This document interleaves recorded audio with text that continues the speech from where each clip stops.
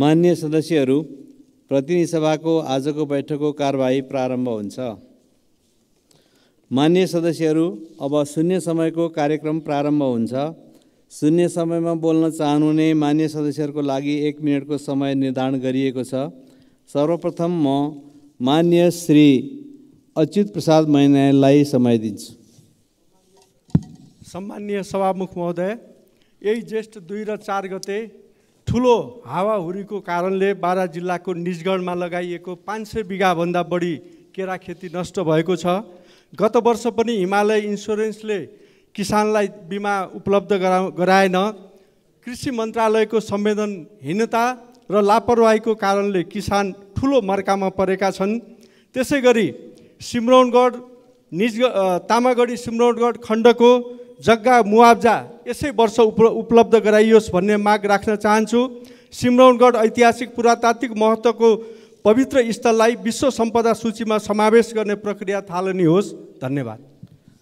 मान्य सदस्य श्री अजय कुमार चौरसिया। सम्मान्य सभामुख महोदय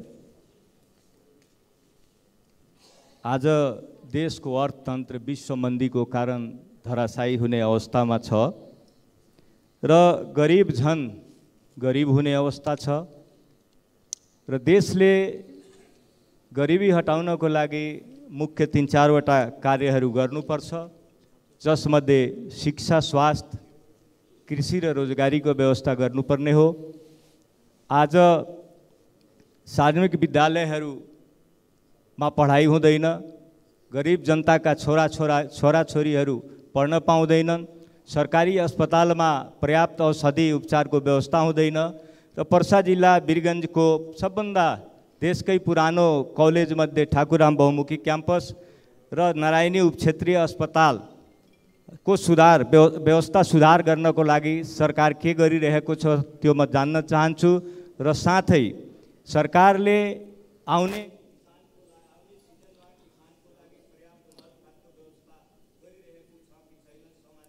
मान्य सदस्य श्री अनिता देवी।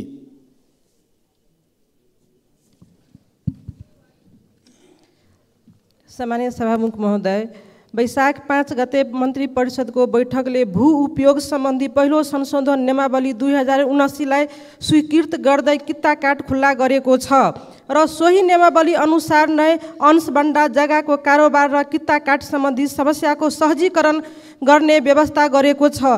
तर यी निर्णय कार्यान्वयन नभएकोले नागरिकहरूले अहिले पनि किता काट अंशबन्डा जग्गाको कारोबार जस्ता समस्याहरू भोगिरहेको हुँदा मन्त्राटका खुल्ला गरेको निर्णयलाई कार्यान्वयन गर्न आवश्यक रहेको छ। त्यसैले सभामुख महोदय किता काट खुल्ला गरेको निर्णयलाई छिटोभन्दा छिटो कार्यान्वयन गरोस् भनेर सभामुख मार्फत सामान्य प्रधानमन्त्रीज्यूलाई ध्यान आकर्षण गराउन चाहन्छु। धन्यवाद।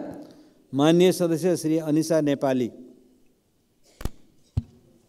सम्माननीय सभामुख महोदय दुई हजार एकहत्तर साल पचहत्तर साल दुई हजार पचहत्तर साल र दुई हजार सतहत्तर साल गरी उखु किसानलाई उनीहरूको उत्पादनको मूल्य दिन्छु भनी नेपाल सरकारले पटक पटक निर्णय गर्छ। तर आजसम्म ती उखु किसानहरूको ले उत्पादन गरेको निर्णयमा किसानले उत्पादन गरेको मूल्य पाएका छैनन्। त्यसैले आज उखु किसानहरू माइतीघर मण्डलामा आन्दोलन गर्न बाध्य भएका छन्। यो कहिलेसम्म यो देशमा सरकार कसले चलाएको छ? बिचौलियाले हो कि जनताले? सरकारले आफैले गरेका निर्णय किन लागू गर्न सक्दैन? सभामुख मार्फत स्पष्ट जवाब पाउँ धन्यवाद। मान्य सदस्य श्री अमरबहादुर थापा।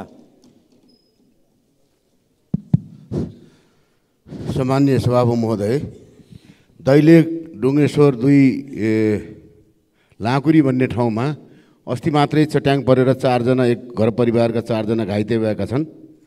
र त्यस्तै आठबिस नगरपालिकामा वनको डढेलोले डढेर अहिले उपचारको क्रममा छन् र मृतकप्रति हार्दिक श्रद्धाञ्जली अर्पण गर्दै यी दुवै घटनामा परेका घाइतेहरूप्रति सरकारले तत्काल औषधि उपचारको व्यवस्था गरोस् भन्ने माग गर्न चाहन्छु। र सुर्खेत दैलेख महाबु जुम्ला मुगु नागचनाग्ला सडक कमसे कम दुई सय तिन सय किलोमिटर दुई सय किलोमिटर चान्चुन कम पर्छ। र त्योतिर त्यतातिर सरकारको ध्यान गएको छैन। राजमार्ग भनिएको छ पाँच करोड दुई करोड रुपियाँ हालेर त्यो राजमार्ग कसरी बन्ने हो? र त्यसलाई पहिलो प्राथमिकता जुम्लाका जन जनतालाई करिब उनासी किलोमिटर त जुम्लासम्म मात्रै बाटो फरक पर्छ भने त्यो बाटो फरक पऱ्यो भने कमसेकम एकजना व्यक्तिलाई एक हजार रुपियाँ भाडासहित कम पर्छ र जनतालाई उपभोगका वस्तुहरू पनि चार पाँच किलो घाटा जाने के अरे सस्तो पर्ने भएको हुनाले यतातिर सरकार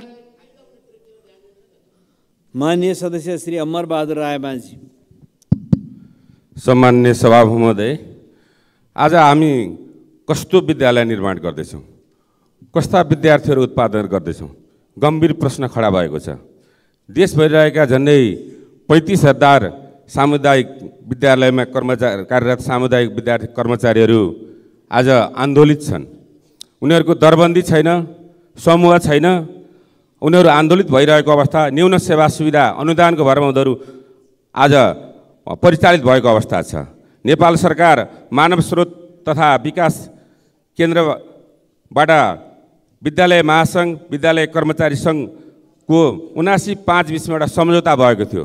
अनुसार दुई हजार पचहत्तर दुई हजार उनासी पाँच बाइसमा मन्त्री स्तरीय निर्णय समेत भई निजहरूलाई दरबन्दी व्यवस्थापन र सेवा सुविधा समेत यस्तो व्यवस्थापन गर्ने भनेर निर्णय भएको थियो। सोच हालसम्म कार्य नभएको हुँदा सभा सम्मान्य सभामुख महोदय मार्फत यथाशीघ्र कार्यान्वयनको व्यवस्था माग गर्दछु। साथै अब बन्ने शिक्षा ऐनमा निजहरूको सेवा सुविधा दरबन्दी प्रष्टमा माननीय सदस्य डाक्टर अमरेश कुमार सिंह। सम्मानीय सभामुख महोदय हामी बच्चादेखि पढ्दै आइरहेको थियो कि उखु नगदी बाली हो। तर हाम्रो सरकारले त्यसलाई उधारो बाली बनाइदिएछ। किसानलाई न समयमा मल दिने न बिउ दिने न सिँचाइको व्यवस्था गर्ने सरकार उल्टै किसानले मेहनत गरेर उखु उत्पादन गर्छ त्यसलाई उधारोमा सरकारले लट्काइदिन्छ। सरकारको ध्यान जाओस् सभामुख मार्फत मैले भन्न चाहन्छु कि जुन उखु किसानको अहिलेसम्म उनीहरूको पेमेन्ट हुन सकेका छैन फेरि बर्सात आउन थालेको छ असारदेखि धानको बाली लगाउने बेला छ त्यो सब पैसा नभएर कसरी उसले धान बाली लगाउने कसरी मल किन्ने कसरी बिउ किन्ने? त्यस कारणले उखु किसानको समस्या तत्काल समाधान होस् यो सभा मार्फत म सदनको ध्यान आकर्षण गर्न चाहन्छु। धन्यवाद। माननीय सदस्य श्री अमृतलाल राजवंशी। सभामुख महोदय आज यो नागरिकता समस्या एउटा ठुलो विकराल समस्या भएको छ। आज झन्डै चौधदेखि साढे चौध लाख बालबालिकाहरू नागरिकता नपाएर उनीहरूको जीवन अलपत्र भइरहेको छ। उनीहरू बेरोजगारी छन् उनीहरू उच्च शिक्षाको लागि बाहिर जान खोजिरहेका छन् उनीहरूको हातमा सर्टिफिकेट छ उनीहरू जागिर गर्न खोजिरहेको छन् तर उनीहरूसँग नागरिकता नभएर उनीहरू जागिर गर्न देशमै पनि पाइरहेका छैनन्।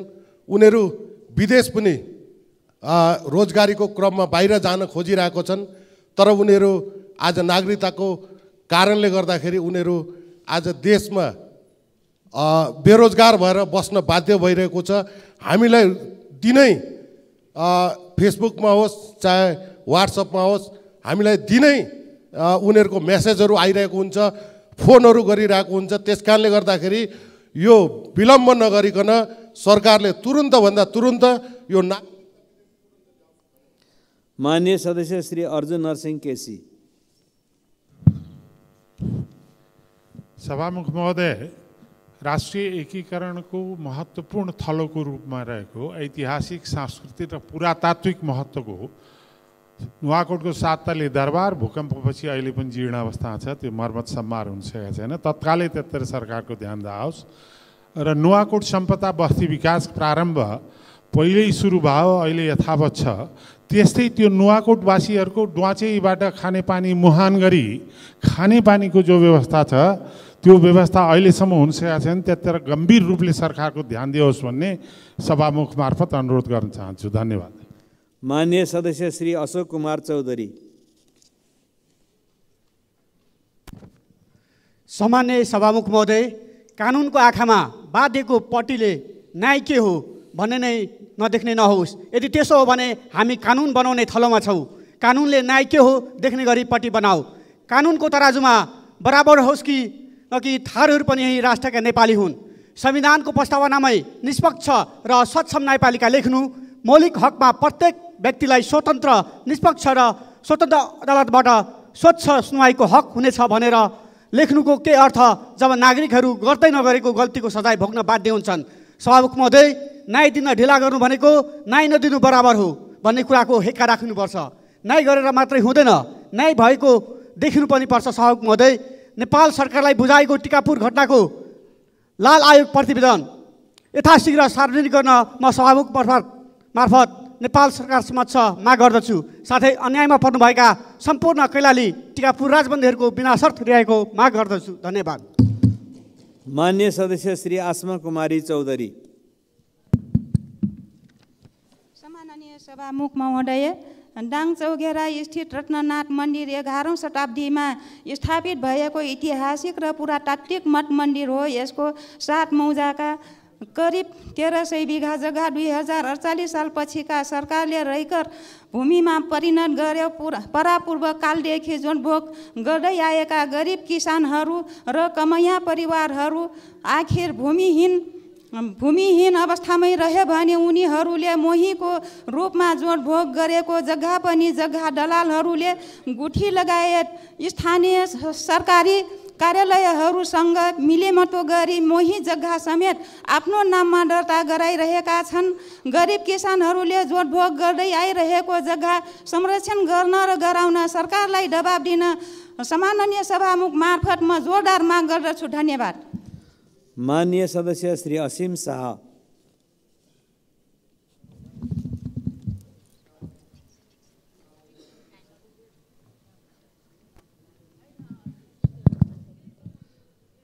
सभामुख महोदय भुटानी शरणार्थी प्रकरणको चलचित्रमा थुप्रै पर्दाका खलनायकहरू देखा परे तर अझै धेरैजना पर्दामा नल्याई लुकाउने प्रयास गरिएको छ भनेर हामीले सुनिरहेका छौँ। नक्कली शरणार्थी प्रकरणमा नाम जोडिएका सम्पर्कविहीन भएको भनिएको एक सांसद संसदमा उपस्थित भइन्। त्यसपछि उनलाई सोधपुछमा ल्याइयो कि ल्याइएन। विभिन्न माध्यमबाट नाम आएका अडियो समेत सार्वजनिक भएका संदिग्धहरूसँग एकपटक पनि किन सोधपुछ भएन। एमाले अध्यक्ष केपी ओलीले जेठ चारमा खोल्ने भनिएको रहस्य आज खुल्छ कि खुल्दैन। प्रमुख तिन पार्टीहरू बसेर सबै कुरा टाकटुक्क मिलाएको कुरा गन्ध संसदभरि फैलिसक्यो र देशभरि फैलिँदैछ। त्यो गन्ध के हो? धन्यवाद। मान्य सदस्य श्री ईश्वर बहादुर रिजाल।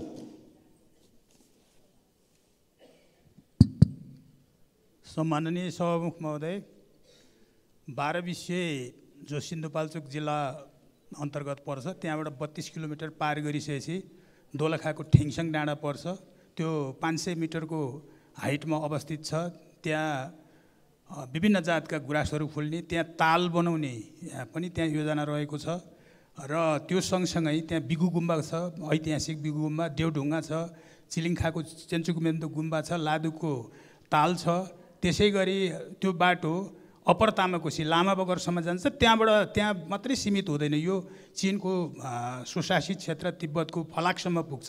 र मनमोहन अधिकारी प्रधानमन्त्री हुँदाखेरि त्यहाँबाट नाका खोल्ने कुरा पनि प्रस्तावित छ। त्यो बाटो छिटो सम्पन्न गर्नको निम्ति सरकारले यही बजेटमा रकमको व्यवस्था गरोस् भन्ने म सरकारको ध्यान आकर्षण गराउन चाहन्छु। धन्यवाद।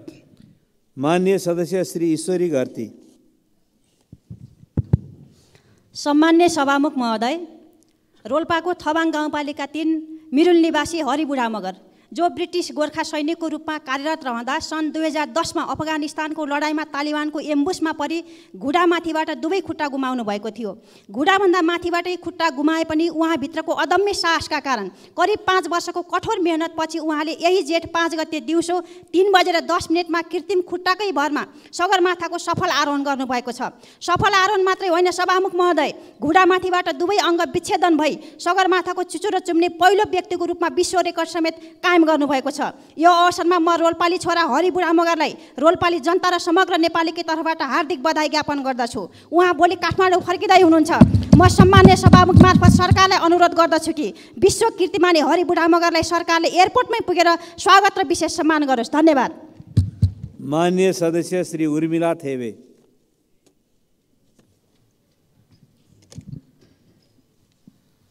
सम्मान्य सम्मान्य सभामुख महोदय कोभिड उन्नाइसको सङ्क्रमणकालीन अवस्थालाई कारण बनाउँदै बन्द भएको ताप्लेजुङको ओलङचुङ गोला स्थित चिनिया नाका अझै खुल्न सकेको छैन। नाका नखुल्दा सीमावर्ती ओलङचुङ गोला लेलेप याङमा क्षेत्रका बासिन्दाको दैनिकी कष्टकर बनेको छ। ओलङचुङ गोला र याङमा गाउँ मात्रै नभएर आसपासका पाँच सात हजार मानिसका लागि तिप्ताला नाका जीवनको आधार बनेको थियो। त्यो नखुल्दा त्यस क्षेत्रका बासिन्दाको दैनिक जीवनयापन कष्टकर बनेको छ। त्यहाँको जनप्रतिनिधिको हैसियतले ताप्लेजुङका हिमाली क्षेत्रका नागरिकको चरम आर्थिक सङ्कटलाई निराकरण गर्न सरकारी तवरबाट चिनसँग कुटनीतिक छलफल गरी ओलङचुङ गोला नाका अविलम्ब रूपमा खुलाउन सम्माननीय सभामुख मार्फत नेपाल सरकारको ध्यान आकर्षण गर्न चाहन्छु। धन्यवाद। माननीय सदस्य श्री ऋषिकेश पोखरेल। सम्माननीय सभामुख महोदय मोरङ जिल्लामा सातवटा ठुला नदीहरू रतुवा बक्रा डाँठ चिसान लुवान्द्रा र केसलिया र बुढीगरी सातवटा खोलाहरूले हरेक वर्ष अत्यन्त ठुलो क्षति गर्ने गरेको छ।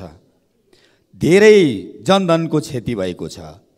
हामीले पटक पटक अघिल्लोपल्ट खोलाले भत्काएका ठाउँ पुनर्व्यवस्थापन गर्न सम्बन्धित ठाउँहरूमा माग गऱ्यौँ तर आजसम्म पनि पूर्ण व्यवस्था भएको छैन।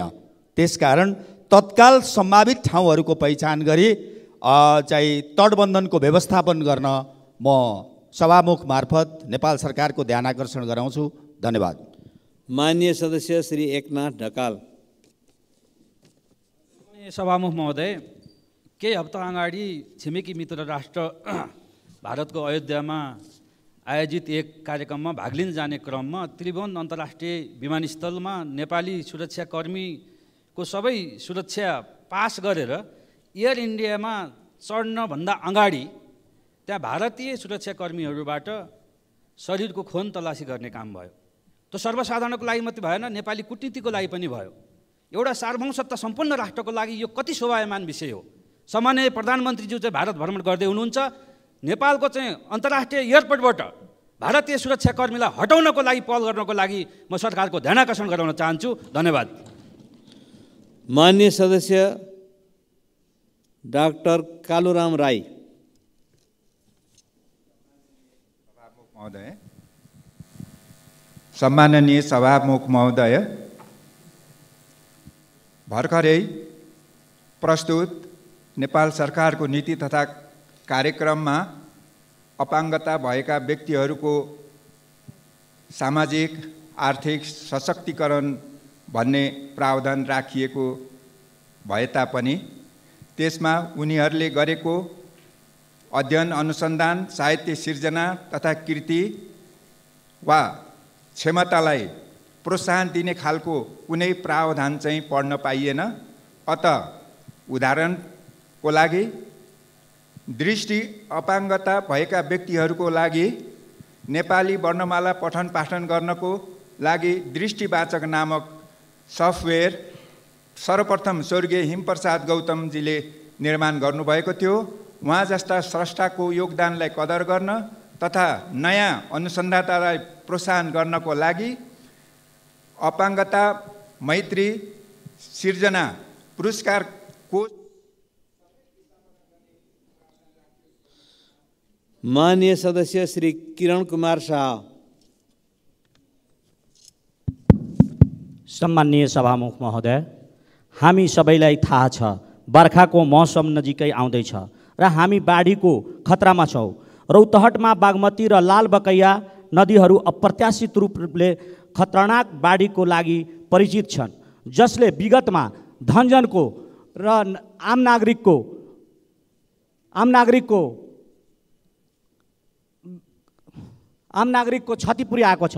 यसकारण म के भन्न चाहन्छु भने सामान्य सभामुख महोदय विगतमा जुन लालबकैया र बागमतीले जुन क्षति पुर्याएको छ त्यसको गर्न म हार्दिक अनुरोध गर्दछु। धन्यवाद। मान्य सदस्य श्री कुसुम देवी थापा। सम्मानित सभामुख महोदय हामी किसानका लागि समयमै मल र बिउका कुरा उठाइरहेका छौँ। यसका साथै पहाडी अडतिस जिल्लाहरूमा बाँदर आतङ्क मचिरहेको छ। किसानले बाली भित्राउन नपाउँदै जमिनमै किसानका खेती नष्ट गरिदिने कारणले राष्ट्रिय वन्यजन राष्ट्रिय निकुञ्ज तथा वन्यजन्तु ऐनको ऐनमा छब्बिसवटा स्तनधारीलाई मार्न नपाइने उल्लेख छ। त्यसैले यो बाँदर नियन्त्रण गर्नका लागि सम्बन्धित निकायको ध्यान आकर्षण गराउन चाहन्छु। धन्यवाद। मान्य सदस्य श्री कृष्ण कुमार श्रेष्ठ। सम्मान्य सभामुख महोदय वीरगञ्ज कृषि औजार कारखाना नेपालको औद्योगिक र कृषि क्षेत्रको विकासको लागि महत्त्वपूर्ण उद्योग हो। दुई हजार चौबिस सालमा स्थापना भएको उद्योगले धेरै उतार चढाव बेहोरेको छ।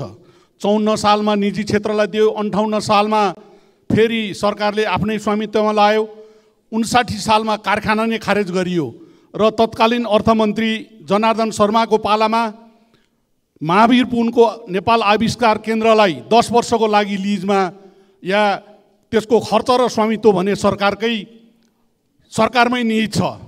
त्यस कारणले गर्दा अब यस्ता पुराना समस्याहरू नदोहोरिन र सञ्चालन खर्च विद्युत जडान तथा आधारभूत कुराको पनि अहिलेसम्म केही हल भएको छैन। पुरानै अवस्थामा कृषि औजार उत्पादन गर्न सक्ने गरी आवश्यक सहयोग होस् सम्माननीय सभामुख मार्फत सरकारको ध्यानकर्षण गर्न चाहन्छु। वीरगञ्ज कृषि औजार कारखाना मध्य प्रदेश र वीरगञ्जको मात्र होइन मुलुक नै नै। माननीय सदस्य श्री गगन कुमार थापा। सम्माननीय सभामुख महोदय। विद्युतीय सवारी साधन बनाइरहेको यात्रीले दर्ता नपाएपछि प्रधानमन्त्रीको निर्देशनमा कार्यविधि संशोधन भयो दर्ता भयो सरकारको तारिफ पनि भयो। तर अहिले आएर दर्ता प्रक्रियामा फेरि समस्या देखिएको छ। सरकार भन्छ भ्याट बिल तिरेको पैँतिस पैँतिस दिनभित्रमा दर्ता भएन भने जरिमाना लाग्छ। पहिले कानुन थिएन दर्ता भएन। अहिले कानुन बन्यो दर्ता भयो तर आफै ढिलो कानुन बनाउने निकायले के भन्छ भने दर्ता ढिलो किन गरिस्? तैँले जरिवाना तिर्नुपर्छ। सरकारको यो कमजोरीको भारी उद्यमीलाई बोकाउन मिल्छ। फेरि यो विषय उद्यमीसँग मात्र सम्बन्धित छैन। स्वदेशी उत्पादनै किन्छु उपभोग गर्छु भन्ने उपभोक्तासँग पनि सम्बन्धित छ। त्यसैले सम्मानित सभामुख महोदय स्वदेशी उत्पादन किन्छु उपभोग गर्छु उपभोग बढाउँछु भन्ने नीति बोकेर हिँडेको सरकारले असल नियतका साथ काम गरिरहेको उद्यमीहरूलाई निरुत्साहित हुन नदियोस् र आफ्नै नीतिको लाज राखोस्। सरकारको ध्यान आकर्षण गराउँछु। मान्य सदस्य श्री गणेश पराजुली। सम्माननीय सभामुख महोदय वर्षेनी अध्ययनको लागि विदेशी नै विद्यार्थीको सङ्ख्या काली लाग्दो छ। यही आर्थिक वर्ष चैत मसान्तसम्म असी हजारभन्दा बेसीले एनओसी लिइसकेको र चार अर्ब सत्तरी करोडभन्दा बेसी पैसा अध्ययनका लागि विदेशमा पठाइएको खर्च गरिएको कुरा त स्वयं प्रधानमन्त्रीज्यूले जानकारी गराइसक्नु भएको छ। यति ठुलो धनराशि विदेश अध्ययनको लागि खर्च गरिएको र यति ठुलो जनशक्ति विदेशमा अध्ययनकै लागि गइरहेको अवस्थामा राष्ट्रले उनीहरूको वास्तविक डाटा अपडेट गर्ने प्रणाली नै विकास नगर्नु आफैमा लाजमर्दो विषय हो। उनीहरूले कुन विद्यालयमा अध्ययन गर्छन् कुन विषय अध्ययन गर्छन् र अध्ययन सकेपछि स्वदेश फर्किन्छन् कि फर्किँदैनन्? फर्केका छन् भने कति विद्यार्थी फर्के? उनीहरूको त्यो डाटा अहिलेसम्म प्राप्त नहुनु अहिलेसम्म सरकारले नराख्नु आफैमा लाजमर्दो विषय हो। यथाशीघ्र त्यो डाटा राख्ने प्रणालीको विकास गरियोस् र स्वदेशमा फर्किएका ती विद्यार्थीहरू सिप सिकेर अध्ययन सकाएर स्वदेशमा फर्केका ती विद्यार्थी युवा शक्तिको सिप स्वदेशमै प्रयोग गरेर यो यो देशलाई निर्माण गर्न निर्माण गर्नको लागि उनीहरूको सिप प्रयोग गरियोस् स्वदेशमै उनीहरूलाई रोजगारी गर्ने वातावरण सिर्जना गरियोस् र उनीहरूलाई स्वदेशमै उद्यमशीलता बन्न उद्यमशील बन्न चाहन्छन् भने उद्यमशीलता बन्नको लागि वातावरण निर्माण गर्नको लागि यही आर्थिक वर्षको बजेटले मान्य सदस्य श्री गीता बस्नेत।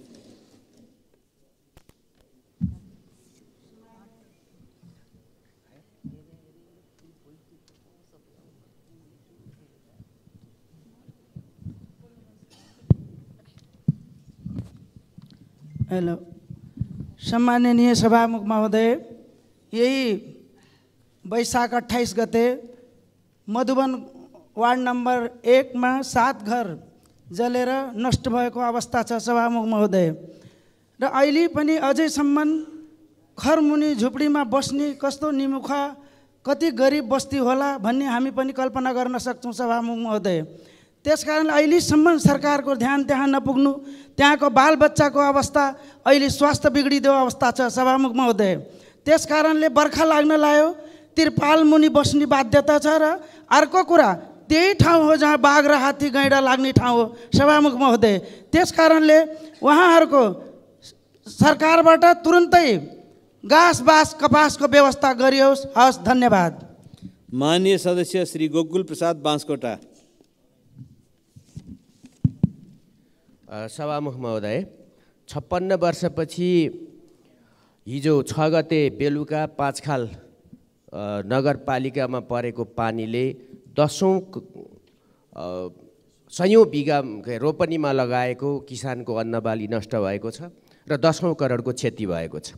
बाली बिमा गरियोस् र तटबन्धको प्रबन्ध त्यहाँ गरियोस्। दुई पहिला पहिला विद्रोहीले धराप थाप्थे। अहिले सरकारले धराप थाप्यो सभामुख महोदय दुई सय एकाउन्नजना मान्छेलाई घाइते बनायो धुलीखेलदेखि बनेपासम्म दिनौँ। यसको प्रबन्ध गरोस् ठेक्का रद्द गरोस् या त काम गराओस्। तेस्रो मैले भन्नै पर्ने कुरा सरकारले झन्डै छ सात हजार मान्छेलाई शहीदको सूची निकाल्यो। मेरो जिल्लाको र पूर्व माओवादी नेता यान प्रसाद गौतम शहीद हो कि गद्दार हो? राजु भुजेल शहीद हो कि गद्दार हो? जवाफ चाहियो न राज्य जिम्मा लिन्छ न तत्कालीन विद्रोही। यो कसरी निकालियो मेरो प्रश्न छ। र सिपाघाट क्षेत्रमा पनि मेलम्ची नदी प्रभावी। मान्य सदस्य श्री गोमा लाभ सापकोटा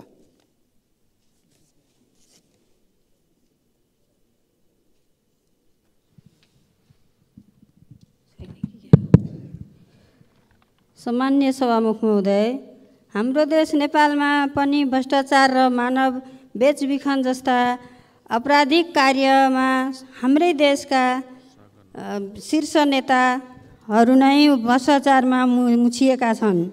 देश र जनताका सेवा गर्न भनी जनताको मत लिएर आएका तिनै ठुला नेता भ्रष्टाचारी भएपछि यो देशका जनतालाई के दिन्छन्? सभामुख महोदय साधारण जनताले घाँस बाँस कपास र नपाएर दिनरात खुल्ला आकाश मुनि जीवन बितायापन गरिरहेका छन्। भने देशका ठुल्ठुला दलका नेताहरूले भने भ्रष्टाचार गरी तिनै जनताहरूको खुसी खोसिरहेका छन्। म सरकारसँग सोध्न चाहन्छु जनताको मत लिएर मन्त्री बनेका ती नेताहरू जनताका रक्षक हुन् कि जनताका भोक्षक हुन् भनी सभामुख मार्फत सरकारलाई म सोध्न चाहन्छु। धन्यवाद। मान्य सदस्य श्री चन्दा कार्की भण्डारी। सामान्य सभामुखज्यू स्वास्थ्य हाम्रो संविधान प्रदत्त एउटा मौलिक अधिकार हो तर पनि किन हामीले यो अधिकार बारम्बार माग गरिराख्नु परेको मैले बुझेको छैन। महिलाहरूमा हुने पाठेघरको मुख सर्भाइकल क्यान्सरको समयमै पहिचान र उपचार गर्नु अति आवश्यक हुन्छ। राज्यले यसका लागि अझै पनि मासिक मास स्क्रिनिङ कार्यक्रम नराखेको र भ्याक्सिनको अवस्था पनि नगरेको हाम गरेकोले हामी कहाँ हरेक वर्ष तेइस सय नयाँ महिलाहरूको यो रोगबाट शिकार भइरहेका छन् र पन्ध्र सय महिलाहरूले यो रोगबाट वर्षेनी ज्यान गुमाइरहेका छन्। हामीले यो महिलाहरूको पीडा सुन्ने कि नसुन्ने? यो भ्याक्सिनले यस्तो मृत्युदरलाई कमसेकम पैँतिस प्रतिशत जति कम गर्न सक्छ। राज्यले यसबारे गत वर्षको आफ्नो नीति र कार्यक्रममा बोले पनि यसको कार्यान्वयन नगरेको देखिन्छ। पाठेघरको मुखको क्यान्सर उन्मूलन गर्न राज्यले जनचेतना बढाउने र हाम्रो राष्ट्रिय खोप कार्यक्रममा एचपिभी भ्याक्सिनलाई चाँडोभन्दा चाँडो समावेश गरियोस् भन्ने यहाँ मार्फत सम्बन्धित निकायसँग जोरदार माग राख्न चाहन्छु। यसो भए विश्व स्वास्थ्य सङ्गठनले दुई हजार तिससम्ममा यस क्यान्सरबाट मुक्ति पाउन लिएको लक्ष्यमा हामी पनि पुग्न सक्छौँ। धन्यवाद। मान्य सदस्य श्री चन्द्रबहादुर विश्वकर्मा। सभामुख महोदय पुष्पलाल लोकमार्ग अन्तर्गत रुकुम र जाजरकोट जोड्ने भेरी नदीको पुल अहिलेसम्म अलपत्र परेको छ। पुलको दुवै किनारामा पिच रोड भएको छ गाडी चलिरहेका छन् तर पुल न निर्माण नहुँदा जनताले ठुलो शास्ति भोगिरहेका छन्। दुई हजार बहत्तर सालसम्म सम्पन्न गरिसकिने उक्त पुल हालसम्म अलपत्र पर्दा कुन कति कारणले अलपत्र परेको छ त्यो छिटोभन्दा छिटो सोही ठाउँमा त्यो पुल निर्माण होस् भन्ने कुरा सभा सभाको मार्फत म नेपाल सरकारलाई ध्यान आकर्षण गर्न चाहन्छु। धन्यवाद। मान्य सदस्य श्री चित्रबहादुर केसी। सम्मान्य सभामुखज्यू धर्म व्यक्तिको आस्थाको कुरा हो। केही दिन पहिले छिमेकका सत्ताधारी पार्टीका नजिकका सङ्गठनहरूले नेपाललाई हिन्दू राज्य बनाउनुपर्छ।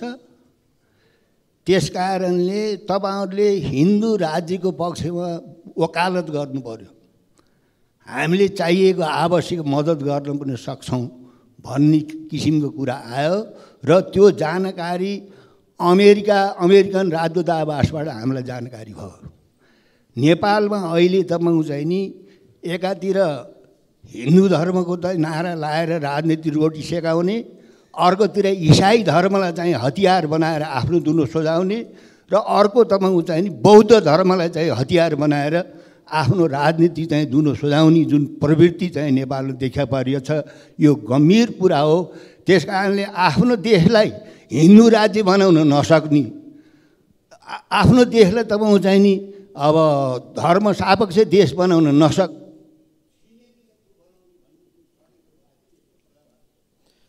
मान्य सदस्य श्री ज्वाला कुमारी शाह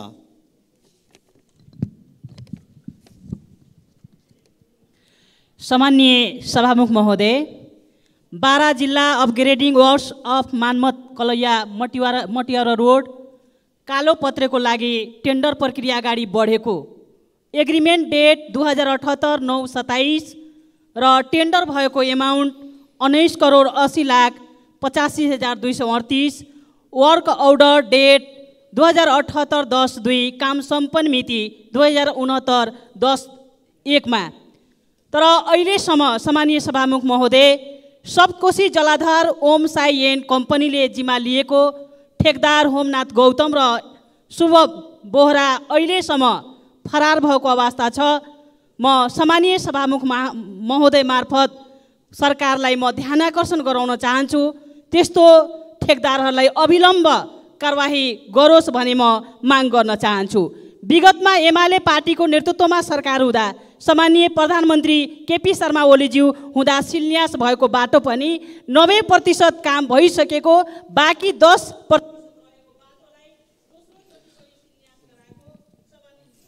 माननीय सदस्य श्री जुली कुमारी महतो महासेठ। सम्माननीय सभामुख महोदय नेपालको सबभन्दा गहिरो ठाउँ मुखियापट्टि मुसर्निया गाउँपालिका वर्षायाममा वार्ड नम्बर एक र दुई पूर्ण रूपमा डुबानमा पर्ने गरेको छ। यसबाट जनधनको क्षतिको साथै शिक्षा स्वास्थ्य खानेपानी र किसानहरूको खेती डुबान हुने गरेको छ सभामुख महोदय। त्यसमा सरकारको ध्यान पुग्न सकेको छैन।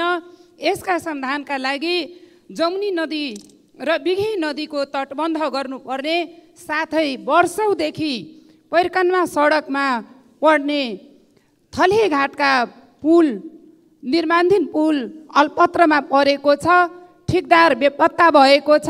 यसलाई समयमा निर्माण गर्न हुन सम्बन्धित मन्त्रालय र सरकारलाई ध्यान आकर्षण गराउन चाहन्छु।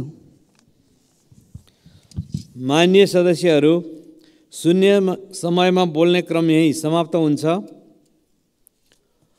मान्य सदस्यहरू अब सम्माननीय प्रधानमन्त्री श्री पुष्पकमल दाहाल प्रचण्डलाई सम्माननीय राष्ट्रपति महोदयले दुई हजार असी जेठ पाँच गते शुक्रबार सङ्घीय संसदको दुवै सदनको संयुक्त बैठकमा गर्नुभएको सम्बोधनमा उल्लेखित आर्थिक वर्ष दुई हजार असी एकासीको नेपाल सरकारको वार्षिक नीति तथा कार्यक्रममाथिको छलफल प्रारम्भ गरियोस् भनी प्रस्ताव प्रस्तुत गर्न अनुमति दिन्छु।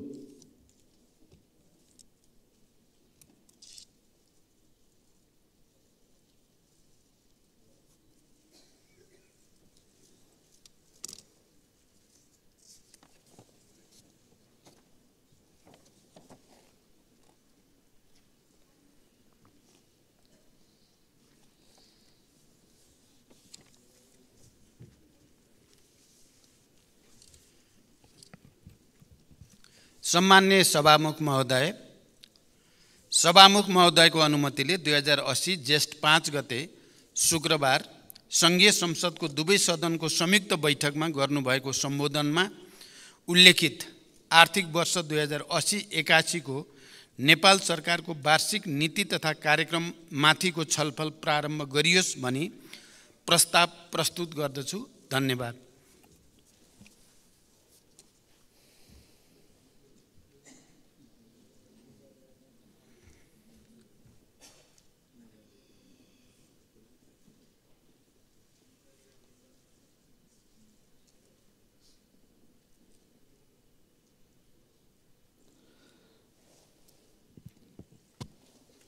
माननीय सदस्यहरू अब प्रतिनिधि सभामा विपक्षी दलको नेता माननीय श्री केपी शर्मा ओलीलाई आर्थिक वर्ष दुई हजार अस्सी एकासीको नेपाल सरकारको वार्षिक नीति तथा कार्यक्रममाथिको छलफलमा भाग लिन समय दिन्छु।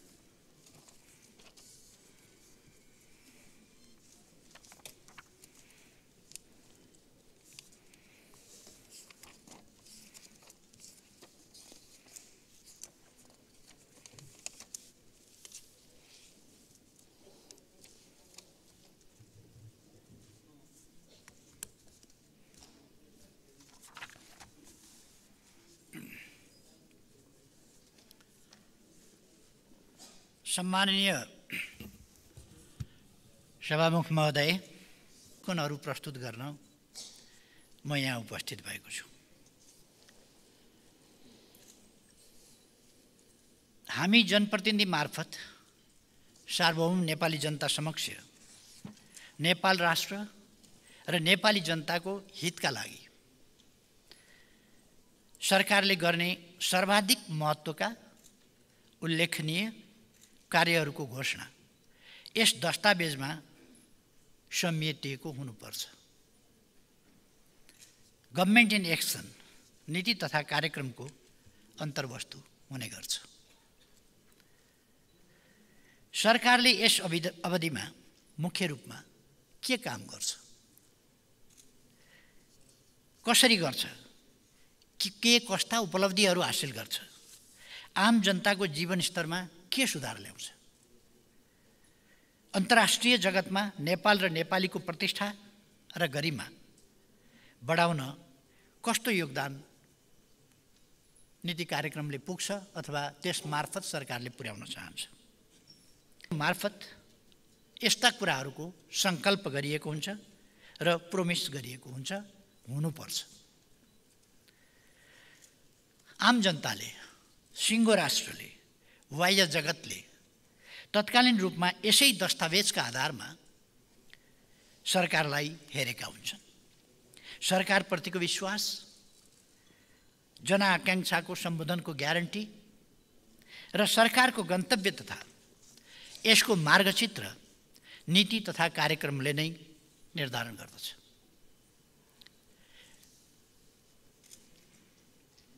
नेकपा एमालेको निर्णायक पहलमा राष्ट्रिय स्वतन्त्र पार्टी राष्ट्रिय प्रजातन्त्र पार्टी जनता समाजवादी पार्टी जनमत पार्टी नागरिक उन्मुक्ति पार्टी र स्वतन्त्र सांसदहरूको प्रस्तावमा नियुक्त हुनुभएका सम्माननीय प्रधानमन्त्रीज्यू भलै दुई महिना पुग्दा नपुग्दै सरकारको मुटु प्रत्यारोपणतिर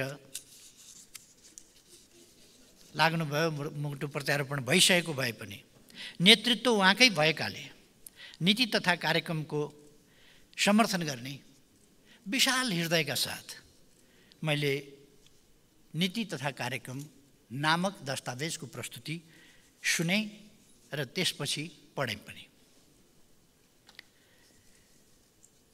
नीति तथा कार्यक्रमको आधार स्तम्भ पहिल्याउने प्रयास गरेँ। के आधारमा? कुन जगमा? के उद्देश्यमा? कुन गन्तव्यका लागि यो नीति तथा कार्यक्रम आएको छ? के टार्गेटहरू मिट गर्नका लागि आएको छ? त्यो मैले पहिल्याउने कोसिस गरेँ। सरकारको गन्तव्य उद्देश्य नीति कार्यक्रम र योजनाहरू कसरी निर्धारण भएका रहेछन् त? खोजी गरेँ। कार्यान्वयनको मोडालिटी र ढाँचा कसरी तय भएको रहेछ? अध्ययन गर्ने कोसिस गरेँ। निर्वाचनका क्रममा जनतासँग मत माग्दा खास गरी नेपाली काङ्ग्रेस र नेकपा माओवादी केन्द्रसहितको गठबन्धनले गरेका बाचाहरू सङ्ग्रहित घोषणापत्र र त्यसपछिको पहिलो यस नीति उल्लेख गर्न सकेन। सोह्रौँ को चर्चा गऱ्यो पन्ध्रौँको चर्चा गर्न सकेन। यो यो आर्थिक वर्ष असी एक्कासी यो आर्थिक वर्ष पन्ध्रौँ पञ्चवर्षीय योजनाको अन्तिम वर्ष हो। कति हामीले पुरा गर्न सक्यौँ कति सकेनौँ। पुरा हुन सकेनन् भने के कारणले पुरा हुन सकेनन्? र कसरी पुरा गर्छौँ अब? कमीहरू कसरी हटाउँछौँ? ती कुराहरू नीति कार्यक्रममा आउन सकेन। र हामी कुन बिन्दुमा आइपुग्यौँ कहाँबाट अगाडि बढ्छौँ भन्ने यसमा केही पनि छैन।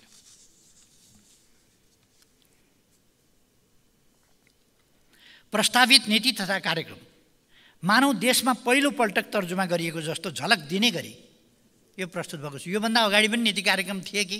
कुनै सरकार थिए कि? कसैले काम गरेका थियो कि? कुनै पोलिसी बनाएको थियो कि? त्यो कुरा छोडेर मानिलिउँ। अहिले नै यो सरकार नै प्रथम स्वयम्भू हो। यो प्रथम स्वयम्भू अब तरित भएर पहिलो सरकार बनेको छ पहिलो हामीले सुरु गरेका छौँ पहिलो नीति कार्यक्रम बनाएको छ जसरी यो प्रस्तुत भएको छ। शून्यबाट सुरु गरिएको भान दिन खोजिएको छ। राज्य अविच्छिन्न हुन्छ। प्राप्त उपलब्धिमा गर्व गर्दै वाञ्छित उपलब्धिका लागि अविरल क्रियाशील हुन्छ राज्य। टुटेको हुँदैन श्रृङ्खला। गुण दोष सबैको एउटा सिलसिला हुन्छ। तर यहाँनिर गुण दोषको यहाँनिर सिलसिला छैन। यो राज्यको आधारभूत मान्यतालाई यो नीति र कार्यक्रमले स्वीकार गर्न सकेका छैन। कि राज्य एउटा निरन्तर चल्ने कुरा हो भन्ने कुरा। दिगो विकासका गन्तव्य पुरा गर्न। र अल्पविकसित मुलुकबाट स्तरोन्नति भएपछि विकसित परिस्थितिको सामना गर्ने कार्यक्रमहरू यस नीति कार्यक्रममा प्रस्ताव गरिएका छैन। देश असामान्य अवस्थाबाट गुज्रिरहेको छ। वास्तवमै असामान्य अवस्थाबाट गुज्रिरहेको छ। राजनीतिक अस्थिरता र अराजकता चुलिएको छ। जनतामा असन्तुष्टि व्याप्त छ। सरकारप्रति जनताको अविश्वास? वास्तवमा भन्यो भने अभूतपूर्व ढङ्गले ह्रास यो विश्वास ह्रास भएको छ अविश्वास बढेको छ। अभूतपूर्व ढङ्गले। जनतामा निराशा छ। सामाजिक र सांस्कृतिक क्षेत्रमा अस्वाभाविक प्रवृत्तिहरू बढ्दा छन्। प्रमुख आर्थिक परिसूचकहरूले अर्थतन्त्र सङ्कटापन्न भइसकेको देखाएका छन्। सरकार राजस्व उठाउन असफल भएको छ। राजस्वले चालु खर्च तलब पेन्सन सामाजिक सुरक्षा भत्ता लगायत अनिवार्य दायित्वको खर्च व्यवस्थापनसम्म गर्न पनि नसक्ने स्थितिमा सरकार पुगेको छ। मूल्यवृद्धि दोहोरो अङ्क नजिक पुगेको छ। सर्वसाधारणले उपभोग गर्ने वस्तुहरूको मूल्य पन्ध्रदेखि पच्चिस प्रतिशतसम्म वृद्धि भएको छ। निर्यात छब्बिस प्रतिशतले घटेको छ। आयात अठार प्रतिशतले घट्दा विकास निर्माणका सामग्री औद्योगिक कच्चा पदार्थ विद्युत तथा सञ्चार उपकरण कृषि उपकरण निर्यात गरिने वस्तुका कच्चा पदार्थ अभाव हुन थालेका छन्। तरलताको अभाव उच्च ब्याज दर ऋण नतिर्नेलाई राजनीतिक संरक्षण व्यवसायीको खस्केको मनोबल लगायतका यथार्थहरूलाई सम्बोधन गर्ने गरी नीति तथा कार्यक्रम आएको छैन। अझ दुर्भाग्यपूर्ण त के छ भने देश असामान्य अवस्थामा रहेको यथार्थलाई सरकारले लुकाउन खोजेको छ। लुकाउन मात्रै होइन। रोम जलिरहेछ निरो बाँसुरी बजाइरहेछ।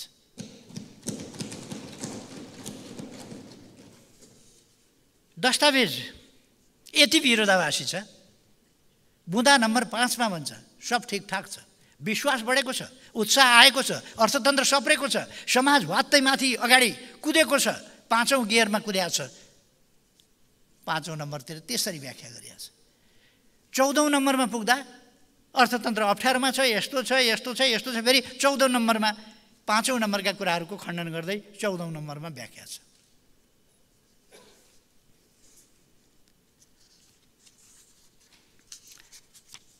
यसरी सरकार बेखबर भएको हो कि आत्मरतिमा रमाएको हो कि देशको परिस्थिति बुझ्नै नसक्या हो कि बुझेर त्यसलाई अनदेखि गर्न खोजिया हो कि? आफूले बुझे पनि जनतालाई बुझ्न नदिन खोजेको हो कि? अल्मल्याउन खोजेको हो कि? यस प्रकारको यस नीति कार्यक्रम नामक दस्तावेजले देखाउँछ। नीति तथा कार्यक्रमले आम नेपालीको जीवन स्तरमा आधारभूत सुधार ल्याउने रूपान्तरणकारी नीति देख्न सकेका छैनन्। देशमा उत्साह सिर्जना गर्ने आँट गर्न सकेको छैन। यो प्रस्तावित नीतिमा उच्च दरको आर्थिक वृद्धि हासिल गर्ने कुनै योजना नै छैन। आधुनिक पूर्वाधार निर्माणका कार्यहरू तीव्र गतिमा अगाडि बढाउने उत्साह नै छैन।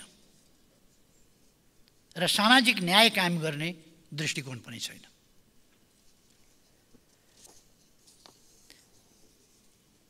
एकदम संक्षिप्तमा भन्दा नीति तथा कार्यक्रमको उद्देश्य छैन। कहाँ पुग्ने भन्ने गन्तव्य छैन? कसरी जाने मार्गचित्र छैन? सर्वत्र नीति शून्य नीति। को अवस्था छ? अहिलेको सरकारको नीति के हो भने नीति शून्य नीति। यस्तो नीति तथा कार्यक्रमले देशलाई स्थायित्व दिन सक्दैन राष्ट्रलाई अग्रगमनको गन्तव्यमा पुर्याउन सक्दैन। राष्ट्रका समस्याहरूलाई राष्ट्रले भोगिरहेका समस्यालाई जनताले भोगिरहेका समस्याहरूलाई सम्बोधन गर्न पनि सक्दैन।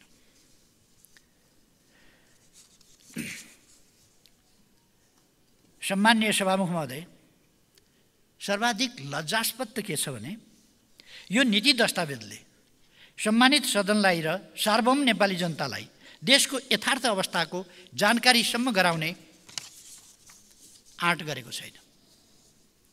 प्रधानमन्त्री तथा मन्त्री परिषदको कार्यालय अन्तर्गतको राष्ट्रिय तथ्याङ्क कार्यालयले प्रकाशित गरेको तथ्याङ्क अनुसार सन् दुई हजार दस एघारलाई आधार वर्ष मानेर आर्थिक वर्ष अठहत्तर उनासी र आर्थिक वर्ष उनासी असीका पहिलो र दोस्रो त्रैमासिकको कुल ग्रास्ते उत्पादन वृद्धि तुलना गर्दा पहिलो त्रैमासिकमा कुल ग्रास्ते उत्पादन अघिल्लो वर्षको भन्दा शून्य दशमलव तिन चार प्रतिशतले ऋणात्मक र दोस्रो दोस्रो त्रैमासिकमा शून्य दशमलव सात तिन प्रतिशतले ऋणात्मक देखिएको छ। पहिलो त्रैमासिकको तुलनाले अर्थतन्त्र गम्भीर रूपले जोखिमतर्फ जान लागेको देखाएको छ भने लगातार दोस्रो त्रैमासिकमा समेत दोब्बर दरले ऋणात्मक हुनुले नेपाली अर्थतन्त्र मन्दीको चपेटामा परेको पुष्टि गर्दछ। यस्तो गम्भीर आर्थिक सङ्कट सम्बन्धी विषय यो सरकारलाई जानकारी हुनुपर्ने होइन र? तर सरकारलाई जानकारी भएको नीति कार्यक्रममा कहीँ देखिँदैन र त्यो परिस्थितिको सामना गर्ने उत्साह त्यो आँट त्यो पनि कहीँ देखिँदैन त्यो उपाय पनि देखिँदैन त्यस सम्बन्धमा कुनै चिन्तन पनि देखिँदैन। अथवा सरकार सदनलाई छल्न चाहन्छ। के गर्न चाहन्छ? मैले बुधा नम्बर आठ पढेँ। भूकम्प कोभिड डेङ्गु र रुस युक्रेनको युद्धलाई दोष लगाएर आर्थिक स्थायित्व र वित्त व्यवस्थापनमा चुनौती देखाइएको रहेछ।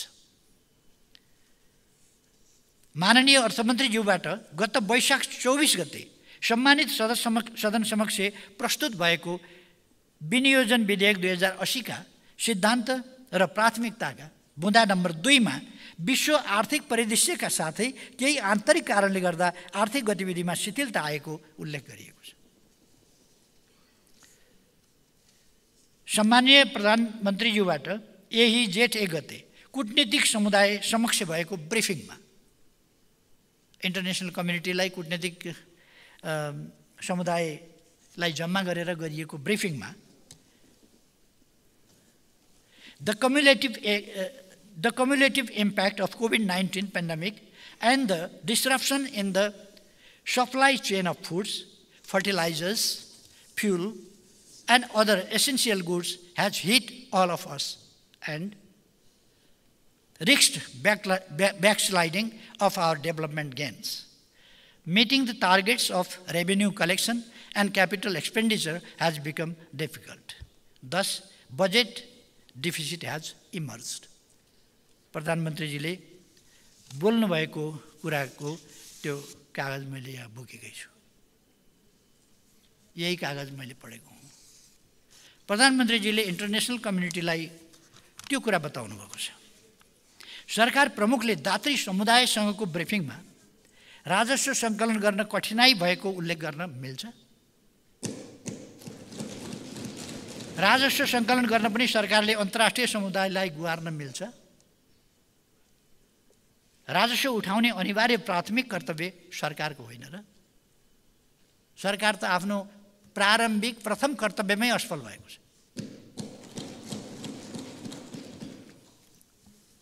त्यही असफलताको दस्तावेजका रूपमा यो नीति कार्यक्रम आएको छ। सम्माननीय सभामुख महोदय राष्ट्रिय तथ्याङ्क कार्यालयको प्रकाशनलाई विश्वास गर्ने कि माननीय अर्थमन्त्रीज्यूको दावीलाई सही भन्ने कि सम्माननीय प्रधानमन्त्रीज्यूबाट कुटनीतिक समुदाय समक्ष भएको प्रस्तुतिलाई सही भन्ने कि सम्माननीय राष्ट्रपतिज्यूबाट प्रतिनिधि सभाको सर्वोच्च संस्था सम्मानित सङ्घीय संसद समक्ष प्रस्तुत नीति कार्यक्रममा उल्लेखित विवरणलाई सही मान्ने। फरक फरक छन् विवरण। के चाहिँ सही हो? केलाई सही मान्ने? नीति तथा कार्यक्रम स्वयंमा पनि धेरै अन्तर्विरोधहरू रहेका छन्। उदाहरणका लागि मुद्दा नम्बर पाँच र चौधलाई लिन सकिन्छ। सरकारको योभन्दा गम्भीर गैर जिम्मेवारी के हुनसक्छ सदन र विश्व समुदायकै फरक कुरा गर्ने सरकारको तर्फबाट प्रस्तुत यस नीति तथा कार्यक्रमलाई कसरी विश्वास गर्ने? संसारका कुनै पनि देशका सरकार समस्याविहीन हुँदैन। कुन देशमा समस्या हुँदैन? आफ्ना आफ्ना खालका समस्या सबै देशमा हुन्छन्। हरेक सरकार समस्या समाधान गर्नका लागि बनेको हुन्छ। सरकार बन्छ किन भन्दा समस्या हुन्छन् र ती समाधान गर्दै अगाडि बढ्नुपर्छ। विकासका समस्या हुन्छन् शान्ति सुव्यवस्थाका समस्या हुन्छन् जनतालाई सेवा पुर्याउने डेलिभरीका समस्याहरू हुन्छन् अनेक समस्याहरू हुन्छन्। तिनलाई सम्बोधन गर्न नै सरकार बन्छ। समस्या त हरेक ठाउँमा हुन्छन्। र सरकार भनेको समस्या समाधानकै लागि बन्ने हो। समस्यालाई दोष लगाएर सरकार उम्किन मिल्छ र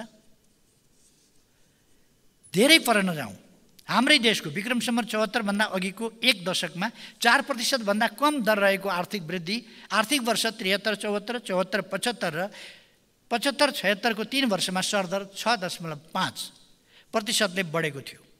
सोही अवधिको विश्लेषण गर्दै बेलायतबाट प्रकाशित हुने द इकोनोमिस्ट पत्रिकाले सन् दुई हजार उन्नाइसको डिसेम्बरमा नेपाललाई उच्च आर्थिक वृद्धि हासिल गर्ने विश्वका दस मुलुकभित्र समावेश गरेको थियो। कति छिटै कति छिटै दुई वर्षमा तपाईँहरूले विश्वका तीव्र आर्थिक विकास गर्ने दसवटा देशभित्र पुगिसकेको नेपाललाई नागपासा खेले चाहिँ उनान्सयबाट दुईमा कसरी झार्नु हो? दुई वर्षमा। यही समस्याका बिचमा विश्व अर्थव्यवस्थाको दोस्रो ठुलो अर्थतन्त्र मित्र राष्ट्र चिनको र पाँचौँ ठुलो अर्थतन्त्र मित्र राष्ट्र भारतको आर्थिक वृद्धि दर सन् दुई हजार तेइसमा क्रमशः पाँच प्रतिशत र छ दशमलव चार प्रतिशत हुने अनुमान एसियाली विकास ब्याङ्कले गरेको छ। राष्ट्रिय तथ्याङ्क कार्यालयले हाम्रो आर्थिक वृद्धि दर दुई दशमलव एक छ प्रतिशतमा खुम्चिने अनुमान गरेको छ। यो पनि पुग्नेवाला छैन पछि हेर्नु होला। सम्माननीय सभामुख महोदय नेकपा एमालेको सरकारलाई विस्थापन गरी बनेको काङ्ग्रेस माओवादी केन्द्रसहितको गठबन्धन सरकार नै हाम्रो अर्थतन्त्रलाई सङ्कटको डिलमा पुर्याउने प्रमुख कारक हो। प्रधानमन्त्रीज्यूलाई लाग्यो होला यो सरकार राम्रो छ सफल छ भनिदिए हुन्थ्यो। तथ्याङ्कहरूले त्यस्तो बोल्दैनन् सभामुख महोदय।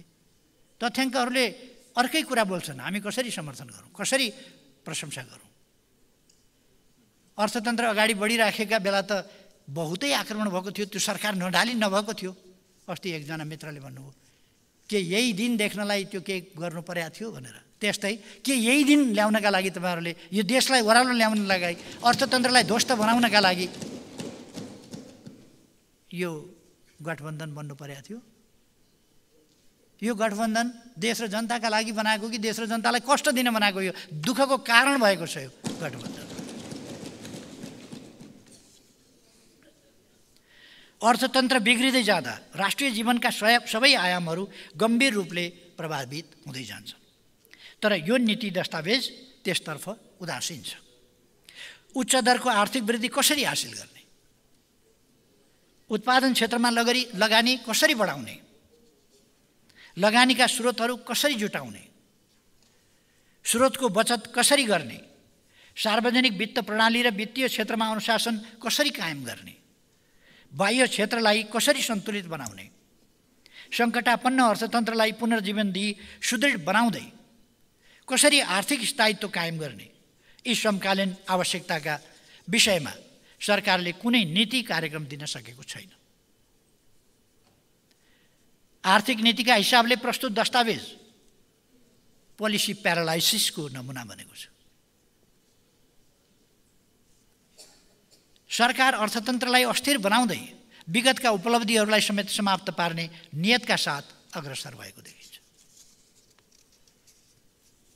सभामुख महोदय प्रस्तावित नीति तथा कार्यक्रमले लोकतन्त्रलाई सुदृढ बनाउने लोकतान्त्रिक अभ्यासलाई अर्थपूर्ण बनाउने जीवन पद्धतिको रूपमा विकास गर्ने र लोकतन्त्रप्रति सबैको आस्था एवं विश्वास मजबुत बनाउने विस्तृत खाका कम्प्रेन्सिभ फ्रेमवर्क देशलाई दिन सक्नु पर्थ्यो सकेको छैन। सरकारप्रति जनताको विश्वास बढ्ने कुनै कार्यक्रम प्रस्तावित भएका छैन। सरकारले तिनै तहमा निष्पक्ष स्वतन्त्र शान्तिपूर्ण र भयरहित वातावरणमा निर्वाचन सम्पन्न गरी मुलुकमा सङ्घीय शासन प्रणालीलाई सफल बनाएको उद्घोष गरेको दावी उद्घोष गरेको छ त्यस्तो दावी गरेको छ। तिनै तहको निर्वाचन कुन हद कुन हदसम्मको अराजकता अशान्ति त्रासदीपूर्ण र ठगी तथा जालसाजी युक्त थियो मैले यसअघि पनि सम्मानित सदस्य सदन समक्ष यथार्थ घटनाहरू राखिसकेको हुनाले यहाँ दोहोऱ्याइरहनु छ। मान्छेको मृत्यु भएको छ मान्छे घाइते भएका छन् बुथ कब्जा भएको छ गणना नसिद्धिँदै घोषणा भएको छ। यस्ता कुराहरूलाई शान्तिपूर्ण अनि ती ती मान्छे के भएर आत्महत्या गरे हुन् कि के गरे हुन् त्यो मान्छेहरूले? कुटी कुटिकन भागेर गएकालाई घरबाट तानी तानिकन ल्याएर हत्या गरिएको छ शान्तिपूर्ण भएको छ सबैतिर। अमन चैन राम राज्य।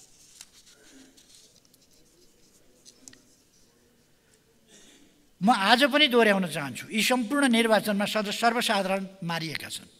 बुथ कब्जा भएको छ। राज्य सत्ताको चरम दुरुपयोग भएको छ।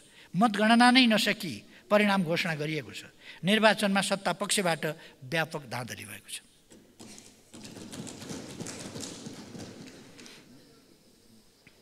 सङ्घीयतालाई मजबुत बनाइयो भनिएको छ मजबुत बनाउन ठुलो काम गरियो भनेको छ तर सबैलाई साथ लिएर हिँड्ने प्रवृत्ति नै देखाइएको छैन। सङ्घीयता त सबै प्रदेशहरू स्थानीय तहहरू सबैलाई साथ लिएर सबैको विश्वास जितेर समन्वयात्मक ढङ्गले काम गर्दा अगाडि बढ्ने हो मजबुत हुने हो। तर त्यस ठाउँमा अहिलेको सरकारले म प्रधानमन्त्रीबाट हटेपछि राष्ट्रिय समन्वय परिषदको एउटा बैठक बोलाएको छैन मुख्यमन्त्रीहरूलाई एकपल्ट जम्मा गरेर सरसल्लाह गरेको छैन कुराकानी गरेको छैन अहिले पनि बजेट बनाउने बेला भइसक्यो। नीति कार्यक्रम प्रस्तुत भइसक्यो। तर प्रदेशहरूलाई बोलाइएको छैन। प्रदेशका मुख्यमन्त्रीहरूलाई बोलाइएको छैन। प्रदेशका समस्या के छन् कसरी गर्नुपर्छ भनिएको छैन। स्थानीय तहहरूसँग कुनै सोधपुछ छैन। मैले आफ्नो समयमा त्यसको दायरा विस्तृत गरी गरिकन त्यसका प्रतिनिधि संस्थाहरू समेत नगरपालिका सङ्घ गाविस महासङ्घ गाउँपालिका महासङ्घ र जीविस महासङ्घ। यिनीहरूका समेत प्रमुखहरूलाई बोलाएर मुख्यमन्त्रीजीहरूलाई बोलाएर प्रदेशका योजना आयोगहरूलाई बोलाएर त्यसरी अन्तर्क्रिया गराएको थिएँ पटक पटक र उहाँका प्रदेश प्रादेशिक समस्याहरू के छन् के झेलिरहनु भएको छ र त्यसमा सङ्घीय सरकारको तर्फबाट के गर्नुपर्छ भन्ने कुरामा छलफल गरिएको थियो। तर म प्रधानमन्त्रीबाट हटेपछि सङ्घीय भावनालाई त्यो स्पिरिटलाई समातिएकै छैन। अनि सङ्घीयतालाई दह्रो बनाएको आदि। सङ्घीय शासन प्रणालीलाई सफल बनाएको भनेको छ यहाँ। सङ्घीय शासन प्रणाली केही पनि नगरेपछि सफल हुन्छ? कसैसँग सरसल्लाह नगरेपछि सफल हुन्छ?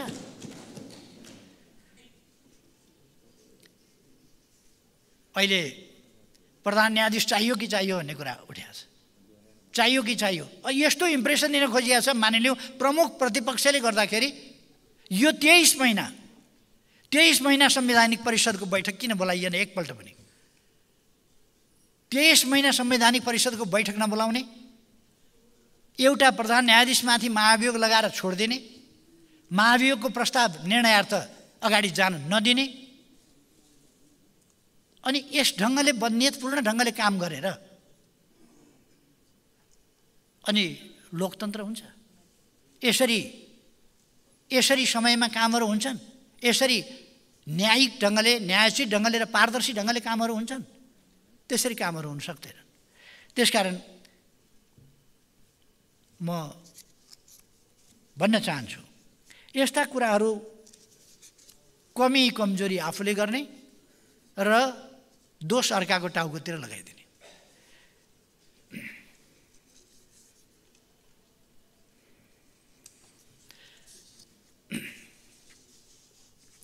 यो खालको परिपाटीलाई छोड्नुपर्छ र एउटा संवाद सहमति र सहकार्यको बाटोतिर राष्ट्रिय राजनीतिलाई फर्काउनुपर्छ।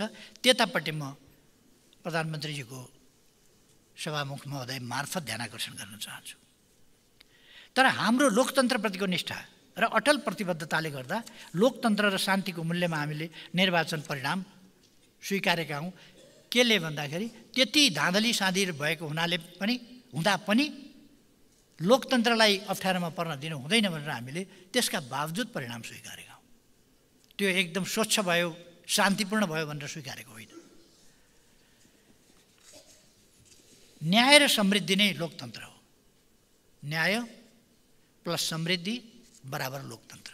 एकदम संक्षिप्तमा भन्यो भने वाट इज डेमोक्रेसी भन्दा justice plus prosperity is equal to democracy. राजनीतिक आर्थिक र सामाजिक आयाममा न्याय र समृद्धि लोकतन्त्रको अर्थपूर्ण परिभाषा हो। कुनै दल विशेष वा व्यक्ति विशेष देशको प्रधानमन्त्री वा कुनै पदमा हुनुपर्ने जिद्दी मात्रलाई कदापि लोकतन्त्र मान्न सकिँदैन।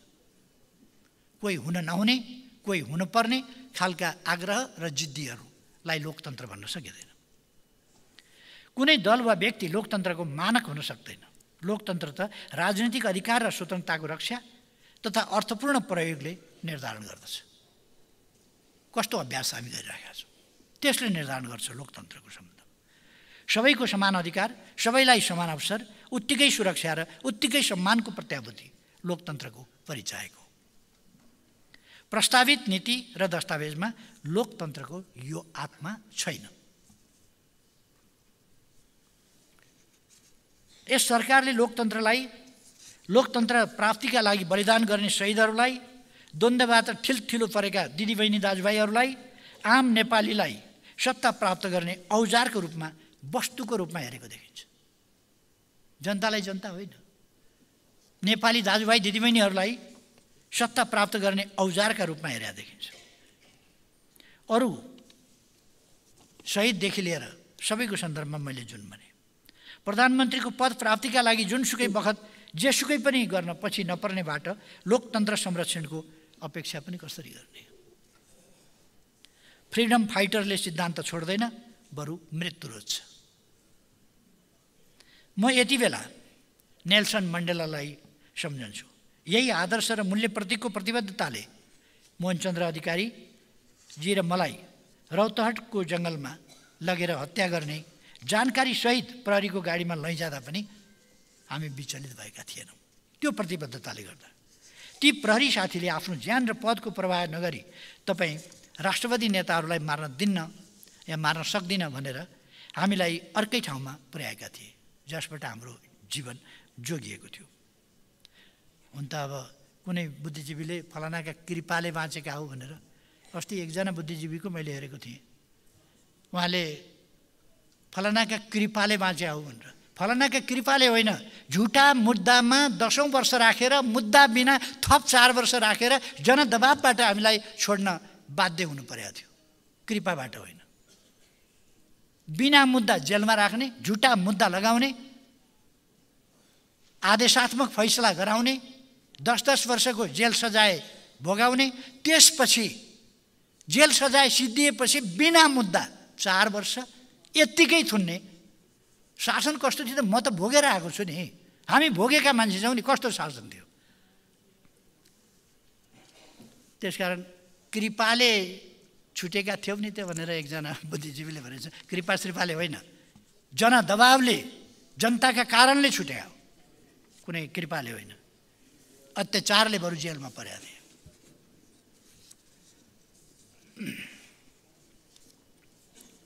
महान शहीद गङ्गालाल धर्मभक्त सुकराज र दशरथ चन्दले लोकतन्त्रका लागि मृत्यु रोजेका थिए।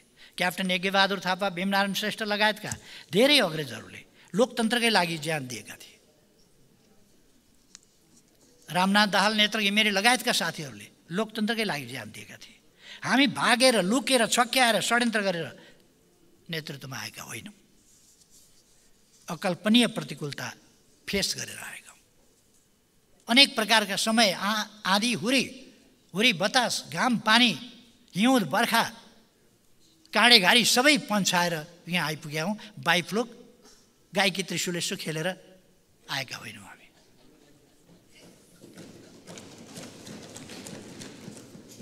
हामी आफ्नो र परिवारका लागि होइन। आफ्नो दलको लागि मात्र पनि होइन। त्योभन्दा माथि। राष्ट्र र जनताको हितका लागि लोकतन्त्रका पक्षमा उभिएका हौँ। हाम्रो लोकतन्त्र चाँदीको किस्तीमा राखेर कसैले दिएको होइन। यो त सम्पूर्ण नेपालीले जितेर ल्याएको। ती नेपालीलाई मेनिपुलेट गरेर सत्ता लिने अवसरलाई लोकतन्त्र सुदृढ भएको मान्न सकिँदैन। बरु यो विकृत राजनीतिक अभ्यासले लोकतन्त्रलाई कमजोर बनाएको छ। सभामुख महोदय सार्वभौम समानताको विदेश नीति अथवा सार्वभौम समानताको नीति विदेश सम्बन्ध सञ्चालनको मुख्य आधार हो।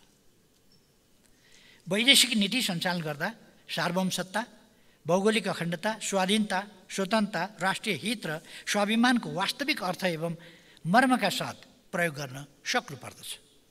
यो दस्तावेजमा त्यो अक्षर भावना छैन।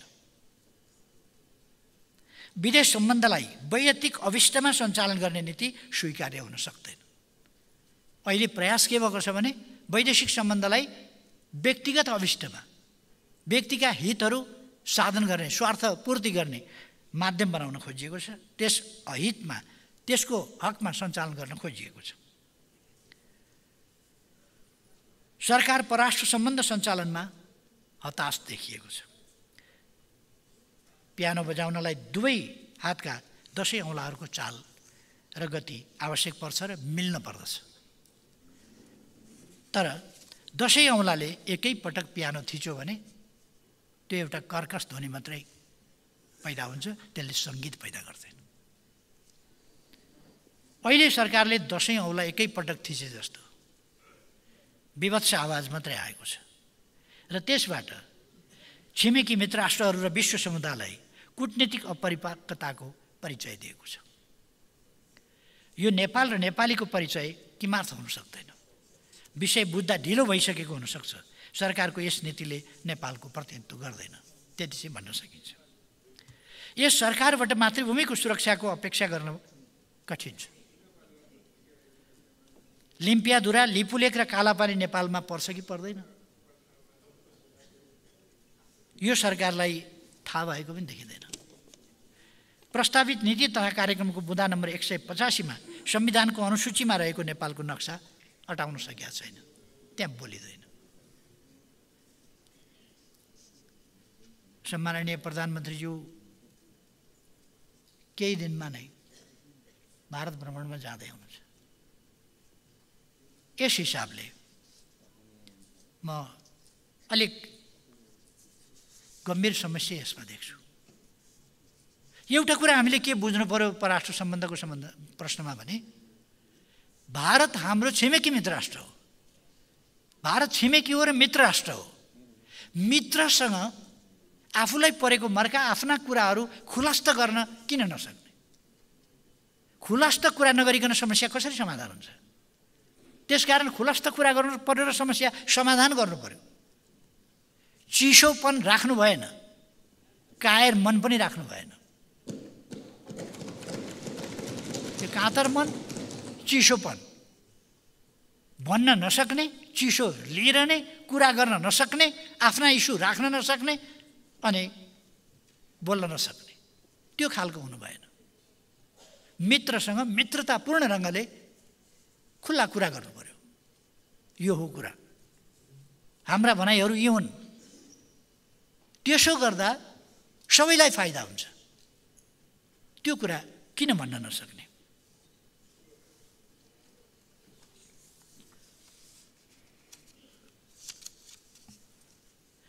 छिमेकी मित्र राष्ट्रहरूसँगको सम्बन्धलाई सम्माननीय प्रधानमन्त्रीज्यूले कसरी लिनुभएको छ? सम्बन्ध सञ्चालन मित्रवत छ कि छैन? राष्ट्रिय हितका जेन्युन इस्युहरू खुलस्त राख्नुभएको छ कि छैन? राख्ने गर्नुभएको छ कि छैन? समस्याका कारणहरू र समाधानका विषयमा संवाद गर्नुभएको छ कि छैन? समस्या छन् भन्ने कुरा राख्नुभएको छ कि छैन?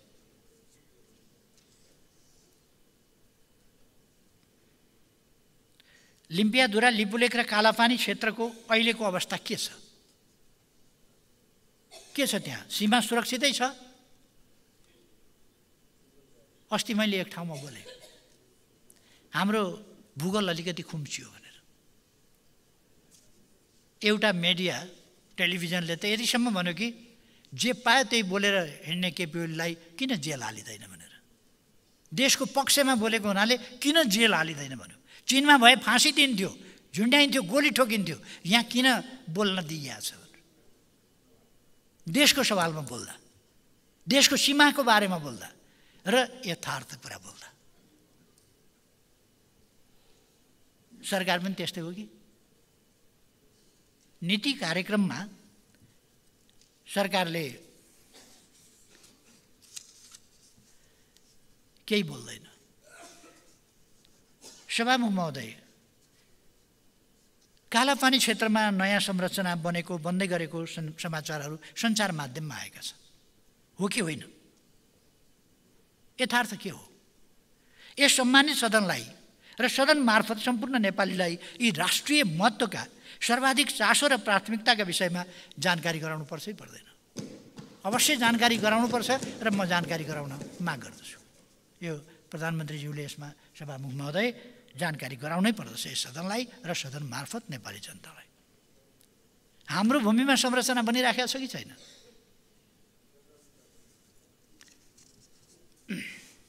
व्यक्तिको सोच नियत र संस्कारले सामाजिक संस्कृतिको रूप लिँदै जान्छ। व्यवहारले मूल्य मान्यताको विकास गर्दै जान्छ। संस्कृति र मूल्य मान्यताको निखारबाट सभ्यता उदाउँछ। कुनै पनि समाज र राष्ट्र मात्र होइन। सिङ्गो जीवनलाई नै सभ्यताले अनुप्राणित कर्मशील प्रगतिशील र गरिमामय बनाउँदै लाग्छ। देशको नीति र नेतृत्वले यसका लागि मार्ग प्रशस्त गर्न सक्नुपर्छ। देशको सभ्यता माथिको प्रत्यक्ष वा परोक्ष हमला राष्ट्रलाई विचलित गर्ने विघटनको दुस्साहस गर्ने दुराशयको नग्न रूप हो।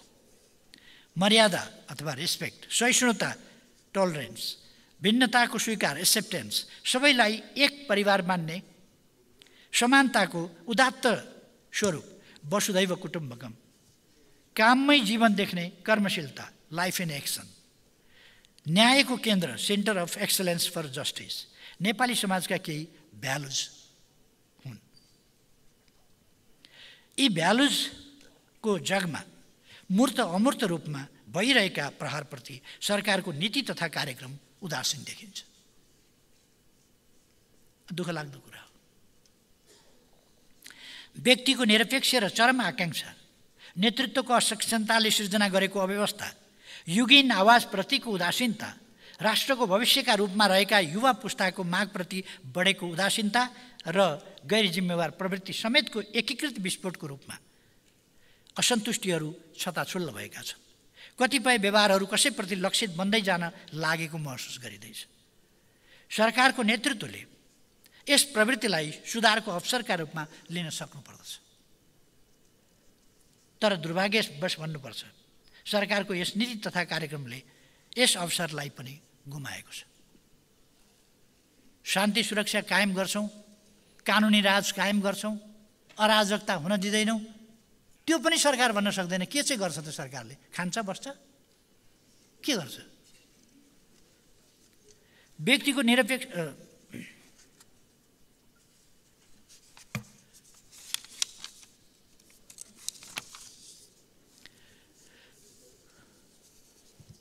सरकारले हाम्रो राष्ट्र र हाम्रो सभ्यतालाई मजबुत र समृद्ध बनाउने कुनै नीति कार्यक्रम देखेन सोचेन र प्रस्ताव गरेन। हाम्रो आदर्श र सभ्यता भत्किँदै गएमा तथा अराजकताले व्यक्ति समाज र राष्ट्रको सोच र प्रणालीलाई विषक्त बनाउँदै लगेमा राष्ट्र विचलनको डेलतर्फ जान सक्नेतर्फ यस नीति तथा कार्यक्रममा गम्भीर कार्यक्रम चाहिँ गम्भीर देखिएको छैन। सभ्यताको पुनरोदय नीति तथा कार्यक्रम अप्नाउनु पर्नेमा सरकार मत शून्य अवस्थामा देखिन्छ। अर्थतन्त्र केही समयमा रिबाउन्ड होला व्यक्ति छोटो अवधिमा धनी होलान्। तर मूल्य मान्यता संस्कृति र सभ्यताको विकासका लागि युग लाग्छ। त्यस कारण यसलाई ध्वस्त हुन बिग्रिन दिनु हुँदैन। यसतर्फ म सबैको ध्यान जाओस् भन्ने कुरा आग्रह गर्न चाहन्छु। सभामुख महोदय अर्थतन्त्रलाई गतिशील बनाउने व्यापक रोजगारी सिर्जना गर्ने औद्योगिकरणको आधार सिर्जना गर्ने शिक्षा स्वास्थ्य लगायतका सामाजिक सेवाका क्षेत्रमा आम जनताको पहुँच र गुणस्तरमा सुधार ल्याउने र राष्ट्रिय सामर्थ्य बढाउने उत्साहका साथ र अभियानका साथ अत्याधुनिक भौतिक पूर्वाधार निर्माणका आयोजनाहरू कार्यान्वयन गर्नु आजको नेपालको आवश्यकता हो। प्रस्तुत नीति तथा कार्यक्रमले यस उचाइबाट भौतिक पूर्वाधार निर्माणका आयोजनाहरू प्रस्ताव गर्न सकेको छैन। अधिकांश पूर्वाधार आयोजनाहरू सम्पन्न हुन सकेका छैनन्। समस्याग्रस्त छन् लगानीको ठुलो ग्याप छ। सुरु गर्दाको लागत र समय दोब्बर भइसक्दा पनि आयोजना सम्पन्न भएका छैनन् सम्पन्न भएकाको पनि गुणस्तर कमजोर छ। आयोजना छनौटमा आग्रह पूर्वाग्रह छ जनशक्ति र निर्माण व्यवसायमा उत्साह र इमान्दारी बढ्न सकेको छैन। सबै पूर्वाधार एकै समयमा एउटै लयमा एकीकृत अभियानको रूपमा निर्माण हुन सकेका छैनन्। यी समस्याहरूको सम्बोधन आजको आवश्यकता हो। सरकार यसमा चुकेको छ। यो सरकारसँग समस्या समाधान गर्ने इच्छा शक्ति नभएको प्रस्तुत नीति तथा कार्यक्रमले पुष्टि गर्दछ। प्रस्तुत नीति तथा कार्यक्रममा मिसन छैन। मिसन कम्प्लेक्सनका कुनै आयोजनाहरू पनि प्रस्ताव भएका छैनन्। राष्ट्रिय गौरवका आयोजनाहरू रूपान्तरणकारी र रणनीतिक महत्त्वका आयोजनाहरू पूर्ण शक्ति र तीव्र गतिका साथ सम्पन्न गर्न यो सरकारसँग कुनै प्रस्ताव नै छैन। प्रस्तावित नीति तथा कार्यक्रम फिर्ता लिनुहोस्। सभामुख महोदय म सभामुख महोदय मार्फत आग्रह गर्न चाहन्छु सम्मानीय प्रधानमन्त्रीज्यूलाई कि यो प्रस्तावित नीति तथा कार्यक्रम फिर्ता लिनुहोस् पुनर्लेखन गर्नुहोस्। नीति कार्यक्रम पास भएन भन्ने कुराले प्रतिपक्षले अप्ठ्यारो पार्छ या सरकारमा नभएकाहरूले अप्ठ्यारो पार्छन् भन्ने हो भने यो पुनर्लेखन गर्ने छुट हामी दिन तयार छौँ। तर यसलाई अनुकूल बनाउनुहोस्। पुनर्लेखन गर्नुहोस् यो फिर्ता लिएर देशका निम्ति बनाउनुहोस् नीति कार्यक्रम। देशको राजनीति देशको समाज र देशको अर्थतन्त्रलाई अगाडि बढाउने हिसाबको बनाउनुहोस्। प्रस्तावित नीति तथा कार्यक्रम फिर्ता लिएर पुनर्लेखन गरेर सम्मानित सदन मार्फत म सरकारसँग केही अनुभव सेयर गर्न चाहन्छु। हामीले एक वर हामीले एक आर्थिक वर्षमा दस किलोमिटर मात्रै कालोपत्र सडक निर्माण गर्ने त्यसभन्दा अगाडिको इतिहासको पृष्ठभूमिमा। प्रतिदिन कम्तीमा पाँच किलोमिटरभन्दा बढी double lane four lane six लेनका सडकहरू त्यस दरले पक्की सडक निर्माण गर्ने प्रतिदिन न्यूनतम पन्ध्र किलोमिटर पुर्याउने लक्ष्यका साथ काम अगाडि बढाएका थियौँ। अहिले कता हरायो त्यो? त्यो प्रतिबद्धता त्यो गति के भयो? पूर्व पश्चिम राजमार्गलाई चारदेखि छ लेनसम्म विस्तार गर्न प्रारम्भ गऱ्यौँ। मध्य पहाडी पुष्पलाल मार्ग मदन भण्डारी राजमार्ग कोशी गण्डकी कर्णाली राजमार्गको निर्माण कार्य पाँच वर्षमा सम्पन्न सम्पन्न गर्ने गरी तीव्र गतिमा अगाडि बढाएका थियौँ। अहिले ती कार्यक्रम अलपत्र अलपत्र जस्तो छ। पूर्व पश्चिम विद्युतीय रेलमार्गका कतिपय खण्डका डिपिआर तयार गरी निर्माण प्रारम्भ गर्दै थियौँ। काठमाडौँ वीरगञ्ज र रसुवागढी काठमाडौँ पोखरा लुम्बिनी रेलमार्ग निर्माणको तयारी हुँदै थियो। कता हराए यी कार्यक्रमहरू? मुलुकले औद्योगिकरणको आधार तयार गर्दै थियो। धौबारी फलाम खानीबाट फलामको परीक्षण उत्पादन गरिसकेको थियो। सिमरा गार्मेन्ट प्रशोधन केन्द्रको पूर्वाधार तयार गरेको थियो। बहुमूल्य पत्थर प्रशोधन उद्योगको स्थापनाको तयारी गरिरहेको थियो। चौहत्तर औद्योगिक ग्राम छ औद्योगिक क्षेत्र र विशेष आर्थिक क्षेत्र स्थापनाको पूर्वाधार तयार भइसकेका थियो। मित्रराष्ट्र चिनसँग सातवटा बन्दरगाह प्रयोग गर्न र मित्रराष्ट्र भारतसँग आन्तरिक जलमार्ग हुँदै पानी जहाज सञ्चालन गर्न सहमति जुटाई द्विपक्षीय तथा अन्तर्राष्ट्रिय व्यापारको ढोका खोलेको थियो। कहाँ हो राजनीति योजना? हुलाकी राजमार्गको निर्माण सुरु गऱ्यौँ र अगाडि बढायौँ त्यो लगभग पूर्णताको स्थितिमा पुगेको छ। निर्वाचन क्षेत्र रणनीतिक सडक तथा प्रदेश राजधानीसँग वडा केन्द्र जोड्ने सञ्जालको निर्माण अभियानका रूपमा सुरु गरेका थियौँ। अहिले नागढुङ्गा सुरुङ मार्ग ब्रेक थ्रुको अवस्थामा पुग्न लागेको छ। मित्र राष्ट्र भारतको मोतीपुरदेखि नेपालको अम्लेखगञ्जसम्मको पेट्रोलियम पाइपलाइनको निर्माण कार्य सत्र महिनामै सम्पन्न गरेका थियौँ। भूकम्पले छेदविच्छेद पारेका आवास तथा विभिन्न संरचनाहरूको अधिकांश निर्माण कार्य उत्साहका साथ सम्पन्न भएको छ। धरहरा शानदार रूपमा उभिएको छ। अहिले अलपत्र पारिया छ। देशलाई ठुलो घाटा बनाइएको छ अलपत्र पारिएको छ। यो इतिहाससँग पनि तपाईँहरूलाई शत्रुता किन भएको मलाई अचम्म लाग्छ? धरहरा मैले बनाएको होइन धरहरा भीमसेन थापाको पालामा बनेको इतिहासले निर्माण गरेको अनि त्यो धरहरासँग तपाईँहरूको दुश्मनी किन? रानी पोखरी पहिलाको भन्दा राम्रो देखिएको छ। दरबार स्कुल लगायत देशका विभिन्न विद्यालय भवनहरूमा बालबालिकाहरूको ढुक्कसँग बालबालिकाहरूले ढुक्कसँग पढ्न पाउने स्थिति बनेको छ। सात लाख अन्ठाउन्न हजार सात सय तिरानब्बे निजी आवास छ हजार पाँच सय पचासी विद्यालय भवन सात सय एकाउन्न स्वास्थ्य संस्था पाँच सय छयासी पुरातात्विक सम्पदाको निर्माण छोटो अवधिमा भएको थियो।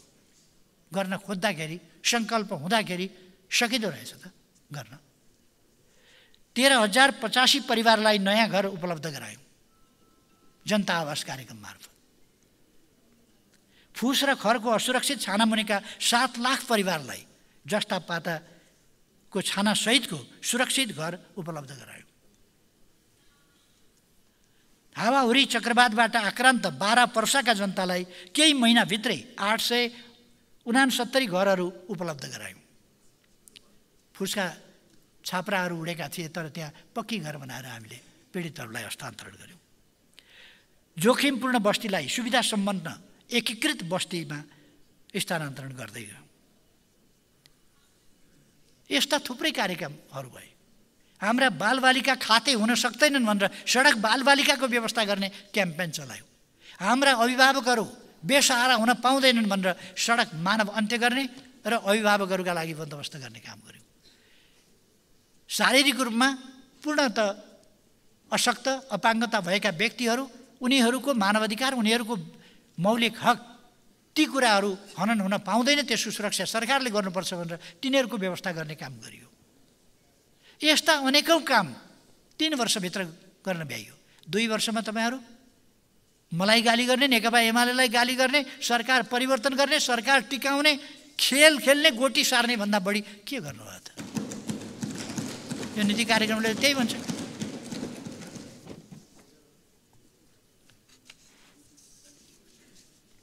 दशकौँदेखि सम्पन्न हुन नसकेको मेलम्ची खानेपानी आयोजनाका बाँकी धेरै काम सम्पन्न गरेका थियौँ। यदि त्यति बेला नेकपा एमालेको सरकार नबनेको भए अहिले पनि मेलम्ची एउटा ड्रिमकै रूपमा रहन्थ्यो। रियालिटी हुन्छ कि हुँदैन भन्ने कुरा मान्छेलाई आशा लाग्ने थिएन भर पनि पर्ने थिएन। तर बनेको थियो। एमाले चैतभित्र त्यसै बेलाको चैतभित्र पानी काठमाडौँमा ल्याउँछु भनेर। त्यो काममा युद्ध स्तरमा लागेको थियो त्यति बेलाको सरकार। अहिले यो दुई वर्षमा हिउँदमा अलिकति आउँछ बर्खा लागेपछि पानी बन्द। अब समस्या पर्नेवाला छ पानी बन्द हुनेवाला छ। सरकारलाई सायद थाहा छैन होला। मैले जानकारी गराएँ ध्यान दिन आग्रह गर्छु।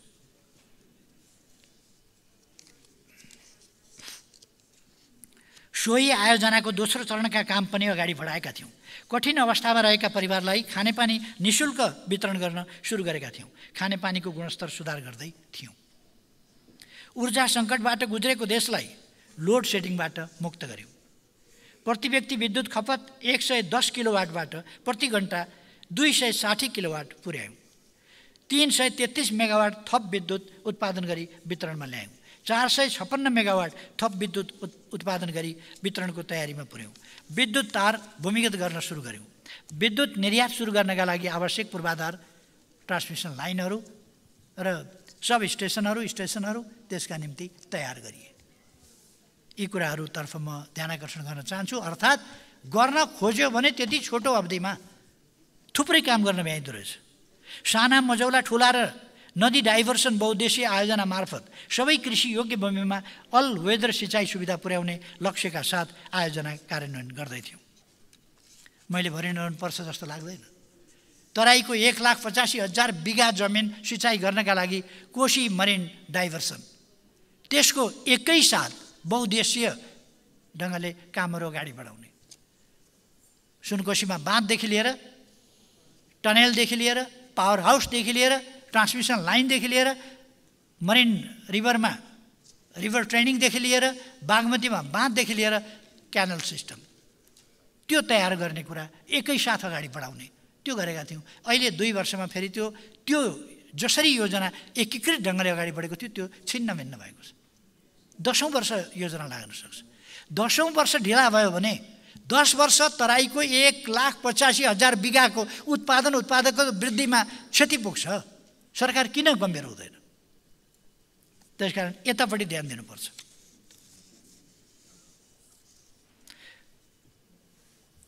त्रिभुवन अन्तर्राष्ट्रिय विमानस्थलको धावन मार्ग पुनर्निर्माणको कार्य सम्पन्न गऱ्यौँ। काठमाडौँ बाहिरका सातवटा विमानस्थलमा रात्रि उडान सेवा सुरु गऱ्यौँ।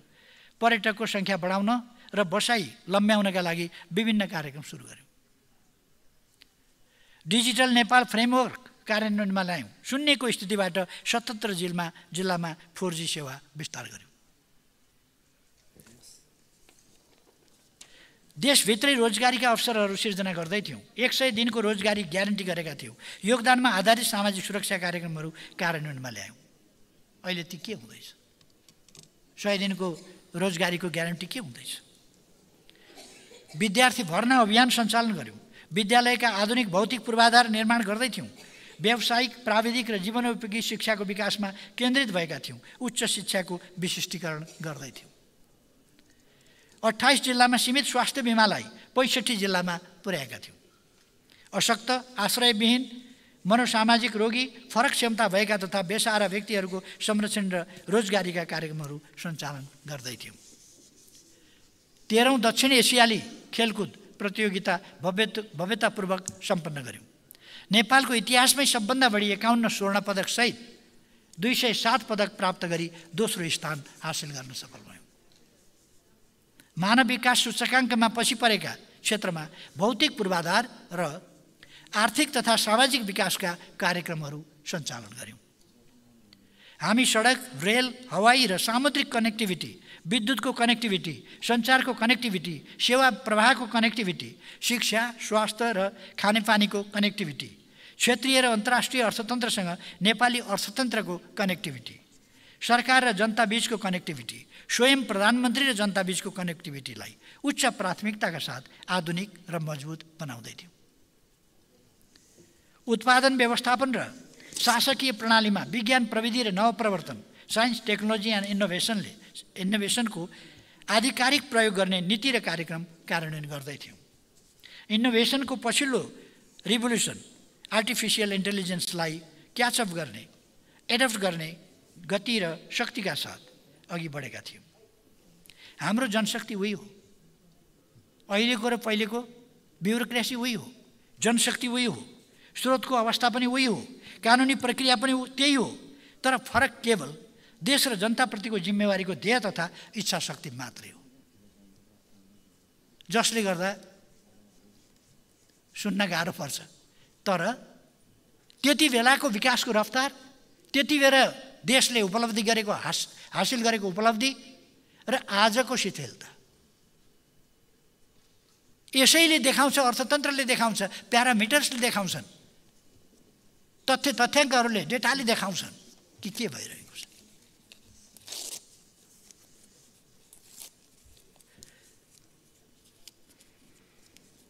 हामी राजनीतिलाई कुनै व्यवसाय होइन। जनसे जनसेवाको पवित्र माध्यम ठान्छौँ। कतिपय साथीहरूलाई अविश्वसनीय लाग्ने आयोजना। हामी यही भावनाले सम्भव देख्छौँ र सम्पन्न पनि गर्छौँ। हाम्रो भिजन हाम्रो नीति स्पष्ट छ। दशकौँदेखि संसद भवन फगत आकाङ्क्षामा सीमित थियो। सम्मानित सर्वोच्च अदालतले भवनको अभावमा कठिनाई महसुस गरेको थियो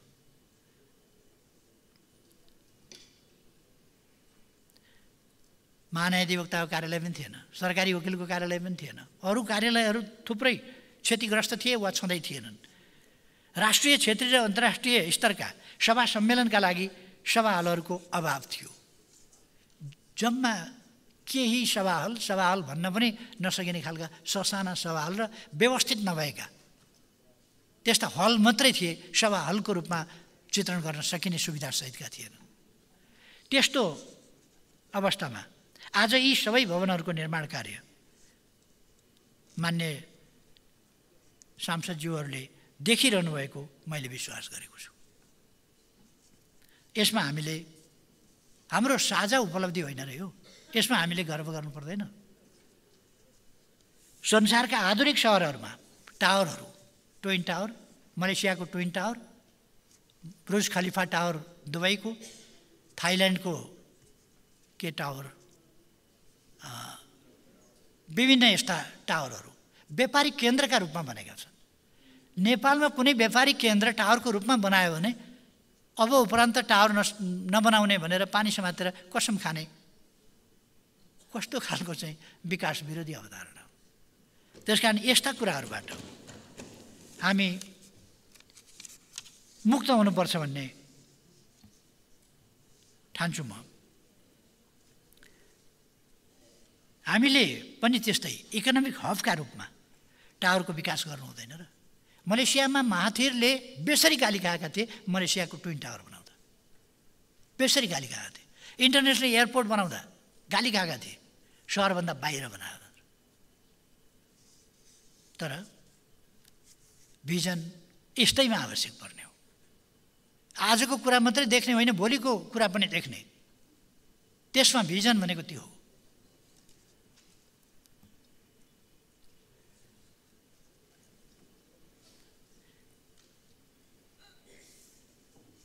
कि हामी यस्ता विकासहरू नगरेर आधुनिकतातर्फ नगएर मुस्ताङको के छोसेर भन्छ कि चोसेर गाउँ भन्छ त्यहाँ भित्तामा ओडारहरू छन् गुफाहरू छन्। त्यस्तै परा परम्परागत खोपीमा त्यस्तै गुफाहरूमा बस्नुपर्ने हो र। आधुनिकतातर्फ जानु पर्दैन। दुनियाँको आधुनिकताको गति समाउनु पर्दैन। नेपाली काङ्ग्रेसका केही होनहार साथीहरूले नेपाली जनताको सुख सुविधा र देशको विकासका लागि सुरु गरिएका आधुनिक विकासका पूर्वाधारहरूप्रतिको अन्तर्विरोध अब त सच्याउनुहुन्छ होला भन्ने मैले विश्वास गरेको छु। यो मैले मेरा लागि बनाएको होइन।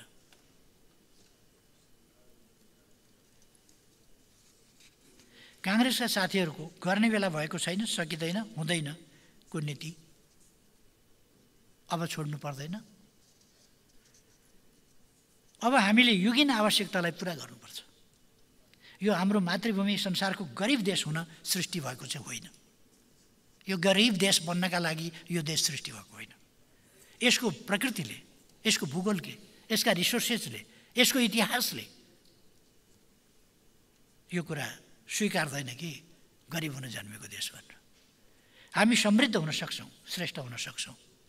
त्यसका निम्ति हामीले प्रयत्न गर्नुपर्छ प्रस्तावित नीतिको बुँदा नम्बर छमा भ्रष्टाचार नियन्त्रणमा शून्य सहनशीलताको कार्यान्वयनको उल्लेख गर्दै विकृति नियन्त्रणको प्रमाण सरकारले स्थापित गर्ने घोषणा गरेको रहेछ। प्रमाण स्थापित गर्ने। मलाई लाग्दैन सरकारले सबै प्रकारका भ्रष्टाचार नियन्त्रण गर्नेछ। मलाई पत्यार लागिरहेको छैन। भ्रष्टाचारका सबै विषयलाई कानुनी कारवाहीको दायरामा ल्याउनेछ।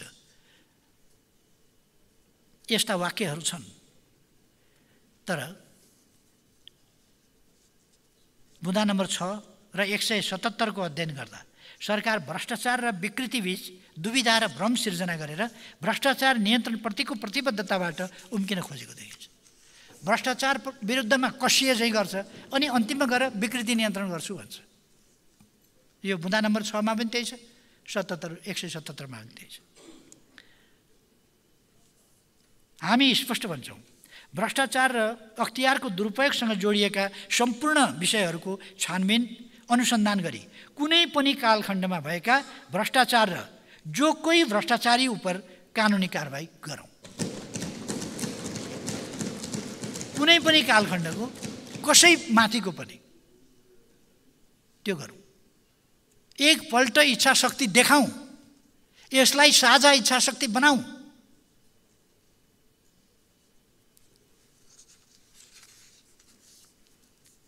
भ्रष्टाचारी एक दिन कानुनको कठघरामा पुग्नेछ भन्ने विश्वास नेपाली जनतामा स्थापित गरौँ।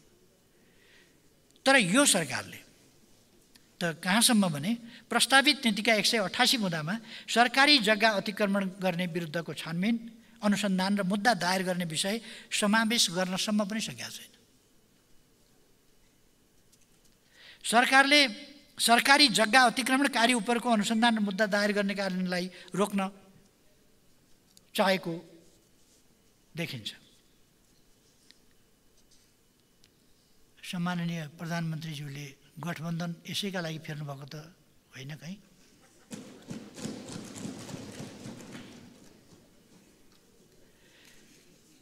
सरकारले भ्रष्टाचारमा शून्य सहनशीलता भनेको छ। तर बालुवाटारको ललिता निवास जग्गा काण्ड माता तीर्थको जग्गा काण्ड सर्दो जलाधार क्षेत्रको जग्गा सट्टा भर्ना काण्ड धोबी खोला जग्गा काण्ड तथाकथित ओम्ने खरिद काण्ड वाइड बडी काण्ड क्यान्टोनमेन्ट काण्ड लगायतका विषयहरूमा जो विवादित छन्। अनुसन्धान र मुद्दा दायर गर्ने कार्य यथाशीघ्र गरिनेछ भन्न यो सरकारलाई कसले रोक्यो? किन नगर्ने?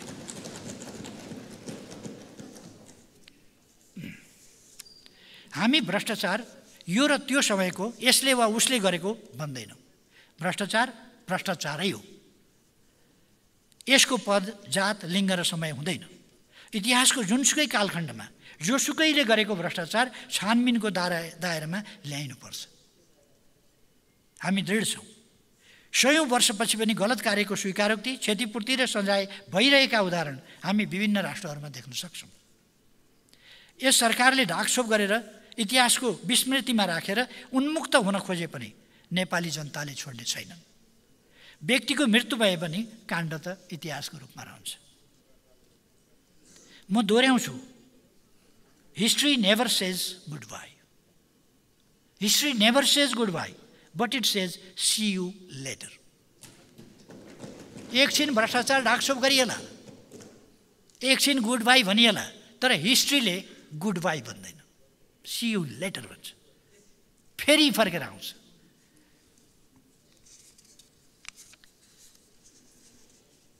सभामुख महोदय आजै पनि सुन्ने समयमा बोल्दा एकजना मान्यजीले चार गते भुटानी शरणार्थी समस्याको बारेमा र भुटानी शरणार्थीका नाममा नकली भुटानीलाई थर्ड कन्ट्री सेटलमेन्ट वा विदेश पठाउन खोजिएको भन्ने सन्दर्भमा म चार गते सम्मानित सदन समक्ष विषय राख्छु भनेको कुरा के हुन्छ आज राख्नुहुन्छ कि हुन्न भनेर उठाउनु भएको छ। सधैँ राखिने कुरा हो। तर मैले एउटा कुरा चार गते म आफै अस्वस्थ भए मलाई बिमारीको कारणले म संसदमै आउन सक्ने स्थिति रहेन। आजको कुरामा म तत्सम्बन्धमा तत्सम्बन्धमा नै मैले अलिक समय लाग्छ बल्लका लागि। त्यस कारण म आज त्यसमा डिटेलमा जान चाहन्न। किनभने म त्यो जिल्लाको मान्छे हुँ जहाँबाट भुटार्थी भुटानी शरणार्थीहरूको समस्या सुरु हो। उनानब्बे नब्बेमा भुटानले नेपाली मूलका नेपाली भाषीहरूलाई भुटानबाट खेदेपछि उनीहरू नेपालमा आएर विभिन्न खोला किनारमा जहाँ कसैको स्वामित्वको दाबी छैन त्यस्ता ठाउँमा आएर अलपत्र ढङ्गले हजारौँको सङ्ख्यामा बसे स्थानीय जनताले पहिले केही सहयोग गरे। त्यसपछि विभिन्न सङ्घ संस्था अन्तर्राष्ट्रिय संस्थाहरू नेपाल सरकार सबैको ध्यान आकर्षण हामीले गराउन सक्यौँ र त्यसलाई क्यान्टनमेन्टको व्यवस्था। क्याम्पहरूको व्यवस्था गरियो र ती क्याम्पहरूमा हामीले राख्यौँ।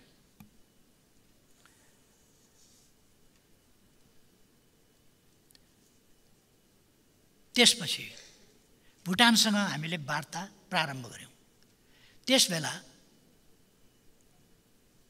मेरा पुराना मित्र माननीय शेरबहादुर देउबाजी त्यति बेला गृहमन्त्री हुनुहुन्थ्यो। उहाँले फर्स्ट सेकेन्ड थर्ड फोर्थ राउन्डको वार्ता गर्नु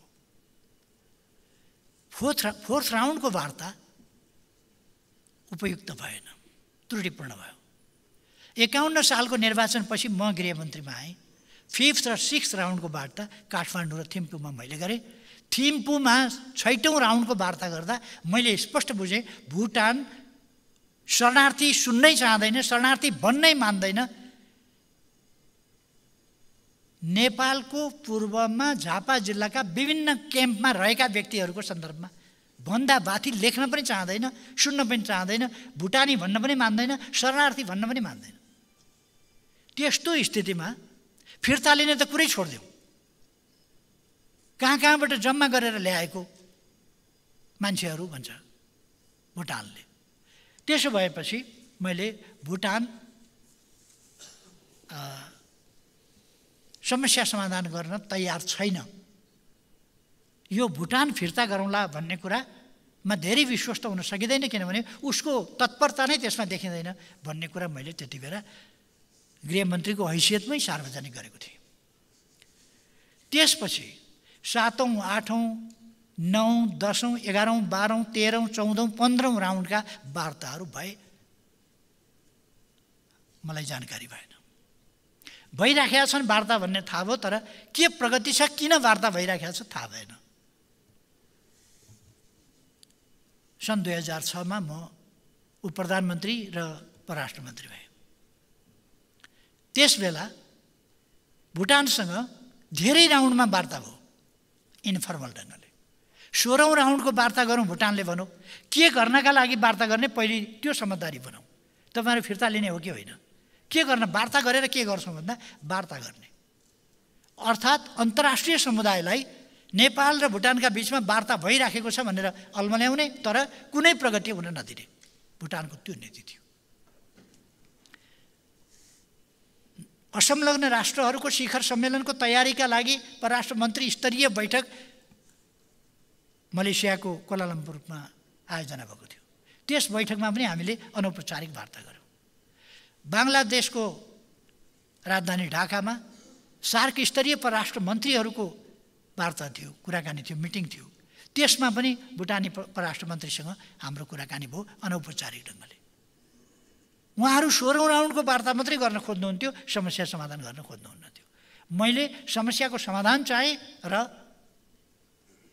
वार्ताको खालि राउन्ड बढाउँदै जाने यो कुरा सम्भव छैन भने। त्यसपछि हवानामा असंलग्न राष्ट्रहरूको शिखर सम्मेलनमा त्यहाँ मैले फेरि भुटानका परराष्ट्र मन्त्रीसँग अनौपचारिक कुराकानी गरेँ।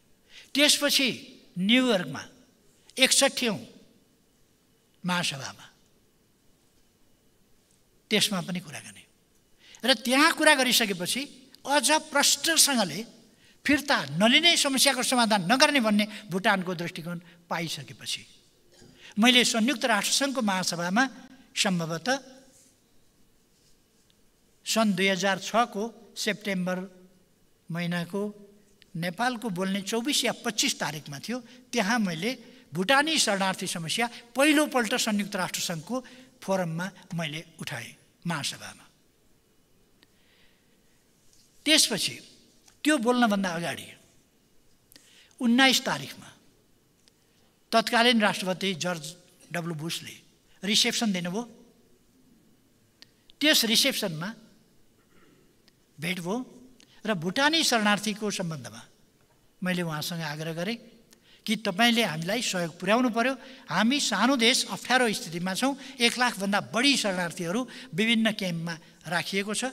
सधैँ बाह्य सहयोगले मात्रै थेग्ला जस्तो पनि लाग्दैन कन्टिन्यू होला जस्तो पनि लाग्दैन र हामी केही गर्न सक्ने अवस्थामा पनि छैनौँ हामी आफै गरिब छौँ। त्यसकारण तपाईँहरू डिभी राखेर पनि ल्याउँदै हुनुहुन्छ भने हाम्रा दे हाम्रो देशमा भएका भुटानी शरणार्थीहरू तपाईँहरूले लिइदिनुहोस् भनेर मैले उहाँहरूलाई उहाँलाई आग्रह गरेँ र मेरो त्यसपछिको शुक्रबार तत्कालीन परराष्ट्र अमेरिकी परराष्ट्र मन्त्री कोन्डालिजा राइससँग वासिङटन डिसीमा कुरा हुने कुरा थियो। प्रेसिडेन्ट बुसले त्यही कुरा दोहोऱ्याउनु भयो। तपाईँको शुक्रबार कुरा हुँदैछ क्यार कोन्डालिजा राइससँग त्यहाँ तपाईँ कुरा गर्नुहोस्। म पनि भनिदिन्छु। पोजिटिभली हेर्न म पनि भन्छु। तपाईँले त्यहाँ कुरा गर्नुहोस् त्यहाँबाट टुङ्ग्याउनुहोस् भनेर उहाँले भन्नुभयो। शुक्रबार त्यसपछि यो हुनसक्छ। यही केही दिन बिचको कुरा हो यो हुनसक्छ। अट्ठाइस तारिकतिर हो कि जस्तो लाग्छ मलाई। त्यो डेट अहिले मलाई याद भएन। सम्भवतः अट्ठाइस तारिकतिर हो कि? वासिङटन डिसीमा कोन्डालिजा राइससँग कुरा भयो तत्कालीन परराष्ट्र मन्त्रीसँग र उहाँले कुराकानीको अन्त्यमा निष्कर्षमा उहाँले सकारात्मक ढङ्गले यसलाई हेर्ने यसको निराकरण गर्न अमेरिकाले पहल गरिदिने पहिलो लटमा अमेरिकाले साठी हजार शरणार्थी आफूले एक्सेप्ट गर्ने र यो कुरा पर्सि अमेरिकी प्रतिनिधिले जेनेवामा ह्युमन राइट काउन्सिलमा उद्घोष गर्ने त्यो जानकारी गराउने र त्यो कुरा उहाँले भनेपछि मैले बडो उत्साहपूर्ण कुरा हो खुसी हो कुरा हो। त्यसका लागि वास्तवमा मैले अमेरिकी सरकारलाई धन्यवाद दिएँ राष्ट्रपतिलाई धन्यवाद दिएँ र परराष्ट्र मन्त्रीलाई पनि धन्यवाद दिएँ। तपाईँहरूलाई धन्यवाद छ तपाईँहरूले ठुलो सहयोग गर्न लाग्नुहोस् अब बाँकी रहेकालाई आफूले पनि भोलुम बढाउने र अरू ठुलो ठुलो भूभाग भएका देशहरू छन् जनसङ्ख्या कम भएका र कतिपयले ज्येष्ठ स्वरूप पनि केही केहीलाई लिइदिन सक्नुहुन्छ। यसरी थर्ड कन्ट्री सेटलमेन्टलाई पूर्णता दिउँ भनेर मैले आग्रह गरेर त्यसलाई अगाडि बढाउने भन्ने कुरा भयो। केही केही सञ्चार माध्यमहरूले केही केही व्यक्तिहरूले केपी ओलीले सुरु गरेको रहेछ यो। त्यस कारण केपी ओलीलाई किन नसमाउने? भनेर भुटानी शरणार्थीको सेटलमेन्ट गर्न त्यत्रो पहल गरेकोमा धन्यवाद भन्नु त कता छ कता छ। बुद्धिको भाँडो। अनि उल्टै कुरा। यसरी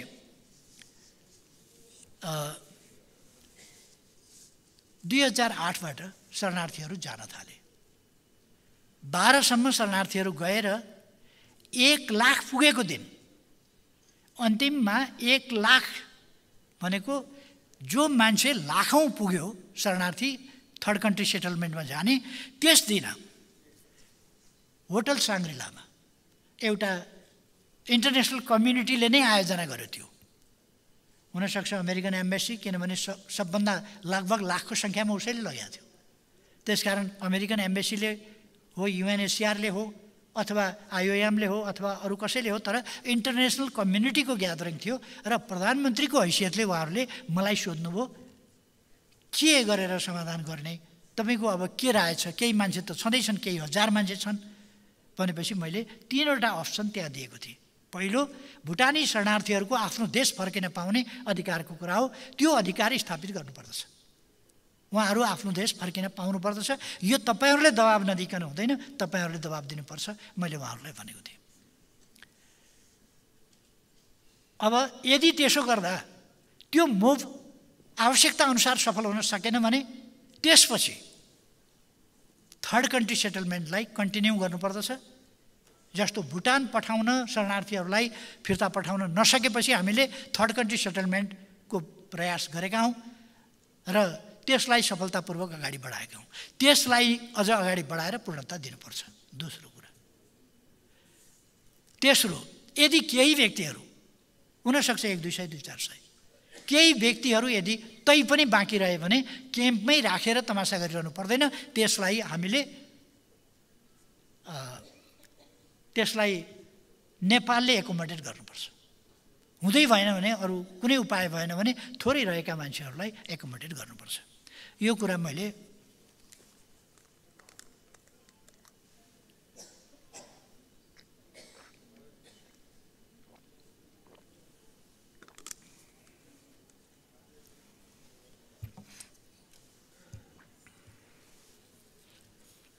त्यस कार्यक्रममा राखेको थिएँ। त्यसपछि यो सिलसिला एक ढङ्गले टुङ्गिएपछि दुई दुई हजार बाह्रमा दुई हजार बाह्रमा फेरि सेकेन्ड जोइन्ट भेरिफिकेसन भनेर अगाडि बढ्यो दुई हजार बाह्रमा। मैले सुनेको छु त्यस बेला केही मान्छे छिरे भन्ने अहिले सुनिँदैछ। त्यसको सरकारले छानबिन गर्नु पऱ्यो खोजी नीति गर्नु पऱ्यो सरकारबाट भ्रष्टाचार विरोधी च्याम्पियन आफू भएर आफूले के किन बाघ मारेको जस्तो? उधम हल्ला गरिराखेको छ। गृहमन्त्रीज्यू उधम हल्ला गरिराख्नु भएको छ। यसमा सरकारले जुङ्गामा ताउ लगाउनु पर्ने कुनै आवश्यकतै देख्थिनँ म। यो यो काण्ड। अगाडिदेखि चलिराखेको रहेछ। यो काण्डको जेठ उन्नाइस कि जेठ तिस कहिले हो? गएको वर्ष। त्यति बेलै उजुर परेको रहेछ। त्यति बेलै सरकारकोमा उजुर परेको रहेछ नि त। गृह मन्त्रालयमा उजुर परेको रहेछ। कारवाही गरिपाउँ भनेर। किन गुपचुप राख्यो? किन गुपचुप? त्यति बेला त्यो उजुर परेपछि मान्छे गिरफ्तार भएका रहेछन्। गिरफ्तार गरेका मान्छेलाई सटाक सुटुक किन छोडियो? छोडिएछ। लेनदेन कारोबार मिलाउने केस दबाउने कोसिस भएछ। म सरकारमा थिइनँ। सरकारमा हुनेहरूले त त्यतिसम्म त गर्नुभएको रहेछ नि त। तर एक हजार चौहत्तरजना भुटानीहरू एब्सेन्ट छन् शरणार्थीहरू। त्यो ठाउँमा नौ सय पचहत्तरसँग पैसा उठाएर फारम भरिएको रहेछ। यो पचाउन सक्ने दबाउन सक्ने केसै होइन। यो त आफै विस्फोट भएर आयो। आफै। भुइँचालो गए जस्तो भएर आयो। भुइँचालो मैले ल्याएँ भन्नु बेकार छ। आफै आयो। यो भुइँचालो आयो। छेक्न सकिँदैन थियो रोक्न सकिँदैन थियो नौ सय पचहत्तरजना मान्छेहरूको अब उनान्सय मान्छे मात्रै शरणार्थीका नाममा खाली रहेको छ। जम्मा शरणार्थीहरूमध्ये एक लाख तेह्र हजार तिन सय सातजना विदेशका लागि थर्ड कन्ट्री सेटलमेन्टका लागि उठे उडेका छन्। छ हजार सात सय पचपन्न बाँकी छन् जम्मा। त्यसमध्ये चार सय उन्तिसको कार्ड बनिसकेका थियो। यो पछिल्लोपल्ट आयोग बनेको के बनेको समिति बनेको छ मेरो समयमा केही पनि गएको छैन। छानबिन गर्नुहोस् फेरि पनि। मेरो समयमा केही गएको छैन। एउटा समिति बनेछ। त्यो समितिले केही प्रस्ताव पठाएछ। मैले अध्ययन गर्न भनेर राखेँ होल्ड गरेँ र त्यसलाई अध्ययन गर्नका लागि सामाजिक समितिमा मन्त्री परिषदको सामाजिक समितिमा। मलाई त पिङ खेलाएको खेलाइ हुनुहुन्थ्यो। मैले त कागजतिर हेर्ने समय पनि थिएन त्यस बेला मुद्दै मुद्दा मामिलै मामिला नारै नारा जुलुसै जुलुस। भित्ता टाँसिदिन्छु भनेको छ भुइँमा पुर्याइदिन्छु भनेको छ धुलोमा मिलाइदिन्छु भनेको छ। साँच्चै मिलाउँछन् कि क्या हो? त्यस्तो स्थितिमा हामीले केही गरेनौँ। त्यसपछि सरकारले त्यसलाई अगाडि बढाउन फिर्ता पठाएछ। तर म सरकारमा नभए पनि अर्कै सरकार भए पनि त्यति बेला सरकारले पठाएको फिर्ता पठाएको मैले सुनेको छु। त्यो ओरिजिनल खास भुटानी शरणार्थी नै थिए यो चार सय उन्तिसजना। जसलाई पठाएको थियो। तर पछि त्यसपछि कागज फेरियो माथिको कभर चाहिँ उही राखियो तलको व्यक्तिहरूको सूची चाहिँ परिवर्तन गरियो। परिवर्तन गर्ने को हो? खोज्न पर्दैन। परिवर्तन गर्ने खोज्नु न रहर लागेको छ। एमालेको नाम लिन रहर लागेको छ। एमालेलाई गाली गर्न रहर लागेको छ। केपी ओलीलाई गाली गर्न रहर लागेको छ भनेर रहर गर्नु मात्र पनि होइन रहेछ जिन्दगी। पार लाग्दैन। म चुनौतीका साथ भन्न चाहन्छु। म गृहमन्त्री भएँ परराष्ट्र मन्त्री भएँ प्रधानमन्त्री भएँ पटक पटक प्रधानमन्त्री भएँ। छानबिन होस् छानबिन गरियोस् म चुनौतीका साथ भन्न चाहन्छु। र हामी सधैँ भ्रष्टाचारका विरुद्धमा छौँ। भ्रष्टाचारको छानबिन होस् भन्ने पक्षमा छौँ कोही पनि दोषी छुट्नु हुँदैन। तर अहिले निर्दोष फसाउने प्रयास भइरहेको छ म खबरदारी गर्न चाहन्छु। दोषी उम्काउने निर्दोष फसाउने यस प्रकारका प्रयास नगर्दा हुन्छ किनभने यो अझ भयावह रूपमा यो कुरा भोलि अझ भयावह रूपमा निस्किन्छ। अझ भयावह रूपमा। आगो छोप्न सकिन्छ धुवा छोप्न सकिँदैन। त्यो त फेरि फुत्त निस्किहाल्छ। नौ सय पचहत्तरजना मान्छेसँग पैसा उठाइएको छ। चाहन्छु नै कुरा हो। त्यसकारण यो भोलि पनि निस्किन्छ। र निर्दोष नफसोस् कुनै पनि दोषी नउम्कियोस् दोषी नउम्कियोस् म भन्न चाहन्छु मेरो पार्टीको तर्फबाट नेकपा एमाले कति पहिला लाग्यो? तिनवटा प्रमुख पार्टीका नेताहरू पटक पटक भेट गर्दा सन्देह पैदा भयो। संसद बैठक पटक पटक बस्दा सन्देह पैदा भयो। मन्त्री परिषदको बैठक पटक पटक बस्दा सन्देह पैदा भयो। के भने थियो? अनि नेताहरू सदन चलाउनु छ देशको अवस्था यस्तो छ सदन कसरी चलाउने सहमतीय बाटोमा कसरी जाने आदि कुराहरूमा नेताहरू छलफल गर्दैनन्। कानुनहरू निर्माण गर्नु छ संशोधन गर्नु छ त्यस सम्बन्धमा कसरी गर्ने? गर्दैन जटिल प्रकारका बनावटहरू हुन्छन् संसदीय अभ्यासका क्रममा। ती जटिल बनावटका प्रक्रियामा स्मुथली कसरी लाने? त्यस विषयमा छलफल गर्दैनन्। अनि मानिलिउँ तिनजना नेता भेट्दाखेरि पनि दुईवटा नेता दुधमा नुहाएका मात्रै होइन दुधै कुण्डमा नुहाएका। अनि म चाहिँ गएर त्यहाँ ल न मेरो मान्छे बचाइदेऊ यस्तो गरिदेऊ भनेर म्याउ म्याउ गर्न गएको। केपुरीले अर्थो गर्दा बाघ भोकै मर्छ घाँस खाँदैन भन्छ नि म्याउ म्याउ गर्दैन। र यस प्रसङ्गलाई यस भ्रष्टाचारको कारवाहीलाई निष्पक्ष र तटस्थ ढङ्गले कोही पनि अपराधी नउम्किने गरी र कोही पनि दोषीलाई दोषी नउम्कियोस् निर्दोष कोही नफसोस् फेरि म एकपल्ट दोहोऱ्याउन चाहन्छु। म तथ्य प्रमाण सहित भन्दैछु दोषीलाई उम्काउने कोसिस भइरहेको छ निर्दोषलाई फसाउने कोसिस भइरहेको छ। यो कुरा बन्द गरियोस्। र दोषीमाथि कारवाही दृढताका साथ अगाडि बढाओस्। म सरकारलाई भन्न चाहन्छु सभामुख महोदय। भन्न चाहन्छु सरकारले यसमा मन्त्री परिषदले नेताहरूले हस्तक्षेप गर्ने आवश्यकता छैन। प्रहरीलाई निष्पक्ष छानबिन गर्न दिनुहोस् त।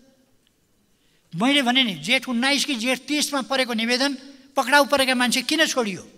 पुलिसले छोड्या होइन। छोड्न लगाइयो बाध्य बनाइयो। यतिकै छोडे मान्छे। छोड्न लगाइयो। त्यस कारण यो खालका कर्महरू नगरियोस्। ढाकछोप गर्ने दुस्साहस नगरियोस्। र राजनैतिक अविष्ट साध्नका लागि निर्दोषलाई फसाउने पनि अपराध कर्म हो। त्यो अपराध कर्म गर्ने दृष्टता नगरियोस्। यतापट्टि म ध्यान आकर्षण गराउन चाहन्छु। अरू सबै भ्रष्टाचारका बारेमा के के छानबिन गर्नु छ नेकपा एमाले सधैँ हन्ड्रेड पर्सेन्ट सम्पूर्ण रूपमा साथ दिन। छानबिनका निकायहरूलाई साथ दिन तयार छ। अब कसलाई फसाउनु छ? कसको पद रिक्त गराउनु छ? के गराउनु छ? यी कुराहरू। र अहिले अब बयानका सन्दर्भहरू कसरी अगाडि बढ्दैछन् पनि हामी पनि हेरिरहेका छौँ यही देशमा छौँ हामी। र हामीले पनि राजनीति गरेको अलि वर्ष भयो। विभिन्नै प्रकारका राजनीति। विभिन्नै प्रकारका भूमिगत राजनीति जेलमा बस्दाका राजनीति परिस्थिति अवस्था सबै हामीले देखेका छौँ। सरकारमा हुँदाका सरकार चलाउँदाका ती अनुभवहरू पनि हामीले देखेका छौँ। त्यस कारण म आग्रह गर्न चाहन्छु यो गल्ती गर्नेतिर सरकार नजाओस् गल्ती नगरिकन भ्रष्टाचार नियन्त्रण गर्नेतिर भ्रष्टलाई कारवाही गर्नेतिर जाओस्। यसमा यति नै भन्छु अहिले।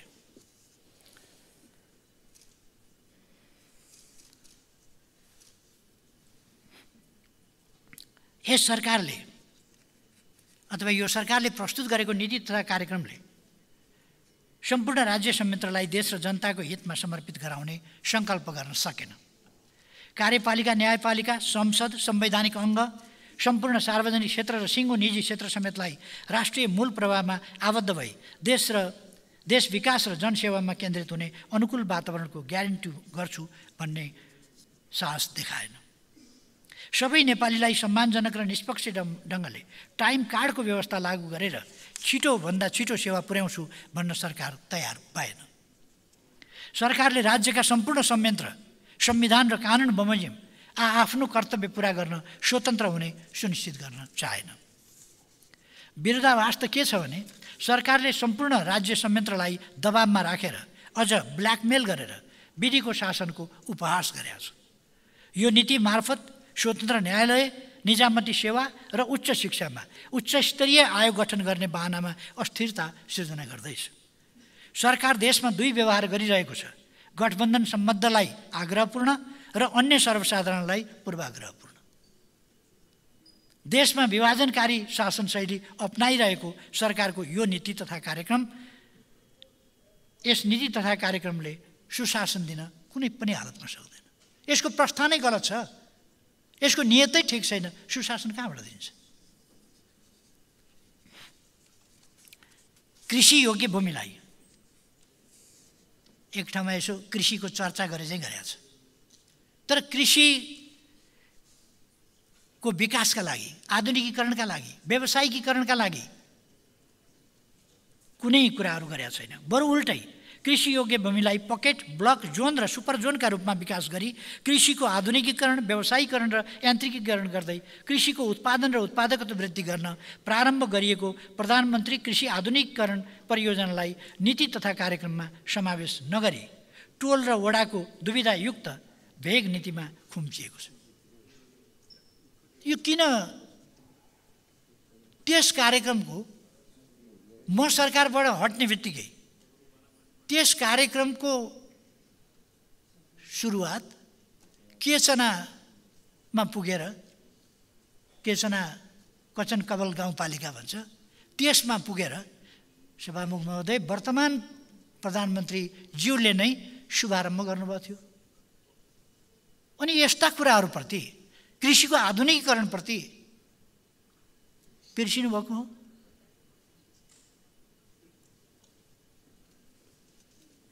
कि यो कोही अरूले सुरु गरे हुनाले प्रधानमन्त्री कार्यक्रम भनिएको छ यहाँ। प्रधानमन्त्री कृषि आधुनिकीकरण कार्यक्रम भनेको प्रधानमन्त्री त मभन्दा पछि दुईजना भइसक्नु भयो त। मै त प्रधानमन्त्री छैन होला नि। अनि यो प्रधानमन्त्री देख्दाखेरि महिला मात्रै देखा हो क्या हो? त्यसकारण यस्तो कुराहरू छोडिएको छ। त्यस्तो कुरालाई नियन्त्र निरन्तरता दिएको छैन।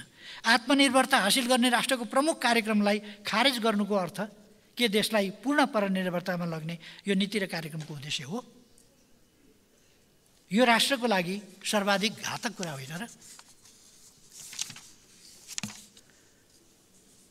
सभामुख महोदय सम्माननीय प्रधानमन्त्रीज्यूले यही जेठ एक गते कुटनीतिक समुदायलाई गर्नुभएको ब्रिफिङमा we need redouble our efforts in all three sectors agriculture, manufacturing, and services to achieve desired growth target. यो भन्नुभएको छ। तर कृषिको उत्पादन र उत्पादकत्व वृद्धि गर्ने महत्त्वपूर्ण आयोजना प्रधानमन्त्री कृषि आधुनिकीकरण परियोजनालाई नीति तथा कार्यक्रममा समावेश पनि गर्नुभएको छ। अनि हाउ यु रिडबल कसरी?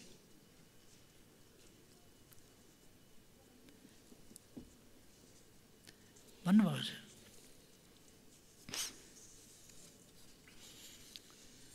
तर कृषिको दात्री समुदाय समक्ष एउटा कुरा गर्ने सम्मानित सदन समक्ष अर्को दस्तावेज पेस गर्ने सम्माननीय प्रधानमन्त्रीज्यू सदनले र नेपाली जनताले यसलाई कसरी लिने म यहाँलाई सभामुखज्यू मार्फत प्रश्न गर्न चाहन्छु। चुरे संरक्षणमा सरकार उदासीन छ। के हो सरकार चुरे क्षेत्रबाट ढुङ्गा गिटी बालुवा विदेश निर्यात गर्न प्रतिबद्ध हो? यो गठबन्धन सरकारका गठबन्धनकारी मित्रहरूले पहिले खानीको अन्वेषण गरी खानीको चुरे क्षेत्र भने होइन। ढुङ्गा खानीको अन्वेषण गरेर बाहिर पठाउनु पऱ्यो भने त्यो पनि एउटा माध्यम हुनसक्छ। यसको अध्ययन गर्ने भन्दा लौ सिद्ध्याउने भयो देशै सिद्ध्याउने भयो अहिले त चुरेबाट पो भन्नुभएको छ त यहाँ त। चुरे क्षेत्रबाट ढुङ्गा गिटी बालुवा विदेश निर्यात गर्न। पट्टि पो लागेको छ सरकार त। अरू काम छोडेर यो चुरेतिर गिटी बालुवा कारखाना खोल्छ क्याहरूले वातावरण र राष्ट्रको आवश्यकताको यथार्थ विश्लेषण नगरी सरकार एक्लै ढुङ्गा गिटी बालुवा विदेश निर्यात गर्ने मिसनमा लागेको हो भने यो देशका लागि सर्वाधिक घातक हुनेछ। यो स्वीकार गर्न सकिन्न। प्रस्तावित नीति तथा कार्यक्रम हेर्दा सरकार रुखहरू बिक्री वितरण गर्ने नियतका साथ कटिबद्ध भएर लागेको सहजै अनुमान गर्न सकिन्छ। लडापडा रुखहरू दुई वर्षको समय तोकेर बिक्री वितरण गर्नुको मकसद के हो? दुई वर्ष किन? त्यसपछि लड्न छोड्छन्? यस अगाडि लड्दैन थिए दुई वर्षमा निकालिसक्ने त्यसपछि बनै सखाप पार्ने हो क्या हो? त्यसपछि न रुख रहे न लडापडा रहे। नत्र दुई वर्ष लडापडा निकाल्ने। लडापडा रुखहरू दुई वर्षको समय तोकेर बिक्री वितरण गर्नुको मकसद के हुनसक्छ? दुई वर्षपछि वन रह्यो भने त लडापडा पनि हुन्छन् होला नि। के हो यो? के आजभन्दा अगाडि लडापडा थिएनन्? के दुई वर्षमा सबैलाई लडापडा गराएर जङ्गल सिद्ध्याउने योजना हो? लडापडा लगायत वन स्रोतको उपयोगको कानुनी व्यवस्था छ। आवश्यक परे कानुनमा संशोधन गरौँ। कानुन छलेर नीति तथा कार्यक्रम मार्फत बिक्री वितरण गर्छु भन्नु आपत्तिजनक हो। नेकपा एमालेको सरकारले व्यापक रूपमा सुरु गरेको वृक्षारोपण र वन स्रोतको सदुपयोगको नीतिलाई यो सरकारले खारेज गरेको छ। यसबाट वन र वातावरणमा सरकारको भ्रष्ट नीति र अदूरदर्शी स्रोत छर्लङ्ग हुन्छ। यसमा हामी बहस गर्न तयार छौँ सम्मानीय सभामुख महोदय। म यी कुराहरू कुनै आग्रहवश बोलिरहेको छैन। या त यसमा अयोग्यता झल्किन्छ या त यसमा नियतमा खोट देखिन्छ। वनको सन्दर्भमा वन विनाश कार्य त्यति बेला एउटा वैज्ञानिक वन व्यवस्थापनका नाउँमा सालघारी जति सालका रुख जति नेपालबाट सिद्ध्याउने खालको एउटा आयोजना बनाएर रहेछ म प्रधानमन्त्री हुँदा त्यसलाई हामीले रोकिदियौँ। त्यो अहिले के हुँदैछ? वैज्ञानिक वन व्यवस्थापन नीतिका नाउँमा सालघारी सखाप पार्ने नीति के हुँदैछ? त्यो बौरिएको छ कि छैन?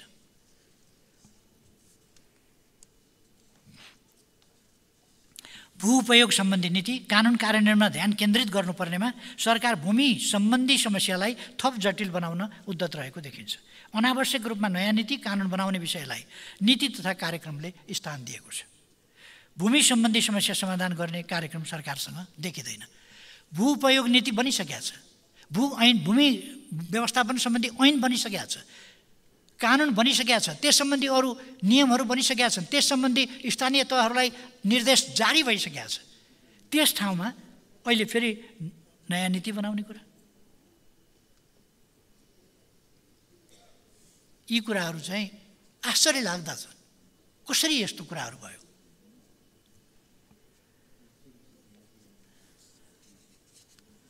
सरकारले संविधानले निर्धारण गरेको अर्थतन्त्रको तिन खम्बे नीतिलाई अस्वीकार गरेको छ। यसमा उल्लेख छैन।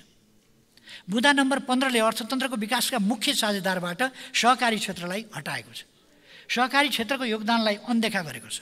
सहकारी क्षेत्रमा रहेका समस्याहरू समाधान गर्ने र उत्पादन तथा रोजगारीमा सहकारी क्षेत्रको योगदान उल्लेख्य रूपमा बढाउने कार्यक्रमहरू प्रस्तुत नीति तथा कार्यक्रममा प्रस्तुत हुन सकेका छैन सरकारले शिक्षा नीति तथा कार्यक्रमबाट व्यावसायिक प्राविधिक र जीवनोपयोगी शिक्षालाई खारेज गरेको देखिन्छ।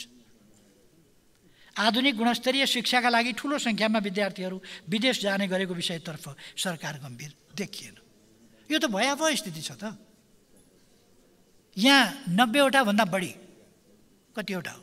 नब्बेवटा भन्दा बढी नर्सिङ कलेजहरू बन्द गरियो।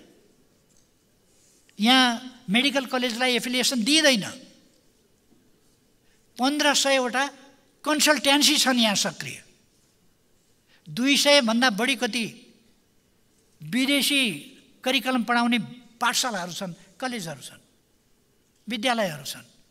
र हाम्रा विद्यार्थीहरू यहाँ ठाउँ भए पनि बाहिर जाने स्थिति भइसक्यो गुणस्तरको अभावमा आकर्षणको अभावमा भने अझ शिक्षालाई नै बन्देज गर्ने खालको। त्यस खालका नीतिहरूले धेरै अप्ठ्यारो बनाइराखेका देखिन्छ। तत्कालीन उपाय उपाय तत्कालीन उपायहरू प्रस्ताव गरेन गरेन मात्र होइन। हामीले स्वदेशमै विज्ञान र प्रविधिको क्षेत्रमा अन्तर्राष्ट्रिय स्तरको अध्ययन अध्यापन र अनुसन्धान गर्न सक्ने विश्वविद्यालयको रूपमा मदन भण्डारी विज्ञान तथा प्रविधि विश्वविद्यालय स्थापना र सञ्चालनको कार्य अगाडि बढाएका थियौँ। सरकारले यसलाई नीति तथा कार्यक्रमबाट खारेज गरेछ। के यस प्रकारको साइन्स एन्ड टेक्नोलोजी युनिभर्सिटी चाहिँदैन। उच्च स्तरीय खालको ज दक्ष जनशक्ति हामीले स्थापना गर्नु पर्दैन। त्यसलाई त्यसको मेन्सन किन भएन? मान्छेका नाम मान्छेका अनुहार झलक झलक आउँछ। गोर्खामा यो गर्छु यता वारिपट्टि यो गर्छु उता सिँचाइ गर्छु उता चाहिँ कुनै के बनाउँछु उता के गर्छु भन्ने खालका। त्यो चाहिँ देखिन्छ। स्वरोजगार सिर्जना गर्न सक्ने र उद्यम व्यवसाय सञ्चालन गर्न सक्ने जनशक्ति विकास गर्न प्राविधिक विश्वविद्यालयका रूपमा मदन भण्डारी प्रौद्योगिक विश्वविद्यालयको स्थापना गर्ने कार्यक्रमलाई पनि नीति तथा कार्यक्रमले खारेज गरेका छ अब टेक्निकल युनिभर्सिटी चाहिँदैन प्रौद्योगिक विश्वविद्यालय चाहिँदैन टेक्निकल एजुकेसनको हायर लेभल चाहिँदैन। हामीलाई दक्ष जनशक्तिको आवश्यक पर्न छोडिसक्यो। सरकार अन्तर्राष्ट्रिय स्तरको अध्ययन अध्यापन र अनुसन्धान स्वदेशमा होस् भन्ने चाहँदैन। युवा पुस्ता पुस्तालाई विदेशमै पठाउन इच्छुक इच्छुक छ। हामी यो स्वीकार गर्न सक्दैनौँ। राष्ट्रपति शैक्षिक कार्यक्रम खारेज गरिएको छ। उल्लेख छैन। कस्तो सजिलो कुरा गरेको छ भने लय मिलाएको छ क्या लय। तुकबन्दी मिलाएको छ हाम्रो पाठशाला राम्रो पाठशाला। हाम्रो गाउँ राम्रो गाउँ। हाम्रो कलेज राम्रो कलेज हाम्रो युनिभर्सिटी राम्रो युनिभर्सिटी हाम्रो सभाहाल राम्रो सभाहाल हाम्रो स्टेडियम राम्रो स्टेडियम कति मजाको नारा। हाम्रो स्कुल राम्रो स्कुल। तपाईँले चलिरहेको कार्यक्रमले त्यस कार्यक्रमले दिएको इनपुट त्यसले दिएको आउटपुट त्यो किन हेर्नुहुन्न? त्यसले जे आउटपुट दिएको छ त्यो चिज किन हेर्नु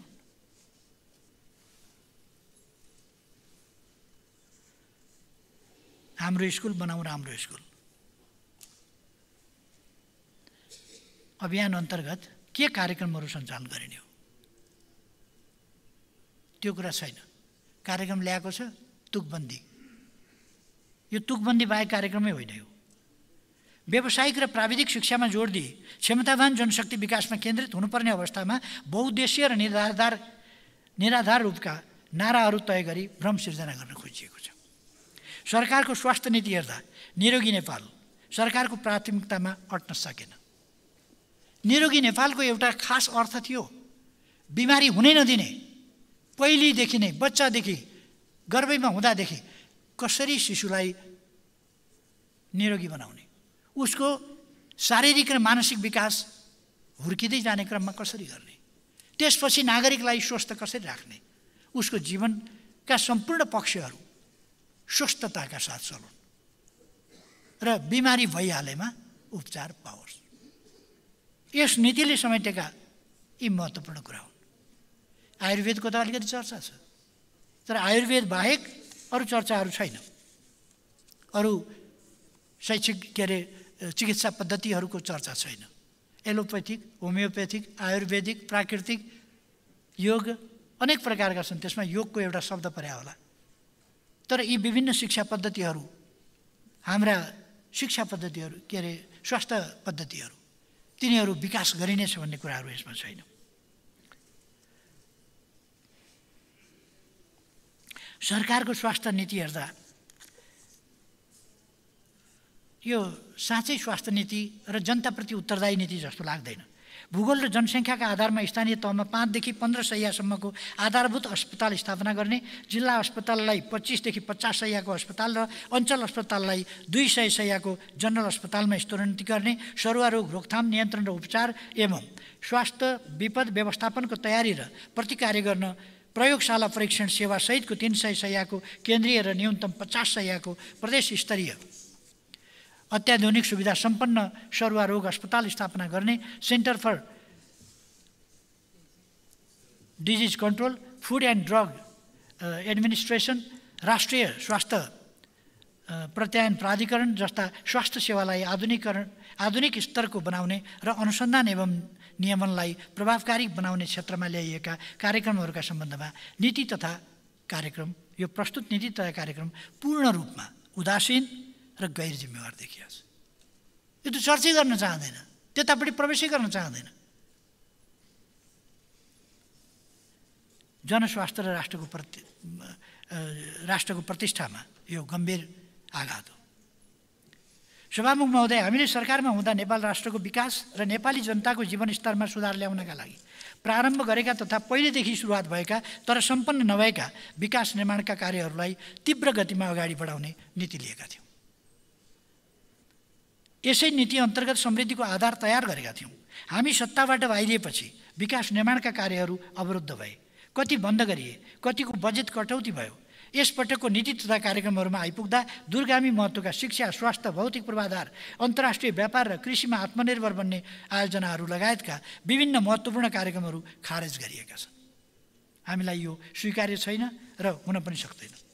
म भन्न चाहन्छु विकास निर्माण कुनै पनि दल विशेषको हुँदैन। लोकतन्त्रमा दलहरू सत्तामा आउने जाने स्वाभाविक प्रक्रिया हो। तर राष्ट्र र जनता अझ अमर कुरा हो। विकास निर्माण राष्ट्र र जनताका लागि हुने हो। यसमा पक्ष विपक्ष भई एकले अर्कालाई लक्षित गर्नु उपयुक्त होइन। राष्ट्र जनता र विकासका विषयमा हामी सबै एक ठाउँमा उभियौँ। यो स्पिरिटलाई प्रस्तुत नीति तथा कार्यक्रमले अँगाल्न सकेका छैन। यस अर्थमा पनि यो नीति तथा कार्यक्रम समग्र देश र जनताको साझा दस्तावेज बिल्कुलै हुन सक्ने स्थिति छैन र हुँदैन। प्रस्तुत नीति नीतिले विगतका उपलब्धिहरू उल्लेख गरेको छैन। उपलब्धिहरू उल्लेख गरेको छैन। हाल देशले सामना गरि गरिरहनु परेको समस्याहरू प्रस्तुत गर्न सकेको छैन। देशमा उपलब्ध अवसरहरूको उपयोगको योजना प्रस्ताव गर्न सकेको छैन। हाम्रा अथवा स्रोत साधनको प्रोफाइल तयार गरी सम्पूर्ण स्रोत साधनको पूर्ण उपयोग फुल इम्प्लोइमेन्ट गर्ने भिजन छैन यसमा। कार्यान्वयनको ढाँचामा आधारभूत परिवर्तन गरी समयमै उपलब्धि हासिल गर्ने साहस देखाएको छैन। नयाँ पुस्ताको आवाजलाई आत्मसात गर्न सकेको छैन र देश र जनताको प्रतिष्ठा अभिवृद्धि गर्ने इच्छा शक्ति र सामर्थ्य यस नीति कार्यक्रमको नामको दस्तावेजले राख्न सकेन। यस्तो त नीति तथा कार्यक्रमले देशको समृद्धिका लागि सम्माननीय प्रधानमन्त्रीज्यू स्वयंले दोहोऱ्याउने गरेको क्रमभङ्गताको राष्ट्रिय आवश्यकता कसरी पुरा गर्ला अब क्रमभङ्गता फगत बोलीमा सीमित रह्यो। प्रस्तुत नीति तथा कार्यक्रम पश्चगामी छ। यसले देशलाई अझ पश्चगाम गमनमा लैजाने निश्चित छ। सरकार सबै मोर्चामा असफल भएको छ। सरकार असफल भइसक्यो। पराजित भएको छ। सबै प्रक्षेपण वाचा र प्रतिबद्धताहरू असफल भएका छन्। झुटा साबित भएका छन्। आर्थिक वृद्धि दर आठ प्रतिशत लक्ष्य राखिएकोमा दुई प्रतिशत पनि नपुग्ने अवस्थामा छ अनि पोहोर साल बजेट पेस गर्दा आठ प्रतिशत पुर्याउँछौँ भनेको होइन यहीँबाट? त्यस बेला मैले बोलेको थिएँ त्यसको आधा पुर्याएर देखाउनुहोस्। जसरी तपाईँहरू काम गर्दै हुनुहुन्छ यतिकै गफ दिएर त हुँदैन त अर्थ बढ्दैन त। पानी नलगाई मलजल नगरिकन धानका बाला ठुला कुराले फल्दैन। त्यसका लागि बेग्लै व्यवस्था गर्नुपर्छ मैले त्यति बेला भनेको थिएँ तर अहिले कति तपाईँहरूको अनुमान तपाईँहरूको प्रक्षेपण तपाईँको प्रतिबद्धता कति साह्रो असफल छ आठ प्रतिशत वृद्धि दर कायम गर्छु भनेका ठाउँमा दुई प्रतिशत पुग्दैन कस्तो शरमको कुरा। आय व्ययको अनुमान के गर्नुभयो त? गफलाई अनुमान भनिँदैन। अनुमानलाई अनुमान भनिन्छ जो तथ्यमा आधारहरूमा उभिएको हुनुपर्दछ। शान्ति सुरक्षा दिन सरकार असफल भएको छ। कोशी प्रदेशका विभिन्न कार्यक्रमहरूमा सहभागी हुन जाँदा म स्वयंमाथि आक्रमण भएको छ तर सरकार मुख दर्शक बनेर बस्यो सुरक्षा दिन सकेन। सुरक्षा निकायको माइन्डसेट अनुमान गर्दा जस्तो सुकै आक्रमण भए पनि उदासीन बस्नु भन्ने आदेश गए जस्तो स्पष्ट देखिन्थ्यो योभन्दा बढी म केही नभनौँ। फाटोवादी साम्प्रदायिक र हिंसावादीलाई सरकार स्वयंले बढावा दिएको छ। हत्या गर्न खोज्नेलाई पनि पक्राउ गर्न खोजिएको छैन। भने अर्कोतर्फ हिंसावादीले गरेको हत्यामा सुरक्षाकर्मीलाई नै फसाउन खोजिएको छ। विराटनगरमा कसले हत्या गर्यो? एकजना मान्छे मारियो यस प्रसङ्गमा। कसले भन्दा प्रहरीलाई फसाउन खोज्यो? सबै कुरा त छर्लङ्गै छ त। तैपनि यस्तो अवस्थालाई शान्ति सुरक्षाको बयाली बहाली भएको सामान्य अवस्था कसरी भन्न सकिन्छ? निर्वाचनका क्रममा जनता समक्ष मत माग्दा प्रस्तुत भएको घोषणापत्रमा एउटा प्रतिबद्धता व्यक्त गर्ने मत परिणामपछि सरकारको नेतृत्व गर्न अर्कै सङ्कल्प लिने दुई महिना पनि नपुग्दै कोर्स परिवर्तन गर्ने पटक पटक पोजिसन र मुभ फेर्नुलाई गतिशील ठान्ने सम्माननीय प्रधानमन्त्रीज्यूको गतिशील नीतिले। कोटिन कोटै गतिशील। नीतिले देशलाई चरम अस्थिरताको भाषमा पुर्याउँदैछ। सरकारको तर्फबाट आएको भाषण सरकारले सिंहदरबारमा गर्ने निर्णय माननीय मन्त्रीज्यूहरूले दिने अभिव्यक्ति सरकारको तर्फबाट सदनमा माननीय अर्थमन्त्रीले पेस गरेको दस्तावेज सरकारको तर्फबाट सम्मानीय राष्ट्रपतिज्यूले सदनमा प्रस्तुत गर्नुभएको दस्तावेज फरक फरक भएपछि।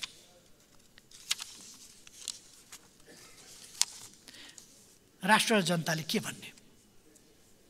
यी सबै कुरा फरक फरक आएपछि कुनलाई पत्याउने कुनलाई मान्ने?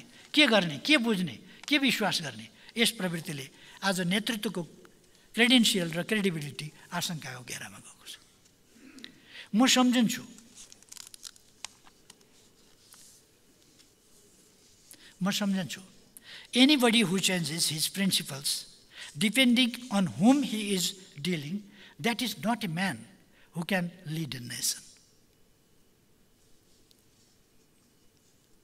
यो जसको अगाडि बसेर कुरा गर्दैछ उसकै अनुकूल कुरा गरिदिने। आफ्नो प्रिन्सिपल आफ्ना दृष्टिकोण र अडानहरू प्रस्तुत गर्न नसक्ने जसको अगाडि छु त्यसै अनुकूलका कुरा गर्ने मान्छेले राष्ट्रलाई लिड गर्न सक्दैन।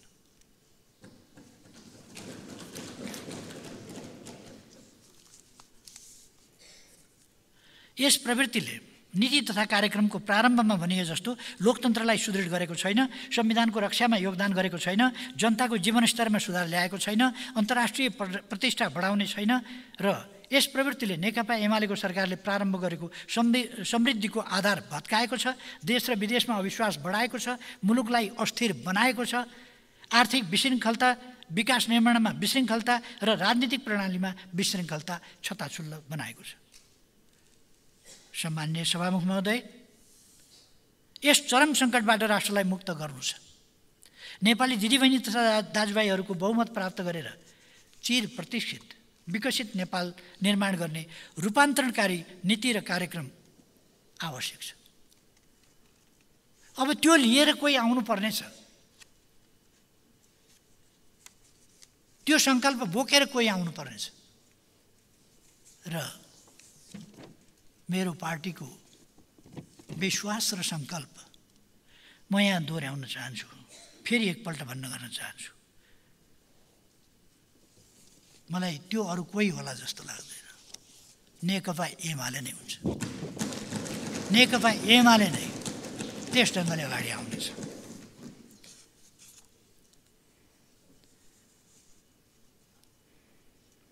टुक्रिएर असन्तुलित विकास होइन। सम्पूर्ण र सिङ्गो विकास र काम चलाउ होइन अत्याधुनिक रिमार्केबल विकास गर्ने सामर्थ्य नेपालसँग भएको सन्देश विश्व समक्ष प्रस्तुत गर्ने साहसिक नीति तथा कार्यक्रम सहित हामी आउनेछौँ। आउनै पर्छ। नत्र त यस्तै नीति कार्यक्रम नामका नफेद नटुप्पोका दस्तावेजले हाम्रो समय बर्बाद गर्ने भयो यहाँ एक वर्षको समय फेरि खेर जाने भयो। दुई वर्षमा यो एक वर्षको नीति कार्यक्रम छ दुई वर्षमा यसो गर्छौँ भने आज। एक वर्षको पेस गर्नुहोस् न। दुई वर्षमा यो गर्छौँ भने यस वर्ष त्यसका लागि के गर्छौँ त? दुई वर्षमा यसो गर्छौँ ल ठिक छ। त एक वर्षमा चाहिँ के गर्छौँ त? छैन। बिना टार्गेटको। कहाँ सुरु? कहाँ अन्त्य? कहाँ जान हिँड्या? केही ठेगान छैन। हाम्रो गन्तव्य समृद्ध नेपाल सुखी नेपाली हो। मेरो राजनीतिक आदर्श र जीवनको एकमात्र लक्ष्य नेपाललाई। बनाउने र नेपालीलाई सुखी बनाउने हो। समृद्ध बनाउने नेपाललाई समृद्ध बनाउने र नेपाललाई नेपाली जनतालाई सुखी बनाउने हो। यस अभियानमा सम्पूर्ण नेपाली दिदीबहिनी तथा दाजुभाइहरूको साथ समर्थन र सहयोग हुने विश्वास पनि मैले लिएको छु। सभामुख महोदय मैले यति समय लिएर प्रस्तुत नीति तथा कार्यक्रमको सम्बन्धमा भने यसको अर्थ हो यो नीति कार्यक्रम कुनै पनि हालतमा देशलाई अगाडि बढाउन देशको प्रतिष्ठा बढाउन देशका जनताका समस्या समाधान गर्न अर्थतन्त्रलाई ओह्रालो लाग्नबाट जोगाएर उँभोतिर लाने कुनै कुरामा पनि यो सक्षम छैन। जनताका समस्या यसले समाधान गर्न सक्दैन। त्यसकारण यस नीति कार्यक्रमलाई समर्थन गर्न सकिँदैन र हामी समर्थन गर्दैन। म आग्रह गर्न चाहन्छु मैले यति समय लिएर व्याख्या गर्नुको अर्थ के हो भने म अरू पार्टीहरूलाई पनि देशप्रति जिम्मेवार भएर सोच्न आग्रह गर्न चाहन्छु। यस नीति कार्यक्रमले एक वर्षको समय कमसे कम बर्बाद भयो देशको। यस नीति कार्यक्रमले केही पनि गर्नेवाला छैन हुनेवाला छैन। त्यसकारण यसलाई समर्थन नगर्न म अरू दलका मान्यज्यूहरू स्वतन्त्र मान्यज्यूहरू सबैलाई पनि आग्रह गर्न चाहन्छु। यसलाई पारित गर्नु हुँदैन। यो पारित गर्न योग्य छैन। जसले देशको बाटो देखाउँदैन देशलाई समस्याबाट उम्काउँदैन जसले देशलाई अगाडि बढाउन कुनै सोचै राखेको छैन त्यस्ता नीति कार्यक्रमका नामका पोथाहरूमाथि हामी छलफल गरिरहेका छौँ त्यही बोकेर जानुपर्ने नौबत नआओस्। म जिम्मेवार प्रधानमन्त्रीज्यू आफैलाई भन्न चाहन्छु। त्यसकारण यसलाई फिर्ता लिनुहोस् अर्को बनाउनुहोस्।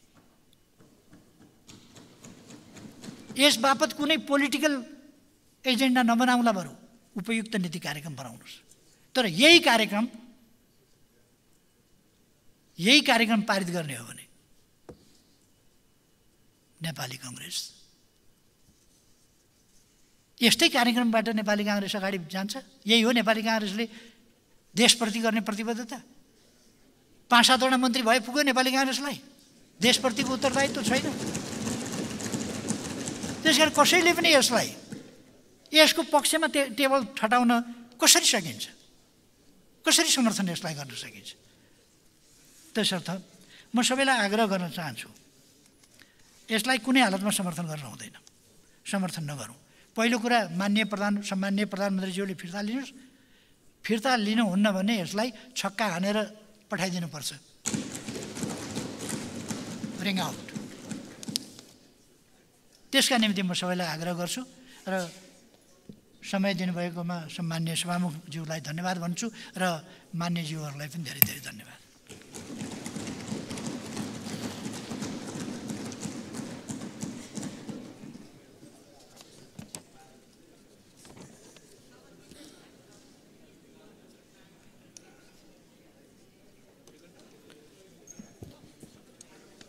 मान्य सदस्यहरू आर्थिक वर्ष दुई हजार अस्सी एकासीको लागि नेपाल सरकारको वार्षिक नीति तथा कार्यक्रमको विभिन्न बुदाहरूमा बिसवटा संशोधनका सूचनाहरू प्राप्त हुन आएको बेहोरा जानकारी गराउँछु।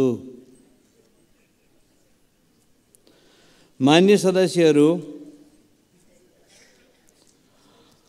अब संशोधनकर्ता मान्य सदस्य श्री श्याम कुमार घिमिरेलाई आफ्नो संशोधन पेश गर्दै छलफलमा भाग लिन समय दिन्छु। समय बाह्र मिनट।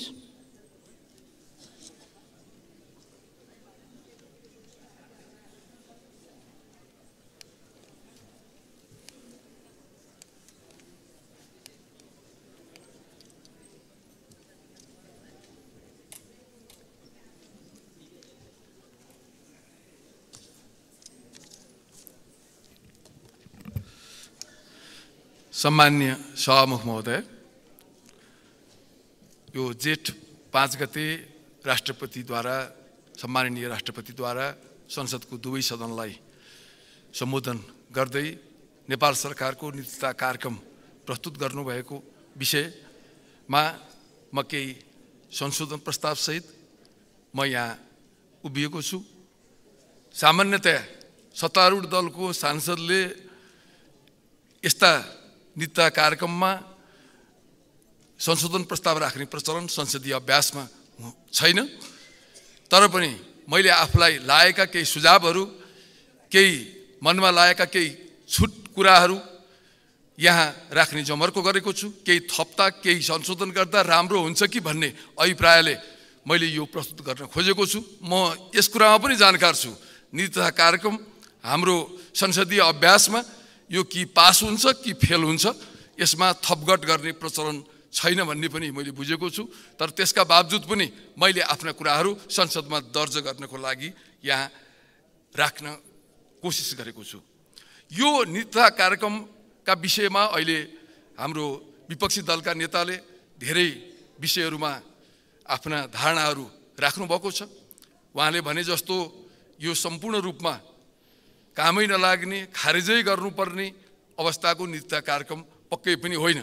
योभन्दा अगाडि पनि नीति तथा कार्यक्रमहरू प्रस्तुत हुने गर्थे संसदमा र ती नीति तथा कार्यक्रम पनि हामीले पढेका हौँ र नीति तथा कार्यक्रममा आउने समग्र दृष्टिकोणहरूमा धेरै ठुलो चाहिँ अन्तरहरू देखिएका छैनन्। यो कुरा तथ्यगत कुरा हुन्। र एकदमै योभन्दा अगाडि प्रस्तुत हुने नीति कार्यक्रमहरू धेरै योग्य धेरै राम्रो र देशलाई सम समृद्ध बनाउने र देशलाई न्यायिक बाटोमा अगाडि अग्रसर गराउने थियो र यो चाहिँ कामै नलाग्ने दस्तावेज हो भन्ने कुरालाई सँग मेरो सहमति छैन। तर यसका बावजुद पनि कतिपय कुराहरू छुट हुन गएका छन् कतिपय कुराहरूलाई हामीले थप्नु पर्नेछन् कतिपय कुराहरू मुलुकको बृहत्तर हितका लागि हामीले थपेर अगाडि जाँदा राम्रो हुन्छ भन्ने दृष्टिकोणका साथ मैले आफ्ना कुराहरू यहाँनिर राख्न गइरहेको छु। यस विषयमा मैले सबभन्दा पहिला त यो बुधा नम्बर सत्ताइसमा मैले बुधागत रूपमा केही कुराहरू राख्न यहाँ चाहिँ संशोधनको लागि मैले भनेको छु। यो सत्ताइस नम्बरमा चाहिँ अध्ययनका आधारमा बन्द तथा रुग्ण अवस्थामा रहेका सार्वजनिक संस्थानहरूको पुनर्संरचना पुनरुत्थान वा विनिवेश गरिनेछ भनेको स्थानमा त्यस्ता संस्थाहरूलाई निजीकरण साझेदारी वा लिक्विडेसनमा लैजाने व्यवस्था गर्नुपर्छ। नेपालमा एक सय चौधवटा कम्पनीमा सरकारी स्वामित्व छ। एक सय चौधवटा कम्पनीमध्ये एक सय पाँचवटा कम्पनी घाटामा छन्। नौवटा कम्पनीले मात्रै आफ्नो सञ्चालन खर्च उठाएका छन् र त्यो पनि नौवटा कम्पनीले तिन सय अडसट्ठी अर्बको लगानीमा जम्मा चार अर्ब रुपियाँ चाहिँ सरकारलाई प्रतिफल दिएको छ भन्ने कुरा महालेखा परिषदको प्रतिवेदनले भनिराखेको छ। भने यो अवस्थामा फेरि थप चाहिँ के छ भने पुँजी निवेश गर्ने कुरा यो राज्यको हितमा हुँदैन भनेर मैले यहाँ राख्न खोजेको छु। अर्को कुरा कृषि उत्पादन वृद्धि गर्न भूमिको चक्लाबन्दीलाई प्रोत्साहित प्रोत्साहित गरिनेछ भन्ने असाध्यै राम्रो कुरा त राखियो तर यसको नीति चाहिँ के हो? कुन बाटोबाट हामी चक्लाबन्दीमा जान्छौँ? यति जग्गा खण्डीकृत भइसकेको अवस्था छ कि अहिले चक्लाबन्दी हामी कुन बाटोबाट चक्लाबन्दीमा प्रवेश गर्न सक्छौँ? जबसम्म जग जग्गाको चक्लाबन्दी हुँदैन तबसम्म मुलुकको कृषिमा आधुनिकीकरण औद्योगिकरण र व्यावसायिकरण सम्भव छैन कृषि उत्पादनको वृद्धि सम्भव छैन। यो तथ्य सत्य हो तर चक्लाबन्दीमा जाने बाटो चाहिँ के हो? त्यो कुराहरू आएन भन्ने मेरो अर्को कुरा छ। यो सीमान्तकृत र विपन्न परिवारलाई वडा तहमा सहुलियत खाद्यान्न पसलको व्यवस्था गरिनेछ भनेर भनिएको छ। अब यो बुझ्दा पनि अब सरकारले चाहिँ के छ भनेदेखि वडा वडामा गएर चाहिँ पसलहरू खोलेर बस्ने हो कि दाल चामल नुन तेलको व्यापार गरेर बस्ने हो कि अब यो कुरा चाहिँ अलिकति अस्पष्ट कुरा भयो। यस्ता कुराहरू नीति तथा कार्यक्रममा नल्याएको भए राम्रो हुन्थ्यो भन्ने मेरो धारणा हो। अब यो पुनः सञ्चालनको सम्भावना रहेको हेटौँडा उद्योग र हेटौँडा कपडा उद्योग बुटबल धाउ कारखानालाई सञ्चालनमा ल्याइनेछ भनेको अर्थ यो चाहिँ यो पनि बुझिएन। अब यसलाई चाहिँ के छ भने अहिले विश्वमा आधुनिक लोक कल्याणकारी राज्यहरू सबै व्यापारबाट पछाडि हट्दै छन् सम्पूर्ण व्यापार निजी क्षेत्रलाई जिम्मा लगाएर लोक कल्याणकारी राज्यको अवधारणामा जाँदैछन् तर हामी चाहिँ भएको थोरै पुँजीको निवेश पनि उद्योग धन्दा र व्यापारमा गरेर फेरि मुलुकलाई चाहिँ घाटाको बाटोमा लैजाने कुरा यो कुरा राज्यको हितमा मुलुकको हितमा हुँदैन र यस्ता कुराहरू नराखियोस् भनेर मैले चाहिँ आग्रह गर्न चाहेँ। अर्को अर्को कुरा छ यो विद्युतको व्यापारमा निजी क्षेत्रलाई सहभागी गराउने त भनियो तर पेट्रोलियम पदार्थमा चाहिँ के छ भने निजी क्षेत्रको सहभागिताको विषय यसमा आएन। पेट्रोलियम पदार्थमा जुन मनपरी ढङ्गले मूल्य वृद्धि गर्ने र मूल्यको समायोजन नगर्ने प्रवृत्ति छ यसलाई हटाउनको लागि यसमा यसलाई थप आयल निगमलाई प्रतिस्पर्धी बनाउनको लागि पनि यो चाहिँ के छ भनेदेखि त्यसमा निजी क्षेत्रको प्र प्रवेश आवश्यक छ। यो संसारभरि चलेको छ ती भारतमा चलेको छ र हाम्रो साउथ एसियन मुलुकहरूमा छ र यो कुरा गर्दा के आपत्ति हुँदैन। यसले चाहिँ आयल निगमलाई थप प्रतिस्पर्धी बनाउँछ भन्ने मेरो बुझाइ छ। अब अर्को कुरा छ यो नि शुल्क यो बिजुली त हामी बाँड्दै आएका थियौँ तर त्यसमा चाहिँ अझै थप्ने भन्ने कुरा छ। अब यो नि शुल्क यो सित्तै बादको एउटा नमुना हो भन्ने मेरो बुझाइ छ। हुन त यो राम्रो कुरा त नहोला मैले आलोचना मैले आलोचना गर्न खोजेको होइन। तर सित्तैवादलाई सरकारले प्राथमिकतामा राख्दाखेरि यसले राम्रो चाहिँ परिणाम चाहिँ ल्याउँदैन भन्ने मेरो बुझाइ छ। अब एक पालिकामा एक हुलाकको व्यवस्था गर्ने भनिएको छ।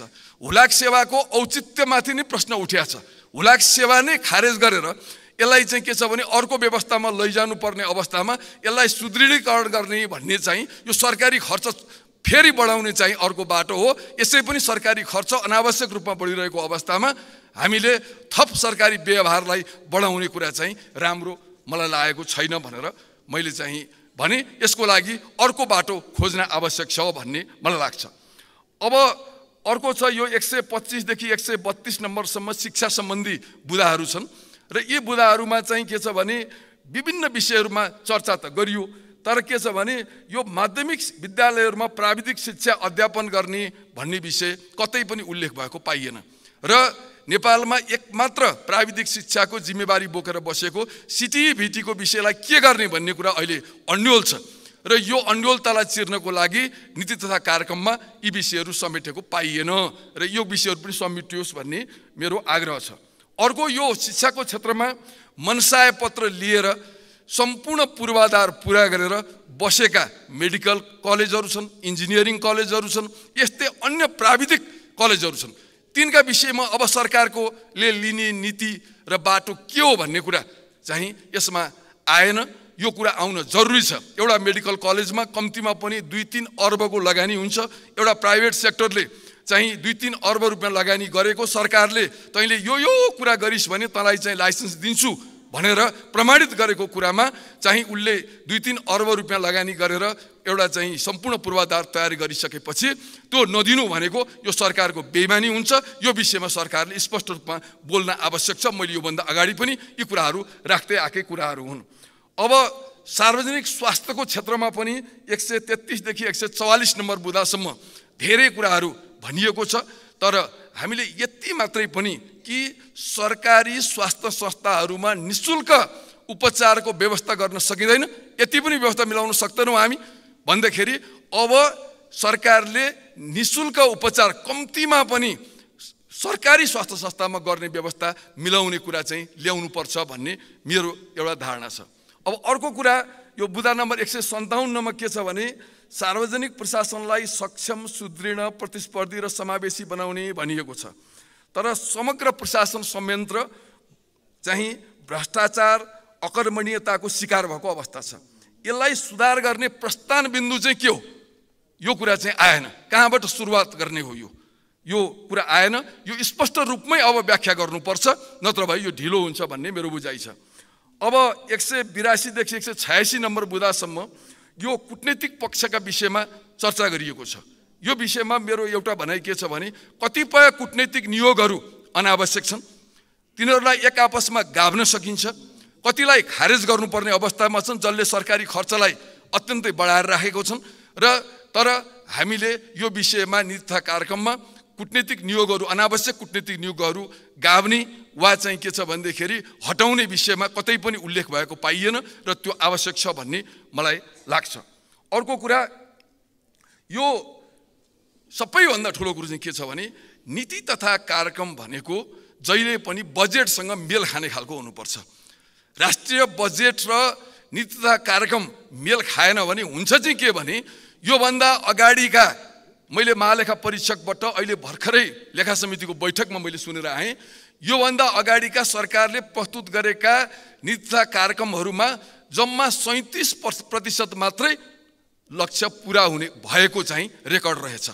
यो मैले भनेको होइन यो महालेखा परीक्षकले दिनुभएको जानकारी हो र त्यो महालेखा परीक्षकको प्रतिवेदनमा पनि यो कुरा उल्लेख रहेछ। र यो चाहिँ तपाईँलाई चाहिँ के छ भने यो अहिले प्रस्तुत गरेको नीति तथा कार्यक्रमलाई यदि हामीले हुबहु पालना गर्ने हो भने हामीलाई कम्तीमा पनि चालिस पचास अर्ब डलरको आवश्यकता पर्छ।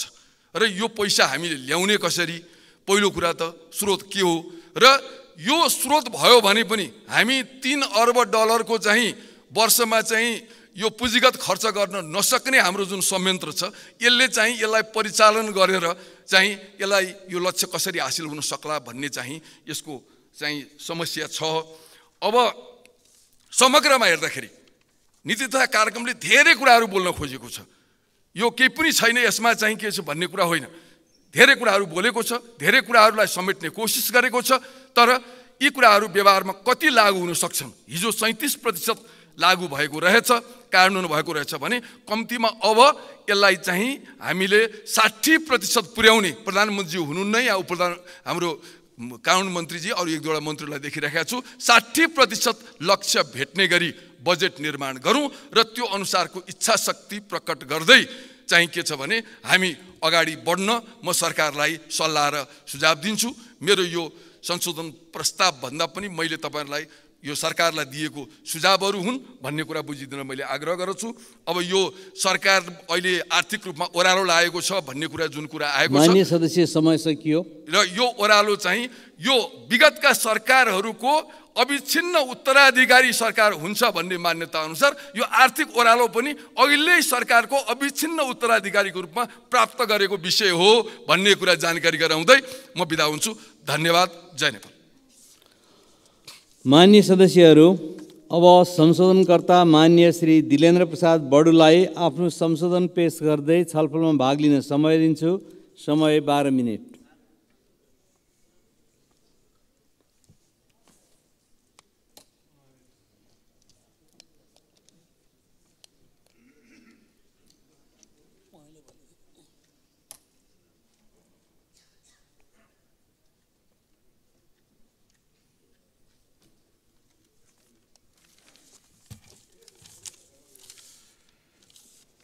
सम्माननीय सभामुख महोदय सम्माननीय सभा राष्ट्रपतिज्यूबाट यही पाँच गते नेपाल सरकारको आगामी वर्षको नीति र कार्यक्रम प्रस्तुत भएको छ र यसमा हामीले समग्रमा हेर्दाखेरि यो नीति र कार्यक्रमले समग्र पक्षलाई समेट्ने प्रयास गरिएको छ र मुलुकमा आन्तरिक उत्पादन बढाउने उपभोग बढाउने र यसका निमित्त आर्थिक र मौद्रिक नीतिगत सुधारहरू पनि गर्ने र मुलुकमा सुशासन स्थापना गर्ने जस्ता अत्यन्त आवश्यक विषयहरू समेटेर बनाएको छ। त्यसकारण म यसलाई समग्रमा समर्थन गर्न चाहन्छु। तर केही विषय यस्ता छन् जसले अझ यसलाई समृद्ध गर्नका निमित्त अझ यसलाई पूर्णता र स्पष्ट गर्नका निमित्त पूर्णता दिनका निमित्त मलाई लाग्छ केही विषय थप्नुपर्ने आवश्यकता देखेर मैले आफ्नो संशोधन पनि राखेको छु। यो आशाका साथ कि यसको समावेश गर्दाखेरि यो नीति र कार्यक्रम अझ सार्थक हुन्छ अझ समृद्ध हुन्छ अझ परिणामदायक हुन्छ भन्ने आशयले र यो विश्वासले मैले यो संशोधन राखेको छु। संशोधन मैले बुदा नम्बर अठाइसमा राखेँ। यसमा राष्ट्रिय प्राथमिकताका निर्धारणको केही विषय उठाइएको छ। राष्ट्रिय गौरवका योजनाहरूको प्राथमिकता निर्धारण गर्ने विषय भएको छ। मैले यसमा राख्न खोजेको विषय के हो भन्दा एउटा नीतिगत विषय मैले उठाएको छु। त्यो के त? भन्दाखेरि अब हामीले सडक यातायातका खास गरी प्राथमिकतामा राख्नुपर्ने हुन्छ। र मैले योभन्दा पहिले सिद्धान्त र प्राथमिकता जुन बजेटको थियो त्यसमा बोल्दा पनि भनेको थिएँ त्यो प्राथमिकता निर्धारण गर्दा सीमा क्षेत्र र सीमान्त क्षेत्रको चयनलाई सबभन्दा पहिले प्राथमिकता राख्नुपर्छ जसले विकासमा सन्तुलन ल्याउँछ र साँचो अर्थमा राष्ट्रिय जोडिएको क्षेत्र हुन्छ सिमाना क्षेत्र।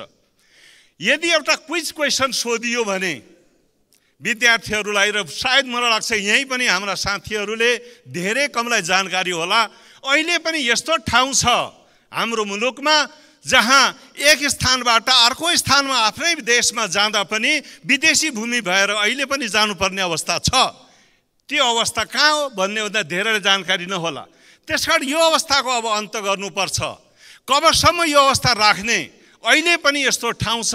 म त्यसलाई सन्दर्भमा मैले राखेँ दार्चुलाको तिङ्कर बाटो अहिले पनि सदरमुकाम आउनका निमित्त भारतीय बाटो भएर आउनुपर्ने अवस्था हुन्छ। त्यसकारण राष्ट्रिय स्वाभिमानसित जोडेका यी विषयहरूलाई हामीले एउटा निश्चित समय दिएर सम्पन्न गर्नुपर्छ। राष्ट्रिय स्वाभिमानका र राष्ट्रिय गौरवका योजना त्यहाँ केन्द्रित हुनुपर्छ। भन्ने नीतिगत विषयलाई मैले यो प्रस्तावमा यो संशोधनमा राखेको छु।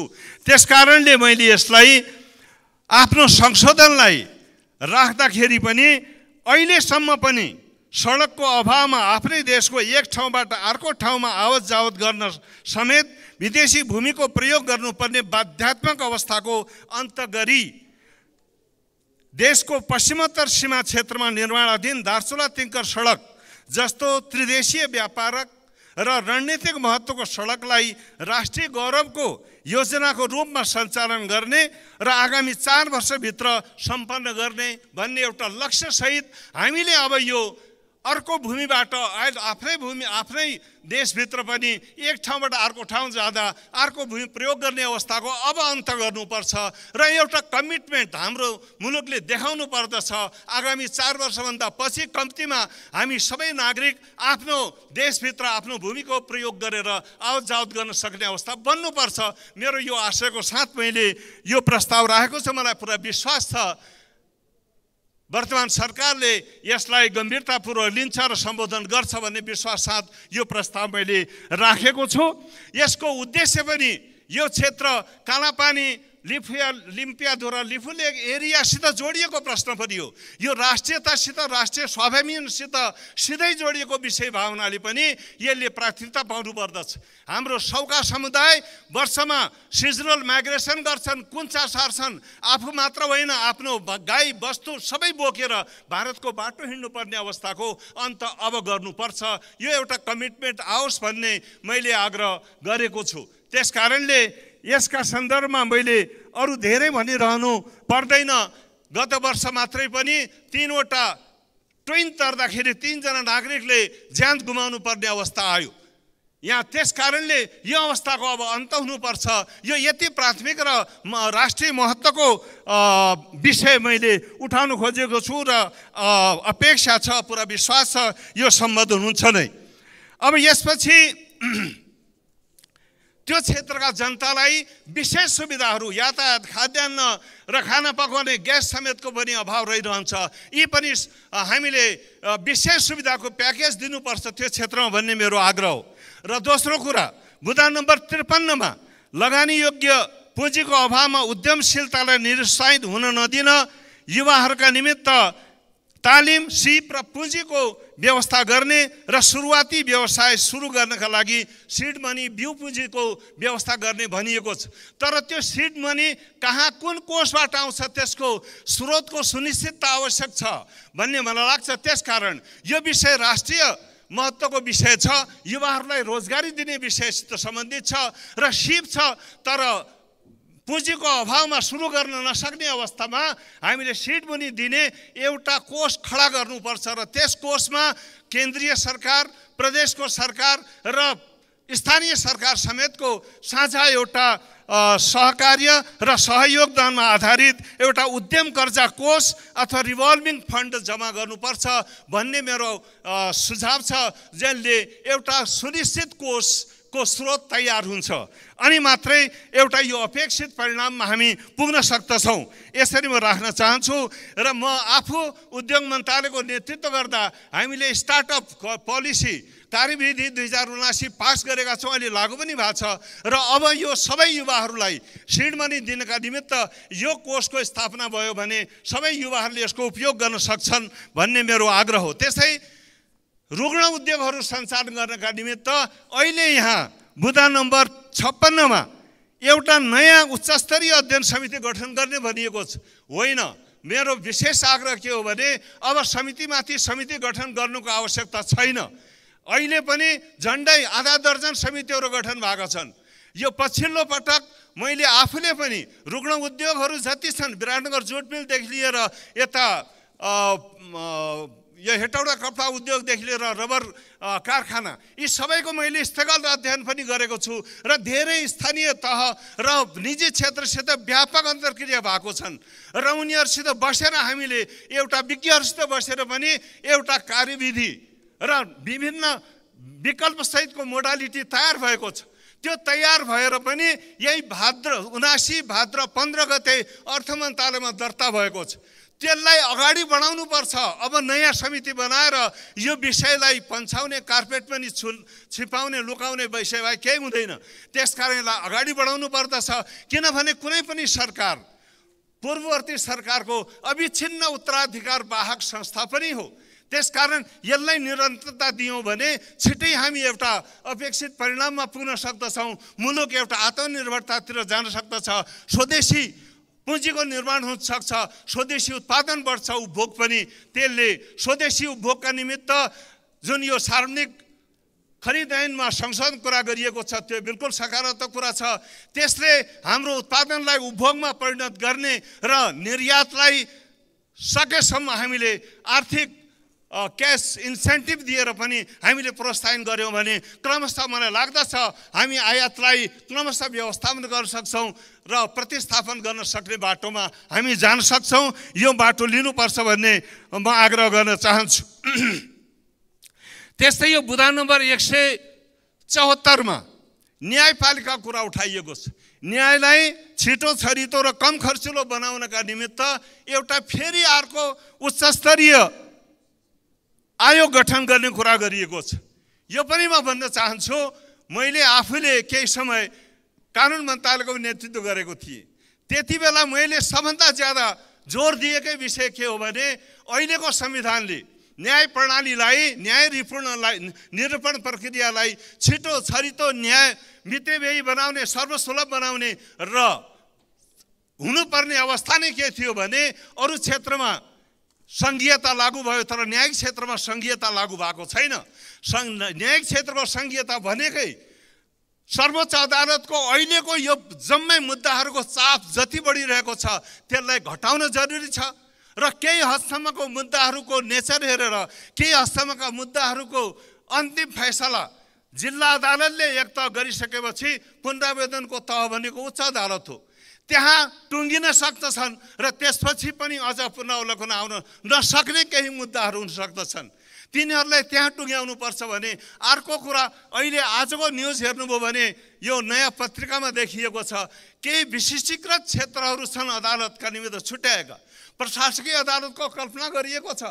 तर आज एउटा कर्मचारी आफ्नो सरुवा बढुवादेखि लिएर आफ्नो पेन्सन र ग्रेड कट्टा भयो भनेर सर्वोच्चमा जाने गर्छ। पाँच वर्ष भयो त्यस्ता मुद्दाको छिराफारो भएको छैन। म एउटा उदाहरणै भन्न चाहन्छु। हाम्रो केहीजना शिक्षकहरूले मेरो ग्रेड कट्टा कम भयो पेन्सन हामीलाई कम पाइयो भनेर सर्वोच्चमा गए। पाँच वर्ष पहिलेको कुरा भन्दैछु। तीमध्ये कोरोनाको कार्यकालमा एकजना टिचर बिति पनि हाल्नुभयो। भएको घटना भन्छु। तिनले कहिले पाउँछ त्यो पेन्सन? आज अर्कोतिर प्रशासकीय अदालतको विशुद्ध क्षेत्र हो यो। कर्मचारीको सरुवा बढुवा जस्ता विषय सर्वोच्चमा गएर थन्किनुभन्दा ती अदालतहरूमा गएको भए प्रशासकीय अदालत आजको न्युजमा हेर्दैछु कामविहीन भएको छ। त्यहाँ टुङ्ग्याउन सकिने कुरा पनि सर्वोच्चमा जानुपर्ने कुराको अन्त हुनुपर्दछ। यसो गर्दा भने मलाई लाग्दछ न्याय निरूपण छिटो हुनु हुन्छ र मैले आफू मन्त्रालयमा छँदा एउटा यो अहिलेको विद्यमान कानुनमा संशोधनको संशोधन विधेयक दर्ता भइसकेको छ। र त्यो संशोधन सहमतिका निमित्त सर्वोच्च अदालतमै गएको छ र न्याय परिषदमा पुगेको छ।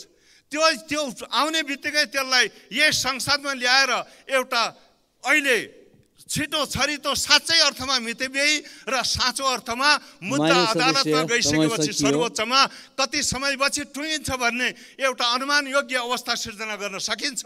त्यसकारण यो बाटोमा सरकार जानुपर्दछ। किनभने यी यस्ता कामहरू अगाडि बढाउनु पर्ने यो सरकारको दायित्व हो। किनभने एउटा सरकार जहिले पनि पूर्ववर्ती सरकारको अविच्छिन्न उत्तराधिकार वहन गर्दा गर्नु पर्दछ। त्यस कारणले म यो आग्रह पनि यहाँ राख्न चाहन्छु र जे जति यसमा मेहनत गरिएको छ उनको सुशासन उत्पादन बढाउनुको सँगसँगै शिक्षाका क्षेत्रमा पनि कतिपय सुधारका प्रयत्नहरू भइरहेका छन्। यी समग्रमा म यो यो अ, नीति र कार्यक्रमलाई समर्थन गर्दै आफ्ना विचार यहाँ गर्दछु। हस् धन्यवाद मान्य सदस्यहरू अब संशोधनकर्ता मान्य सदस्य श्री चित्रबहादुर केसीलाई आफ्नो संशोधन पेश गर्दै छलफलमा भाग लिन समय दिन्छु। समय सात मिनट।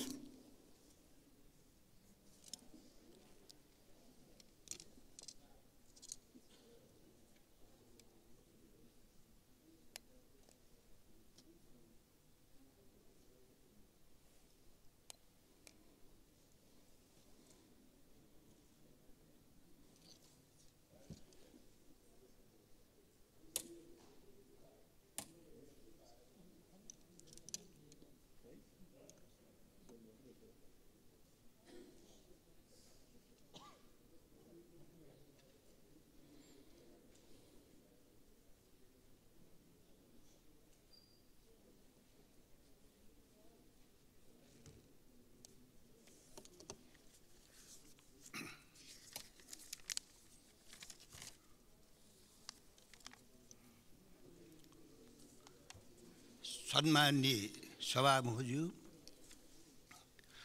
सम्मान्य राष्ट्रपतिज्यूबाट जेठ पाँच गते संसदमा पेस गरेको नेपाल सरकारको नीति तथा कार्यक्रममा आज छलफल भइरहेको छ। अब सात मिनटमा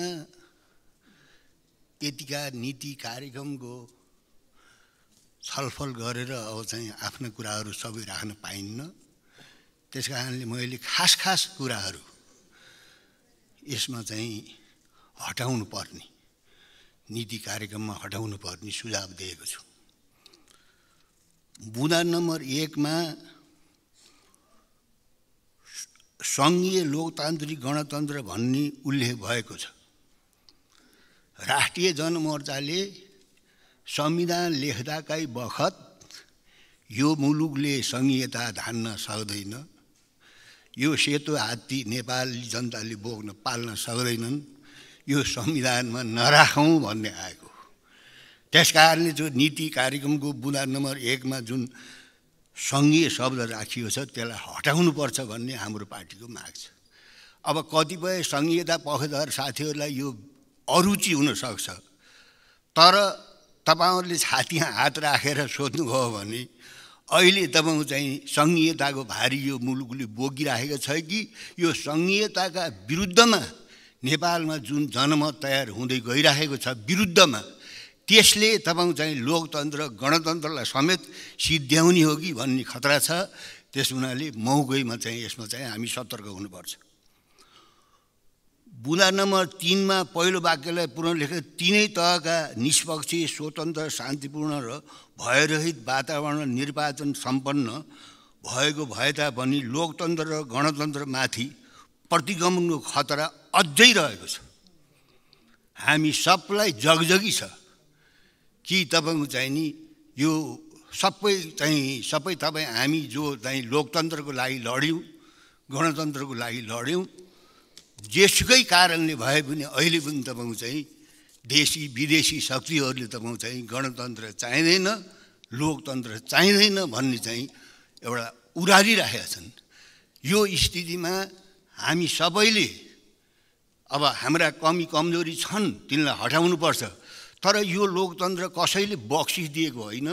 त्यस कारणले यो माथि जुन बादल मडारिएको छ यसका विरुद्धमा हामी चाहिँ सतर्क हुनुपर्छ र हामी एकट हुनुपर्छ।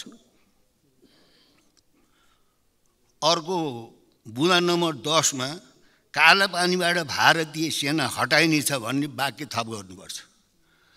धेरै कुरा हुन्छ यहाँ। धेरै धेरै यहाँ कुरा हुन्छ तर त्यति ठुलो भूभाग अहिलेसम्म तपाईँ चाहिँ छिमेकीले कब्जा गरेर राखेको छ।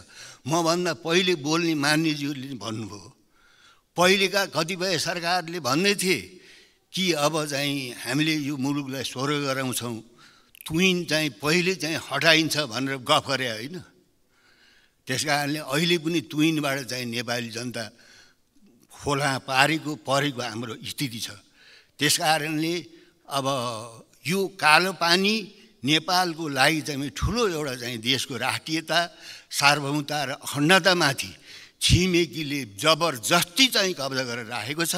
त्यसबारेमा तपाईँ चाहिँ यहाँ प्राय कहिले कता नै कुरा उठ्छ तर त्यसलाई जोरदार रूपले चाहिँ सरकारले त्यसको पहल गरेको देखिन्न।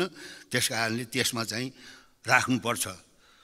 त्यो प्रति ऊ चाहिँ के अरे कालो पानीबाट चाहिँ भारतीय सेना हटाउने भन्ने वाक्य थप गर्नुपर्छ।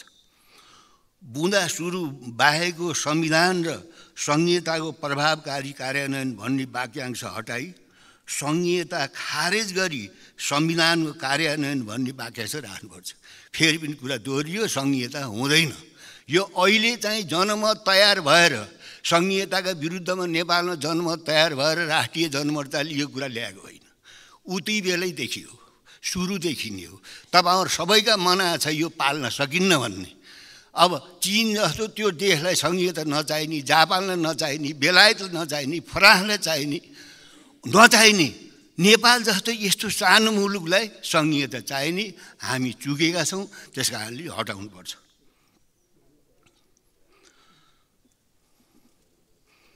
बुना नम्बर अन्तिम वाक्यलाई हटाई आत्मनिर्भर र स्वाधीन राष्ट्रिय अर्थतन्त्रको विकास गरिन्छ भन्ने वाक्य थप गर्ने। समय थोरै भएको हुनाले मैले त्यो चाहिँ सबै व्याख्या गर्न भ्याउन्न। पुनाको अन्तिममा सहकारीको नाममा भएको ठगी भ्रष्टाचार नियन्त्रण गरी दोषीलाई कारवाही गरिन्छ। हेर्नुहोस् त। म सहकारी मन्त्री हुँदाखेरि पच्चिस अरब ठगेका थिए सहकारीका माफियाहरूले अहिले हामीले चाहिँ नि आजै तपाईँले सुनिरहनु भएको छ सहकारीको नाममा चाहिँ चौध अरब हिनाबिना गरिरहेछन्। नयाँ कुराहरू। हामी त संसार छौँ त। सरकारमा बस्नेहरूले ठुला ठुला कुरा गरेको सुनिन्छ त यहाँ उफ्रेर। तर यो सहकारीको नाममा नेपाली जनतालाई लुट गर्ने ती लुटेराहरूलाई किन सरकार कारवाही गर्ने किन सक्दैन भने मेरो तितो अनुभव के छ भने म एकचोटि सहकारी मन्त्री भएको। सहकारी खुद सत्ता र शक्तिमा बस्नेहरूले सञ्चालन गरिरहेका हुन्छन् त्यो सहकारीको ऐन बनाउने बेला मलाई यति तितो अनुभव छ त्यो ऐन बनाउनै तपाईँको चाहिँ नि सांसदहरू नै तपाईँको चाहिँ त्यसको विरोध गर्ने। कारण के रहेछ भने सांसदहरू नै सहकारी सञ्चालक मन्त्री परिषदमा बसेका मान्छे नै सहकारीका सञ्चालक। नभए पनि त्यसबाट फाइदा उठाउने भएको हुनाले त्यो ऐन बनाउनै दिएन त्यो नौ महिना कोसिस गर्दा नि तपाईँको चाहिँ आफ्नो भने जस्तो ऐन बनाएर मात्र चाहिँ छोडे। त्यस कारणले सहकारीको क्षेत्रमा यसभन्दा पहिले तपाईँको चाहिँ मिटर ब्याजको कुरा पनि आयो। हल्ला हुन्छ। अब तपाईँको चाहिँ यो यो भुटानी शरणार्थीको बारेमा जुन हल्ला आइरहेछ नि अब यो हल्लालाई सकेसम्म तपाईँको चाहिँ नि छामछुम पारेर जाने र अब नयाँतिर जाने। चौध अरब त एउटै सहकारीले खाएछ भनेपछि त अब उता जाने। मान्य सदस्य तपाईँको समय सकियो। हुन्छ। अब मैले यिनी कुन कुन बुँदामा चाहिँ सहमति चाहिँ राख सामेल गर्नुपर्छ भनेर मैले बुझाइसकेको छु अफिसमा। त्यस कारणले अहिले प्रतिगमनको खतरा छ भन्नुको मतलब यो सरकारलाई चाहिँ हटाउने योजना पनि छ। यो सरकारसँग राष्ट्रिय जनमतको कहीँ मतभेद छ। भए तापनि तपाईँ चाहिँ यो सरकार अहिले हट्नुहुन्न र यो नीति र कार्यक्रम पास हुनुपर्छ र यो सरकार अहिले पनि तपाईँ चाहिँ नि कायम हुनुपर्छ। धन्यवाद।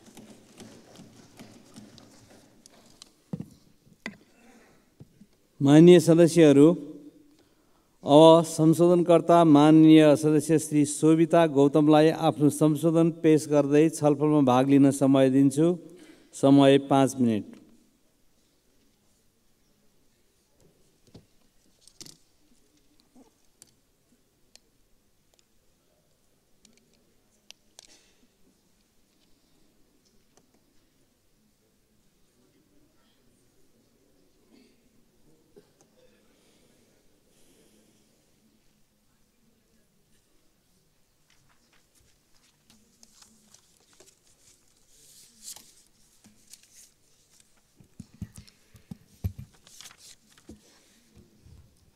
सम्माननीय सभामुख महोदय सरकारले प्रस्तुत गरेको नीति तथा कार्यक्रममा मैले केही संशोधन प्रस्ताव गरेको छु।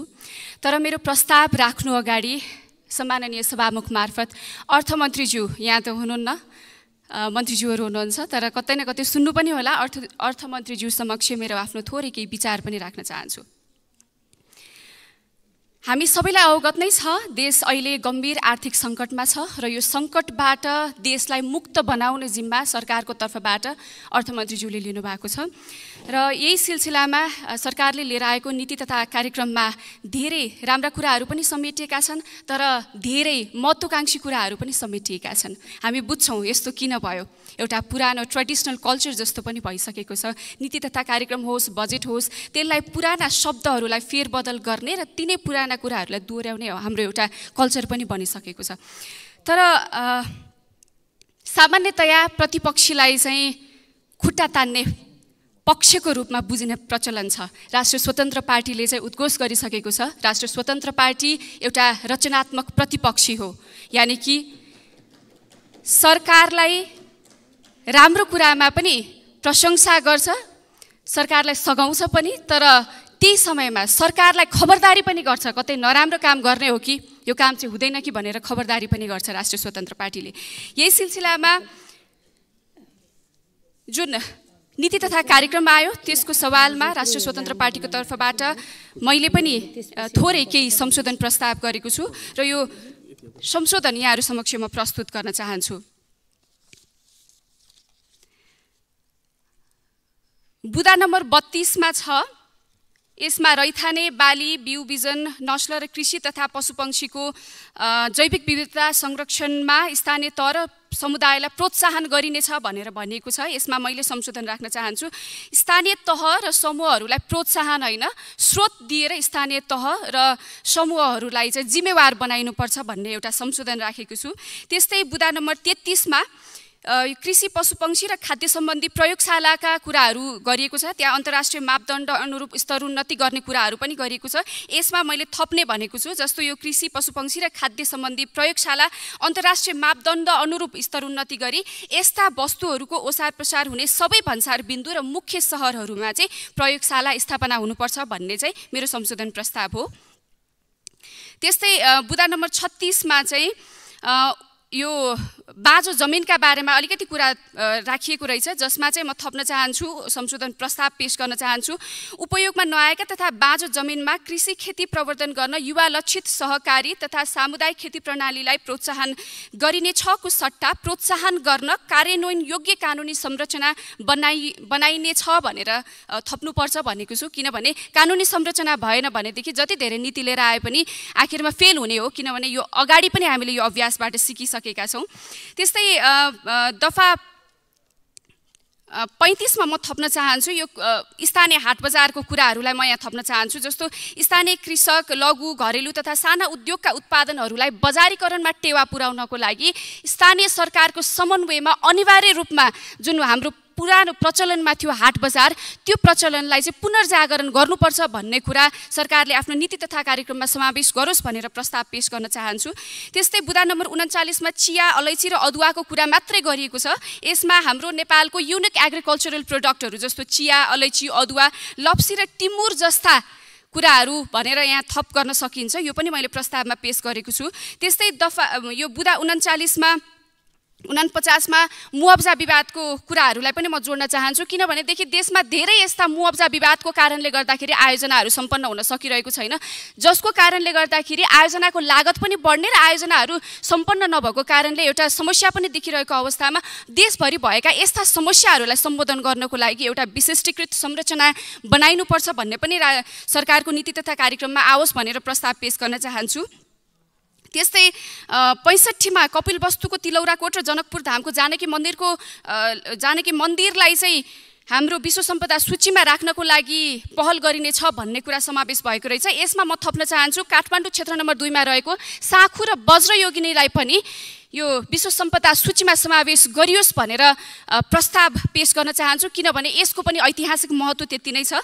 र असीमा म थप्न चाहन्छु विद्युतीय सवारी साधनको प्रयोगलाई प्रोत्साहन गर्न होटल पार्किङ स्थल साथै राजमार्गहरूका ठाउँ ठाउँमा चार्जिङ स्टेसन निर्माण गर्नु पर्यो भन्ने पनि कुरा नीति तथा कार्यक्रममा आओस् भन्न चाहन्छु।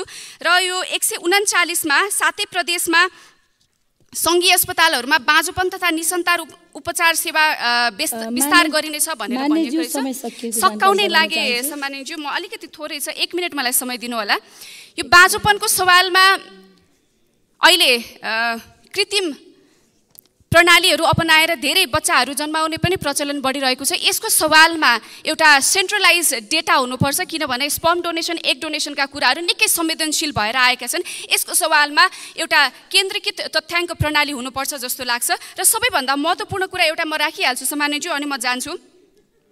श्रम संस्कृतिको विकास गर्नको लागि नेपालको आन्तरिक श्रम बजारमा सकिहाल्यो सामान्यज्यू थोरै छ। यो मैले भन्नै पर्ने हुन्छ। श्रम संस्कृतिको विकास गर्नको लागि आन्तरिक श्रम बजारका सुधारका उपायहरू अवलम्बन गरेर आंशिक समय यानि कि पार्ट टाइम जब गर्ने सिस्टमलाई नेपालमा इन्ट्रोड्युस गराउनु पर्यो। र त्यो गराउँदाखेरि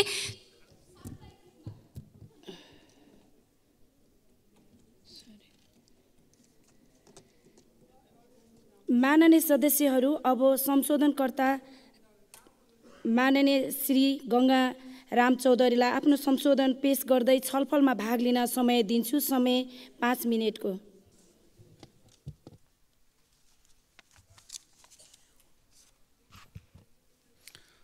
सम्मा सम्मान्य सभामुख महोदय ज्येष्ठ पाँच गतेको सम्मान्य राष्ट्रपतिज्यूबाट सङ्घीय सांसदको दुवै सदनको संयुक्त बैठकलाई गर्नुभएको सम्बो सम्बोधनसहित आर्थिक वर्ष असी एकासी नेपाल सरकारको वार्षिक नीति तथा कार्यक्रममाथि छलफलमा मेरो तर्फबाट धन्यवाद दिन चाहन्छु। वार्षिक नीति तथा कार्यक्रम उत्कृष्ट र प्रभावकारी छ। समष्टिगत रूपमा वार्षिक नीति कार्यक्रम समावेश गर्दा समावेश गर्दा गर्दै पनि केही बुँदाहरू संशोधन गर्नुपर्ने आवश्यक देखिन्छ। साथै निम्न बुँदामा संशोधन गर्न हुन प्रस्ताव अनुरोध गर्दछु।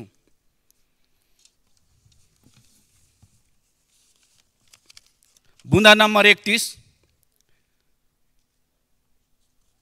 बुँदा नम्बर एकतिसमा कृषि क्षेत्रको उत्पादन र उत्पादक तत्त्व वृद्धि गरी क्रमशः आत्म आत्मनिर्भरता हासिल गरिनेछ यसमा थप्नुपर्ने बुँदा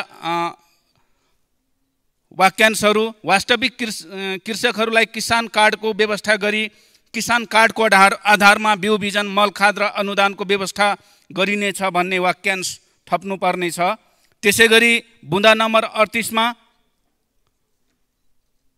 अहिले बर्खा सुरु भयो। बर्खे खेती धान खेती लगाउन कृषक साथीहरू तयार भएका छन्। त्यसैले गर्दाखेरि हाम्रो कैलालीमा बिउ छर्न सुरु भइसकेको छ।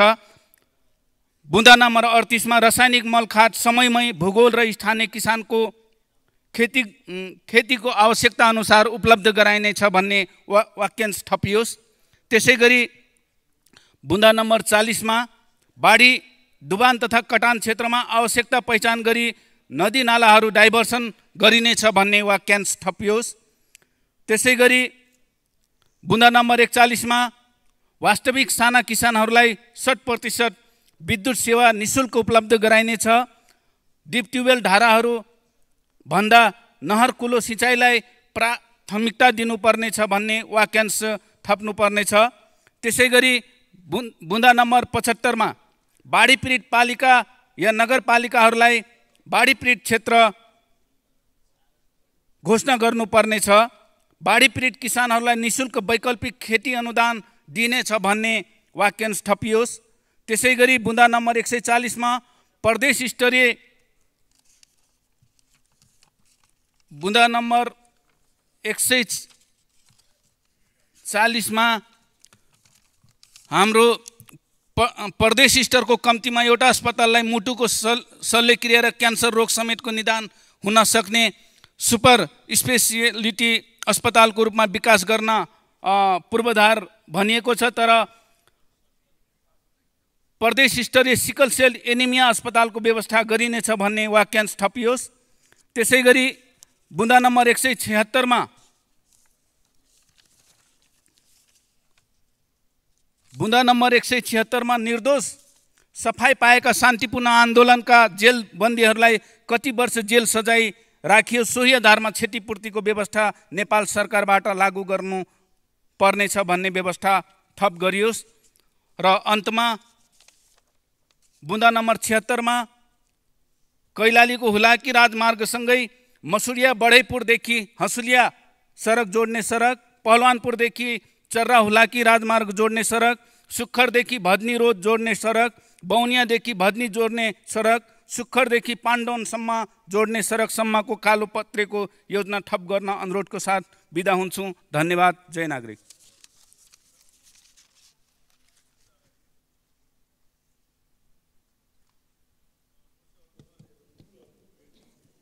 माननीय सदस्यहरू अब संशोधनकर्ता माननीय श्री एकनाथ ढकाललाई आफ्नो संशोधन पेश गर्दै छलफलमा भाग लिन समय दिन्छु समय दस मिनट।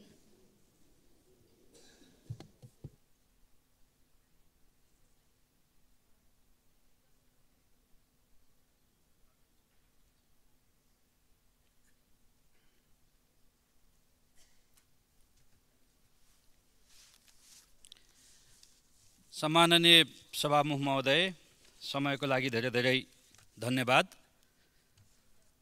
नेपाल सरकारको तर्फबाट सम्माननीय राष्ट्रपतिज्यूले प्रस्तुत गर्नुभएको सरकारको नीति तथा कार्यक्रमको सन्दर्भमा मेरा पनि केही सुझावहरू केही संशोधन र केही विचारहरू छन् म त्यो प्रस्तुत गर्ने अनुमति चाहन्छु। र सर्वप्रथम हाम्रो संसदीय दलको नेता मान्य केपी शर्मा ओलीज्यूले यहाँ महत्त्वपूर्ण धारणा राखिसक्नु भएको छ। सरकारको नीति तथा कार्यक्रमको सन्दर्भमा म ती धारणाहरूको समर्थन गर्न चाहन्छु। सभामुख महोदय मैले राखेको संशोधन चाहिँ यो नीति तथा कार्यक्रमको एक सय बैसठ एक सय बयासी नम्बरको बुदासँग सम्बन्धित छ। यो खास गरी अलिकति परराष्ट्र सम्बन्धसँग र नेपालको नेपालसँग सम्बन्धित विषय छ।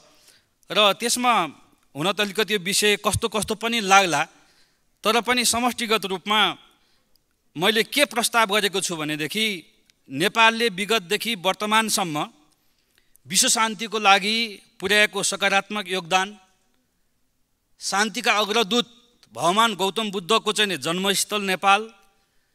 नेपालको सुरुवातदेखि अहिलेसम्म असंलग्न परराष्ट्र नीति कोहीप्रति पनि कहिले पनि हस्तक्षेप नगर्ने नीति यो सम्पूर्ण कारणले गर्दाखेरिमा नेपाल सरकारले को नीति के हुनु पऱ्यो भन्दाखेरिमा नेपाललाई चाहिँ शान्ति क्षेत्र घोषणा गर्ने चाहिँ नीति हुनु पऱ्यो यो नीति तथा कार्यक्रममा आउनु पऱ्यो र यही अनुसार चाहिँ अन्तर्राष्ट्रिय समर्थन जुटाउनु पऱ्यो यसमा नै अनन्तकालसम्म नेपाल राज्यको पनि के भन्दाखेरिमा राम्रो हुन्छ भन्ने चाहिँ मेरो बुझाइ छ। त्यस कारणले मैले यो विषय नीति तथा कार्यक्रममा थप गर्नको लागि अनुरोध गर्न चाहन्छु कि नेपाललाई शान्ति क्षेत्र घोषणा गरियोस्। त्यस्तै गरी सभा महोदय सरकारको नीति तथा कार्यक्रमको लक्ष्य चाहिँ सरकारी खर्चमा मितव्ययिता विकास खर्चमा वृद्धि भन्ने छ। तर मैले नीति तथा कार्यक्रमलाई दुईपटक अध्ययन गरिसके पछाडि ठिक उल्टो निष्कर्षमा पुगेँ कि सरकारी खर्चमा वृद्धि विकास खर्चमा मितव्ययिता भन्ने निष्कर्षमा चाहिँ नि म पुगेँ। त्यसले गर्दाखेरिमा यो एउटा गम्भीर विषय छ। सरकारको नीति तथा कार्यक्रममा प्रयोग गरिएका शब्दहरू सुमधुर जस्तो देखिए पनि यसले न त मुलुकको राजनीतिक सामाजिक र आर्थिक चुनौतीहरूको पहिचान गर्न सको न त समाधान नै दिन सक्छ। झट्ट हेर्दा सबै देखिने तर गहिरेर खोज्दा केही पनि नभेटिने नीति तथा कार्यक्रम यस्तो छ। न स्पष्ट प्राथमिकता न त निश्चित गन्तव्य नै। सरकारमा सहभागी दलहरूले निर्वाचनको बेला जारी गरेका घोषणापत्र वा प्रतिबद्धतालाई समेत पुरै व्यवस्था गरिएको यो नीति तथा कार्यक्रम सतही र यथार्थभन्दा भिन्न भएको मैले अनुभूति गरेको छु। अचम्मको कुरा यो छ कि नीति तथा कार्यक्रम मान्य अर्थमन्त्रीज्यूले संसदमा प्रस्तुत गर्नुभएको विनियोजन विधेयक दुई हजार असीको सिद्धान्त र प्राथमिकतासँग समेत मेल खाँदैन र पारस्परिक बाजिएको छ। सरकारले नीति तथा कार्यक्रम अस्वस्थ सूचकहरू भएको स्वस्थ अर्थतन्त्रको परिकल्पना गरेको जस्तो देखिन्छ। आर्थिक वृद्धि आठ प्रतिशत अनुमान गरिएकोमा एक प्रतिशतमा मात्रै एक प्रतिशत मात्रै छ। मूल्य वृद्धि आठ प्रतिशतभन्दा माथि पुगेको छ। वैदेशिक लगानी चौध अर्बले घटेको राष्ट्र ब्याङ्कको तथ्याङ्क छ। चालु खर्च धान्न समेत ऋण लिनुपर्ने अवस्था देखिन्छ। आर्थिक वृद्धि न्यून र मूल्य वृद्धि चाहिँ उच्च हुनु आफैमा नेपाली अर्थतन्त्रको एउटा ठुलो चुनौती हो। तर पनि नीति तथा कार्यक्रममा आर्थिक लगायत सबै क्षेत्रमा सकारात्मक नतिजा देखिएको छ भनेर उल्लेख गरी सरकारले मिथ्या विवरण चाहिँ नि प्रस्तुत गरेको छ। सभामुख महोदय सरकारको नीति तथा कार्यक्रमले पञ्चवर्षीय योजना योजनामा बाँकी रहेका काम पुरा गर्न र नेपालको समेत सहमतिमा संयुक्त राष्ट्रसङ्घले घोषणा गरेको दिगो विकासको लक्ष्य दुई हजार तिसलाई साकार बनाउन आवश्यक विगतका सबै राम्रा कामहरूको समित्व लिँदै निरन्तरता दिनुपर्नेमा खास गरी मान्य केपी शर्मा ओलीज्यूको नेतृत्वको सरकारले थालेका सबै जनपक्षीय तथा राष्ट्रपक्षीय नीति तथा कार्यक्रमलाई कार्यक्रमलाई खारेज गरिनु राष्ट्र र जनताप्रतिको अन्याय हो भन्ने मेरो बुझाइ छ। उदाहरणको लागि राष्ट्रपति शैक्षिक सुधार कार्यक्रम खोइ राष्ट्रपति महिला उत्थान कार्यक्रम खोइ जनता आवास कार्यक्रम जनताको तटबन्धन कार्यक्रम किन हटाइयो? यो जनताको तर्फबाट यो प्रश्न मैले गरेको छु सामान्य सभा महोदय। त्यस्तै गरी शान्ति प्रक्रियाको सन्दर्भमा पनि अलि गोल मोडेल गरिएको छ भन्ने मलाई लाग्छ नीति तथा कार्यक्रममा। छोराको हत्यारालाई कारवाहीको माग गर्दै तिन सय तिस दिन आमरण अनसनमा बसेका गोर्खाका नन्दप्रसाद अधिकारीको अनसनमै दुई हजार एकहत्तर असोज छ गते निधन भएको हामी सबैलाई थाहा छ। न्यायको लागि जीवन आहुति दिने अधिकारीलाई शहीद घोषणा गर्नुपर्नेमा विगत नौ वर्षदेखि उनको पार्थिव शरीर अस्पतालमै सडेको छ। मृतक नन्द प्रसादकी धर्मपत्नी गङ्गामाया अधिकारी अहिलेसम्म पनि बेहाल अवस्थामा सत्य र न्यायको प्रतीक्षामा छिन्। शान्ति प्रक्रियासँग जोडिएको यस विषय उहिल्यै टुङ्ग्याउनु पर्नेमा सरकारको नीति तथा कार्यक्रमको एक सय छयत्तर नम्बरको बुदामा शान्ति प्रक्रिया र सङ्क्रमणकालीन न्याय सम्बन्धी काम दुई वर्षमा सम्पन्न गर्ने भनेर उल्लेख गरिएको छ। यसबाट सरकारको सक्कली अनुमान देखिएको छ शान्ति प्रक्रियाको काम एक वर्षमा नै सम्पन्न गर्न यो सरकारलाई कसले रोको? प्रतिपक्ष त शान्ति प्रक्रिया तुरुन्तै यसलाई चाहिँ चाहिँ समाधान गर्नुपर्छ भनेर सहयोग गर्नको लागि तत्पर हुँदा हुँदै पनि सरकारले यसलाई किन लम्ब्याउन खोजिरहेको छ? के हो सरकारको प्राथमिकता? यो बुझ्न गाह्रो भयो। सभा महोदय। नीति तथा कार्यक्रमको एक सय बयासी नम्बरको बुदाको बारेमा मैले अघि नै पनि यहाँनिर उल्लेख गरिसकेको छु कि विश्व शान्ति कार्यमा संलग्नता बढाउने कुरा त्यहाँनिर उल्लेख छ। मेरो आग्रह छ कि सरकारलाई कति हाम्रा सुरक्षाकर्मी मात्र अन्तर्राष्ट्रिय शान्ति मिसनमा पठाउने नेपाललाई चाहिँ शान्ति क्षेत्र घोषणा गर्ने पहल किन नलिने भन्ने कुरा मैले अघि पनि राखिसकेको छु। म त्यसलाई पुनः म यहाँनिर चाहिँ दोहोऱ्याउन चाहन्छु। सभा महोदय नेपालको राजधानी अथवा पासपोर्ट विश्वमै कमजोर दस राजधानीभित्र परेको छ। वास्तवमा विश्वको कम सातौँ कमजोर राजधानीभित्र नेपालको पर्छ। सोमोलिया र नेपालको करिब करिब एउटै स्तरमा छ। भने नेपालको पासपोर्ट बलियो बनाउने नीति हुनु पऱ्यो नि सरकारको। नेपालीलाई नि शुल्क भिसा दिने मित्र राष्ट्रका पर्यटकलाई हामी भिसा लिन्छौँ भिसा शुल्क लिन्छौँ अनि नेपालीलाई चाहिँ चर्को भिसा शुल्क लिने मित्र राष्ट्रका चाहिँ पर्यटकहरूलाई नेपालमा हामी नि शुल्क भिसा दिन्छौँ। छिमेकी मित्र राष्ट्र भारत प्रस्थान गर्ने प्रत्येक नेपाली नागरिक मैले आज अघि नै पनि यो विषयमा ध्यान आकर्षण गराइसकेको छु एवं नेपाली कुटनीतिज्ञलाई पनि नेपाली भूमि त्रिभुवन अन्तर्राष्ट्रिय विमानस्थलमा चाहिँ भारतीय सुरक्षाकर्मीबाट शरीरको खन तलासी गरिन्छ। भने पछाडि यो कसरी चाहिँ एउटा सार्वभौम राष्ट्रको लागि शोभायमान विषय भयो?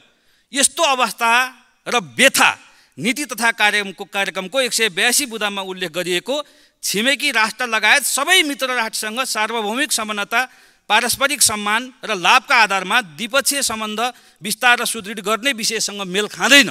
यो कसरी समानता भयो? हुन यो समानता देखिएन त्यसले गर्दाखेरिमा सरकारको नीति तथा कार्यक्रममा यस्ता कुराहरूलाई चाहिँ समावेश गरियो गम्भीर रूपमा चाहिँ लागू गरियोस् भन्ने पनि म आग्रह गर्न चाहन्छु। सभा महोदय नक्सामा समावेश गरिसकेको नेपाली भूमि लिपुलेक लिम्पियाधुरा र कालापानी नेपालको स्वामित्वमा ल्याउने विषय समेत उल्लेख गर्न सरकार डरायो। केही अमूर्त शब्दहरू उल्लेख गरेर नेपालीलाई दुखी र विदेशीलाई चाहिँ खुसी बनाउने काम सरकारले गरेको छ। सभा महोदय देशभक्तहरूले कसरी यस्तो नीति तथा कार्यक्रमलाई समर्थन गर्ने? एउटा अन्यलको अवस्था चाहिँ के भन्दाखेरिमा सिर्जना भएको छ।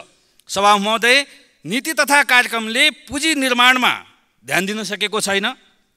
व्यापार घाटा घटाउने योजना देखिन्न। अनुत्पादक क्षेत्रको लगानी तथा खर्च कटौती गर्ने योजना पनि देखिन्न। उत्पादनमुखी अर्थतन्त्रको विकासमा प्राथमिकता देखिन्न। घट्दो राजस्व परिचालनलाई सम्बोधन गरेको छैन। आत्मनिर्भरताभन्दा परनिर्भरतालाई प्रोत्साहन गरेको देखिन्छ। विशेष गरी नेपाल कृषि प्रधान देश कृषि शिक्षा स्वास्थ्य र युवावर्गको लागि पनि यसले खासै हौसला प्रदान गर्न सकेको छैन।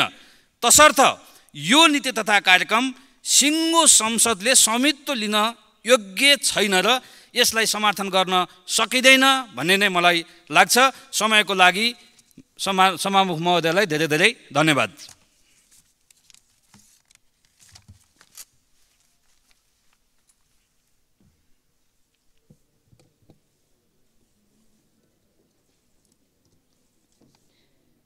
माननीय सदस्यहरू अब संशोधनकर्ता माननीय श्री वासुदेव घिमिरेको तर्फबाट माननीय श्री बलराम अधिकारीलाई आफ्नो संशोधन पेश गर्दै छलफलमा भाग लिन समय दिन्छु। समय आठ मिनट।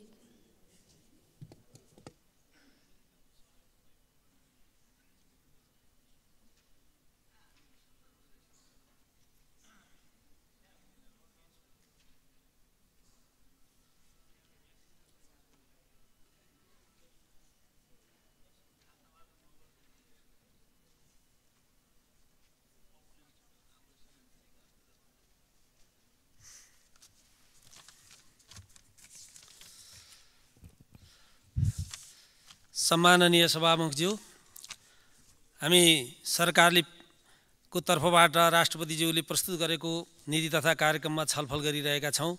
यस सन्दर्भमा कार्यक्रम छलफलमा सहभागी भइरहँदा कार्यक्रमले विगतका कार्यक्रम योजना र निर्णयलाई कसरी पछ्याएको छ विगतमा काम थालनी भएका तर सम्पन्न नभएका कार्यक्रमहरू र निरन्तर लागू गर्नुपर्ने जनप्रिय कार्यक्रमहरू जस्तै प्रधानमन्त्री स्वरोजगार कार्यक्रम राष्ट्रपति चुरे संरक्षण कार्यक्रम जनता तटबन्ध र आवा जनता आवास कार्यक्रम सुरक्षित आवास घर छाना जस्ता कार्यक्रमहरू यहाँ हटाइएको छ र सरकारका नेकपा एमालेका सरकारका पालामा ल्याइएका यस्ता लोकप्रिय कार्यक्रमहरू हटाउने र आफूले कसले जस लिने र दिने भन्ने आधारमा यो नीति कार्यक्रम आएको जस्तो मैले बुझेको छु र यो यो कार्यक्रमले कतैबाट कतैबाट पनि विरोध नहोस् सबैका कुरा गरिनेछ भनेर टालटुल पारौँ र योजना सम्पन्न नभए पनि छुट पाऊँ भन्ने उद्देश्यका साथ आएको मैले बुझेको छु र यसमा सैद्धान्तिक आधार भनेको केही छैन गोलमोटल छ। अचम्मको कुरा त के छ भने अर्थमन्त्रीज्यूले चौबिस गते पेस गरेको यो सिद्धान्त र अहिलेको उसमा प्राथमिकतामा भनेका कुरा र अहिले राष्ट्रपतिज्यूले पेस गरेका कुराहरूमा विरोधाभास छ। उति बेला त्यति बेला हरासमुख अवस्थामा छ लक्ष्य पुरा भएको छैन भनिन्छ भने अहिले सबै गरिएको छ भनेपछि यसले के देखाउन खोजिएको? यदि बाह्र तेह्र दिनमा यस्तो उथल पुथल परिवर्तनै के आयो? मैले बुझ्न सकिएको छैन त्यस्तो जादुको छडी के निस्कियो कि यति छिटै परिवर्तन आएर सबै कुरा भए? यस यसले के देखाउँछ भने यो जनतालाई झुक्क्याउने र ढाँट्ने प्रवृत्ति हो भन्ने कुरा प्रष्ट पार्छ जस्तो लाग्छ। कार्यक्रम प्रस्तुत गर्दा विगतका लक्ष्य योजना कार्यक्रम के कति सम्पन्न भए के कति बाँकी छन् तिनलाई कहिलेसम्म कसरी सम्पन्न गर्ने भनेर हेक्का राख्ने होला। हामी पन्ध्रौँ योजनाको अन्तिम वर्षमा गइरहेका छौँ। के अहिलेको यो कार्यक्रमले पन्ध्र पन्ध्रौँ पञ्चवर्षीय योजनाले ल्याएका कुराहरू सम् बाँकी रहेका कामहरू सम्पन्न गर्नेछौँ भनेको छ। कति बाँकी छन्? हामी के गर्छौँ भनेर ल्याएको छ। त्यो केही पनि ल्याएको छैन। त्यस कारण यतातिर पनि हामीले सोध्नुपर्ने अवस्था छ। मैले यसै सन्दर्भमा यहाँ वासुदेवजीले ल्याएका केही संशोधनका प्रस्तावको बारेमा पनि कुरा राख्न चाहन्छु। र यो एक सौ दुईमा बुँदा नम्बर एक सौ दुईमा एक पालिका एक हुलाक भनिएको छ। आजभन्दा तिन वर्ष पहिला नेकपा एमालेको सरकारको पालामा हुलाकको बचत ब्याङ्क स्थापना गरौँ भनेर ल्याइएको थियो। त्यति बेला आवश्यक छैन भनेर विरोध गरियो। त्यसलाई ल्याएर कायम गरौँ त्यहीँभित्र आर्थिकदेखि लिएर अहिलेको यो अहिलेको चाहिँ इन्टरनेट सेवालाई हुलाक बचत बैङ्क मार्फत जोड्दै सबै कामहरू त्यहाँबाट सम्पन्न गर्ने गरी गइयो भने सा अहिलेको समस्या हल गर्न सकिन्छ जस्तो लाग्छ मलाई। अर्को अहिले निजगढ अन्तर्राष्ट्रिय विमानस्थल बनाउने भनिएको छ। त्यो बनाउने कुरा छँदैछ त्यो चाहिँ राष्ट्रको एउटा मागको रूपमा रहेको छ। तर हामीले भन्ने पनि गरेका छौँ योजना बिना कतिपय कार्यक्रमहरू बनाइन्छ थालनी गरिन्छ अनि त्यसलाई फेरि कार्यान्वयन गरिँदैन। अहिले सम्पन्न भएका दुईवटा अन्तर्राष्ट्रिय विमानस्थलहरू क्षेत्रीय र प्रादेशिक अरू अन्य विमानस्थलहरू छँदैछन्। तिनलाई चालु गरिएको छैन। त्यसलाई चालु गर्ने कुराहरूमा सरकारले प्राथमिकता दिने कि नदिने? त्यतातिर कुनै ध्यान गएको जस्तो लाग्दैन मलाई। त्यस्तै यो जनकपुर र लुम्बिनीलाई एउटा धार्मिक स्थलको रूपमा अथवा एकीकृत विकासको रूपमा विकास संरक्षण र प्रबन्धनको रूपमा लाने भनेर भनिएको छ। म के भन्न चाहन्छु भने लुम्बिनी लुम्बिनीलाई एकीकृत लुम्बिनी समृद्ध कार्यक्रम लागू गर्दै लुम्बिनीसँग जोडिएका लुम्बिनी बराबरसँग जोडिएका ठाउँहरू तिलोराकोट कुदान गोटिवा निग्लिवा लम्बुसागर अडौराकोट सिसनिया रामग्राम देवद यी सबैलाई सामूहिक रूपमा सो परिचालन गर्ने गरी सबैलाई एकरूपता दिने गरी कार्यक्रम ल्याउँछौँ भनेर सरकारले भन्न पर्छ होला भन्ने मलाई लाग्छ। अर्को तिन तहको यो सरकारको अन्तर सम्बन्ध सुदृढ गर्ने भनेर भनिएको छ। अनि एकातिर त्यो भनिन्छ सम्पन्न बनाउने छ भनिएको छ। स्थानीय तहमा जाने सम्पू भने अर्कोतिर स्थानीय तहमा जाने समपूरक र सशर्त लगायतका बजेटहरू कटौती गरिएको छ। स्थानीय तहलाई अधिकार दिन्छ भने बजेट बढाउने हो कि कटौती गर्ने हो? सरकारले सङ्घीय स्तरका रकमहरूलाई कता मिलाउनु पर्छ सङ्घीय स्तरको रकमलाई मिलाउनु पर्यो। त्यो स्थानीय तहकोलाई कटाउन हुन्न भन्ने मेरो आफ्नो मान्यता छ। त्यस्तै अडतिसमा भनिएको छ रस रासायनिक मल उत्पादन गर्न बहुवर्षीय योजना बनाउने। एक वर्ष बनाउने हो कि दुई वर्ष बनाउने हो कि पाँच वर्ष बनाउने कि दस वर्ष बनाउने कि कहिले बनाउने? किटान गर्नुपर्छ कि पर्दैन? यो त टालटुले पार्ने सबैलाई झुक्क्याउने कामभन्दा केही भएन। मैले त भन्छु हामी अहिले परनिर्भरता छौँ मलमा। त्यस कारण जबसम्म हामी आत्मनिर्भर हुन सक्दैनौँ तबसम्म भारतबाट ल्याउने जनताले किनेर ल्याउने मलमा सम्पूर्ण रूपमा छुट दिनुपर्छ र हाम्रो समस्या हल गर्नुपर्छ। यो कुरा यो नीति कार्यक्रममा आओस् भन्ने राख्न चाहन्छु।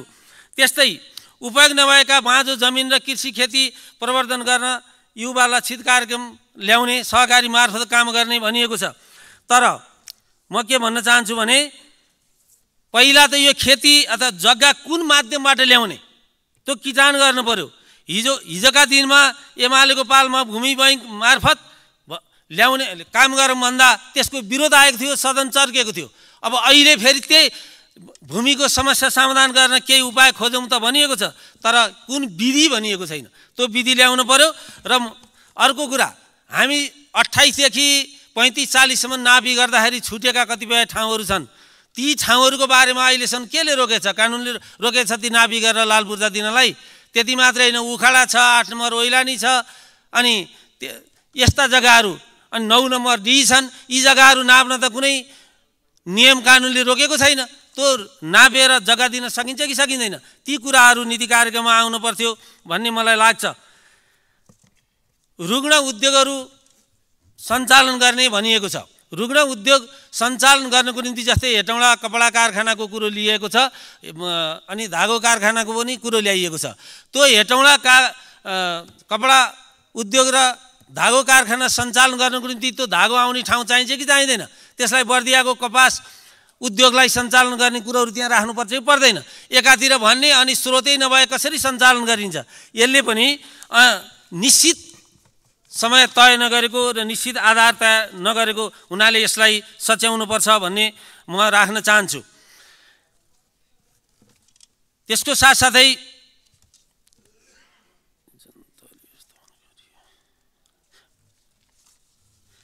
मेलम्ची खानेपानीलाई अझ व्यवस्थित गर्ने भनिएको छ। यो खानेपानीको उखान धेरै पटक भइसक्यो धेरै पटक भइसक्यो र काम बन्छ भत्किन्छ भनिन्छ लागु गरिन्न। तर अर्कोतिर के छ भने त्यही मेलम्ची खाने पानीभित्र। पानी खानी गर्दाखेरि पाइप जोडान गर्दा अरू विभिन्न प्रक्रियाहरू गर्दा अनेक भ्रष्टाचारहरू भएका छन्।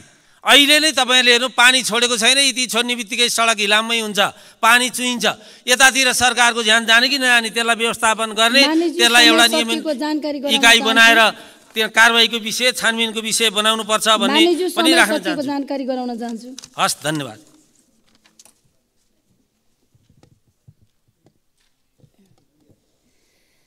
माननीय सदस्यहरू अब संशोधनकर्तामा माननीय श्री नारायण प्रसाद आचार्यलाई आफ्नो संशोधन पेश गर्दै छलफलमा भाग लिन समय दिन्छु। समय आठ मिनट।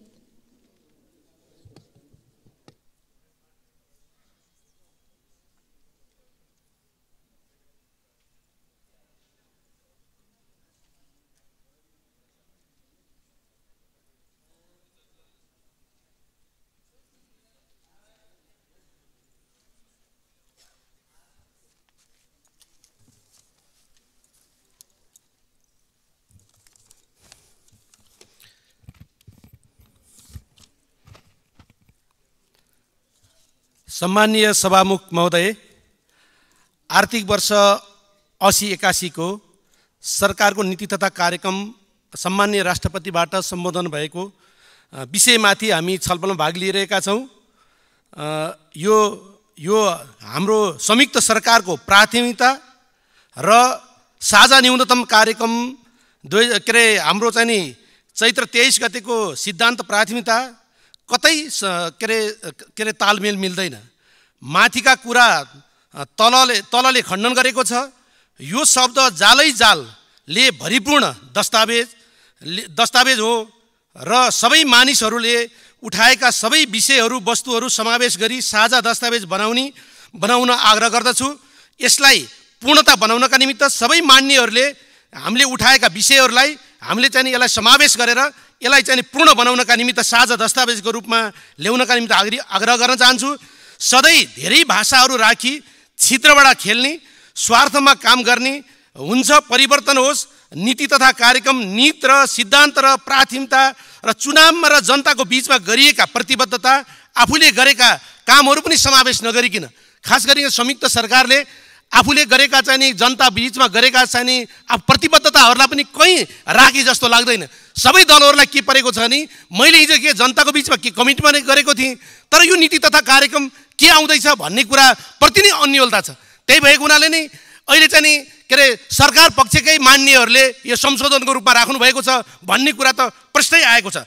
त्यसो भएको हुनाले यसमा अलिकति ध्यान हामीले प्रश्न हुन्छ त्यसो हुनाले हाम्रो चाहिँ नि पार्टीका श्रद्धेय अध्यक्षले हाम्रो चाहिँ नि धेरै विषयहरू राख्नु भएको छ अवश्य पनि त्यसबाट धारणा प्रश्न भएको छ। र मैले यस विषयमा हाम्रो चाहिँ यो संशोधनका विषयमा मैले खास गरिकन तिस नम्बर बुदामा राष्ट्रिय योजना आयोग पुनः सम्चना गरी नीति आयोगको रूपमा भन्ने छ।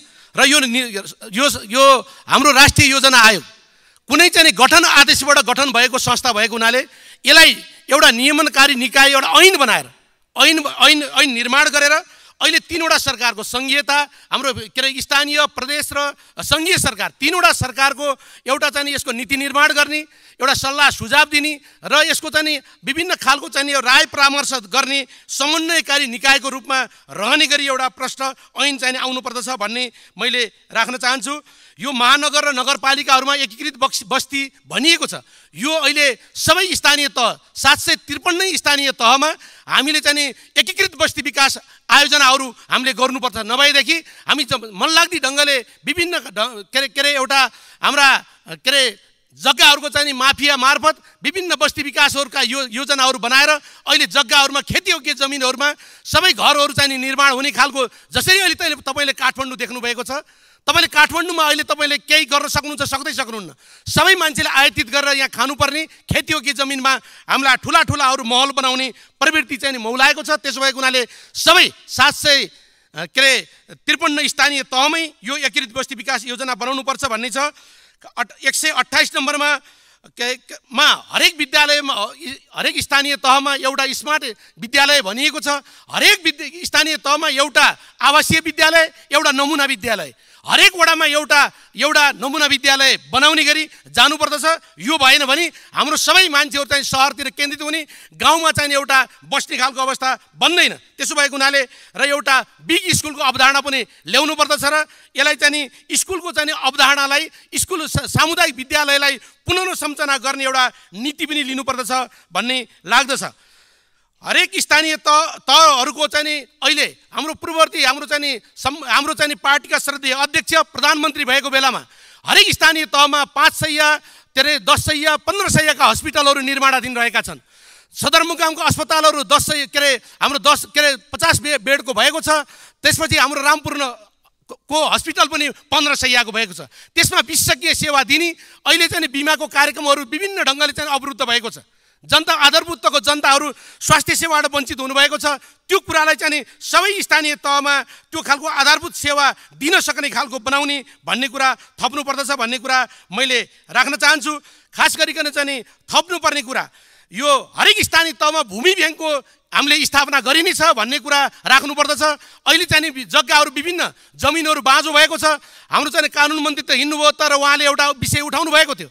तर त्यो बाँदर चाहिँ नियन्त्रण गर्ने कानुन कहाँ पुगेको छ भन्ने कुरा पनि हामीले चाहिँ एउटा हामीले बुझ्न चाहन्छौँ। अहिले जङ्ग जम्मै जग्गा जमिन बाँझो भएको छ मान्छेहरू चाहिँ सहरतिर केन्द्रित भएका छन् विभिन्न ठाउँमा सुविधाजन्य ठाउँमा जानुभएको छ त्यस विभिन्न बाध्यकारी स्वास्थ्य र शिक्षाको कारणले गर्दा त्यो जानुपर्ने परिस्थिति बनेको छ। त्यसो भएको हुनाले भूमि ब्याङ्कको स्थापना गरेर हामीले त्यो जग्गालाई सबै एकीकृत गरेर विभिन्न खालका के अरे एकीकृत चाहिने एउटा कृषि फर्महरू विभिन्न योजनाको निमित्त दिन सक्ने खालको चाहिने एउटा भयो भने सबैले जग्गा त्यहाँ जम्मा गर्ने खालको परिस्थिति निर्माण हुन्छ भन्ने कुरा यसमा राख्नुपर्दछ भन्ने कुरा राख्न चाहन्छु।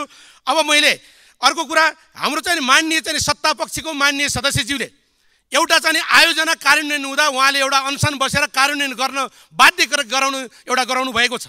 त्यसो भएको हुनाले उहाँ मान्य सदस्यलाई मैले विशेष धन्यवाद दिन चाहन्छु।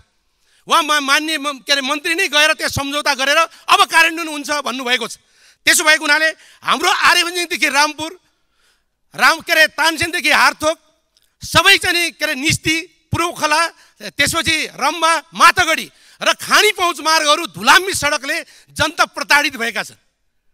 त्यो सडकहरू र धेरै पुलहरू अहिले चाहिँ तपाईँको चाहिँ हाम्रो काली गण्डकीमा बनेको निर्दिम घाटको पक्की पुल त्यसपछि चाहिँ त तपाईँको चाहिँ के अरे हाम्रो चाहिँ पेक्लुको पुल लामो अडसट्ठी सालदेखि बनिरहेको छैन। त्यसो भएको हुनाले यस्ता खालका आयोजनाहरू अब हामीले मैले के घोषणा कुरा गर्न चाहन्छु भने अब आउने दिनमा छिटोभन्दा छिटो यो कार्यान्वयन भएन भने म आफै स्वयं ती आयोजनाहरूमा गएर आमरण अनसन बस्नेछु यो सरकारले लागू गर्छ कि गर्दैन? गर्छ कि गर्दैन? मैले त्यो क्वेसन गर्न चाहन्छु। त्यसो भएको हुनाले धेरै आयोजनाहरू त्यो चाहिँ त्यस्तो त्यसरी चाहिँ एउटा खण्डर स्थिति बनेको छ। त्यसो भएको हुनाले अवश्य पनि यसतर्फ चाहिँ सबैको ध्यान पुगोस् भन्ने कुरा मैले राख्न चाहन्छु। यी के अरे जस्तै सिँचाइको तर्फ एउटा के अरे धादिङको सल्यान्टारलाई चाहिँ महत्त्व दिएको छ। कुनै व्यक्तिलाई केन्द्रीकृत गरेर आयोजना बनाउने होइन कि? हामी हाम्रो चाहिँ कालीगण्डकी क्षेत्रमा हाम्रो कालीगण्डकी क्षेत्रमा बुलिङटार त्यसपछि चाहिँ तपाईँको चाहिँ रामपुर फाँट हुङ्गी फाँट माडी फाँट पूर्वखोला फाँट झडिवा फाँट लगायतका अर्गली फाँट लगायतका के अरे कचल फाँट लगायत थुप्रै फाँटहरू छ। पाल्पा जिल्लामै कति धेरै के अरे के अरे उर्वर भूमिहरू छ। त्यसलाई चाहिँ सङ्कुचन गर्ने गरी एउटा चाहिँ पर्टिकुलर एउटा क्षेत्रलाई मात्रै चाहिँ एउटा खुसी बनाउने गरी यस्ता खालका कुराहरू आउनु हुँदैन भन्ने कुरा मैले राख्न चाहन्छु। खास गरिकन हाम्रो चाहिँ पुँजीगत खर्च गर्ने प्रथम चौमासिकमा बिस प्रतिशत दोस्रोमा तिस प्रतिशत तेस्रोमा तिस प्रतिशत र अन्तिममा बिस प्रतिशत गर्ने खर्च प्रगति गर्ने अनिवार्य यो गर्ने कुरा प्रावधान नीति कार्यक्रम र कानुनमै बनाएर नगर्ने हो भने साधारण खर्च यति धेरै हुने प्रगति नहुने। किन त्यसरी हुने? साधारण खर्च किन खर्च गर्ने? त्यो साधारण खर्चमा चाहिने सेवा सुविधा लिनेहरूले प्रगति किन गर्न नसक्ने क्वेसन सबैलाई हुँदैन र यो कुरा गर्न मैले मैले यो कानुनमै ल्याउनका निमित्त नीतिमा ल्याउनका निमित्त आग्रह गर्न चाहन्छु। खास गरिकन। मा- मेरो अन्तिममा महालेखा परीक्षकले सार्वभौम संसद प्रदेश सभा र गाउँसभा र नगरसभाले पास गरेका नीति र कार्यक्रमलाई पनि विभिन्न चाहिने नीतिगत हिसाबले चाहिँ एउटा बेरुजी देखाउने पद्धतिको चाहिँ यो चाहिँ महालेखाले गरेको छ। त्यो कुरा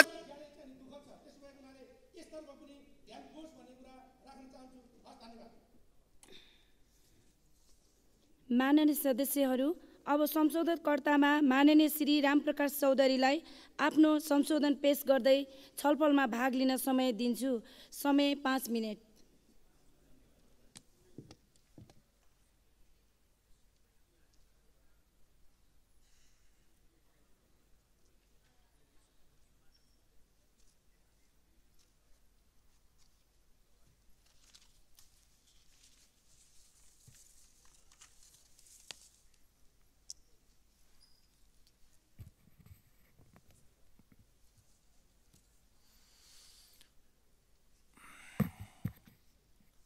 सामान्य सभामुख महोदय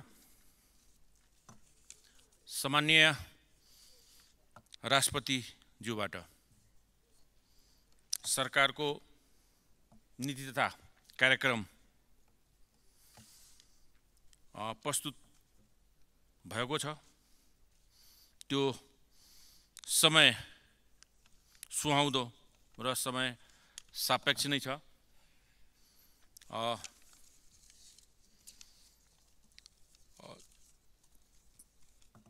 समय सुहाउँदा हुँदाहुँद पनि यसमा बुन्दा नम्बर तिरासीमा उल्लेख भएका मध्य पहाडी लोकमार्ग आसपासका दसवटा नयाँ सहरलाई पहिचानयुक्त सहरको रूपमा विकास गरिनेछ भन्ने उल्लेख भएको मा। त्यस्तै मध्य प्रदेशको सर्लाही महोत्तरीको बिचमा पर्ने पूर्व पश्चिम राजमार्ग भन्दा दक्षिण आसपासमा को क्षेत्रमा रहेका सागरनाथ वन विकास परियोजना को ठाउँमा पनि। आधुनिक नयाँ प्लानिङ सहितको सहरको रूपमा विकास गरियोस् भन्ने मेरो संशोधन थपियोस् भन्ने आग्रह छ। यो परियोजनाका कर्मचारीहरूले आठ नौ महिना भइसक्यो। केही दिन पहिला पनि छ महिना तलब नपाएको गुनासो आएको थियो। अहिले त आठ नौ महिना भइसक्यो। त्यहाँको कर्मचारीहरूले तलब पनि खान पाएको छैन।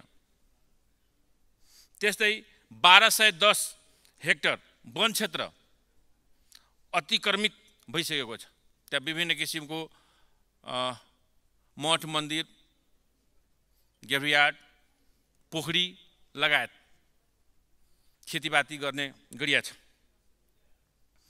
त्यसैले सो परियोजनालाई अहिलेको नेपालकै एउटा नमुना प्लानिङ सहितको सहर बनिआओस्। त्यहाँ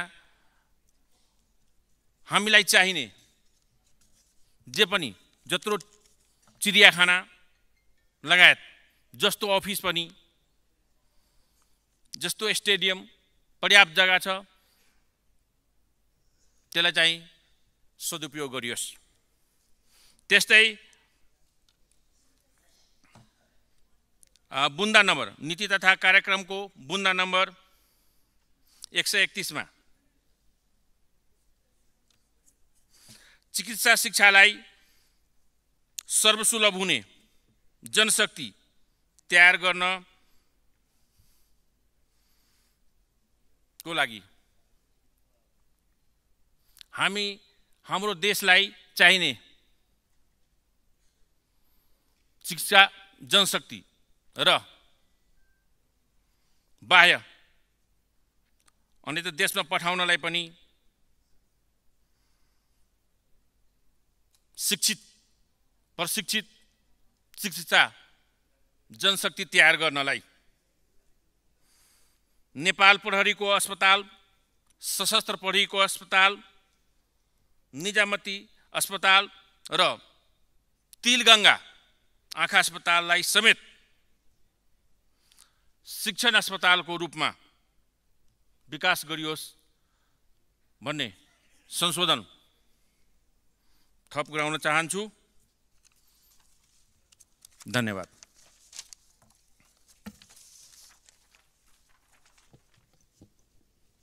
माननीय सदस्यहरू अब संशोधनकर्तामा माननीय डाक्टर चन्द्र कार्की भण्डारी आफ्नो संशोधन पेश गर्दै छलफलमा भाग लिन समय दिन्छु। समय पाँच मिनट।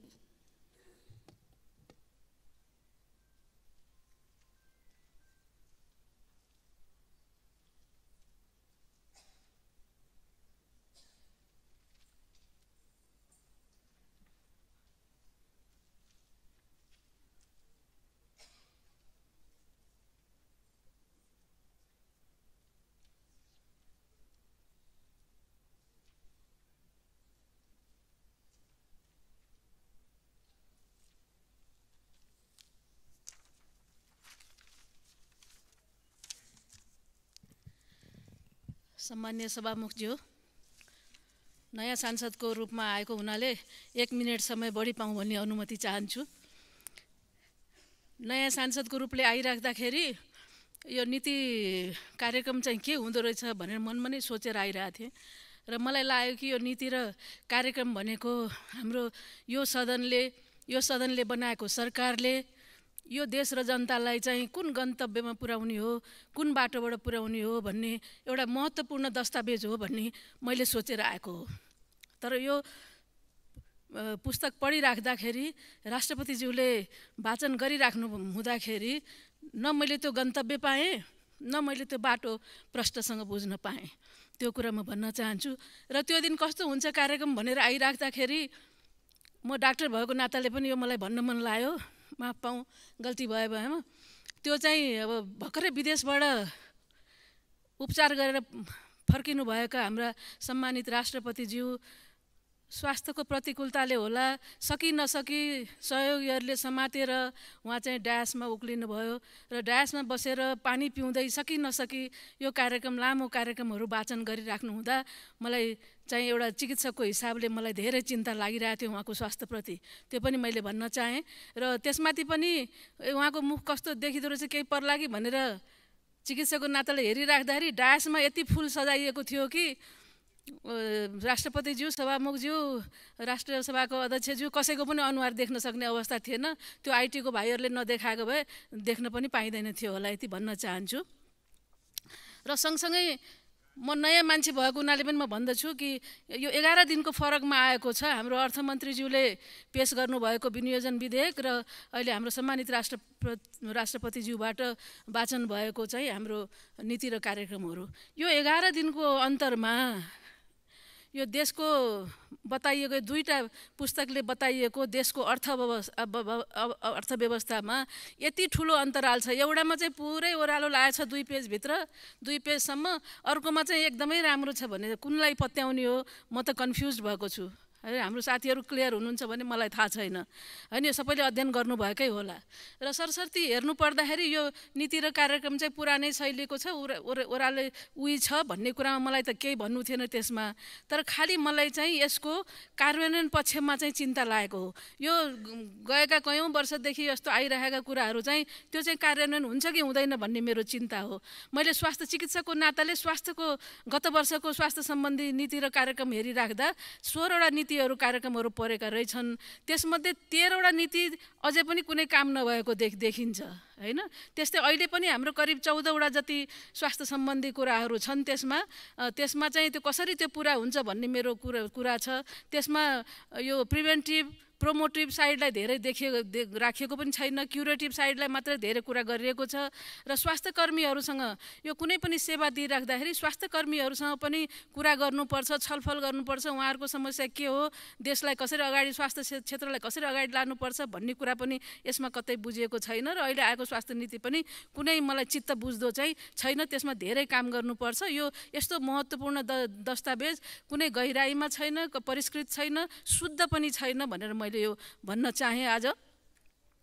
र चाहिँ यसलाई चाहिँ यो गत वर्षको मलाई त लाग्छ कि यो गत वर्षको नीति र कार्यक्रममा पनि यो विविध क्षेत्रमा कति कार्यान्वयन भयो भन्ने रिपोर्ट पनि यही नीति कार्यक्रमको पुस्तिकामा हुनुपर्छ कि ताकि त्योभन्दा अगाडि जान सकिन्छ कि जस्तो लाग्छ मलाई। नत्र भने केही छैन। र एउटा सरसर्ती हेर्दा यहाँ धेरै ठाउँमा राख्न पर्ने ठाउँमा पनि खालि एउटा चाहिँ दुर्गम मात्रै दुर्गम र पिछडिएका क्षेत्रहरूमा कर्णाली प्रदेश सुदूरपश्चिम मधेस प्रदेशहरू सबैको नामै तोक्नुपर्ने हो कि जस्तो मलाई लाग्छ। र मैले यही सरसर्ती पढिराख्दाखेरि मैले सोह्रवटा बुँदाहरूमा मैले आफ्नो बुद्धिले जानेको अलिकति समय मागेँ मैले राखेको छु। त्यसमा सोह्रवटा प्रस्ताव राखेकोमा म सबै कुरा भन्न चाहन्न। म जम्मा नौवटा कुरामा अलिकति भन्न चाहन्छु। एउटा चाहिँ अठाइस नम्बरको विकास आयोजनाको कुराहरूमा विकास आयोजना कसरी गर्ने के गर्ने भन्ने छ। तर मुख्य समस्या त यो देशको हामीले नबुझेको हो कि विकास आयोजनाहरू त समयमा नसकिएर हो नि त। समयमा नसकिएर हो। त्यसैले मैले चाहिँ यो यो कुनै पनि चाहिँ निर्धारित समयमा आयोजना सम्पन्न नगर्ने निकाय वा ठेक्का कम्पनीप्रति राज्यले निर्मम भई दण्डित गर्ने व्यवस्था गर्नेछ भन्ने शब्द थप्नुपर्छ भनेर मैले राखेको छु।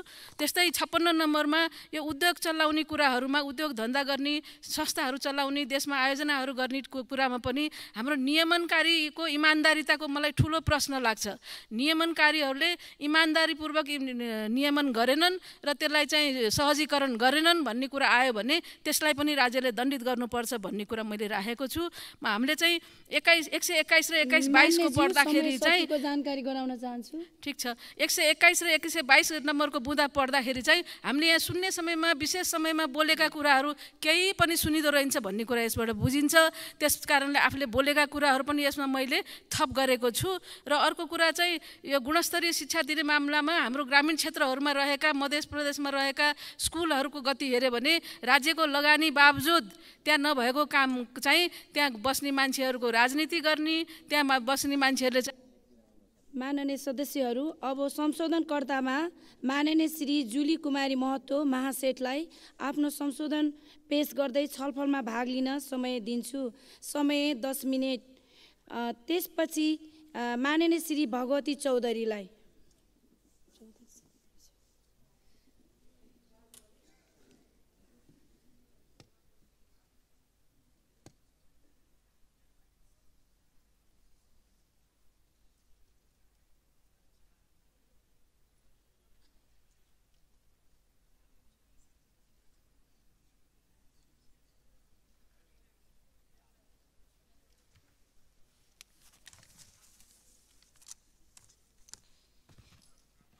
सम्माननीय सभामुख महोदय असी एकासीको नेपाल सरकारको वार्षिक नीति तथा कार्यक्रममाथि हामी छलफल गरिराखेका छौँ र केही संशोधनहरू पनि हालेको छु।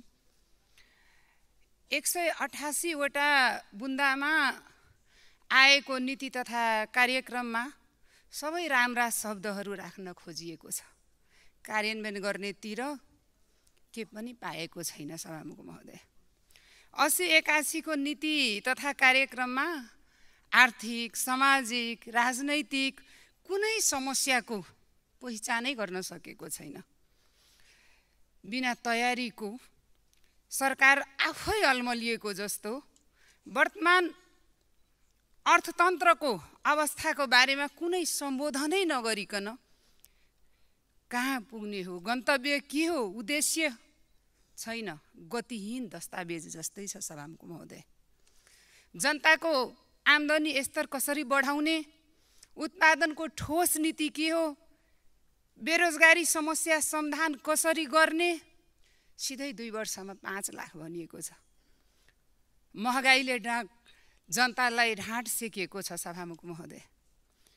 सुशासन नीतिगत भ्रष्टाचार निजी क्षेत्रको लगानी यस्ता समस्या समाधान गर्नको लागि अल्पकालीन हो कि मध्यकालीनमा हो कि र दीर्घकालीन कम्तीमा एउटा समय राखेर यस्ता समस्याहरू समाधान गर्ने उपायहरू यति अवधिभित्र लक्ष्य पुरा गर्छौ भनेर नीति कार्यक्रममा आउनु पर्थ्यो। आउन सकेन सभामुख महोदय। देश असामान्य अवस्थामा गुज्रिरहेको छ। जनतामा निराशा छाएको छ। आज सरकारले त्यो उत्साह ल्याउन सकेको छैन। प आज हामीले पाँच वर्ष सक्दै अब छठौँ वर्ष भनौँ असी एकासी भनेपछि यो पाँच वर्षका योजनाहरू कहाँ पुगे? कति कार्यान्वयन भयो? कति हामी गर्न सक्यौँ? कति हामी गर्न सकेका छैनौँ? त्यो कुराहरूको केही लेखाजोखा गर्न सकेको छैन। सभामुख महोदय सोह्र योजनाको कुरा गरेछ पन्ध्र योजनाको आधारमा जुन यो नीति तथा कार्यक्रम आउनु पर्थ्यो कहीँ पनि उल्लेख छैन। सभामुख महोदय केही बुन्दामा मैले यहाँ संशोधन राखेको छु। बुन्दा नम्बर छप्पनमा लामो समयदेखि बन्द तथा रुगन अवस्थामा रहेको उद्योगहरू सञ्चालन खारेजी एकीकरण वा आवश्यकता व्यवस्थापनको विषयमा अध्ययन गर्ने एक उच्च स्तरीय समिति गठन गरिने भनेको छ। कस्तो अलमा ल्याउने कुरा गरे हो यो? पुनः सञ्चालनको सम्भावना रहेको हेठौडा कपडा उद्योग गोरखकाली रबर उद्योग र बुटवल धागो कारखानालाई सञ्चालनमा ल्याइनेछ मात्रै उल्लेख गरिएको छ सभामुख महोदय। तर बाँकी बन्द भएका महत्त्वपूर्ण उद्योगहरू सञ्चालनमा ल्याउनु पर्ने आवश्यकता छ कि छैन? जनकपुर चुरोट कारखाना कृषि औजार कारखाना सिमरा चिम चिनी मिल वीरगञ्ज एस्टर्न चिनी मिल सुनसरी लगायत बन्द भएका सम्पूर्ण उद्योगहरू यही वर्षमा सञ्चालनमा ल्याउँछु भनेर किटानसहित नीति तथा कार्यक्रममा उल्लेख गर्नु पर्थ्यो। अघिल्लो वर्षको नीति तथा कार्यक्रममा पनि उल्लेख गरिएको थियो सभामुख महोदय। सरकारी स्वामित्वमा रहेका बन्द तथा रुगन उद्योग एवं संस्थानहरूलाई निजी क्षेत्र समेतको सहभागितामा उपयुक्त व्यवस्थापन विधि प्रक्रियाबाट अधिकतम क्षमतामा पुनः सञ्चालन गरिनेछ। तर ठोस नीति नआएको कारणले बन्द भएका सबै उद्योगहरू सञ्चालनमा आउन सकेको छैन। त्यसैले बन्द भएका सबै उद्योगहरू यसै वर्षदेखि कार्यान्वयनमा गर्छौँ सञ्चालनमा ल्याउँछौँ त्यो नभनेर फेरि समिति गठन गर्छौँ भन्नेतिर अलमा ल्याउने कामहरू भएको छ। यही वर्ष गर्छु भनेर समावेश गरियोस् नीति तथा कार्यक्रममा भन्न चाहन्छु। सभामुख महोदय सबभन्दा बढी राजस्व दिने हजारौँको सङ्ख्यामा रोजगारी दिने जनकपुर चुरोट कारखाना बाहिरको हल्ला अनुसार सूर्य टोबाइको कम्पनीलाई स्थापित गर्न आर्थिक सेटिङको आधारमा जचुकाली बन्द गर्ने निर्णय गरेको थियो र बन्द छ। यसको छानबिन गरी पुनः सञ्चालनमा ल्याउन नीति तथा कार्यक्रममा समावेश गरियोस् भन्ने जोरदार माग गर्न चाहन्छु सभामुख महोदय। यो सञ्चालन बन्द भएदेखिको लाखौँ लाखको सङ्ख्यामा युवाहरू आज खाडी देशमा जानु परेको अवस्था छ। बेरोजगारीको समस्या छ सभामुख महोदय। त्यसैले यसमा चाहिँ विशेष ध्यान दिन हुन आग्रह गर्न चाहन्छु। सभामुख महोदय त्यस्तै गरेर मैले चुरेको कुरा अलि गर्न चाहन्छु।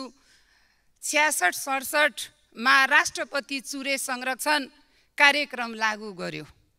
दुई हजार एकहत्तरमा चुरे तराई मधेस संरक्षण विकास समिति बन्यो। तर अहिलेको नीति तथा कार्यक्रममा तराई मधेसको जीवनधाराको रूपमा रहेको चुरे तराई मधेस संरक्षण विकास समिति र राष्ट्रिय गौरवको आयोजनाको रूपमा रहेको राष्ट्रपति चुरे संरक्षण कार्यक्रमको नीति तथा कार्यक्रममा उल्लेख उल्लेख नै समेत नहुनु कति दुःखदायी छ सभामुख महोदय। तर्सत राष्ट्रपति चुरे तराई मधेस संरक्षण विकास समितिलाई थप सुदृढ र व्यवस्थित बनाई नीति तथा कार्यक्रममा समेटिनुपर्छ।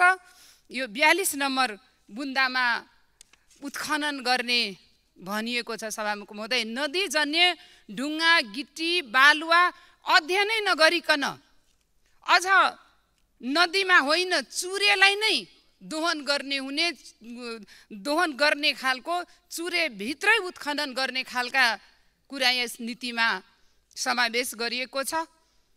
पहिला पनि नदीहरूलाई व्यवस्थित गर्ने भनेर आएको थियो यहाँहरू सबैलाई स्मरणै होला। ज्यान पनि गुमाउनु परेको थियो। त्यसैले मैले यो सम्मानित सदनमा तराई मधेसलाई मरुभूमि बनाउन पाउँदैन तराई मधेसलाई मरुभूमि बनाउनु हुँदैन चुरे संरक्षण गर्न जुन सरकारले उदेश उदासीनता देखिएको छ यसलाई सच्याएर विशेष खालका अझ सुदृढ गरेर र चुरेलाई संरक्षण गर्नुपर्छ भन्न चाहन्छु।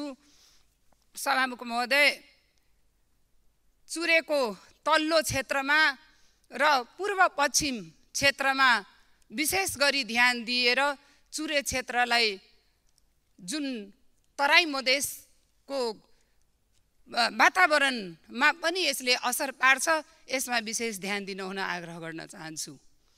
अघिल्लो वर्षको नीति तथा कार्यक्रममा पनि जनकपुर धामको ऐतिहासिक जानकी मन्दिरलाई विश्व सम्पदा सूचीमा समावेश गरिएको थियो।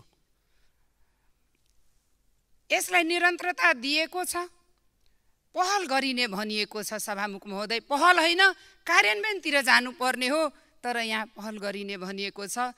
यसलाई अझ अझ यो निरन्तरता दिएकोमा म धन्यवाद दिन चाहन्छु र यसलाई कार्यान्वयनतिर अगाडि बढ्न हुन अनुरोध गर्न चाहन्छु।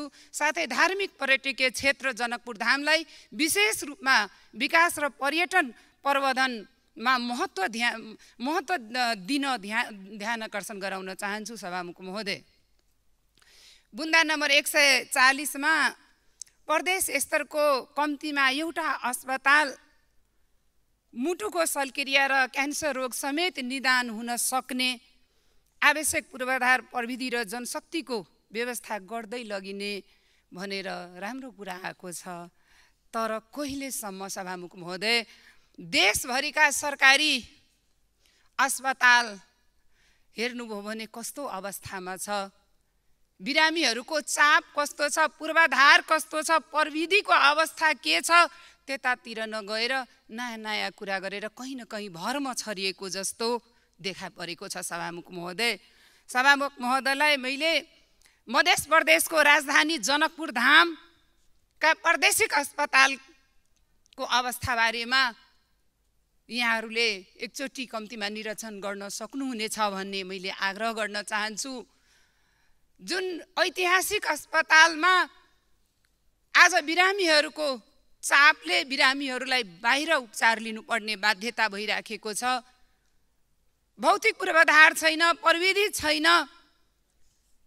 त्यसले गरेर यसमा विशेष ध्यान पुगोस् भने मैले सभामुख मार्फत सरकारलाई ध्यान आकर्षण गराउन गराउन चाहन्छु। सभामुख महोदय समय पनि सकिएको छ। धेरै महत्त्वपूर्ण योजनाहरू यस नीति तथा कार्यक्रममा समावेश गरिएको छैन।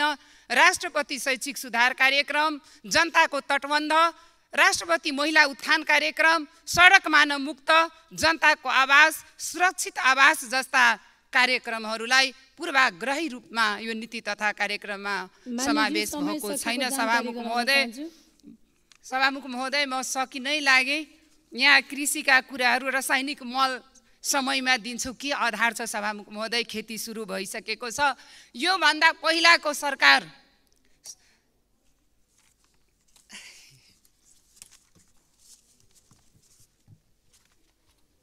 माननीय सदस्यहरू अब संशोधनकर्ता माननीय श्री भगवती चौधरीलाई आफ्नो संशोधन पेश गर्दै छलफलमा भाग लिन समय दिन्छु। समय दस मिनट। त्यसपछि माननीय श्री ज्वाला कुमारी शाह।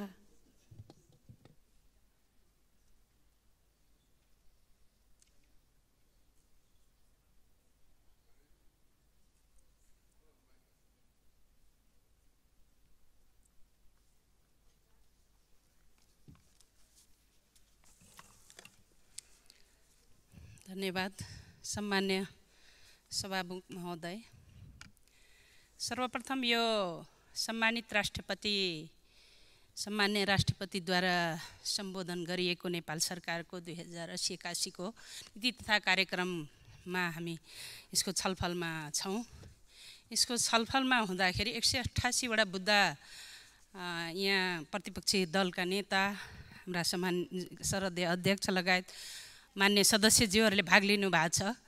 धेरैजनाले भनिसक्नु भएको छ कुरा। तर यसमा पढ्दाखेरि सरसरी बुद्धामा सुरु गरिने छ सञ्चालन गरिने छ गरिने छ गरिने छ मिलाइने छ बढाइने छ उत्साह उत्साह प्रदान गरिने छ भन्ने कुराहरू मैले कतिचोटि मान्यज्यूहरूलाई पनि कहीँ कहीँ बोलेको सुने।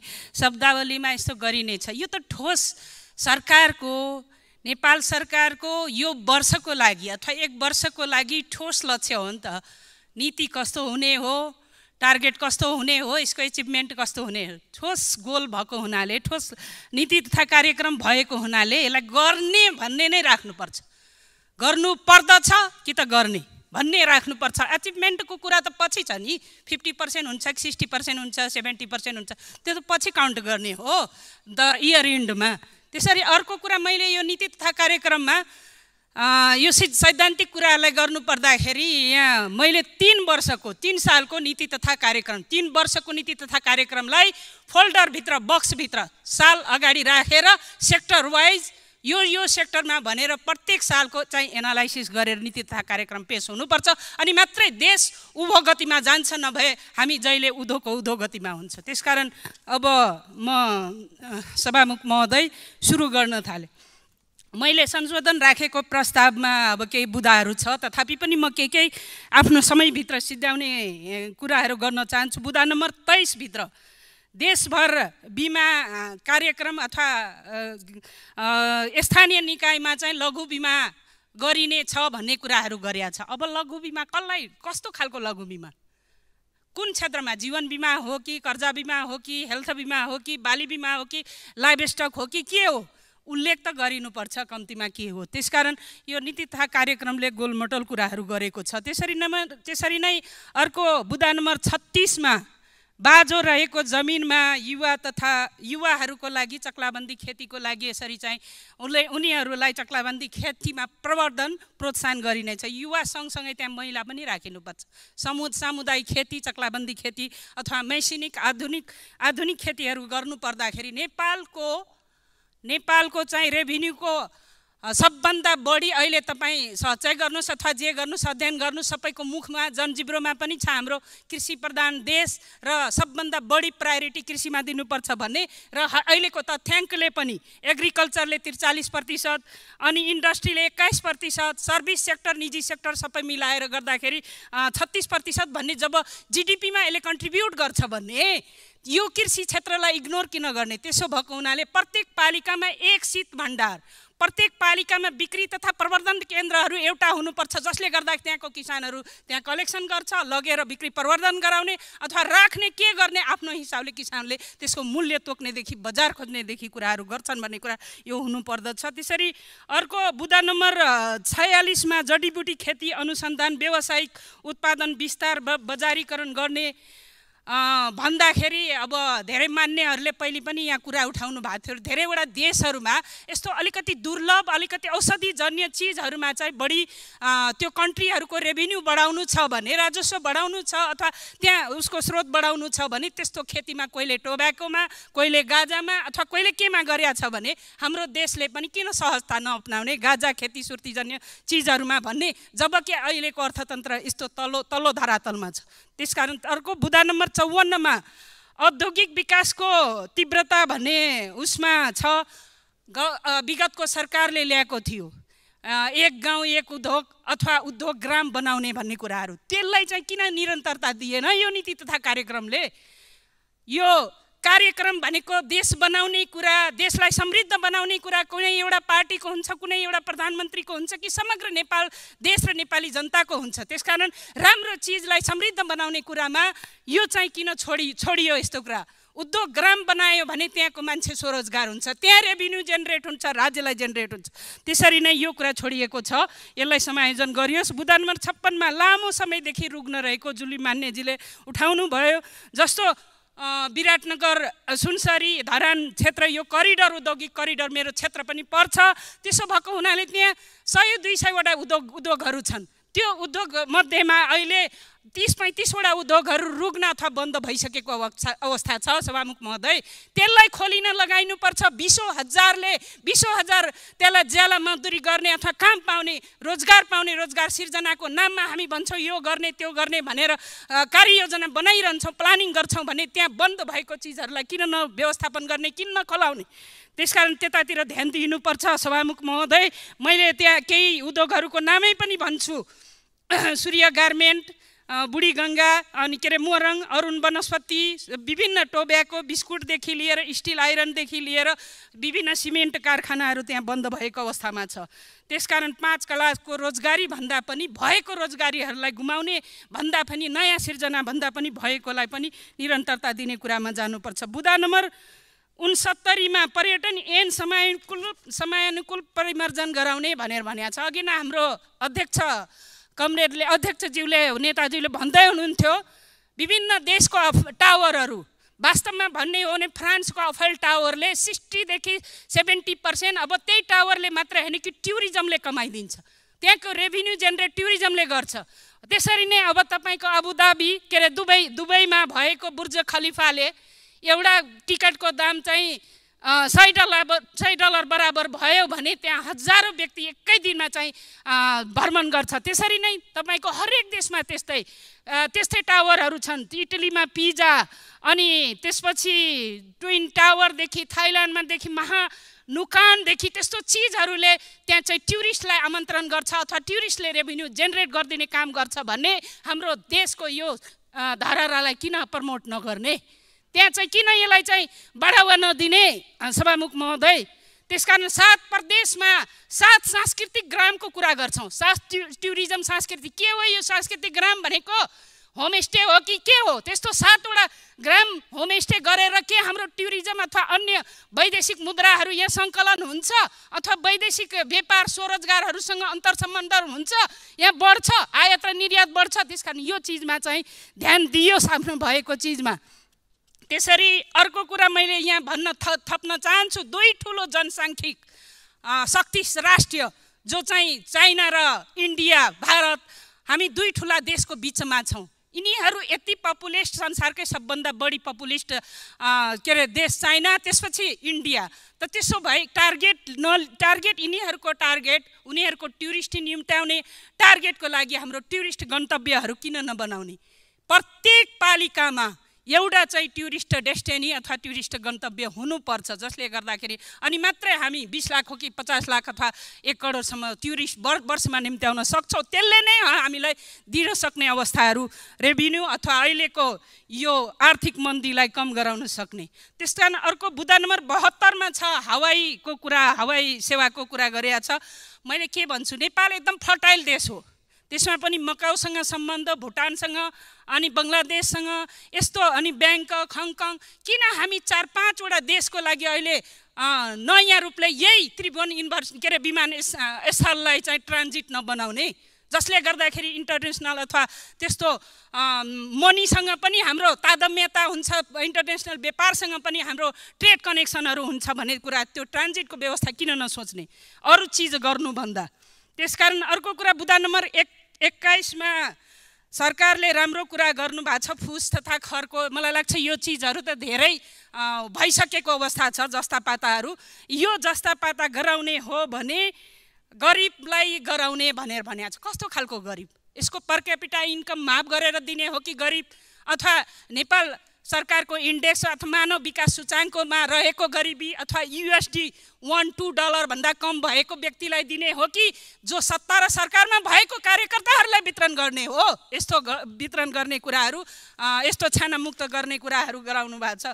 त्यस कारण सभामुख महोदय त्यसरी नै मैले अलिकति अब कुराहरू धेरै छन् समय चाहिँ जान लागेको छ। तथापि पनि बुधा नम्बर उन्नाइसमा भनिएको छ महिला विरुद्ध किशोरी विरुद्धको कुराहरू विभिन्न विभेदहरू हिंसाहरू भएको चिजमा बलात्कारको कुरा छुटेको छ त्यहाँ अट्याइनु पर्दछ। बुधा नम्बर एघार बिसमा बाल आश्रममा बाल आश्रममा कस्तो अलिकति पनिसमेन्ट पाएका अलिकति कानुनी केही रूपमा पाएका बच्चाहरू बाल आश्रम अथवा बालगृहमा जान्छन्? बालगृहमा जाँदाखेरि त्यो बच्चाहरूलाई पछि परिवारसँग मिलाउने उसको सजायहरू अथवा उसको समयहरू सकेपछि उसको परिवारसँग मिलन गराउने परिवारको निगरानीमा शिक्षा दीक्षादेखि अन्य चिज गराउन गराउने चिज चाहिँ गरिनु पर्दछ। त्यसरी अपाङ्गको कुरा छ ज्येष्ठ नागरिकको कुरा म भन्न चाहन्छु एकै मिनट समय लिएँ। सभामुख महोदय म अघि अस्ति न महिला मन्त्री हुँदाखेरि हाम्रो मन्त्रालयबाट ज्येष्ठ नागरिक विधेयकलाई पारित गरेर यो पठाइसकेको अवस्था थियो। अर्थमा के भएर अड्किसकेको अवस्था हामी चाहिँ एकै दिनमा गइहाल्यौँ। त्यस्तो अवस्था हुँदाखेरि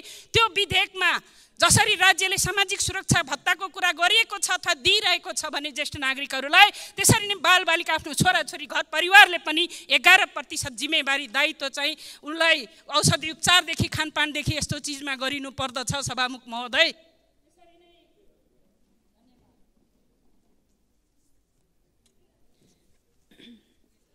माननीय सदस्यहरू अब संशोधनकर्ता माननीय श्री ज्वाला कुमारी शाहलाई आफ्नो संशोधन पेश गर्दै छलफलमा भाग लिन समय दिन्छु। समय दस मिनट। त्यसपछि माननीय श्री प्रेम सुवाल।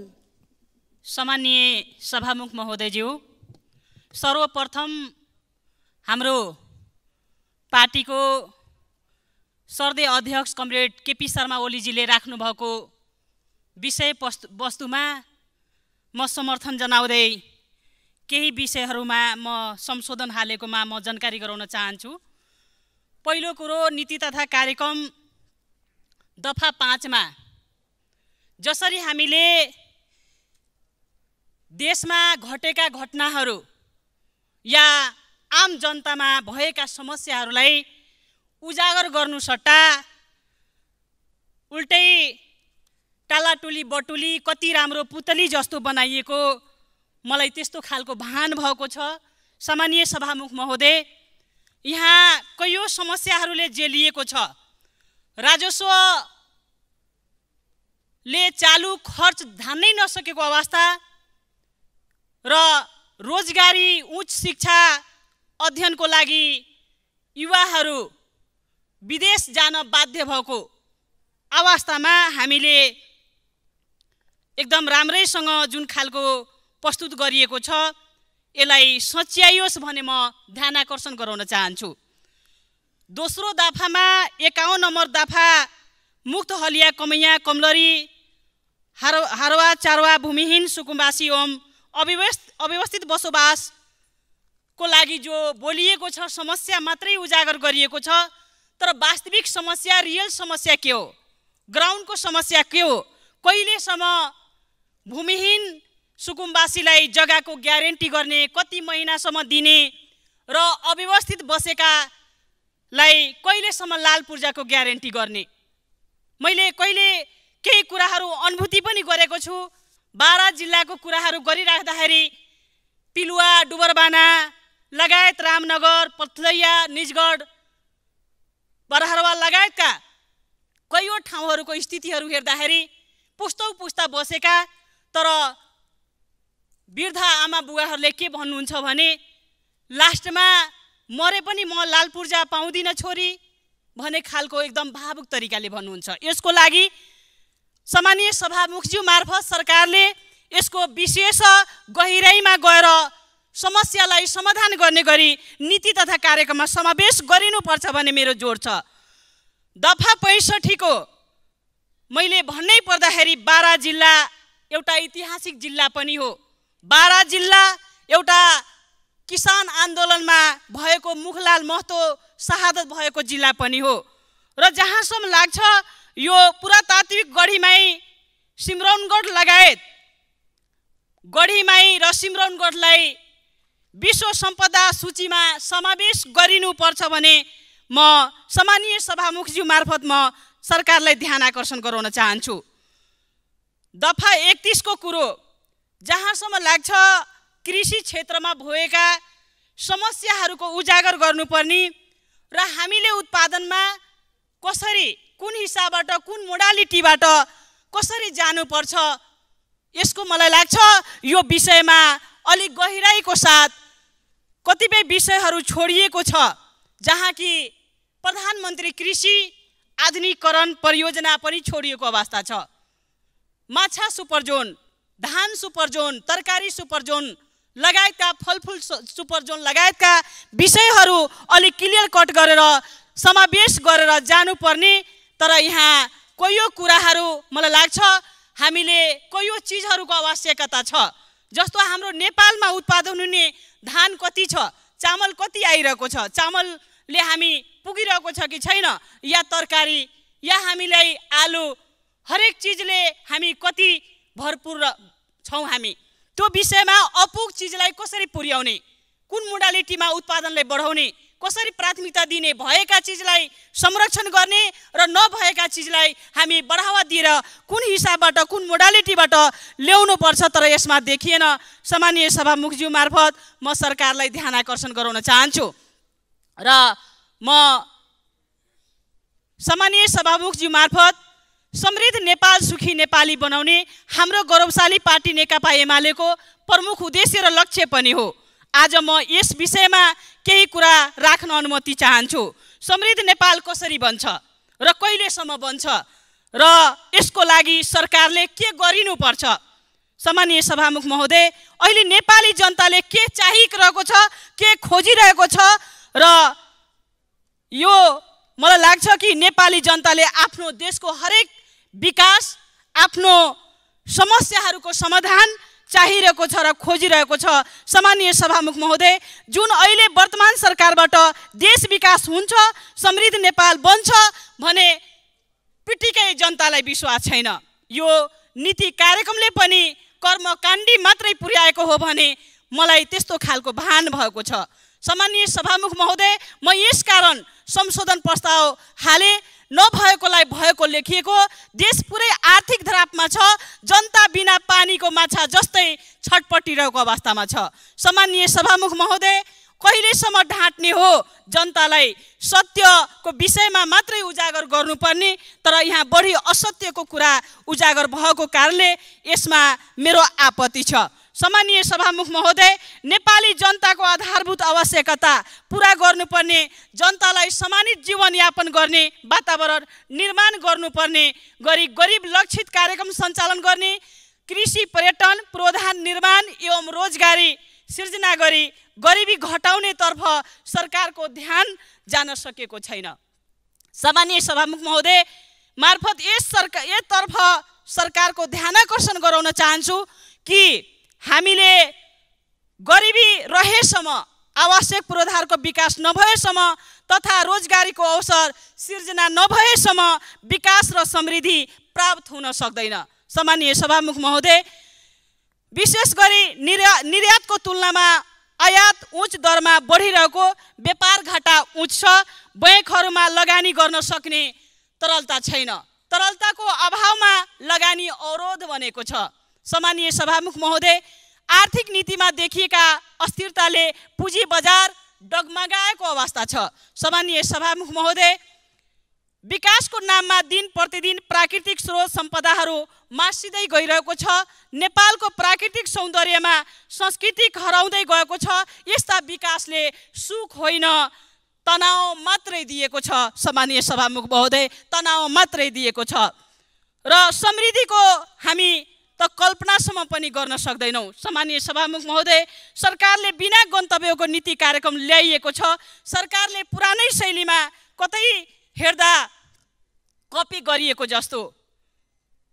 त्यसलाई म धन्यवाद पनि दिन चाहन्छु। हाम्रो विगतमा नेकपा पार्टी एमालेको सरकार हुँदा सामान्य प्रधानमन्त्री केपी शर्मा ओलीजीको पालामा विद्युतको जुन सहुलियत थियो त्यो कम्पी गर्नुभएको छ त्यो मानेमा म धन्यवाद दिन चाहन्छु। विशेष गरी यस कारण आर्थिक वृद्धिमा कमी हुनु गरिबीमा न्यूनीकरणका कार्यक्रम कार्यव्यवस्थामा ढिलाइ हुनु कल कारखाना उद्योगको माध्यमबाट दस जनशक्तिलाई रोजगारीको अवसरहरू सिर्जना गर्न नसकेको हो। के यो सरकारको कमजोरी होइन र? सामान्य सभामुख महोदय बढ्दो व्यापार घाटा र घट्दो औद्योगिक उत्पादन आवश्यक पूर्वाधारको निर्माणमा कमी नीति योजना र कार्यक्रमको प्रभावकारी कार्यान्वयन गर्न नसक्नुले पनि यो सरकार असफल भएको प्रमाणित हुन्छ। सामान्य सभामुख महोदय सुशासनप्रतिको प्रतिबद्धता असल अन्तर्राष्ट्रिय सम्बन्ध विकासप्रतिको जनताको अभिलाषा विकासमा महिला र विभिन्न जातिहरूको उल्लेख सहभागिता गराउनु पर्दछ भने म सामान्य सभामुख मार्फत सरकारलाई ध्यान आकर्षण गराउन चाहन्छु। साथै विकास निर्माणमा सहभागी हुनु निजी क्षेत्रलाई उत्साहित गराउनु यो सरकारको मुख्य काम होइन र सामान्य सभामुख महोदय। सामान्य सभामुख महोदय मार्फत समृद्धिको लक्ष्य लिएर मार मात्र समृद्धि हासिल हुन्छ भन्नु बिना परिश्रम अर्थात् भाग्य छ भन्दैमा डोकोमा दुध अडाउनु खोज्नु जस्तै हो। जनतालाई ढाट्ने वा झुक्क्याउने काम मात्र हो। सामान्य सभामुख महोदय उपभोगमा आधारित अर्थ अर्थतन्त्रलाई उत्पादनमा आधारित नभएसम्म देशभित्र रोजगारी सिर्जना हुन सक्दैन।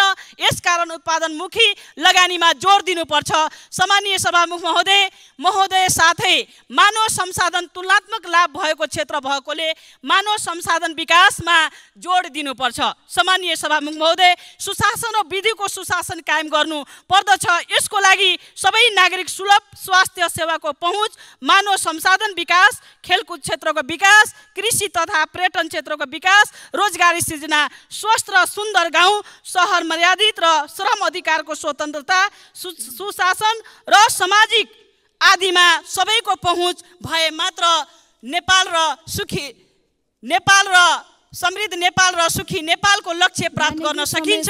सामान्य सभामुख महोदय धन्यवाद। समय सकेको जानकारी गराउन चाहन्छु माननीय सदस्यहरू अब संशोधनकर्ता मान माननीय श्री प्रेम सुवाललाई आफ्नो संशोधन पेश गर्दै छलफलमा भाग लिन समय दिन्छु। समय सात मिनट। त्यसपछि माननीय श्री दयाल बहादुर साई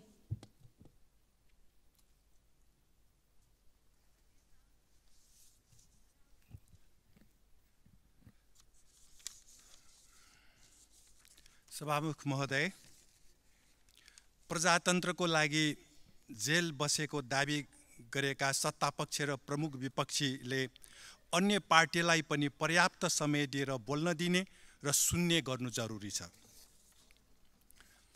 चौतिस वर्ष यता बहुदलीय व्यवस्थामा नेपाली कङ्ग्रेसको एघार एमालेको पाँच माओवादीको चार अन्य चार सरकारको नीति तथा कार्यक्रम सक्षम र विकल्प भएको भए देशको व्यापार खाता बिस खर्ब सार्वजनिक ऋण बिस खर्ब भारतबाट बिसारी भएको तरकारी दाल चामल किन्नुपर्ने र अस्सी लाख युवा एक सय एकहत्तर देशमा सस्तो ज्यामी हुनुपर्ने थिएन। अर्थतन्त्र ध्वस्त भएको यो नीति कार्यक्रमलाई म संशोधनको सार पेस गर्दछु र यो नीति कार्यक्रममा कुनै नवीनता छैन समाजवाद उन्मुख सम्बन्धी त कुनै बुदा पनि छैन त्यो शब्द मात्र छ समाजवाद उन्मुख भन्ने। सार्वजनिक पदमा बसेका र ठुल्ठुला निजी उद्योगी व्यापारीहरूको सम्पत्ति वर्षिनी सरकारलाई बुझाउन लगाइने र सार्वजनिक गर्ने गर्नु जरुरी छ। नेपाली युवालाई गोर्खा भर्तीमा पठाइए बापत राणा प्रधानमन्त्रीहरूलाई बेलायती सरकारबाट प्राप्त भएको अरबौँ रुपियाँबाट नेपाल र भारत लगायतमा तत्कालीन राणा शासकहरूले जोडेको चल अचल सम्पत्ति जफत गरी राज्य कोषमा ल्याउनुपर्छ। पञ्चायत कालदेखिका प्रधानमन्त्री मन्त्री सांसद र उच्च अधिकारीहरूको सम्पत्ति छानबिन गरी भ्रष्टाचारीहरूलाई हडैसम्मको कारवाही गर्नु जरुरी छ। सङ्घीयता विरुद्ध उठिरहेको जनआवाजलाई सम्बोधन गर्न स्थानीय तहलाई पूर्ण रूपमा विकेन्द्रीकरण र स्वायत्तता प्रदान गर्नु जरुरी छ। कर्णाली र तराईका गरिब जनताको उत्थानको लागि विशेष कार्यक्रम सञ्चालन गर्नु जरुरी छ। काठमाडौँ उपत्यकाको पुरानो बस्तीमा भूकम्पबाट क्षति भएको घर पुनर्निर्माण गर्न सहुलियत ब्याज दरको ऋण र अनुदान रकम बढाएर उपलब्ध गराउनुपर्छ र विश्व सम्पदा सूचीको सूचीलाई संरक्षण गर्न प्राथमिकता दिनुपर्छ। हेभी इक्विपमेन्ट र डिभिजन कार्यालयको सहयोग र नेपाल पूर्वाधार विकास कम्पनी मार्फत विकास निर्माणको काम अघि बढाउनुपर्छ। क र ख वर्गका ठेकेदारको अनुमति पत्र तत्काल खारेज गर्नुपर्छ। सहकारीको कार्यक्षेत्र सुरुमा वडा र पालिका स्तरमा सीमित गर्नुपर्छ। बचतकर्ताको अरबौँ रुपियाँ घोटाला गरेका सहकारी संस्थाका सञ्चालकहरूको घै घरानाबाट बचत फिर्ता गराउनु पर्छ निजी बैङ्कहरू सरकारी स्वामित्वमा ल्याउनु पर्छ निजी उद्योग वा कम्पनीको नाउँमा हडबडी भन्दा बढी जग्गा राख्न दिइएको गलत छ। तत्काल जफत गर्नुपर्छ। नेपालीले राख्न पाउने चल अचल सम्पत्तिको सीमाङ्कन गर्नुपर्छ पुँजी बजारमा विदेशी पुँजीलाई निषेध गर्नुपर्छ विदेशी पुँजीसँगै विदेशी सेना आउँछ र विदेशी सेना आयो भने अहिले मन्त्री भएकाहरूलाई नेपाली जनताले जनअदालतमा उभ्याएर सजाय दिनेछ। बजेटलाई प्रधानमन्त्री मन्त्री र सत्तापक्षका सांसदहरूको पेवा बनाउनेहरूलाई कारवाही हुनुपर्छ मन्त्रालयको योजना नै आफ्नो योजना बनाउने राष्ट्रिय योजना आयोग र नेपालको नदीनाला विदेशी एकाधिकार पुँजीलाई दिने नेपाली नेपाल लगानी बोर्डलाई अविलम्ब खारेज गर्नुपर्छ। अस्ति भर्खर अरुण चौधो अरुण चौथो भारतलाई दिएको थियो लगानी बोर्डले। जोत्नेलाई जमिन वितरण निशुल्क सिँचाइ बिउ बिजन र प्रविधिको व्यवस्था गर्नुपर्छ र आ अब असी एकासीभित्रै देशमा रासायनिक मल कारखाना स्थापना गर्नुपर्छ। निजी प्लटिङ गर्न अनुमति दिनु हुँदैन। हलिया कमैया हरुवा चरुवा भूमिहीन सुकुम्बासीहरूलाई जमिनदारको जग्गा वितरण गर्नुपर्छ। यो वर्ष वर्षा पा पचपन्न प्रतिशत कम हुने विज्ञहरूको अनुमान आएको हुनाले सरकारले आवश्यक तयारी गर्नुपर्छ। तराईको प्राणको रूपमा रहेको चुरे क्षेत्रको खनिज वस्तु दोहन पूर्ण रूपमा बन्द गर्नुपर्छ। नेपालको साल काठ भारतमा तस्करी भइरहेको नियन्त्रण गर्नुपर्छ। सरकारी नापी नक्सा र फिल्डबुकमा सार्वजनिक जङ्गल कमल पोखरी पर्ती नदी जनिएको व्यक्तिको नाममा दर्ता र बेचबिखन गरिए पनि सो जग्गा अविलम्ब सरकारी र सार्वजनिक गर्नुपर्छ। शिक्षा स्वास्थ्य निशुल्क गर्नुपर्छ। दुवाकोटमा वीर अस्पताल बनाउने हो कि होइन सरकारलाई स्पष्ट बोल्नुपर्छ। नागरिकता परिचय पत्रमै नागरिकको आवश्यक विवरण समावेश हुने व्यवस्था गरी राष्ट्रिय परिचय पत्र लगायत अन्य परिचय पत्र खारेज गर्नुपर्छ। सस्तोमा बेचेका उद्योगहरूलाई जफत गरी पुनः सरकारी स्वामित्वमा ल्याउनुपर्छ। ध्वनि धुवा रसायन प्रदूषण फैलाइरहेको भक्तपुरको औद्योगिक क्षेत्रलाई यही आबको पहिलो त्रैमासिकभित्र स्थानान्तरण गर्नुपर्छ। नेपालको ढुङ्गा खानीका ढुङ्गाहरू नेपाल भारत सीमा बन्द गर्न प्रयोग गर्नुपर्छ। नेपाली भूमि कालापानीमा सत्तरी वर्षदेखि कब्जा गरिराखेको भारतीय सेनालाई तुरन्त फिर्ता पठाउनुपर्छ। नेपाली भूमि लुम्पियाडुरामा जनगणना गर्नुपर्छ। नेपाली भूमि भारतमा पर्ने गरी तयार गरिएको नेपाल भारत स्ट्रिप नक्सा सीमा वा धर्से नक्सा खारेज गर्नुपर्छ। एक सय पैँसाठ पैँसठीवटै निर्वाचन क्षेत्रमा सहर विकास गरी प्रधानमन्त्री मन्त्री सांसद उच्च अधिकारीहरूलाई आफ्नो निर्वाचन क्षेत्रमा बसोबास गर्नै पर्ने कानुन बनाएर देशको सन्तुलित विकास गर्नुपर्छ। देश र जनतामा समर्पित आस्थाको पत्रकारितालाई जोड दिनुपर्छ। विज्ञा विज्ञापनको भाषा र प्रस्तुतिको पात्र नेपाली हुनुपर्छ। गोर्खापत्र नेपाल टेलिभिजन रेडियो नेपाल रासस लगायतलाई शासक दलहरूको एकाधिकार बनाउनेहरूलाई तत्काल कारवाही गर्नुपर्छ। ठुल्ठुला भ्रष्टाचारी नेपाली नागरिकलाई नक्कली भुटानी शरणार्थी बनाउने महिला बलात्कारपछि हत्या गर्ने मानव बेचबिखन गर्नेलाई कानुन संशोधन गरेर मृत्युदण्डको समेत सजायको व्यवस्था गर्नुपर्छ। शरणार्थीलाई भुटान फिर्ता नगरी भारतीय शासकवर्गको दबाबमा तेस्रो देशमा पठाउनेहरूलाई पनि कारवाही हुनुपर्छ। सरकारको समानान्तर बजेट खर्च गर्दै आएको राष्ट्रिय र अन्तर्राष्ट्रिय गैर सरकारी संस्थाहरूलाई पूर्ण बन्द गर्नुपर्छ।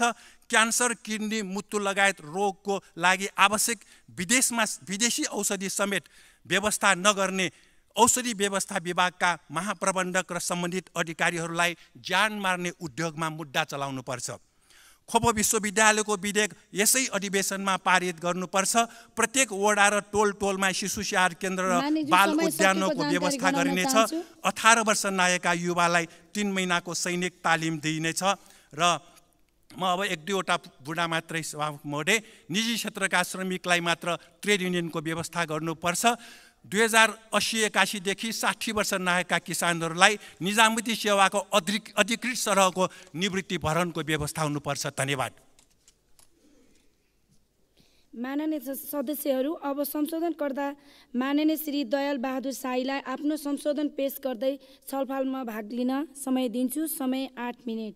त्यसपछि माननीय श्री दामोदर पौडेल बैरागी।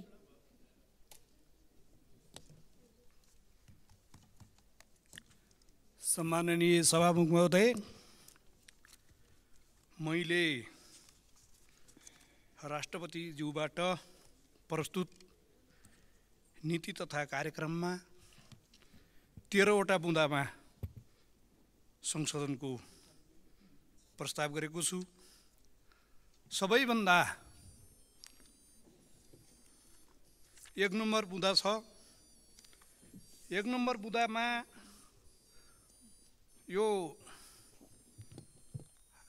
नीति तथा कार्यक्रम विशेष गरी यसको संसदीय मान्यता हुन्छ। यसमा आवाज राष्ट्रपतिज्यूको हुन्छ र शब्द यसमा प्रधानमन्त्रीज्यूको हुन्छ। त्यसो भएको हुनाले प्रधानमन्त्रीज्यूले एक नम्बर बुँदामा शहीदहरूप्रति सम्मान गर्ने क्रममा एउटा वरियता निर्धारण गरे जस्तो गर्नुभएको छ। यसमा उहाँले लोकतन्त्र र जनआन्दोलनलाई अपमान गर्नुभएको छ।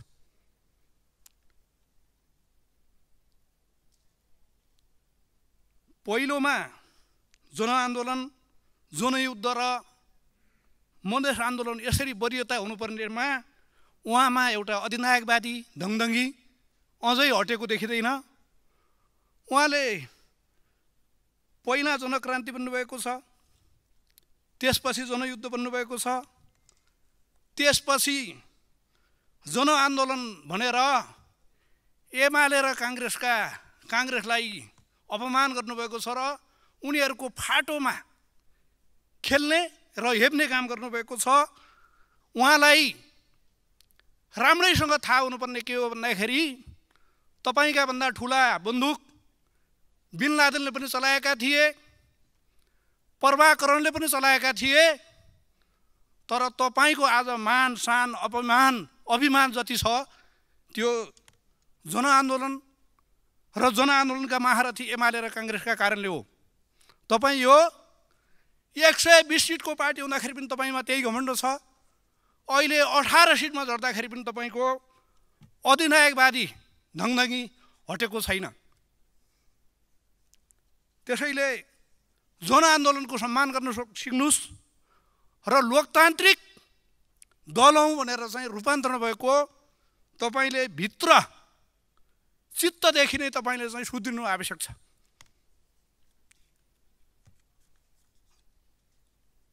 सत्ता कब्जा गर्न सफल भयो जस्तो गरी तपाईँले बोल्नुहुन्छ तपाईँका हाउभाउ थाहा हुन्छन्। तर तपाईँ कटुवालबाट भागेर हिँड्नुभएको त्यो सत्ता कब्जा सेनापति मात्रै हटाउनु भएको हो र त्यतिखेर वामदेव गौतम भन्नुभएको होइन। यो सत्ता कब्जा वामपन्थीले नगरे कसले गर्छन्?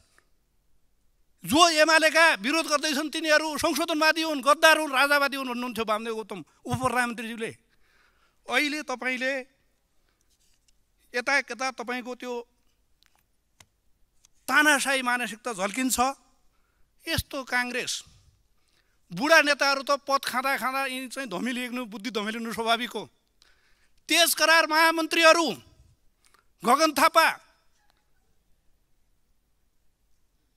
विश्वप्रकाश शर्मा सहमहामन्त्रीज्यू मेरो जिल्लाको बद्री पाण्डेजी हुनुहुन्छ। तपाईँहरूलाई अलिकता पनि सङ्कोच लागेन।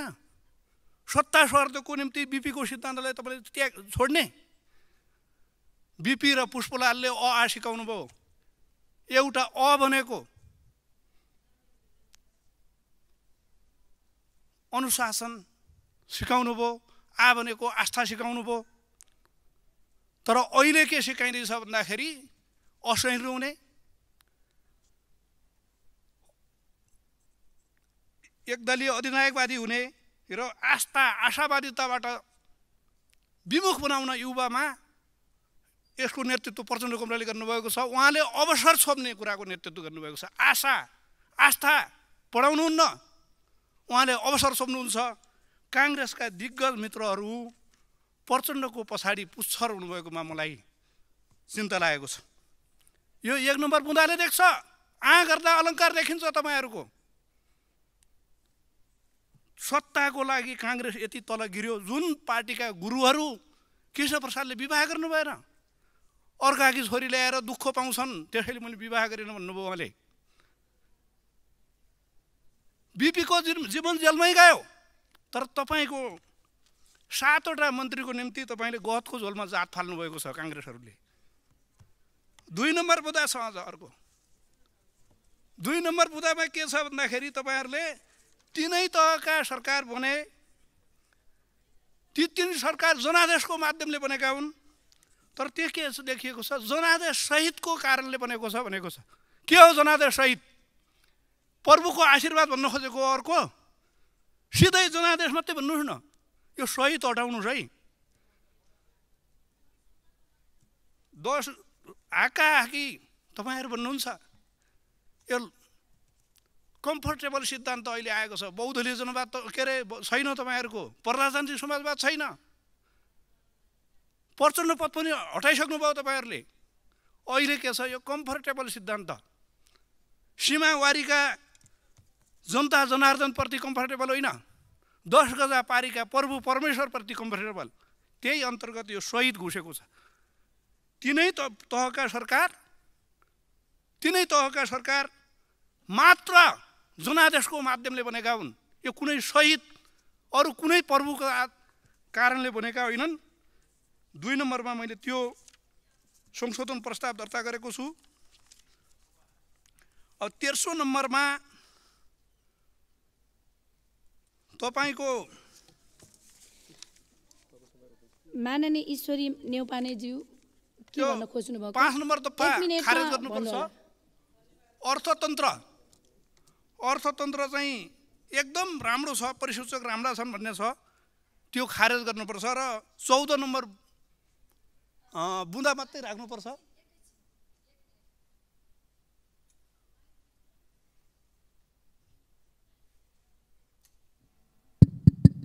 धन्यवाद सभामुखज्यू समयको लागि। हामी संसदमा छौँ सभामुखज्यू। संसदमा बोल्दै गर्दा हामीले सम्पूर्ण पार्टी बसेर नियमावली पनि बनाएका छौँ। मर्यादित भाषामा संसदमा बोल्नुपर्छ सभामुखज्यू मैले त्यो जानेको छु। भर्खरै बोलिराख्नु भएको मान्यज्यू मान्यजीले एक त संसदमा बोल्ने कुरा प्रत्येक मान्यज्यूहरूले सभामुखलाई भनेर व्यक्तिलाई भनिँदैन सभामुखलाई नै हामीले भन्नुपर्ने हुन्छ उहाँ मार्फत सबैलाई सुनाउनु पर्छ। तर वर्तमान बोलिराख्नुभएका मान्यज्यूहरूले प्रत्येक हाम्रो दर्शन र विचारहरूलाई अगाडि राख्दै प्रत्येक मान्य मान्यज्यूहरूको नाम टिप्दै दर्शन पढाइराख्नु भएको छ। हामी संशोधनमा बोलिरहेका छौँ कि व्यक्ति व्यक्ति व्यक्ति र पार्टी पार्टीलाई त्यस विषयमा बोलिरहेका छौँ। उहाँले बोल्नुभएको शब्दहरू रेकर्डबाट हटाइयोस् सम्मान्य सभामुखज्यू धन्यवाद। मैले बोल्नु मिल्यो। मैले आदर अत्यन्तै आदर गर्ने मान्यज्यूको मान्यज्यू यस विषयमा ध्यान आकर्षण भएको छ। मैले अत्यन्तै आदर गर्ने मान्यज्यूको नाम लिएको हो मैले उहाँको अपमानको हिसाबले लगेको होइन। मिनट सकिएको छ यहाँले बस्नु होला।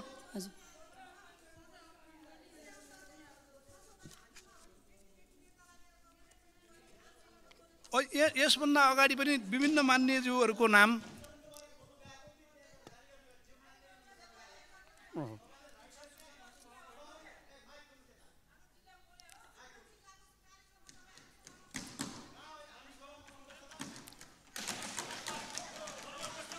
होइन।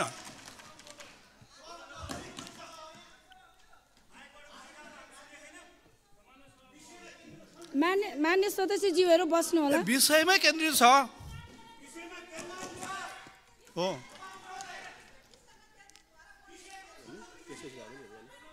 मा मान्य सदस्यज्यूहरू ध्यान आकर्षण भएको छ। मान्य सदस्यहरू बस्नु होला।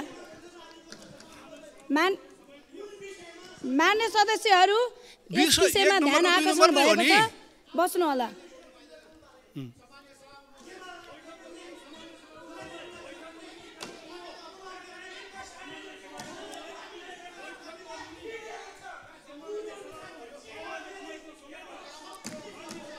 मान्य सदस्यज्यूहरू यस विषयमा ध्यान आकर्षण भएको छ।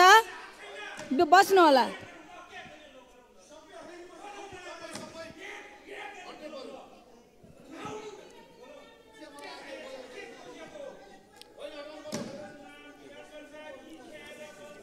मान्य सदस्यज्यूहरू यस विषयमा ध्यान आकर्षण भएको छ।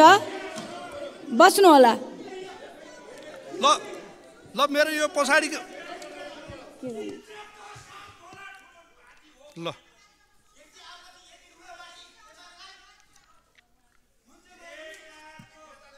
ल। ल।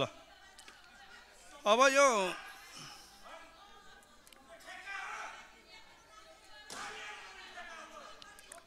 अब यो भ्रष्टाचारको अब मान्यज्यू बसिदिनुहोस् ल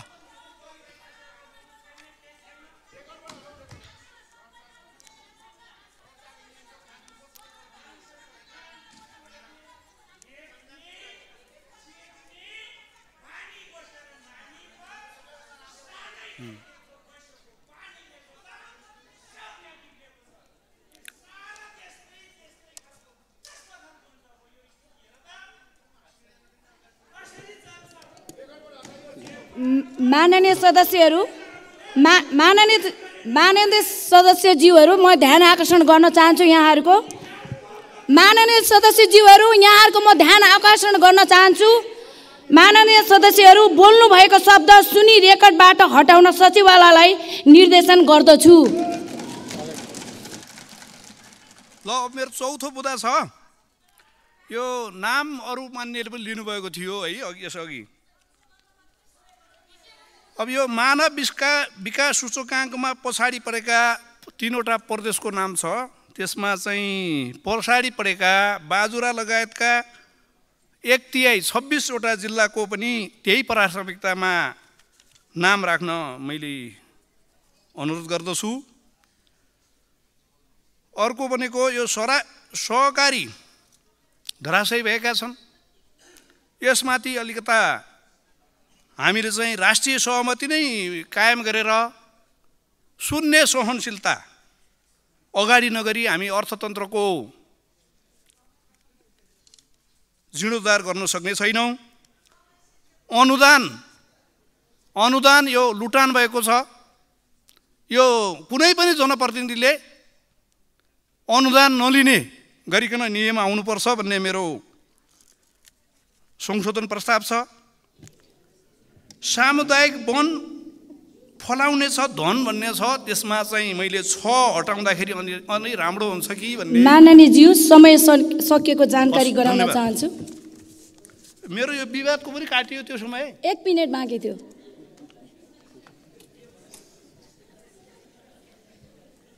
माननीय सदस्यहरू अब संशोधनकर्ता माननीय श्री दामोदर पौडेल बैरागीलाई आफ्नो संशोधन पेश गर्दै छलफलमा भाग लिन समय दिन्छु। समय आठ मिनट। त्यसपछि माननीय श्री महेश कुमार बर्तौला।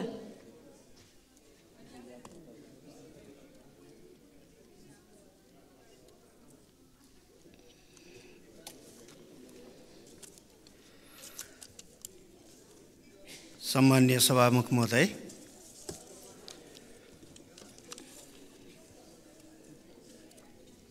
जेठ पाँच गते सम्मान्य राष्ट्रपतिज्यूबाट महोदयबाट सरकारको नीति तथा कार्यक्रम प्रस्तुत भएको छ र यो माथि हामी छलफल गरिरहेका छौँ र हाम्रा संशोधनहरू छन्। हामीले यो बिचमा केही भनाइहरू सुनेका छौँ। उप प्रधानमन्त्रीको जरुरी विषय प्रधानमन्त्री सम्मान्य प्रधानमन्त्रीज्यूको प्रश्न उत्तर अर्थमन्त्रीज्यूको विनियोजी विनियोजन विधेयक माथिको सिद्धान्त र प्राथमिकतामाथिको छलफल र यो नीति तथा कार्यक्रम हामीले हेऱ्यौँ। तुलना गर्दा एक आपसमा धेरै कुरा बाजिएको देखिन्छ। जब नीतिमै बाजिन्छ भने त्यसले कसरी काम गर्न सक्ला यो विषयमा हाम्रो दलको नेता पूर्व प्रधानमन्त्री केपी शर्मा ओलीले धेरै विषय राखिसक्नु भएको छ। यसमा धेरै विषय भुल्नु परेन। अब हामीले विशेष गरिकन भौतिक पूर्वाधारका क्षेत्रमा हामीले काम गर्दाखेरि बस्तीबाट सेवा लिन ओडामा पुग्दाखेरि सहज हुने खालको बाटो निर्माण गर्ने गरी हामी जान सक्यौँ भने अझै राम्रो हुन्छ। त्यसै गरी हामीले पर्यटकीय क्षेत्रहरूको विकास गर्ने दौरानमा कसैको नाम लिने कसैको नाम नलिने र कतिपय मन्त्रीहरूका वरिपरिका क्षेत्रहरूलाई प्राथमिकता दिएको जस्तो यहाँ देखिन्छ। त्यो नगरिकन सबै क्षेत्रलाई हामीले ध्यान दिनुपर्ने हुन्छ। जस्तै मैले भन्नुपर्दा कास्कीको Annapurna base camp Machhapuchhre base camp Mardi Himal Panchase जस्ता महत्त्वपूर्ण क्षेत्रहरू छन्। बिन्दवासिनीदेखि मर्दी हिमाल हुँदै हेम्जाको सुतेका बुद्धसम्म आइपुग्ने पर्यटकीय मार्ग छ। त्यसै गरी फेवातालदेखि सुरु भएर कास्कीकोट हुँदै पञ्चासे हुँदै डेबिट फलमा निस्कने अर्को बाटो छ। त्यसै गरी अहिले हामीले अर्को एउटा प्रस्ताव गरेका छौँ बागलुङको ढोरपाटनदेखि म्याग्दी मुस्ताङ मनाङ कास्की गोर्खा हुँदै आरुघाटसम्म पुग्ने अर्को एउटा चाहिँ आदिवासीहरूको यो ट्रेकिङ रुट बनाउनुपर्छ भन्नेमा पनि हामी छौँ। यसरी हामी लागि परेका छौँ। शिक्षा र स्वास्थ्यमा व्यापार भइरहेको छ। यो व्यापार गर्न हुँदैन यो चाहिँ मौलिक हक हो। मौलिक हकमाथि नै व्यापार भएको छ। सामाजिक न्याय खलबलिएको छ। त्यसैले यो कुरालाई हामीले ध्यान दिन जरुरी छ। सरकारले कत्ता भ्रष्टाचारको नाम र मिटर ब्याजको नाम लिएर अहिले चर्को चर्को ब्याज खाए जस्तो गरेर उफ्रेको देखिन्छ। परिणाम तर परिणाम के आउने हो थाहा छैन। अहिले बजारमा हेर्दा धेरै व्यापारीहरू आत्तिएका छन्। धेरैले यसरी सापट्टि पैसा लिएका छन्। अब हुने के हो भन्ने त्रास भइरहेको छ। त्यसको चाहिँ सरकारले कसरी निदान गर्ने भन्नेतर्फ सरकारको ध्यान छैन। खालि सानो कुरा गर्ने त्यसपछि ब्रुक ब्रुक उफ्रेर धेरै काम गरियो जस्तो शताब्दी नै हामीले लियौँ जस्तो गरेर चाहिँ उफ्रेको देखिन्छ। योबाट सरकार मुक्त हुनुपर्छ र यो नीति तथा कार्यक्रम मुक्त भएको देखिँदैन। त्यसैले म अब संशोधनका विषयहरू यहाँ राख्न चाहन्छु। यो तिस नम्बरमा भनिएको छ बुँदा नम्बर तिसमा। यो राष्ट्रिय योजना आयोगलाई हामीले व्यवस्थित गर्नेछौँ भनिएको छ। यसमा बरु त्योभन्दा नयाँ ऐन ल्याएर हामी सुदृढ गर्नेछौँ। यो राष्ट्रिय योजना आयोग चाहिँ जनताले ल्याएका योजनाहरू तुरुन्तै एक्सेप्ट गर्न सक्ने खालको बनाउनेछौँ र त्यो चाहिँ अरू बाटोबाट होइन। सिफारिस गरेका योजनाहरू पालिकाले प्रदेशले सांसदहरूले सिफारिस गरेका योजनाहरू पर्ने खालको र राष्ट्रिय योजना आयोगले छनौट गर्न पाउने खालको वातावरण बनाउने गरी कानुन आउनुपर्छ कानुन ल्याउँछौँ भनेर राखियो भने अझ सहिलो होला। नत्र भने धेरै मेरै क्षेत्रको नयाँ पुल राजमार्ग अस्पताल हराएको छ तिन वर्षदेखि। सरकारले घोषणा गर्यो रकम छुट्यायो त्यसपछि तपाईँको दोस्रो वर्षदेखि त्यो अस्पताल हराएको छ। यस्ता कामहरू भएका छन् त्यसैले त्यो काम हुनु हुँदैन त्यसो भएर अर्को अर्को भनेको यो प्रधानमन्त्री कृषि आधुनिकीकरण कार्यक्रम यो किन छुट्याइयो? यसले जनताको चाहिँ नजिक रहेर अनिवार्य काम गर्नुपर्ने। अनुदान लिएकाले अनिदा अनिवार्य काम गर्नुपर्ने। यहाँ त अहिले अनुदान त अर्काको गोठ देखाएर अर्काको खेतबारी देखाएर अनुदान खानेहरूलाई चाहिँ अनुदान वर्षेनी थप्ने गरेको देखिएको छ। त्यो बारेमा उजुरी पनि परेको छ तर सुनवाई भएको छैन। यो कुरालाई हामीले ध्यान दिन पर्यो र त्यो प्रधानमन्त्री कृषि आधुनिकीकरण कार्यक्रम भन्नेलाई समावेश गरेर लैजानु पर्यो। अर्को भनेको यो योभन्दा अगाडि सुकुम्बासी त सुकुम्बासी होस् भनेर छातीमा चाहिँ ढाप लगाइदिए जस्तो गरेर परिचय पत्र दिएको थियो। सुकुम्बासी समस्या समाधान गर्नुभन्दा। अहिले फेरि यो गरिबको परिचय पत्र गरिब घरको परिचय पत्र भनेर यो आयो। त्यस्तो होइन। राज्यले सहुलियत दिने परिचय पत्र बनाउन कसलाई हो सहुलियत दिने? स्थानीय तहले त्यसको किटान गर्छ को हो गरिब भनेर र राष्ट्रले चाहिँ त्यसलाई सहुलियत राज्यबाट प्रदान गरिने सहुलियतका लागि यो राज्य सहुलियत परिचय पत्र भनेर राखियो भने त्यो अझ राम्रो र उत्तम हुने देखिन्छ। त्यसै गरेर यो रणनीतिक आयोजनाहरूको चाहिँ विषयमा कुरा गर्दा एउटा महत्त्वपूर्ण आयोजना छुटेको देखियो त्यहाँ। यो निर्माणाधीन काठमाडौँदेखि निज रसुवागढी जाने चाहिँ सडक निर्माण कार्य यसै वर्ष सकिनेछ भनेर लक्ष्य राख्नु पऱ्यो किनभने त्यो त्यो मार्गले हाम्रो धेरै उपलब्धि प्राप्त गर्ने मार्ग हो। त्यसै गरी अर्को यो एक सय दुईमा भनिएको छ एक पालिका एक हुलाक अवधारणा भने छ यसलाई चाहिँ हामीले के गर्नु पर्यो भने यो हुलाकहरू हाम्रोमा छन् पालिकामा हुलाकहरू छन् तिनलाई डिजिटलाइज गर्नु पर्यो र डिजिटल सेवा दिने केन्द्रको रूपमा विकास गर्नु पर्यो। सबै त्यहाँ जोडिन सक्ने गरी हामी जानु पर्यो। त्यो गर्न सकियो भने बल्ल हामीले सोचे जस्तो हुन्छ नत्र यो हुलाकलाई कता के गर्ने भनेर भन्ने खालको चाहिँ वातावरण बने जस्तो देखिन्छ। यसबाट हामी मुक्त हुन जरुरी छ। र यति विषयहरू म राख्न चाहन्छु। र यो एक घर एक धारा खानेपानीलाई अझ व्यवस्थित ढङ्गले छिटोभन्दा छिटो सम्पन्न गर्ने गरी जानुपर्ने हुन्छ भन्ने चाहिँ मलाई लागेको छ। र यति नै कुरा राखेर मेरो संशोधनलाई यहीँ टुङ्ग्याउन चाहन्छु। धन्यवाद।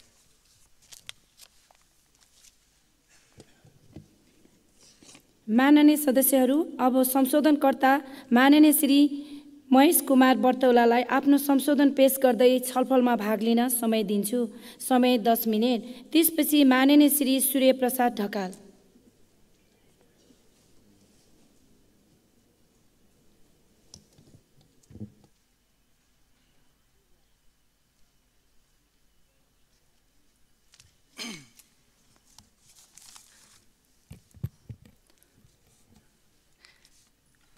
सम्माननीय सभामुख महोदय। हामी सरकारको नीति तथा कार्यक्रममाथिको छलफलमा सहभागी भइरहेका छौँ। यस नीति तथा कार्यक्रमका सन्दर्भमा हाम्रो पार्टीका श्रद्धेय अध्यक्ष संसदीय दलका नेता मान्य केपी शर्मा ओलीज्यूले समग्रतामा विषयवस्तु राखिसक्नु भएको छ। यी विषयवस्तुहरूप्रति ती तमाम सबै विषयहरूप्रति समर्थन जनाउँदै म केही सन्दर्भहरूमा मेरा केही संशोधनहरू पनि रहेका छन्। अतिरिक्त केही छलफलका विषयहरूमा जोडिन म अनुमति चाहन्छु माग्न चाहन्छु। पहिलो कुरा यो नीति तथा कार्यक्रम यो प्रत्येक दिनको बिहानको बिहान उठेर गरिने नित्य कर्म जस्तो। यस प्रकारले यो आयो। यो सम् यो यो मेरो भाषा होइन। यो नीति तथा कार्यक्रम स्वयंले बताएको विषय हो। संविधान बमोजिम आउनु पर्थ्यो आयो। यो नीति तथा कार्यक्रमले सिङ्गो देशलाई एउटा दिशाबोध गर्ने एउटा गन्तव्यतर्फ देशलाई हिँडाउन खोज्ने त्यो प्रयत्न यो नीति तथा कार्यक्रमले गरेको पाइँदैन। त्यसकारण हाम्रो संसद दलका नेता पार्टीका श्रद्धेय अध्यक्ष मान्य केपी शर्मा ओलीज्यूले यो नीति तथा कार्यक्रमको रिराइट गर्न पर्ने पुनर्लेखन गर्नका लागि उहाँले सम्माननीय सभामुख महोदय मार्फत सरकारलाई त्यो आग्रह गर्नुभयो। त्यही कुरा दोहोऱ्याउन चाहन्छु। यो नीति तथा कार्यक्रम यसले कुनै गन्तव्यतर्फ हिँड्न खोजेको दिशाबोध गर्न खोजेको त्यो पाइँदैन। यसलाई व्यवस्थित ढङ्गबाट संसदमा अहिले भइरहेका छलफल यी इत्यादिहरूलाई पनि समावेश गरेर रिराइट गरेर अगाडि बढोस्। जसले आजको अर्थतन्त्रका समग्र चुनौतीहरूलाई सङ्कटहरूलाई समाधान गर्दै अगाडि बढ्न सकोस्। बेरोजगारीको जुन प्रकारको समस्या छ त्यो हल गर्नेतर्फ अगाडि बढोस्। जुन प्रकारको हाम्रो कृषि उत्पादनमा हामी परनिर्भरता बढ्दै गइरहेको छ अर्बौँ प्रत्येक साल हाम्रो आयातको जो मात्रा बढिरहेको छ आन्तरिक उत्पादकत्व वृद्धितर्फ हामीले लानुपर्ने हुन्छ। त्यसको लागि नित्य कार्यक्रम व्यवस्थित गर्नुपर्ने। राष्ट्रको आजको यथार्थलाई सम्बोधन गरेर जानुपर्ने हुन्छ। त्यसकारण यसतर्फ म सामान्य सभामुख महोदय मार्फत सरकारको ध्यान आकर्षण गराउन चाहन्छु। यो नित्यता कार्यक्रमको सन्दर्भमा दुईवटा विषय। मान्यजीहरूले अगाडि छलफलको क्रममा पनि भन्नुभयो दस दिन अगाडि सरकारले सिद्धान्त र प्राथमिकता प्रस्तुत गर्यो। हामीले छलफलमा सहभागी भयौँ। हामीले त्यति बेला पनि भनेका थियौँ। हामी यो छलफलमा सहभागी भइरहँदाखेरि यो संसद केवल यो कर्मकाण्डी विषय मात्र नबनोस् हाम्रा सुझावहरू नीति तथा कार्यक्रमले बोकोस् हामीले भनेका थियौँ। बजेटमा त्यो सम्बोधन होस् हामीले खबरदारीका साथ विषयवस्तुहरू हामी सबै मान्यहरू जोडेका थियौँ। सात दिन दस दिन अगाडि एउटा प्राथमिकता आयो सिद्धान्त आयो। त्यसले एउटा कुरा बतायो। अर्थमन्त्रीज्यूले भन्नुभयो निराश मुद्रामा भन्नुभयो उहाँले। अर्थतन्त्र सङ्कटपूर्ण अवस्था छ सङ्कुचनको अवस्थामा छ आर्थिक वृद्धि दर असाध्यै न्यून अवस्था छ। यस्तो अवस्थामा म अर्थमन्त्री भएर अगाडि बढ्नुपर्ने सारा चुनौती छ। उहाँले आफ्नो पीडादायी उहाँले यथार्थ पनि प्रस्तुत गर्नुभयो। तर आज हामी नीति तथा कार्यक्रममाथि छलफल गर्दै गर्दा यो देशमा केही पनि भएको छैन। अर्थतन्त्र सबै सही लयमा छ अच्छा छ। असामान्य परिस्थिति छैन असाध्यै सामान्य परिस्थितिबाट हामी अगाडि बढ्दैछौँ भन्ने यो नीति तथा कार्यक्रमले बोलेको छ। तर हाम्रो तथ्याङ्कले त्यो बताउँछ कि बताउँदैन बताउँदैन। त्यसकारण सरकारले देशलाई ढाँट्ने प्रयत्न गर्यो। नीति तथा कार्यक्रम मार्फत अर्थतन्त्रको यथार्थ पक्षलाई चित्रण गर्न खोजेन जनतालाई सूचनामा गुमराह राख्ने काम गर्यो। म यस विषयमा सामान्य सभामुख महोदय मार्फत म गम्भीरताका साथ ध्यान आकर्षित गर्न चाहन्छु। राजस्व जुन प्रकारले उठेको छ चालु खर्च थेक्न सक्ने स्थिति छैन। राजस्वमा हामीले जुन प्रकारले लक्ष्य लिएको थियो साठी प्रतिशत चालु आर्थिक वर्षमा लक्ष्य लिएको साठी प्रतिशत राजस्व सङ्कलन हुने अवस्था देखिँदैन। मुलुकको यो अवस्था मन्दीको यस प्रकारले अवस्था चर्को ब्याज दरले व्यवसायीहरू निराशा कारोबारहरूमा शिथिलता यो सबै पक्षलाई टोटल्ली नजरअन्दाज गरेर असाध्य आत्मप्रशंसा गरेर आत्मरतिमा रमाउने गरी जे नित्य कार्यक्रम आएको छ यसले नागरिकहरूमा एउटा निराशा पैदा गर्यो। फेरि यो देश सरकारले ल्याएको नित्य कार्यक्रमले एक वर्ष यस मार्फत अगाडिका कयौँ वर्षहरूलाई एउटा आधार प्रदान गर्न पर्थ्यो। त्यो नसक्ने अवस्थाका कारणले गर्दा नागरिकहरूमा अब वितिक्षणा बढ्ने। यसले विद्यमान व्यवस्था शासकीय प्रबन्धहरूमा माथि माथि पनि प्रश्नहरू सिर्जना गर्ने। त्यो भए यसले निर्माण गरेको छ। त्यसकारण फेरि पनि भन्न चाहन्छु यो नित्य कार्यक्रम रिराइट गरिनुपर्छ। यो समर्थन गर्न लायक त्यस ओज गरिमा त्यो महत्त्वका साथ आएको छैन म निवेदन गर्न चाहन्छु। यसमा मैले तथापि सामान्य सभामुख महोदय मैले केही विषयहरूलाई संशोधन मार्फत पनि मैले उठाउन खोजेको छु। विशेष गरी सरकारले यति बेला प्राथमिकता दिनुपर्ने केही विषयहरू नीति तथा कार्यक्रममा ल्याउनु पर्ने विषयहरू पनि थिए। जस्तै कोरोना कालमा कोरोना बिमा बापत करिब एघार अर्ब पैसा एक लाख पचास हजार नेपाली जनताको कोरोना बिमा बापतको दाबी भुक्तानी लिनका लागि क्युमा बसेका छन् प्रतीक्षा गरेर बसेका छन् यो सरकारले कहिले दिन्छ? एघार अर्ब सरकारले पैसा नदिएका कारणले गर्दाखेरि एक लाख पचास हजार जनताले कोरोना दाबी भुक्तानी प्राप्त गर्न सकेको अवस्था छैन। सरकारको प्राथमिकता यो पर्न पर्दैन। सरकार पुरै बेखबर। कृषिमा आज सात गते सामान्य सभामुख महोदय निर्जीवन बिमा कम्पनीहरूले कृषि बिमा बापत बिमा शुल्कमा सरकारले दिएको अनुदानको भुक्तानी करिब साढे तिन अर्ब तिन अर्ब भुक्तानी नगरेका कारणले गर्दा आजको मितदेखि जेठ सात गते आजको दिनदेखि बिमा लेख कृषि बिमा लेख जारी गर्न बन्द गर्ने कार्यक्रम उहाँले घोषणा गर्नुभएको छ। त्यस बापत भुक्तानी गर्नुपर्ने पैसाहरू पनि रोकिएको अवस्था छ। सरकारको यत्रो ध्यान जान पर्दैन। सरकारको जनजीविकासँग जोडेका यी यस्ता मुद्दाहरूमा पुरै बेखबर छ। त्यसकारण यो नीति तथा कार्यक्रम अपुरो छ अपाङ्ग छ। त्यसकारण पुनर्लेखन जरुरी छ। अर्को कुरा सामान्य सभामुख महोदय मैले बजेटको प्राथमिकता र सिद्धान्तको विषय पनि मैले केही धारणाहरू राखेको थिएँ। आज हामी जुन प्रकारले कृत्रिम रासायनिक मल र विषादीको प्रयोग गरिरहेका छौँ। यसले हाम्रो माटोको उर्वरा शक्ति कृषियोगी माटोको उर्वरा शक्ति कमजोर हुँदै गएको छ। दस प्रतिशत आजकै दिनमा अनुसन्धान गर्ने हो भने कृषि विज्ञहरूले भनिरहनु भएको छ दस प्रतिशत माटोको कृषि त्यो उर्वरा शक्ति कमजोर भएको छ। हामीले यसलाई क्रमशः प्राङ्गारिक खेती प्रणालीलाई जोड्नुपर्छ। हामी श्री श्रीलङ्काले भनेको पथमा टोटल हामी जैविक कृषि कृषि प्रणालीमा होइन। तथापि पनि आज करिब सात आठ लाख मेट्रिक टन रासायनिक मल चाहिन्छ। सरकारले छुट्याएको बजेटले तिन साढे तिन लाख मेट्रिक टन रासायनिक मल आउँछ। जुन जन किसानहरूले मल नपा नपाएर जुन प्रकारको चरम एउटा चाहिँ अभाव र पीडामा हुनुहुन्छ कम्तीमा पनि यसलाई अलिकति हामीले राज्यले प्राथमिकता के दिनुपर्छ भने हामीसँग उनासाठी लाख हेक्टर वन छ त्यहाँ कुहिएर गएका पात पतिङ्गर त्यहाँका स्याउलाहरूलाई कम्तीमा पनि हामीले हाम्रो जैविक खेती प्रणालीलाई यसलाई जोड्न नेपालको आफ्नै रिसोर्सहरूलाई परिचालन गर्नका लागि एक पालिका एक प्राङ्गारिक मल उद्योग। यहाँ प्राङ्गारिक मललाई प्रोत्साहित गर्ने भनिएको छ। उद्योगै निर्माण गर्ने गरेको एउटा अनुसन्धानको प्रक्रिया वा उद्योग निर्माण गर्ने र यो प्रक्रियामा केही विज्ञहरू पनि जोडिनु भएको छ। यसलाई कम्तीमा पनि कृषि प्राङ्गारिक मललाई असी प्रतिशतसम्म किसानलाई अनुदान दिएर जाने अवस्था भयो भने रासायनिक मललाई क्रमशः न्यूनीकरणको पथमा जाने र प्राङ्गारिक मललाई अगाडि बढाउने। यसो गर्दाखेरि जैविक खेती प्रणालीलाई प्रोत्साहित हुनसक्छ।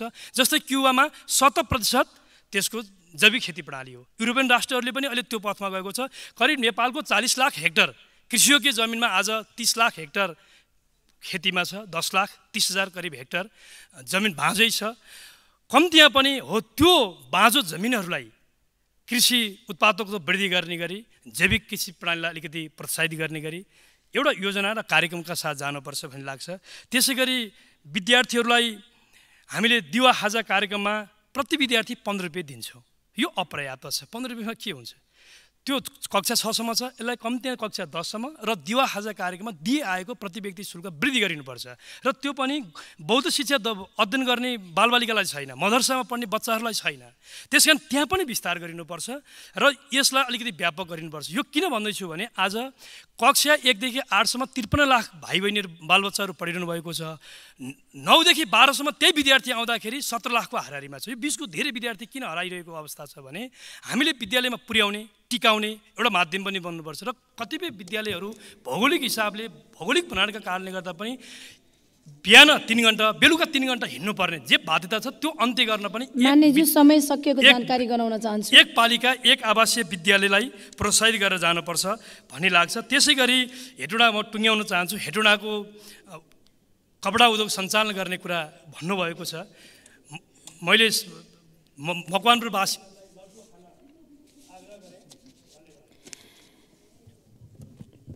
माननीय सदस्यहरू अब संशोधनकर्ता माननीय श्री सूर्य प्रसाद ढकाललाई आफ्नो संशोधन पेश गर्दै छलफलमा भाग लिन समय दिन्छु। समय आठ मिनट। त्यसपछि माननीय श्री सुमना श्रेष्ठ।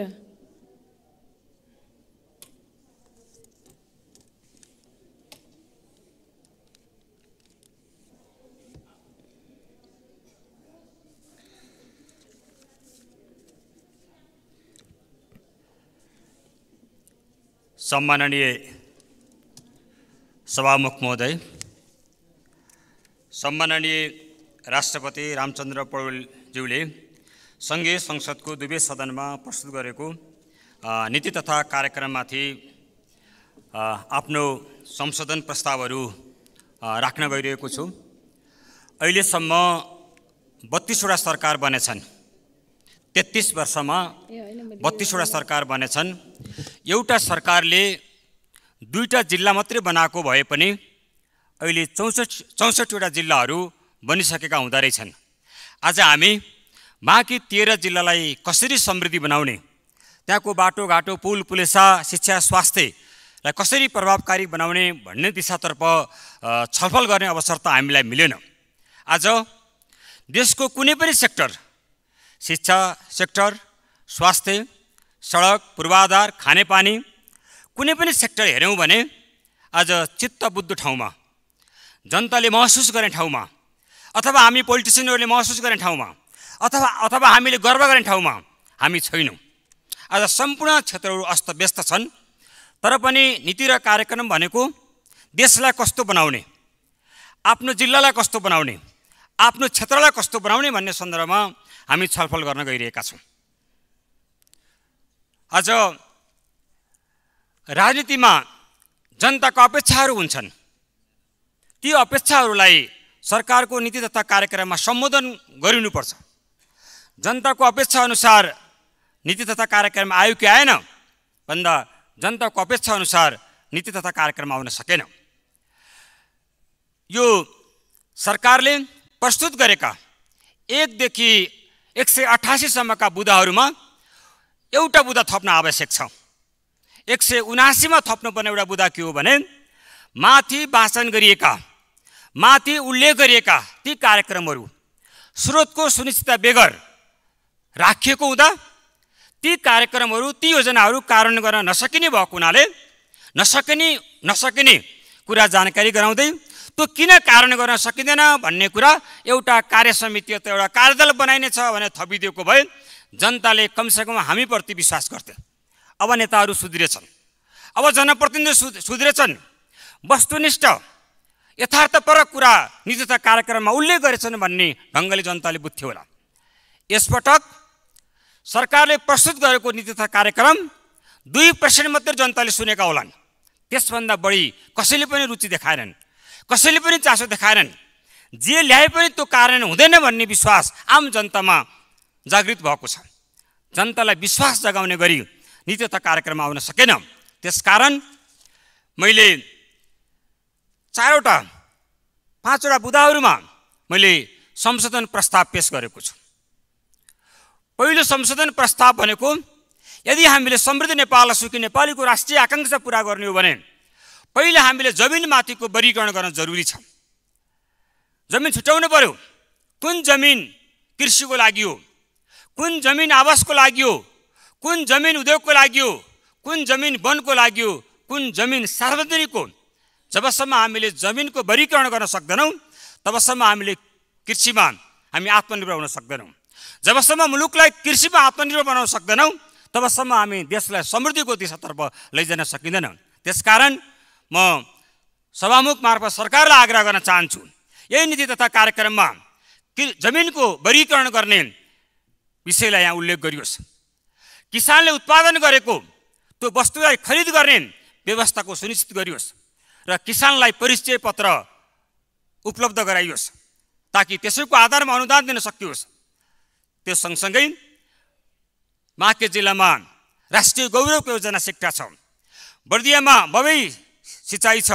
त्यसकारण बाँके बर्दिया कैलाली कञ्चनपुरलाई धान मकै र गहुँको पकेट एरियाको रूपमा हामीले घोषणा गर्न सकियो भने यी पाँचवटा जिल्लामा उत्पादन भएको धानले यी पाँचवटा जिल्लामा उत्पादन भएको गहुँले यी पाँचवटा जिल्लामा उत्पादन भएको धानले हाम्रा सतहत्तरै जिल्लाका जनताहरूलाई खाना पुग्नेछ। त्यसकारण त्यो विषयवस्तु समेट्नको निम्ति म आग्रह गर्न चाहन्छु। दोस्रो राष्ट्रिय निकुञ्ज। राष्ट्रिय निकुञ्जको नजिकको रहेको मध्यवर्ती क्षेत्र आज मानव र विकास विरोधी एउटा सूचकको रूपमा रहेको छ। आज मध्यवर्ती क्षेत्रमा जनताले बाटो बनाउन पाउँदैनन्। आज मध्यवर्ती क्षेत्रमा जनताले बिजुलीका पोलहरू गाड्न पाउँदैनन्। आज मध्यवर्ती क्षेत्रमा जनताहरूले खानेपानीका पाइपहरू विस्तार गर्न पाउँदैनन्। त्यसकारण त्यो मध्यवर्ती क्षेत्रलाई राष्ट्रिय निकुञ्जको मातहतबाट हटाएर जिल्ला वन कार्यालय डिभिजन कार्यालयको मातहतमा ल्याउनको निम्ति यो नीति तथा कार्यक्रममा समे समेटियोस् र मध्यवर्ती क्षेत्रमा बसोबास गरेका जनताहरूको एक घर पच्चिस लाख बराबरको जीवन बिमा एक गोठ आठ लाख बराबरको पशु बिमाको व्यवस्था पनि गरियोस् ताकि जङ्गली जनावरले आक्रमण गर्दा राज्यले मलाई हेर्छ राज्यबाट सेवा सुविधा प्राप्त हुन्छ भन्ने कुरा त्यहाँ स्थापित भयो भने मात्रै राष्ट्रिय निकुञ्जको संरक्षण हुनसक्छ त्यसकारण तेस्रो हामीले अथवा जनताले हामीलाई भने देश किन बनेन? हामीले भन्यौँ एक सय चार वर्षसम्मको राणा शासनका कारणले गर्दा देश बनेन। हामी राणा शासनलाई फाल्ने कुराको उद्घोष गऱ्यौँ जनताले हामीलाई साथ दियो। फेरि जनताले हामीलाई सोधे देश किन बनेन? पञ्चायती व्यवस्थाका कारणले देश बनेन। फेरि हामीले उद्घोष गऱ्यौँ नेपाली जनताले साथ दिए हामीले पञ्चायती व्यवस्थालाई फाल्यौँ। फेरि जनताले हामीलाई प्रश्न गरे देश किन बनेन? दुई सय चालिस वर्षसम्म नेपाली जनतामाथि अन्य अत्याचार उत्पन्न गर्ने सामन्तवादको नाइके राजतन्त्रका कारणले देश बनेन हामीले उद्घोष गऱ्यौँ। बैसठी त्रिसठी सालको जनआन्दोलनबाट हामीले सामन्तवादको नाइकेलाई समाप्त गऱ्यौँ। तर जनताले फेरि पनि प्रश्न गरिरहेका छन् देश किन बनेन? सभामुख महोदय अब हामी जनतालाई के भनेर उत्तर दिन्छौँ? के भनेर हामी जनतालाई उत्साहित बनाउँछौँ? त्यसकारण मैले यहाँ उठाउन खोजेको संशोधन गर्न खोजेको कुरा के हो भने हामीले सडक बनाउँदा सडक बनाउनुभन्दा अगाडि ढल खानेपानी विद्युत र टेलिकमको कुरालाई सुनिश्चित गरेर ढल बनाउने कुराको सुनिश्चित गऱ्यौँ भने आज राजनीतिक दलप्रति राजनीतिक दलका नेताहरूप्रति र जनप्रतिनिधिप्रति जुन ढङ्गको जनताको आक्रोश छ त्यो आक्रोशलाई हामीले कम गर्न सकिनेछ। त्यसकारण ढल सडक बनाउनुभन्दा अगाडि ढल सडक बनाउनुभन्दा अगाडि खानेपानी सडक बनाउनुभन्दा विद्युत र टेलिकमको व्यवस्थापन गरेर मात्रै हामीले ढल बनाउने कुराको सुनिश्चित गऱ्यौँ भने हामीले जनताका अपेक्षाहरूलाई पुरा गर्न सक्छौँ। त्यसै गरी हामीले सडक निर्माण गर्ने कुरा गर्छौँ। सडक विस्तार गर्नको निम्ति एकतिस मिटर जमिन सडककोले क्षेत्र अधिकारभित्र छ।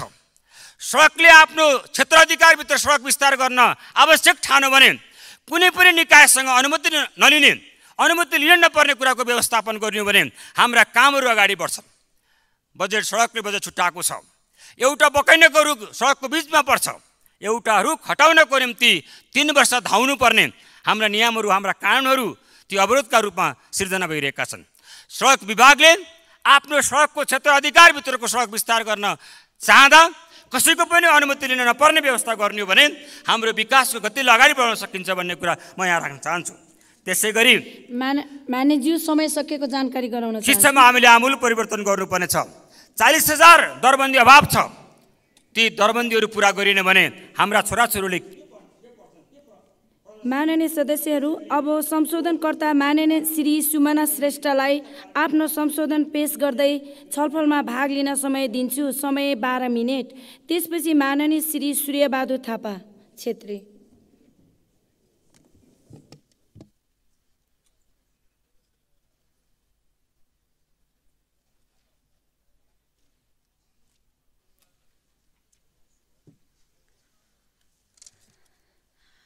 सम्मानीय सभामुख महोदय नीति तथा कार्यक्रममा हिजो संशोधनहरू राखेँ।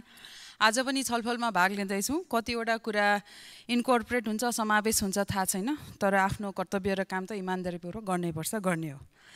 आज पनि म सभामुख मार्फत यहाँ उपस्थित सबैलाई सम्झाउन चाहन्छु कार्यतालिकाको बारेमा क्यालेन्डरको बारेमा। जुन यहीँ सदनबाट हुन्न अथवा तटस्थ बसेर अनिवार्य गरिएन।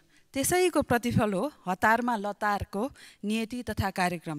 यदि तालिका अनिवार्य भएको भए अर्थ मन्त्रालय अन्तर्गत नै छ पेफा भन्ने सिस्टम।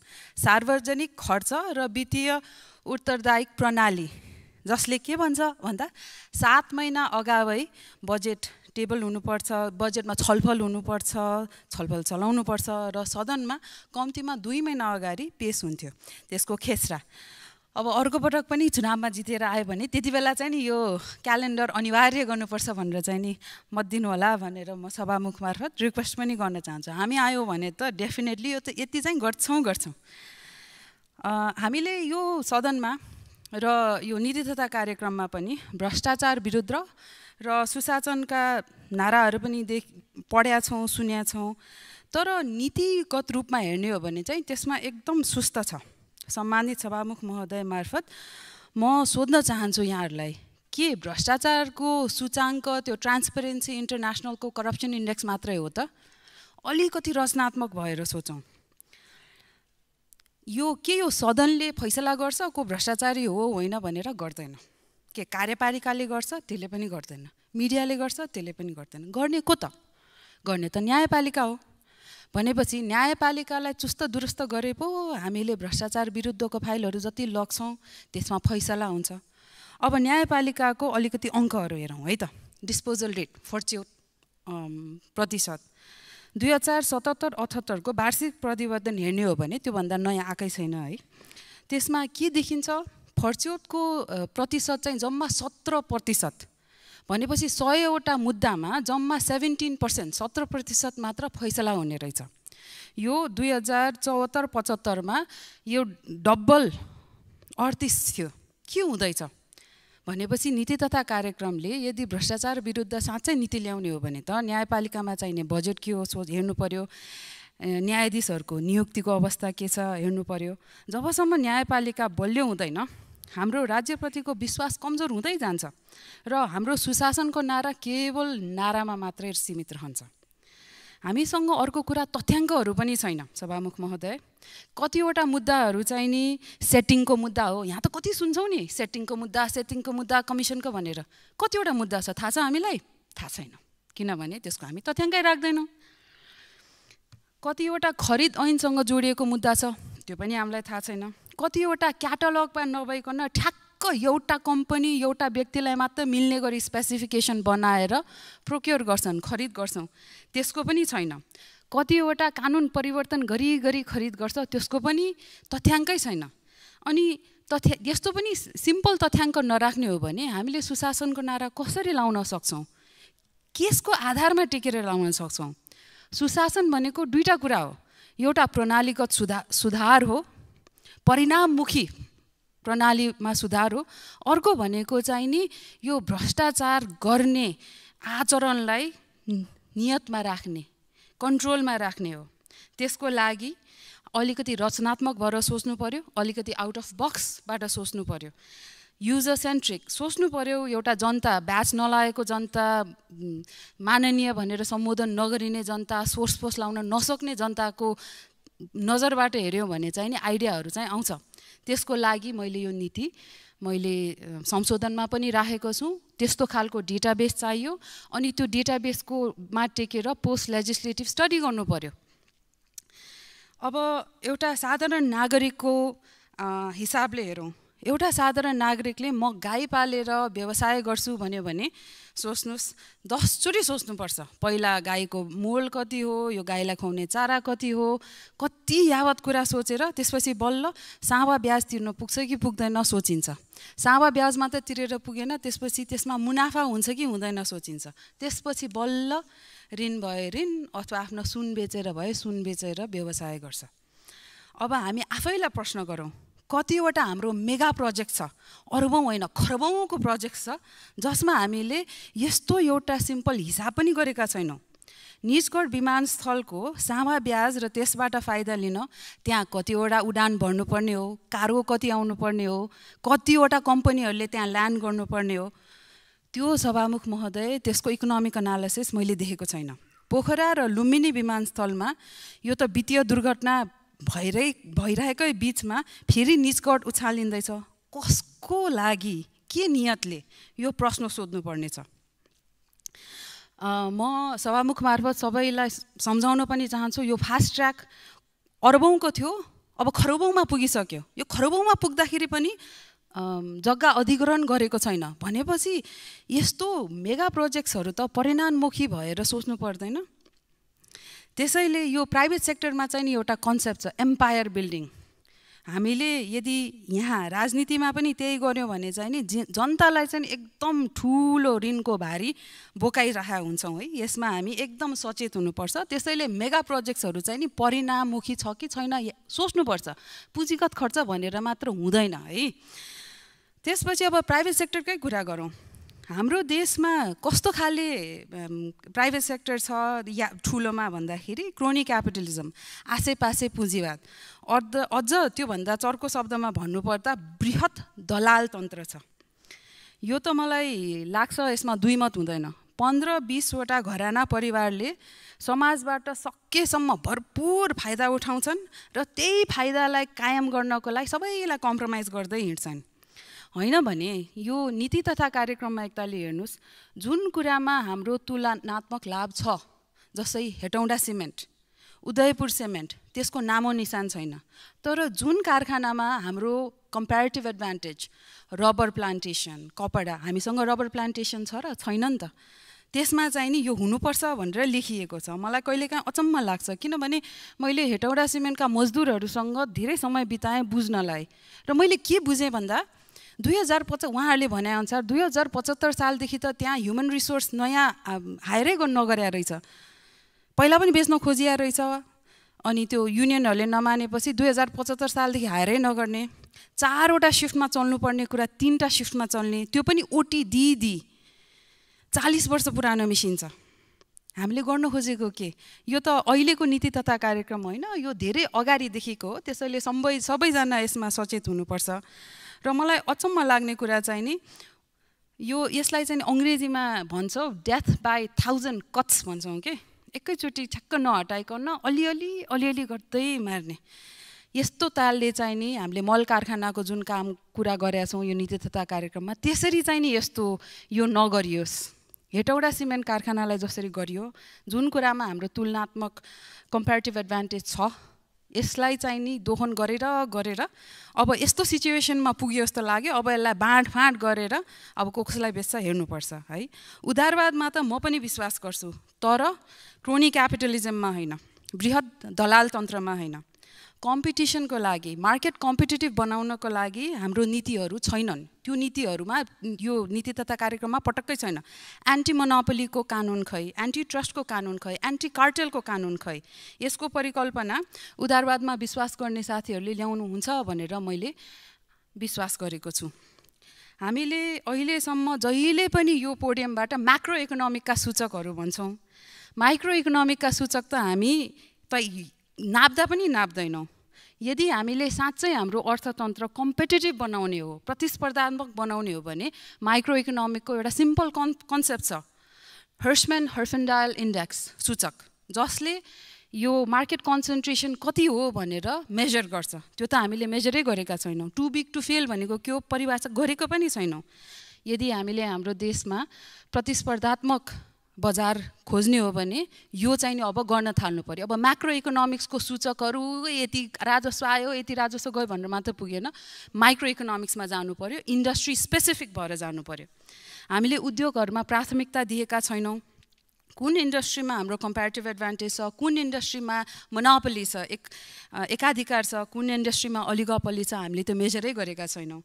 र कुन इन्डस्ट्रीलाई चाहिँ जोगाएर लानुपर्ने हो इन्फेन्ट इन्डस्ट्री प्रोटेक्सन गरेर लानुपर्ने हो त्यो पनि यो नीति तथा कार्यक्रममा समावेश गरिनु पर्यो।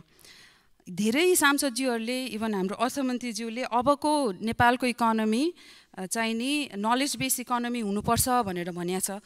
तर नलेज बेस इकोनोमीको लागि त तपाईँ हरेक नीति तथा कार्यक्रममा हेरौँ ल डिजिटल प्लेटफर्म बनाउने अहिले अठोट गरौँ न त त्यो नीति तथा कार्यक्रममा परिमार्जन गरौँ। नेपाली सफ्टवेयर डेभलपर्स नेपाली कम्पनीलाई प्राथमिकता दिन्छौँ। मुद्रणमा पनि नेपाली सफ्टवेयर कम्पनीहरूले त बनाउन सक्छ त।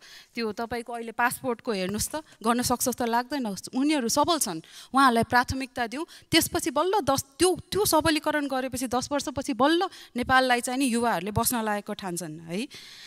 अन्त्यमा सभामुख महोदय मैले भन्नै पर्ने कुरा मैले विपन्न वर्गको स्वास्थ्यमा चालिस प्रतिशत कटौतीको कुरा सुनेको छु मन्त्रीज्यूबाट तथा नीति तथा कार्यक्रममा सरकारी गाडी चाहिँ विद्युतीय किन्ने भनेर पढेँ। होइन मैले साँच्चै नबुझेको। जहिले पनि सबैभन्दा मर्का किन कमजोर किन गरिबलाई पर्छ? रोगले त गरिब धनी हेर्दैन। अझ रोगले त हेपी हेपी जो गरिब छ उसैकोमा गएर टाँसेर बस्छ। त्यसकारण म सभामुख मार्फत सबैलाई भन्न चाहन्छु र अर्थमन्त्रीज्यूलाई म रिक्वेस्ट आग्रह पनि गर्न चाहन्छु। प्लिज अठोट गरौँ। यो आर्थिक वर्ष कुनै पनि बाहनामा गाडी नकिनौँ दुई पाङ्ग्रा नकिनौँ सरका सरकारी कामको लागि भनेर त किन्दै नकिनौँ।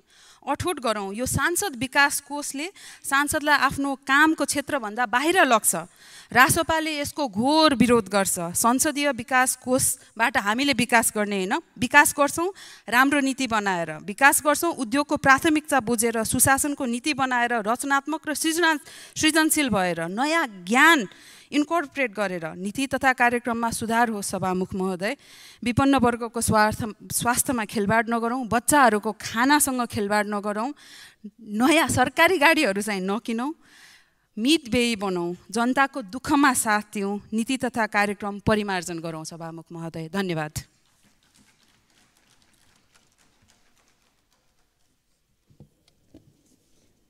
माननीय सदस्यहरू अब संशोधनकर्ता माननीय श्री सूर्यबहादुर थापा छेत्रीलाई आफ्नो संशोधन पेश गर्दै छलफलमा भाग लिन समय दिन्छु। समय दस मिनट।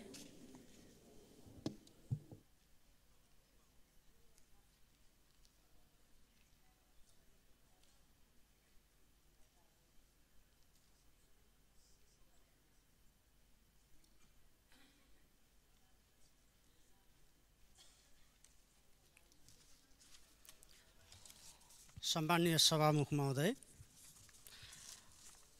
नेपाल सरकारको नीति तथा कार्यक्रममा संशोधन प्रस्ताव जुन राखिएको थियो त्यो सन्दर्भमा छलफल गर्न म यहाँ उपस्थित भएर आफ्ना धारणा राख्न चाहन्छु। सुरुमै हाम्रो पार्टीका तर्फबाट संसदीय दलका नेता श्रद्धेय अध्यक्ष केपी शर्मा ओलीज्यूले आजको छलफलमा राख्नुभएका विचारहरू धारणाहरूको समर्थन गर्दछु। र सामान्य राष्ट्रपति महोदयले आफ्नो कार्यकालको पहिलो सम्बोधन सङ्घीय संसदको दुवै सदनको संयुक्त बैठकलाई जुन गर्नुभएको छ त्यस निम्ति उहाँको अत्यन्तै अत्यास लाग्दो र कमजोर स्वास्थ्य स्थितिका बावजुद जुन सम्बोधन गर्नुभएको छ त्यसप्रति चिन्ता जाहेर गर्दै सम्बोधनका लागि विशेष धन्यवाद ज्ञापन गर्न चाहन्छु। नीति तथा कार्यक्रमका रूपमा मैले यसलाई गठबन्धनको नीतिका रूपमा बुझेको छु। त्यसो भएको हुनाले मैले त्यही सीमाभित्र आफ्ना संशोधनहरू पनि दर्ता गरेको छु। नौवटा पार्टीको गठबन्धन नौरङ्गी छ। सबैका सार सङ्ग्रह जोड्ने खिचडी पकाउने कोसिस भएको छ। जनस्तरमा भन्ने गरिएको छ यो टालाटुली बटुली कति राम्रो पुतली बनाउन खोजिएको हो कि? तर नीति कार्यक्रम अन्यलमा छ। दुविधाग्रस्त छ र समस्याग्रस्त छ। मैले यस्तो देखेँ। यसमा लय छैन सुर छैन ताल छैन केही मिलेको छैन। यस्तो लिखतका रूपमा मैले यसलाई पाएँ। जस्तो गठबन्धन त्यस्तै नीति त्यस्तै सरकार र त्यही स्वरूपको लिखत आएको छ। यसले आजको नेपाली समाजलाई आत्मविश्वासपूर्वक नेतृत्व गरेर अघि बढाउन सक्दैन। यसले आफ्नै निर्वाचन घोषणापत्र संयुक्त नीति तथा कार्यक्रमको प्रतिबद्धता पनि बिर्सेको छ। तसर्थ यसको पुनर्लेखन गर्नुपर्छ भन्ने कुरामा पनि म जोड दिन चाहन्छु। आज मुलुकले सामना गर्नु परेको आर्थिक सङ्कटलाई यसले आँखा चिम्लेर नदेखेको जस्तो अभिनय गरेको छ। म बुँदामै मेरो संशोधनमै केन्द्रित हुन चाहन्छु। बुँदा नम्बर पाँचमा यो कुरा उल्लेख छ। बुँदा नम्बर छैसठीमा गोर्खा जिल्लामा जीवन्त सङ्ग्रहालय बनाउने भनिएको अंशमा मैले प्रधानमन्त्रीको मुहार देखेँ। सुर्खेतको भेरीगङ्गामा सायद उप प्रधानमन्त्री एवं रक्षा मन्त्री देखिनुहोला। सल्यानटारको सिँचाइ योजनाको अध्ययनमा को देखिनुहुने हो? यो निर्वाचन क्षेत्र केन्द्रित यो चाहिँ एक खालको यो भडुवा नीति हो भन्ने मलाई लाग्छ। प्रधानमन्त्रीले मन्त्रीले उप प्रधानमन्त्रीले आफ्नो निर्वाचन क्षेत्र केन्द्रित गर्ने यो चाहिँ सही तरिका होइन भन्ने कुरा म सुरुमै राख्न चाहन्छु। नेपाली जनताको आवश्यकता र आकाङ्क्षालाई यसले बोक्न सकेको छैन। यो एकदमै खेतको कुरा हो। गत वर्षको नीति कार्यक्रमका जम्मा अस्सी प्रतिशत बुँदाहरू कार्यान्वयन भएनन् भन्ने एउटा अध्ययनले देखाएको छ। त्यसको बिस प्रतिशत माइल स्टोन मात्रै कार्यान्वयन भयो भनिएको छ। यो त्यस्तै प्रतिबद्धता र आश्वासनको एउटा खोक्रो पुलिन्दाका रूपमा आएको छ। वर्तमान गठन सरकार गठनसँगै सरकारले लिएका नीतिगत तथा अन्य सुधारात्मक उपायको परिणामस्वरूप सबै क्षेत्रमा सकारात्मक नतिजा देखिन थालेको प्राप्त उपलब्धिहरू उत्साहजनक रहेको विधिको शासनको अनुभूतिसँगै लोकतन्त्रप्रति जनताको भरोसा बढेको जस्ता पदावलीहरू अत्यन्तै झुटमुटपूर्ण छन्। शत प्रतिशत नक्कली र तथ्यहीन छन्। के सकारात्मक तथ्य? प्रेमनाथ आचार्यले यही उत्साहको स्थितिमा आत्महत्या गर्नुभएको? अस्ति भर्खर मत्स्य गाउँमा आफ्नो श्रीमानको उपचार गराउन नसकेकी महिलाले घरभित्रै यही कारणले मट्टितेल खनाएर पेट्रोल प्रयोग गरेर आत्महत्या गर्नुभएको हो? म यस विषयमा सरकारसँग यो झुटो दाबीका निम्ति कहाँ बहस गर्ने हो? बहसका निम्ति आह्वान गर्न चाहन्छु। टुडी खेलमा गर्ने हो कि खरीका रोग बुटमुनि बहस गर्ने हो कि म बहसका निम्ति आह्वान गर्न चाहन्छु। तथ्यसँग एक रत्ती मेल नखाने यस्तो भाषा शैली र झुटो दाबीले यो लिखत सुरुमै भ्रमपूर्ण बनेको छ। यसलाई देश आर्थिक मन्दीको चपेटामा परेर जर्जर अवस्थाबाट गुज्रिरहेको हुँदा यस्तो सङ्कटबाट निकास दिन ठोस र वस्तुपरक रूपमा अघि बढ्ने गरी यस्तो वाक्यांशले प्रतिस्थापन गर्नुपर्छ भन्ने कुरा मैले संशोधनमा राखेको छु। आर्थिक सा सामाजिक रूपान्तरणले तीव्रता पाउनु आर्थिक सामाजिक रूपान्तरणमा तीव्रता आउनुका साथै विकास निर्माणले गति लिन थालेको बुँदा नम्बर सात पढ्दा मलाई नै हाँसो लाग्यो। यो अंशले अझ दिउँसै रात पार्ने कोसिस गरेको छ। म सोध्न चाहन्छु के बुटल नारायणगढ सडक खण्डको एकदम कछुवा गतिको निर्माण कार्यले गति लिएको छ? के धर धरहरा परिसरको बेसमेन्ट निर्माण पुरा भएको छ? मेलम्चीको खानेपानी वितरण पुरा भयो? सिक्टा सिँचाइ योजनाको काममा कति गति देखियो? के हो गति लिने भनेको? कुन राष्ट्रिय स्तरको गौरवको योजनामा त्यस्तो स्थिति र गति छ? हुलाकी राजमार्ग कति अगाडि बढ्यो? मदन भण्डारी राष्ट्रिय राजमार्ग वा कुन योजनामा गति छ? सर्वत्र गतिहीनता छ मतिहीनता छ। यस्तो तथ्यमा आँखा चिम्लेर भ्रम फिजाउनुको उद्देश्य के हो? म सोध्न चाहन्छु तसर्थ यसलाई गठबन्धनको अभ्यासको थालनीदेखि अवरुद्ध हुन पुगेको विकास प्रक्रियालाई नयाँ ढङ्गले तीव्रता दिइनेछ भन्ने वाक्यांशले प्रतिस्थापन गर्न जोड दिन चाहन्छु। जनतालाई हाँकाहाँकी ढाँटेर यस्तो कुरा उल्लेख गरेकोमा म सरकारलाई जनता समक्ष माफी माग्न पनि ध्यान आकर्षण गर्न चाहन्छु। बुँदा नम्बर सन्ताउन्नमा आन्तरिक खपत र निर्यातबाट बचत हुने बिजुली सहुलियत दरमा उपलब्ध गराई उद्योगको प्रतिस्पर्धा प्रतिस्पर्धी क्षमता अभिवृद्धि गरिने भनिएको रहेछ। यस्तो उल्टो मती यस्तो उल्टो विश्लेषण।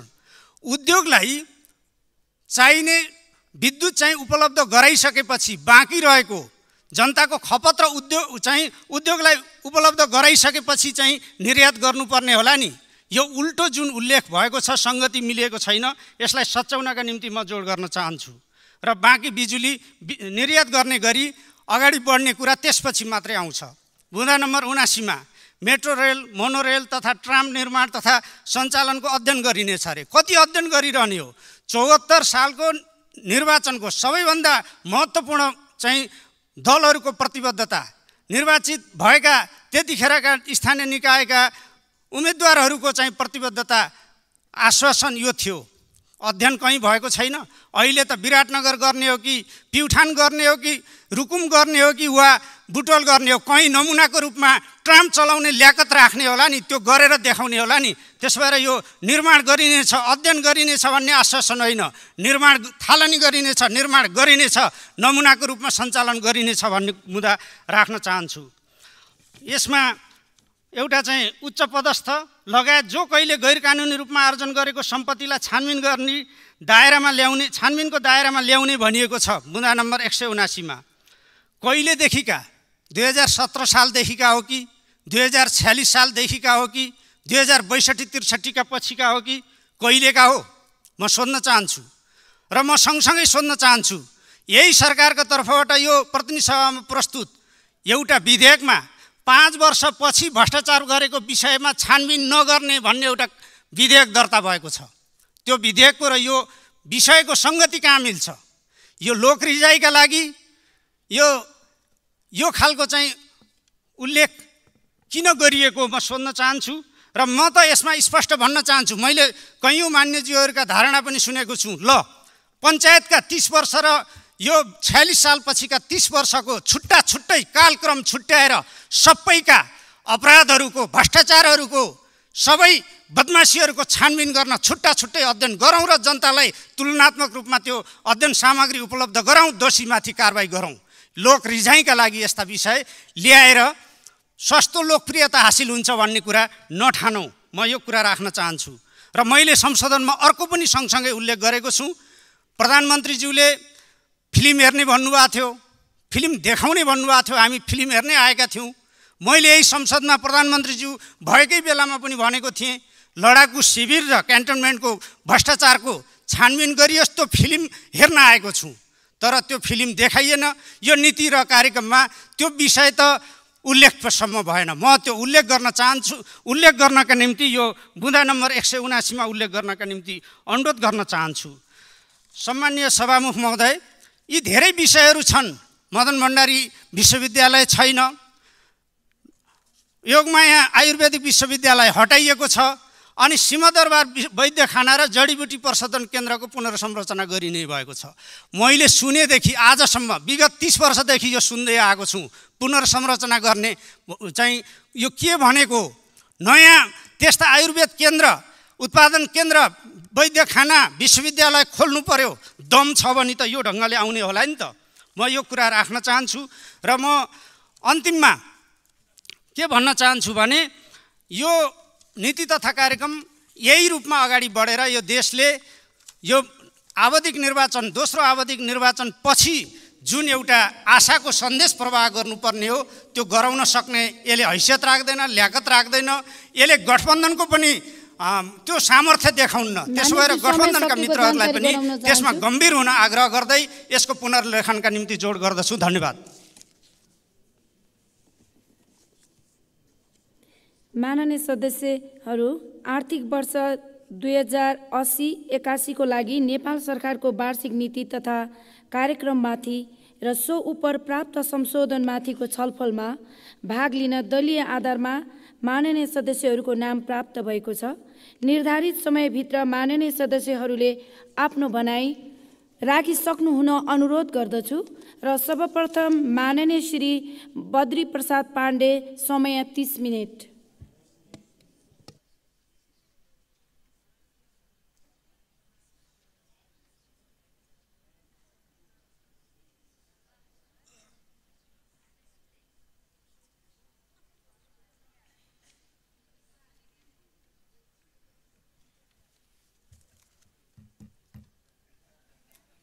सामान्य सभामुखज्यू हामी सम्मान्य राष्ट्रपति रामचन्द्र पौडेलज्यूबाट सम्बोधनका रूपमा प्रस्तुत नेपाल सरकारको नीति र कार्यक्रममाथि छलफल गरिरहेका छौँ। बिसजना संशोधनकर्ताले समेत छलफलमा भाग लिनुभएको छ। आफ्नो संशोधनको प्रस्तावमाथि आफ्ना जिकिरहरू आफ्ना दाबीहरू प्रस्तुत गर्नुभएको छ। मैले संसदभित्रको छलफललाई निकै रचनात्मक र परिणाममुखी हुने कुरामा विश्वास व्यक्त गर्न चाहन्छु। विशेष गरी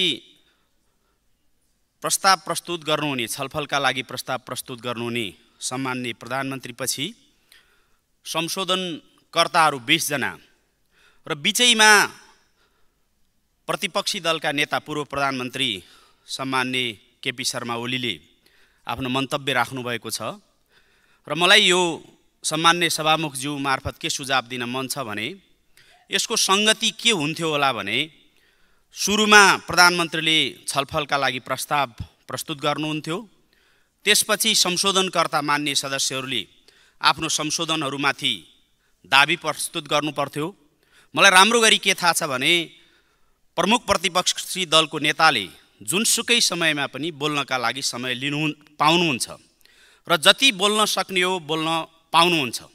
तर पनि सङ्गति यस्तो हुन्थ्यो भन्ने लाग्छ मलाई किनकि संशोधनहरू सुनिसकेपछि संशोधनको दाबी सुनिसकेपछि छलफलमा भाग लिनु बढी सङ्गतिपूर्ण देखिन्थ्यो। र त्यो हिसाबले माननीय केपी शर्मा ओलीपछि छलफलमा भाग लिने दोस्रो वक्ताको रूपमा म छु जस्तो लाग्छ मलाई। र विशेष गरी आज संशोधन प्रस्तावमा आएका विषयहरू यी विषयहरूले कार्यान्वयनको पक्षमा जोड दिएको छ भन्ने लाग्छ मलाई। संशोधन प्रस्ताव जुन कित्ताबाट आए पनि जो मान्य सदस्यबाट आए पनि जुन राजनीतिक दल र त्यो दलको संसदीय दलबाट आए पनि त्यसलाई सकारात्मक लिनु रूपमा लिनुपर्ने मैले देख्छु। र मलाई केही कुरा चाहिँ प्रमुख प्रतिपक्षी दलका नेताले बोल्नुभएका कुरासँग प्रत्यक्ष सरोकार राख्ने र ध्यानाकर्षण हुने विषयहरू छन्। उहाँले सामान्य सभामुखज्यू मार्फतमा आग्रह गर्न चाहन्छु राष्ट्रपतिको सम्बोधन एक सय चार मिनटको थियो र त्यसमाथिको माननीय केपी शर्मा ओलीको जवाफ अथवा छलफल उहाँले एक सय बाह्र मिनटको बोल्नुभयो। एक सय बाह्र मिनट उहाँले बोलिरहँदा मलाई के लागेको थियो भने धेरै कुरा सिकौँला। किनभने अडचालिस सालपछि सांसद भइरहेको व्यक्ति जसले संसदीय अभ्यास बुझ्नुभएको छ हामीलाई दीक्षित गर्नुहोला। हामीलाई प्रशिक्षित गर्नुहोला। मलाई त्यस्तो लागेको थियो। तर मैले मैले भन्नै पर्छ बरु सुन्ने समयमा एक मिनटमा बोल्ने माननीय ईश्वरी घरती मगरले सुन्ने समयमा दुवै खुट्टा गुमाएका र कृत्रिम खुट्टा जडान गरेका हरिबहादुर बुढा मगरले सगरमाथा चढेको गौरव बडो शानदार र कलात्मक ढङ्गले प्रस्तुत गर्नुभयो। त्यो एक मिनट मेरो लागि मात्रै होइन शून्यहरूका लागि धेरै लाभदायी भयो होला भन्ने ठान्छु म। यो संसद वास्तवमै सिक्ने र सिकाउने थलो पनि हो। पुरानाहरूले सिकाउनु पर्छ सायद भर्खरै सम्मान्य संविधान सभाको अध्यक्ष यहाँबाट निस्किनुभयो। उहाँ भएको भए म उहाँलाई साक्षी राखेर भन्थेँ किन पूर्व प्रधानमन्त्रीहरूलाई समयको पाबन्दी छैन? किन प्रमुख प्रतिपक्षी दलको नेतालाई समयको पाबन्दी छैन? किन छैन भने उहाँहरूले भनेका कुराबाट अरू नयाँ सांसदहरूले सिक्न सक्छन् भनेर सायद समयको पाबन्दी नगरिएको होला। हामीले गाउँघरमा एउटा उखान सुन्छौँ आगो ताप्नु मुढाको कुरा सुन्नु बुढाको। त्यो हिसाबले मुढाकबाट तापिएको आगो स्वस्थकर हुन्छ भन्ने होला। बुढाका कुराहरू उपदेशमा आधारित केही संस्कारमा आधारित केही संस्कृतिमा आधारित र केही सभ्यतामा आधारित हुन्छन् भनेर सायद भनिएको होला। बरु मलाई म गौरवका साथ भन्न चाहन्छु जम्मा पाँच मिनट संशोधन प्रस्तावमा बोल्ने मान्य शोभिता गौतमले एउटा रति रचनात्मक प्रतिपक्षको भूमिकामा आफू भएको दावी गर्दै निकै राम्रो गरी यो नीति तथा कार्यक्रमलाई समृद्ध बनाउने गरी सुदृढ गराउने गरी बोल्नुभयो। त्यसैले हामीले म विनम्रताका साथ सम्मान्य सभामुखज्यूलाई आग्रह गर्न चाहन्छु सभामुखज्यू मार्फत आग्रह गर्न चाहन्छु। हामीले एकपटक सोच्नुपर्ने हो कि पूर्व प्रधानमन्त्री भएका व्यक्तिहरूलाई मागे जति समय दिनुको सट्टा बरु भर्खरै सांसद भएर आएका व्यक्तिहरू जो संसदमा नयाँ हुनुहुन्छ निशा डाँगी सबैभन्दा कान्छो सांसद हुनुहुन्छ। त्यसै गरी अरू त्यही उमेर समूहका योगेश गौचन थकाली हुनुहुन्छ महेश बर्तौला हुनुहुन्छ छिरिङ लामु लामा हुनुहुन्छ। उहाँहरूले बरु समय पर्याप्त पाएदेखि राम्रो बोल्नुहुन्थ्यो कि? आग्रह र पूर्वाग्रहबाट मुक्त भएर इगो र कुण्ठाबाट मुक्त भएर यो सम्मानित सदनलाई एउटा गति दिनुहुन्थ्यो कि? नेपालको राजनीतिलाई एउटा संस्कार र संस्कृति दिनुहुन्थ्यो कि? हामीले त्यो पनि पुनर्विचार गर्नुपर्ने र समीक्षा गर्नुपर्ने विषय हो जस्तो मलाई लाग्छ। मैले आज सुनिरहँदा मलाई त्यो अनुभूति भएको छ। म आग्रह गर्न चाहन्छु हाम्रो अडचालिस सालदेखि नै सांसद भएको त्यस्तो व्यक्तित्वले नीति तथा कार्यक्रमको पुनर्लेखनको कुरा गर्नुभएको छ। मैले सुन्नमा गल्ती गरेँ कि मलाई थाहा छैन। यो नीति तथा कार्यक्रम सरकारले प्रस्तुत गर्छ। सरकारसँग बहुमत हुन्छ। सरकारसँग बहुमत भएका बेलासम्म नीति तथा कार्यक्रमको पुनर्लेखन गर्ने संसदीय परिपाटी छैन। पुनर्लेखन मात्रै होइन। यसको कुनै कुरा पनि सचिँदैन त्यो संसदीय अभ्यास हो। हामी थाहा छ हामी छलफलमा भाग लिन्छौँ। हामी सुझाव दिन्छौँ। हामी आलोचना पनि गर्छौँ हामी समालोचना पनि गर्छौँ तर त्यो संशोधन हुँदैन। पुनर्लेखनको कुरा गरिरहँदा मलाई कता कता उहाँले पुनर्लेखन भन्दै हुनुहुन्छ हुनुहुन्छ कि सम्मान्य प्रधानमन्त्री पुष्पकमल दाहाल प्रचण्डको सरकारको पुनर्गठनको कुरा पो गर्दै हुनुहुन्छ कि? हामीलाई केही थान सांसद पाएको भनेर आरोप लगाउँदै गर्दा केही थान सांसद पाउने लालचाले उहाँहरू कतै कतै त्यो लालचाबाट यदि ग्रसित हुनुहुन्छ कि जस्तो मलाई त्यो पनि अनुभूति भयो। र अरू थुप्रै विषयहरू वास्तवमै अहिले हामीले आफूले यतिखेर आफ्ना कमी कमजोरीलाई स्वीकार्न सक्यौँ। सेल्फ क्रिटिसिजमको बाटोबाट हामीले आफूलाई यदि जान सक्यौँ लान सक्यौँ भने मात्रै लोकतन्त्रलाई हामी बलियो बनाउन सक्छौँ। लोकतन्त्रलाई एउटा सभ्यताको बाटोमा हिँडाउन सक्छौँ। यदि हामीले त्यो सकेनौँ भने कुनै पनि हिसाबले लोकतन्त्र बलियो हुन सक्दैन। म छु सबै छ। म छु सबै छ। म छैन केही पनि छैन भन्ने मानसिकता त्योभन्दा ठुलो मनोवैज्ञानिक समस्या के हुन सक्ला? म भएको बेला सबै ठिक थियो।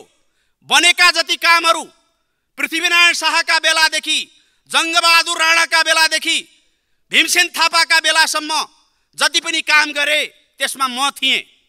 जे जे काम भएनन् भत्के बिग्रे यो पाँच महिना पहिले गठन भएको सरकारले भत्काएको बिगारेको भन्ने कुरा त्यो मनोदशाबाट हामीले काम गर्न थाल्यौँ भने हामी कसरी सुधारको बाटोमा जाउँला? कसरी हामी यो राजनीतिलाई यो संसदीय परिपाटीलाई र हामी सबै मिलेर हाम्रो जुन गति छ सरकारको गति छ राज्यको गति छ त्यसलाई ठिक ठाउँमा लिएर जाउँला हामीले सोच्नुपर्ने भएको छ भन्ने लाग्छ मलाई। मलाई आग्रह गर्नु छ वास्तवमै कतिपय अवस्थामा अति सर्वत्र वर्जेत भन्ने शब्दावली र भन्ने भनाइबाट हामी हामी सबैले त्यसलाई रियलाइज गर्नुपर्छ भन्ने लाग्छ मलाई। अति भनेको गुलियो धेरै खायो भने डक्टरहरू भन्छन् धेरै गुलियो खायो भने सुगर हुन्छ। धेरै तितो खायो भने प्रेसर लो हुन्छ। धेरै विरोध गरेर पनि त्यसले परिणाम दिँदैन त्यसले झन् ठुलो दुर्घटना निम्त्याउँछ। र धेरै प्रशंसाले पनि झन् हामीलाई ठिक ठाउँमा पुर्याउँदैन। त्यसै कारणले हामीले यो बाटो पक्रिनु उचित हुन्छ भन्ने लाग्छ मलाई। मलाई अर्को कुरा भन्नु छ। हामी बढ्ता गफाडी भएछौँ। हाम्रो संस्कार बढ्ता गफाडी भएछ। कामकाजीबाट जब समाज गफाडी बाटोमा जान्छ कामकाजी बाटो छोडेर जब गफाडी बन्न थाल्छौँ हामी त्यसपछि हामीले परिणाम दिन सक्दैनौँ। गफ पनि कस्तो दिने भने हामी रचनात्मक र ज्ञानको वर्धक गफ दिने होइन। आलोचना लान्छना लगाउने अरूलाई आत्मप्रशंसा र परनिन्दाको बाटो पक्रिने यो कामले हामीलाई फाइदा गर्दैन। अर्को मैले भन्नै पर्ने कुरा यहाँ कतिपय प्रस्तुत भएका तथ्यहरू तथ्याङ्कहरू। ती तथ्यहरू सत्यमा आधारित छैनन् तथ्यमा आधारित छैनन् झुटमा आधारित छन्। तथ्याङ्कहरू मिथ्याङ्कमा आधारित छन्। ती तथ्याङ्क र मिथ्याङ्कलाई दुनियाँले पत्याइदिनु परे सबैले सुनिदिनु पर्ने यो कुराले वास्तवमै हामीलाई ठिक ठाउँमा पुर्याउन सक्दैन। त्यसैले म सम्मान्य सभामुखज्यू मार्फत मलाई त्यहाँ बस्दा बस्दै एउटा अनुभूति भयो। एउटा सत्र एउटा बैठक हाम्रो यस्तो कार्यसूचीको राखौँ। हाम्रा पूर्व प्रधानमन्त्री भएकाहरूलाई आलो पालो रोस्टममा बोलाउँ र भनौँ तपाईँले यो यत्रो वर्ष राजनीति गर्नुभयो संसदमा आउनुभयो सरकारमा आउनुभयो प्रधानमन्त्री हुनुभयो मन्त्री हुनुभयो तपाईँ के सबै हिसाबले दुधले नुहाइएको हुनुहुन्छ त? हुनुहुन्न कमजोरी छन् भने तपाईँले पनि यहाँ आएर मेरा जीवनमा मेरा राजनीतिक जीवनमा यी कमी कमजोरी भयो भनेर आफ्ना कमजोरी मात्रै बताउने एउटा कार्यसूची उहाँहरूलाई राख्न लगाउने किन लगाउने म त्यो सम्मान्य सभामुखज्यू मार्फत चुनौती दिन चाहन्छु। त्यसै गरी वास्तवमा मैले सुने मैले मैले हामीले हामी सबैले सुन्यौँ यहाँ उभिएर। यहाँ जति पनि कामहरू भएका छन् त्यो सबै हामीले गरेका छौँ मैले गरेको छु र नभएका कामहरू अरूलाई दोषारोपण गर्ने काम सुनिएको छ। त्यसैले यो कुरामा म सम्मानित सदनलाई विनम्रताका साथ आग्रह गर्न चाहन्छु हामीले सही बाटो पक्ड्यौँ एउटा ज्ञानको बाटो एउटा विजडमको बाटो एउटा रेसनलको बाटो एउटा तथ्य र तर्कमा आधारित बाटो र हामीले मेरो आलोचना मैले गर्न सक्ने नीति तथा कार्यक्रममाथि छलफल गर्दै गर्दा मैले पनि यहाँ उभिएर सत्ता पक्षको सांसदले यी कमी कमजोरी भए भनेर भन्न सक्ने बाटो प्रतिपक्षीको सांसदीय बोल्न आउँदा पनि यो पक्ष राम्रो छ यो पक्षमा सुधार गर्नुपर्छ भन्ने बाटो यो बाटो पक्रिनुपर्ने अहिलेको आवश्यकता हो भन्ने लाग्छ। विशेष गरी म के आग्रह गर्न चाहन्छु भने धेरै भिजनरी र आश लाग्दा विषयहरू यसमा आएका छन्। विशेष गरी सङ्घीय लोकतान्त्रिक गणतन्त्रको संविधान समावेशी समानुपातिक संविधान समानुपातिक र समावेशी संविधानलाई प्रवर्धन गर्ने खालका बलियो बनाउने खालका नीतिगत कुराहरू पनि आएका छन् कार्यक्रमगत कुरा पनि आएका छन् जस्तो विद्यमान कर प्रणालीमा पुनरावलोकन गर्ने। तिनै तहको सरकारको बजेट निर्माणदेखि कार्यान्वयनको प्रक्रियासम्म पुनरावलोकन गरी पुँजी वृद्धि गर्ने। दिगो र हरित अर्थतन्त्रको आधार तयार गरी वित्तीय स्थायित्व कायम गर्ने राष्ट्रिय सहकारी नीतिमा परिमार्जन गर्ने पुँजी बजारको विकास र विस्तारको लागि संरचनागत सुधार गर्ने। वर्तमान परिवेशमा असान्दर्भिक भएका कार्यमा दोहोरोपना भएका उद्देश्य अनुसार सञ्चालन हुन सकेका सरकारी कार्यालय सार्वजनिक संस्था विकास समिति तथा कोषहरूलाई एक आपसमा गाब्ने वा खारेज गर्ने राष्ट्रिय योजना आयोगलाई पुनर्संरचना गरी नीति योजना तथा अनुगमनको केन्द्रीय निकायको रूपमा विकास गर्ने औद्योगिक विकासलाई तीव्रता दिन आवश्यक सुधार गर्ने पर्यटन ऐनमा नियमा समयानुकूल परिमार्जन गर्ने ऊर्जा नीतिलाई समसामयिक बनाइने समानुपातिक विज्ञापन प्रणाली लागू गरिने यो ढङ्गका राम्रा नीतिहरू पनि आएका छन्। र केही परिणाममुखी कार्यक्रमहरू पनि आएका छन्। यद्यपि तिनलाई नाराका रूपमा यहाँ व्यङ्ग्य गर्ने कोसिस पनि भयो। ठिक छ हामीले सैद्धान्तिक दृष्टिकोणले तिनको प्रतिवाद गर्नु ठिक छ तर पनि नाराका रूपमै आएका भए पनि ती बडो दूरगामी महत्त्वका प्रभावकारी र उत्साह सिर्जना गर्ने आशा सिर्जना गर्ने कार्यक्रमका रूपमा आएका छन् जस्तो वडा तहमा सहुलियत खाद्यान्न पसलको स्थापना गर्ने प्रत्येक पालिकामा शीतगृह एक टोल एक सामुदायिक कृषि उत्पादन एक वडा एक विशेष उत्पादन एक पालिका एक उत्पादन क्षेत्र। Make in Nepal made in Nepal अभियान हाम्रो सम्पदा राम्रो सम्पदा एक प्रदेश एक सांस्कृतिक ग्राम सबैका लागि सधैँका लागि आकर्षक गन्तव्य। एक पूर्वाधार निर्माणमा दुई सिफ्ट काम गर्ने एक घर एक धारा विद्यालयमा विद्यार्थीलाई ल्याउने सिकाउने र टिकाउने पढ्दै कमाउँदै कमाउँदै पढ्दै कार्यक्रम सञ्चालन गर्ने। हाम्रो स्कुल बनाऊ राम्रो स्कुल अभियान। एक स्थानीय तह एक स्मार्ट विद्यालय प्रत्येक वडामा आधारभूत स्वास्थ्य परीक्षण। त्यसै गरी हरेक विद्यालयमा खेल शिक्षक एक वडा एक खेल मैदान एक पालिका एक कबड हल।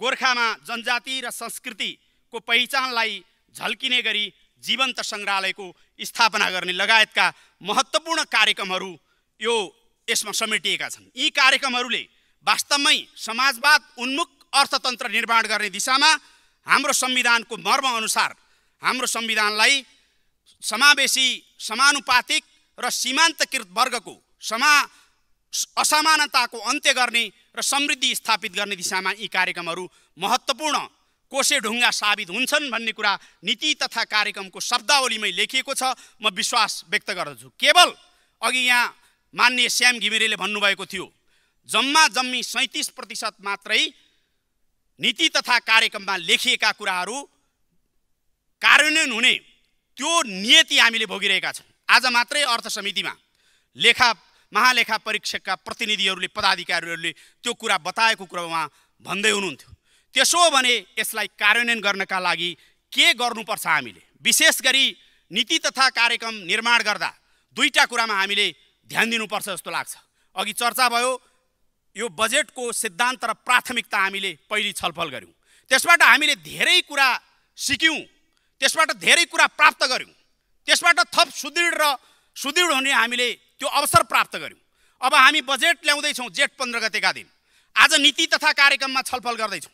यो तिनटै कुरालाई समन्वयात्मक ढङ्गले एउटै ठाउँबाट एकै द्वारबाट कहाँनिर छलफल हुन्छ कसरी छलफल हुन्छ र त्यो छलफलबाट एक अर्काको सामञ्जस्यता कसरी मिलाउन सकिन्छ यो कुरामा ध्यान दिनुपर्छ भन्ने लाग्छ। म सम्मान्य सभामुखज्यू मार्फत हाम्रो सदन र नेपाल सरकारलाई पनि आग्रह गर्न चाहन्छु। आगामी दिनमा हामीले यो बाटोलाई प्रभावकारी बनाउने चुस्त बनाउने र समन्वयात्मक बाटोबाट लिएर जाने काम गर्नुपर्छ यो पहिलो काम। दोस्रो हामीले यो नीति तथा कार्यक्रम बनाउँदाको हाम्रो प्रोसेस के हो? यो प्रोसेसमा हामी जनप्रतिनिधिहरूलाई केवल तिन चार दिनको छलफलमा मात्रै सहभागी गराएर हुँदैन। तिन चार दिनको हामी छलफलमा सहभागी हुन्छौँ संशोधन पनि हाल्छौँ तर संसदीय परिपाटी के हो भनेदेखि यो जस्ताको तस्तै हामीले पास गर्नुपर्छ। हामी सत्ता पक्षले हुन्छ भनेर हामीले पास गर्नुपर्छ। त्यसैले यो नीति तथा कार्यक्रम निर्माणको प्रक्रियालाई हामीले अलि पहिल्यै चैतबाटै फागुनबाटै चैतबाटै नीति तथा कार्यक्रम बनाउने कुरामा हाम्रा समितिहरूलाई सक्रिय गराउने हाम्रो सदनलाई सक्रिय गराउने र हामीलाई विभिन्न माध्यमबाट जनप्रतिनिधिहरूलाई यो निर्माणमा योगदान गर्ने हाम्रा नीति तथा कार्यक्रमसँग सम्बन्धित सुझावहरूलाई समेट्ने त्यो बाटो लिनु उचित हुन्छ भन्ने लाग्छ मलाई। पहिलो कुरा दोस्रो कुरा यसको कार्यान्वयनको पाटो जुन थुप्रै मान्य सदस्यहरूले चिन्ता व्यक्त गर्नुभएको छ। चिन्ता व्यक्त गरेरै संशोधनमा हाल्नुभएको छ। यसलाई कार्यान्वयन हिजोका दिनमा केवल त्यति सैँतिस प्रतिशत मात्रै भयो भने त्रिसठी प्रतिशत त कार्यान्वयन भएको छैन। अझ कतिपय सांसदहरूले बिस प्रतिशत मात्रै कार्यान्वयन भएको कुरा पनि भन्दै हुनुहुन्थ्यो। त्यसो हो भने आगामी दिनमा नीति तथा कार्यक्रम त बन्यो। यसलाई कार्यान्वयन गर्नका लागि मुख्य गरी राजनीतिक नेतृत्वको सङ्कल्प। त्यो सङ्कल्पको आवश्यकता हुन्छ। हाम्रो सङ्कल्प के हो? त्यो सङ्कल्प अनुसारको कार्यान्वयनका लागि आवश्यक पर्ने कानुनहरू के हुन्? र त्यो कानुन अनुसारका निर्माण हुनुपर्ने संरचनाहरू के हुन्?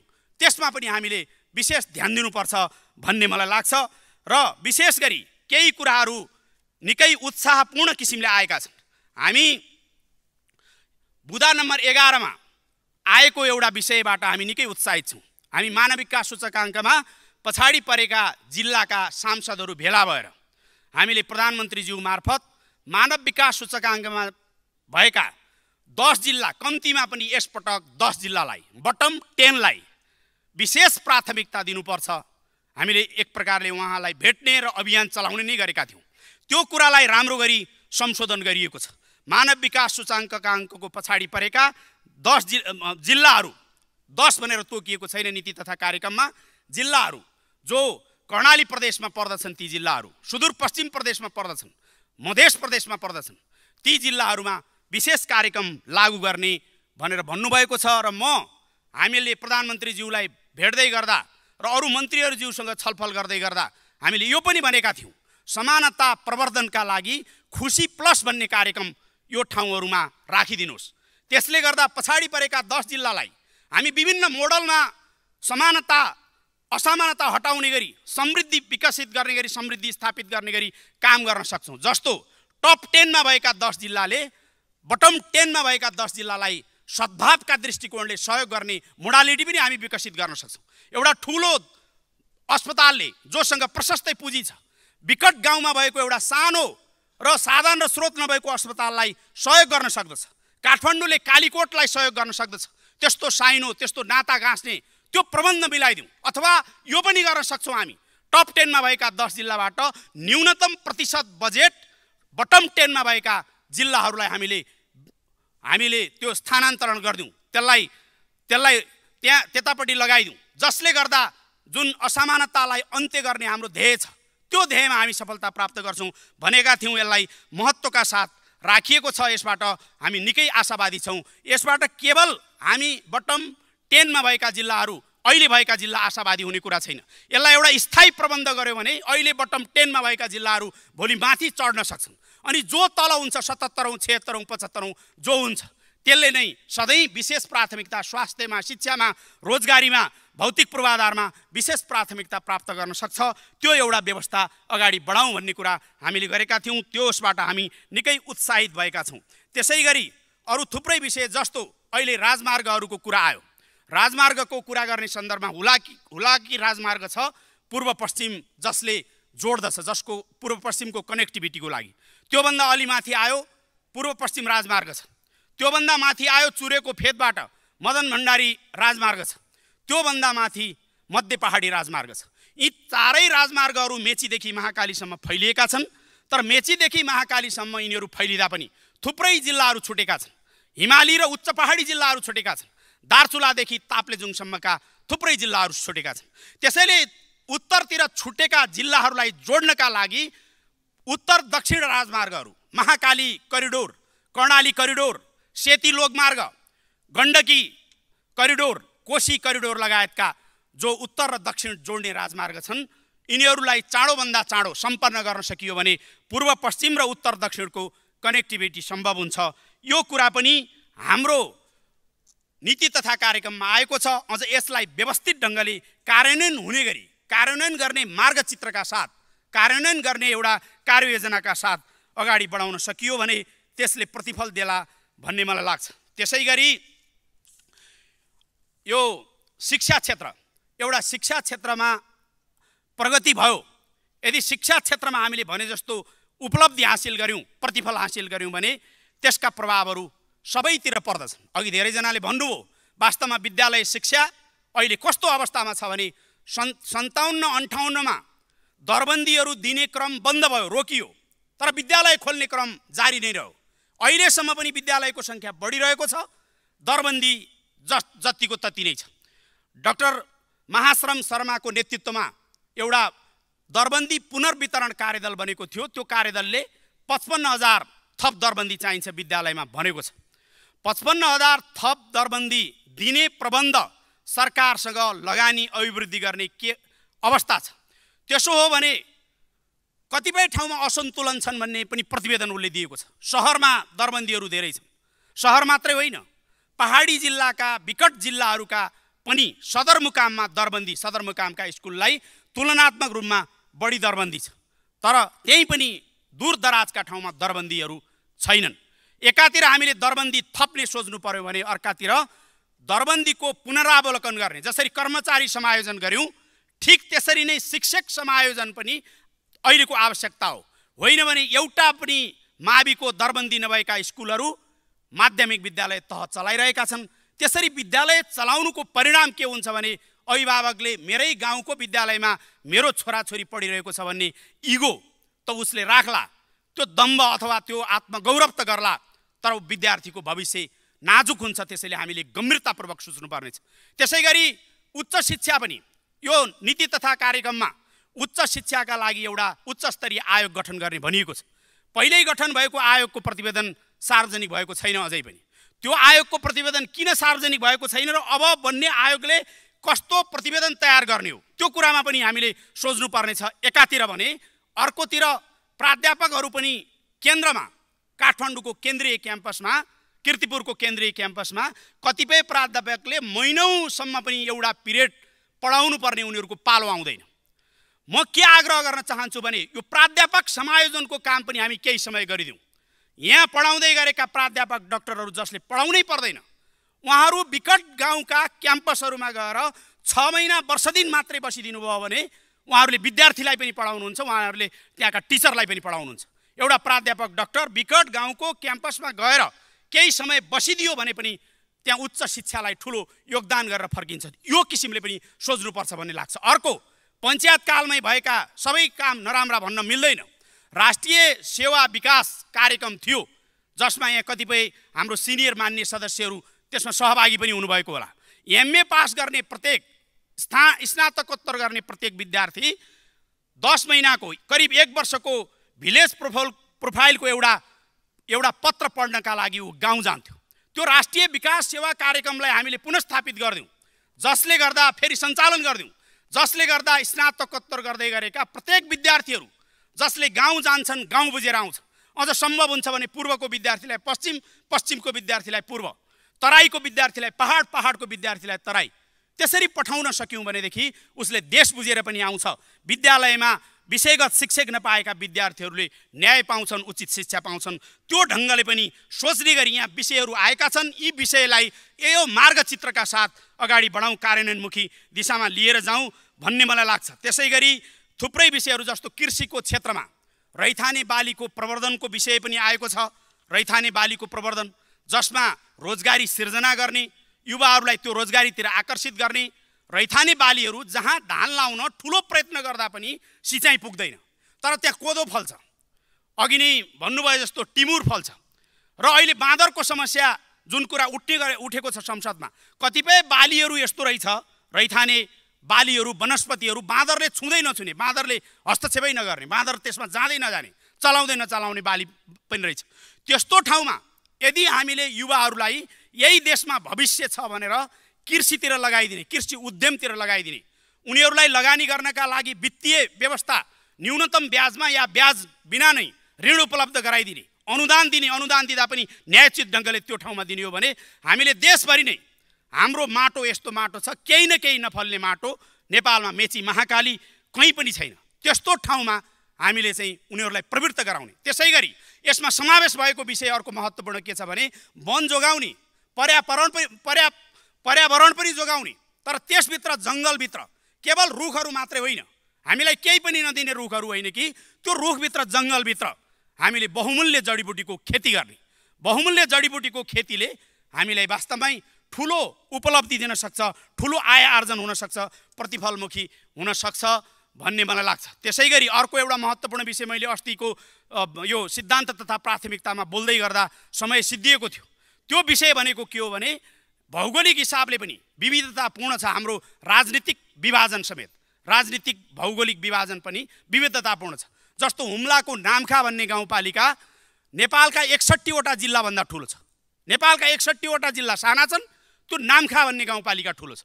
मेरो आफ्नै बाजुराको हिमाली गाउँपालिका आठ सय तिस वर्ग किलोमिटरको छ त्यो कतिपय जिल्लाभन्दा ठुलो छ।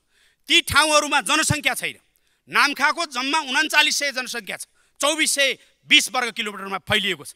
यो भक्तपुर साढे छ वर्ग किलोमिटरमा फैलिएको छ तर असी हजार जनसङ्ख्या छ। यस्तो विविधता भएको ठाउँमा हामीले एकीकृत बस्ती विकासको कन्सेप्ट जुन कुरा चाहिँ सुशील कोइराला प्रधानमन्त्री हुनुभएको बेला बाजुरालाई पाइलट प्रोजेक्ट बनाएर बाजुराको बस्तीलाई एकीकृत बनाउने जोखिमपूर्ण बस्ती यो रसुवा भूकम्पको बेला जोखिमपूर्ण बस्ती छ भनेर धेरै तथ्याङ्कहरू धेरै अनुसन्धान र अध्ययनहरू भएका थिए। त्यसैले ठुलो भूगोल भएका ठाउँहरू जनसङ्ख्या कम भएका ठाउँहरूमा एकीकृत बस्ती विकास गर्ने। एकीकृत बस्ती विकास भयो भने स्वास्थ्य एकै ठाउँमा हुन्छ शिक्षाको लागि विद्यालय एकै ठाउँमा हुन्छ क्याम्पस एकै ठाउँमा हुन्छ ढल खानेपानी सबैको प्रबन्ध एकै ठाउँमा हुन्छ। अनि बाँकी रहेको भूगोल विशाल भूगोल जुन छ त्यो भूगोलभित्र अघि नै भनिए जस्तो जडीबुटीको खेती गर्ने व्यावसायिक जडीबुटीको खेती गर्ने व्यावसायिक जडीबुटीको खेतीका माध्यमबाट युवाहरूलाई त्यतापट्टि परिचालित गर्ने काम महत्त्वपूर्ण हुन्छ भन्ने लाग्छ मलाई। यी सबै कुरा भनिरहँदा यो सबै कुरामा चाहिने भनेको लगानी नै हो। त्यसैले लगानी भित्राउनका लागि लगानी मैत्री वातावरण बनाउन जरुरी छ। हामी कहाँ सबैभन्दा चुनौती भनेको लगानी मैत्री वातावरण छैन। कोही विदेशबाट लगानी गर्न आउने विदेशीले पनि लगानी मैत्री वातावरण देख्दैन। आयो हेऱ्यो भने पनि कतिपय बिचौलियाले उसलाई भड्काउने कोसिस गर्छन्। यहाँ लगानी गर्ने अवस्था छैन भनेर आफ्नो स्वार्थका लागि भड्काउने कोसिस गर्छन्। त्यसैले बढीभन्दा बढी लगानी हामीले भित्र्याउने विदेशीको लगानी स्वदेशीको लगानी गैर आवासीय नेपालीको लगानी पनि भित्र्याउने र समृद्धिका लागि हामीले ध्यान दिनुपर्ने कुरा के हो भने यो सबैको केन्द्रबिन्दुमा मान्छे छ। शिक्षाको कुरा गर्दा केन्द्रबिन्दुमा विद्यार्थी छ। हामीले खेल मैदानको कुरा गर्दा केन्द्रबिन्दुमा खेलाडी छ। कृषिको कुरा गर्दा केन्द्रबिन्दुमा कृषक छ। यो कोणबाट? मान्छेलाई केन्द्रबिन्दुमा राखेर। मान्छे सबैलाई परिचालित गर्ने। हामीसँग सतसट्ठी लाख परिवार छन् नेपालभरि। त्यो सतसट्ठी लाख परिवारलाई नै हाम्रो नीति तथा कार्यक्रम लिएर हाम्रो आउने बजेटले चलायमान गर्ने गरी झकझक्याउने गरी केही न केही काम दिने गरी केही न केही माम दिने गरी सक्रिय गराउने गरी काम गर्न सक्यौँ भनेदेखि हामी सफलता प्राप्त गर्छौँ। यो बाटोबाट हामी सबैले मिलेर देश निर्माण गर्ने समृद्धि प्राप्त गर्ने बाटोमा अगाडि जाने प्रतिबद्धता गरौँ। यो नीति र कार्यक्रमबाट यही कुराको एउटा समन्वय सहकार्य अघि नै समन्वय र सहकारीको सहकार्यको बाटो जरुरी छ। यही बाटोबाट अगाडि बढौँ। धन्यवाद जय नेपाल।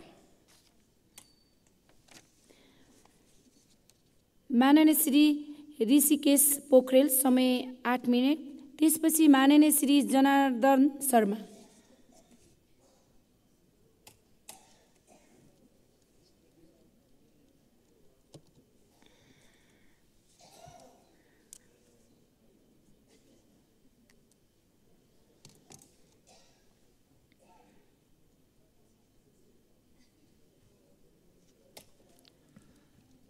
सम्माननीय सभामुख महोदय हामीले सरकारको नीति तथा कार्यक्रम सुन्यौँ र न नीति न कार्यक्रम एउटा लयबद्ध निबन्ध यो स्वीकार स्वीकार गर्न सकिन्न र म पनि यसलाई पुनर्लेखनको माग गर्न चाहन्छु म एउटा विषयमा नछिरौँ भन्ने लागेको थियो एक लाइन चाहिँ मैले भन्न पर्ने भयो। के सत्ता विपक्षमाथि दोहोरीमा लागेकै हो? अघिल्ला नेपाली कङ्ग्रेसका आदरणीय नेता गणले आफूले तिस मिनट समय लिनुभएछ नेता भए बापत नै लिनुभयो होला। अरूले लिएको समयमा कमेन्ट गर्नुभयो। म उहाँलाई आग्रह गर्न चाहन्छु कि ठिकै छ त? योगेश गौचनलाई चालिस मिनट समय दिनुभएछ भने अघि बोलेका तपाईँका कुरा ठिक हुन्। अन्यथा नेता भए बापत आफूले समय लिने अरूलाई कमेन्ट गर्ने अनि यो त्यति राम्रो कुरा होइन। म आशा राख्छु चाहिँ योगेश गौचन लगायतले तपाईँले भन्दा बढी समय बोल्नुहुनेछ। अरूलाई अर्थी दिन सजिलो छ। धेरै अर्थी त्यति राम्रो हुन्न। साथीहरूलाई एउटा कुरा थाहा रहेन रहेछ। यो नीति तथा कार्यक्रममा सत्ता पक्षको नेपाली कङ्ग्रेसकै साथीहरूले चाहिँ संशोधन प्रस्ताव राख्नुभयो होइन। संशोधन प्रस्ताव भनेको पुनर्लेखन गर्नुहोस् भने होइन। अर्थीहरूलाई दिने आफूतिर नफर्किने। कहिलेकाहीँ धेरै पण्डित्याइ गर्दा त्यो मन्त्र चाहिँ आफैतिर फर्किन्छ भन्ने कुरा बुझ्नु आवश्यक छ। म यति मात्रै आग्रह गर्न चाहन्छु र सभामुख महोदय म जम्मा नियमावलीको तेइसको एक र दुई र बिसको झ। कहिलेकाहीँ सभामुख महोदयले पनि हेरी पाऊँ भन्ने आग्रह गर्न चाहन्छु। र म योसँग जोडिएर धेरै विषय विषय विषयहरू मेरो अध्यक्षले राख्नुभयो। म त्यो कुरासँग सहमत छु र म पनि उहाँले राखेका विषयवस्तुहरूसँग जोडिएर अगाडि जान चाहन्छु। मैले ती विषयहरू बाहेक अब यसलाई समृद्ध गर्नका लागि साँच्चै राष्ट्रवादी सरकार साँच्चै यो मुलुकको उन्नतिका निम्ति हो भने केही यसो गर्न सक्नुहुन्छ त किन गर्नु भएन? मसँग केही विकल्पहरू छन्। ती विकल्प म यो सरकारलाई चाहिँ आग्रह गर्न चाहन्छु तपाईँ संशोधन गर्नुहोस् राख्नुहोस्। त्योबाट तपाईँको परीक्षा हुनेछ। अहिले हामीले जानेको के हो भने यो संविधानको कार्यान्वयन नै हाम्रो पहिलो कर्तव्य हो। यो संविधानको कार्यान्वयन हाम्रो पहिलो कर्तव्य हो र हाम्रो मौलिक हकको कार्यान्वयन नै हाम्रो पहिलो काम हो। पहिलो काम मध्ये शिक्षा। आज सबैभन्दा धेरै समस्या परेको। कुनै पनि स्रोतबाट बिस हजार आम्दानी नभएका नागरिकका छोराछोरीलाई जुनसुकै शैक्षिक संस्थामा अध्ययन गरेको भए पनि सम्पूर्ण खर्च राज्यले बेहोर छ भन्न किन नसकेको? क्रान्तिकारी कुरा त हामीले धेरै सुन्यौँ त। यसो भनेको भए के बिग्रिन्थ्यो? त्यति मात्रै होइन स्वास्थ्यमा। सम्पूर्ण नागरिकका लागि स्वास्थ्य। कि मासिक चालिस हजारभन्दा कम आम्दानी भएका नागरिकका लागि सामान्य रोगीलाई पेइङ तिस हजारभन्दा बढी लिन नपाउने र विशिष्ट रोगीलाई चाहिँ बिमाको व्यवस्था गरिनेछ र रोगको विश्लेषण गरी जुनसुकै प्रतिष्ठानमा उपचारको व्यवस्था भए पनि राज्यले बेहोर्ने भन्न किन नसकेको? किन नसकेको? त्यस्तै खाद्यान्न हाम्रो चुलोले मात्रै अघिल्लो वर्ष तिन खर्बको आयात गरेछ। हामी आगामी छ महिनामा हाम्रो चुलोमा चाहिने नब्बे प्रतिशत वस्तु आयात प्रतिबन्ध गरिने छ किन नभनेको? दस प्रतिशत वस्तु जो आयात गर्नुपर्ने हुन्छ त्यसका निम्ति कम्तीमा हामीले चाहिँ के अरे किन्नुपर्ने वस्तुहरू चाहिँ गुणस्तर प्रमाणित गरेर प्रमाणित गरेर मात्रै ल्याइनेछ किन नभनेको? यसो गर्ने हो भने के हुन्छ? यदि यसो गर्ने हो भने हामी आत्मनिर्भरको बाटोतर्फ जान कोसिस गर्छौँ कि गर्दैन? बाटो लाग्छ कि लाग्दैन? हाम्रो श्रम संस्कृति र हाम्रो स्वाभिमानी संस्कृतिलाई चाहिँ रोजगारीसँग जोड्न सहयोग गर्छ कि गर्दैन? हामी हामी यति मात्रै भनौँ त। हाम्रा सुकेका पाहाडहरूतर्फ हजारौँ युवाहरू फर्किन्छन् कि फर्किँदैनन् तरकारी रोप्न? हजारौँ युवाहरू फर्किन्छन् कि फर्किँदैनन् फलफुल रोप्न? त्यति मात्रै होइन। वा चाहिँ उजाड बन्दै गरेको पाहाड र तराईहरू चाहिँ नयाँ ढङ्गले विकास हुन्छ कि हुँदैन? यति भन्न किन नसकेको? आवास गरिब दलित र सुकुम्बासी कमजोर नागरिकका परिवारलाई स्थानीय तहको सिफारिसमा कम्तीमा तिन कोठे टिनको छानो भएको घर बनाइदिन्छौँ भन्न किन नसकेको धेरै आदर्शवादी कुरा गर्ने अनि जनताका निम्ति चाहिने विषयवस्तुको चाहिँ नीति ल्याउन किन नसकेको? श्रमका लागि विदेश गएका सम्पूर्ण नागरिकको जुनसुकै विधिबाट जाउन् उपचार सुरक्षा र बिमा ती देशमा हाम्रो जिम्मा हुनेछ किन नभनेको? यो भन्न सकिने चिज होइन। दुर्घटना मृत्यु र विजयमा फर्किनु परे क्षतिपूर्ति हामी दिन्छौँ किन नभनेको यो सरकारले? हाम्रा सन्तान होइन नि विदेश गएका? भन्नु पर्दैन। त्यति मात्रै होइन। भ्रष्टाचारको कुरा यहाँ धेरै उठ्छ। मेरो आग्रह छ कति वर्षको भ्रष्टाचार छानबिन गर्ने? पञ्चायतको र पछिल्लो सबै बिस वर्षको तिस वर्षको चालिस वर्षको खुसी तर त्यो तोकिएको वर्ष मानिलिउँ तिस वर्षको गर्ने हो भने चाहिँ राज्यको तिस वर्षको सम्पत्ति के अरे चाहिँ भ्रष्टाचारलाई खोजबिन गर्ने हो भने एउटा आँट गरौँ न। आगामी छ महिनाभित्र आफ्नो वा आफ्नो परिवारको नाममा रहेको सम्पूर्ण चल अचल सम्पत्ति नेपालको कानुन बमोजिम कानुनी रूपमा प्रमाणित स्वयंले गर्नुपर्ने छ। अन्यथा प्रमाणित नगर्ने र प्रमाणित गर्न नसक्नेहरूको सबै सम्पत्ति राज्यकरण हुनेछ भन्न किन नसकेको? भ्रष्टाचारका ठुला कुरा गर्ने नीति ल्याउनु डराउने आफू परिन्छ भनेर आत्तिने। यसरी चाहिँ भ्रष्टाचार विरुद्ध यदि तिस वर्षको चालिस वर्षको स्वयं छानबिन गर्ने हो भने यहाँ भोलिदेखि फाइल बोकेर सबै भ्रष्टाचारीहरू बागा बाग हुनेछन् कि प्रमाणित गर्नेछन् कि देश छोड्नेछन्। अनि रुवावासी के को?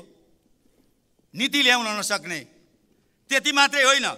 राज्यले त चाहिँ हामीले अगाडि सारौँ न। राज्यले चाहिँ के अरे यी मान्छेहरूको छनौटको राज्य स्रोतबाट तलब खाएका सबै मान्छेहरू। एनजिओ आइएनजिओ वित्तीय सङ्घ संस्था र अन्य सामाजिक सङ्घ संस्थामा काम गरेका र गरेका गरिसकेका मान्छेहरू विभिन्न कम्पनी उद्योग सेवा क्षेत्र र व्यावसायिक क्षेत्रमा काममा संलग्न व्यक्तिहरू नागरिक समाज अगुवा अभियन्ता मिडिया सञ्चालकहरू कहरूको चाहिँ सम्पूर्ण विषय चाहिँ प्रमाणित गरेर ल्याऊ भन्नु त।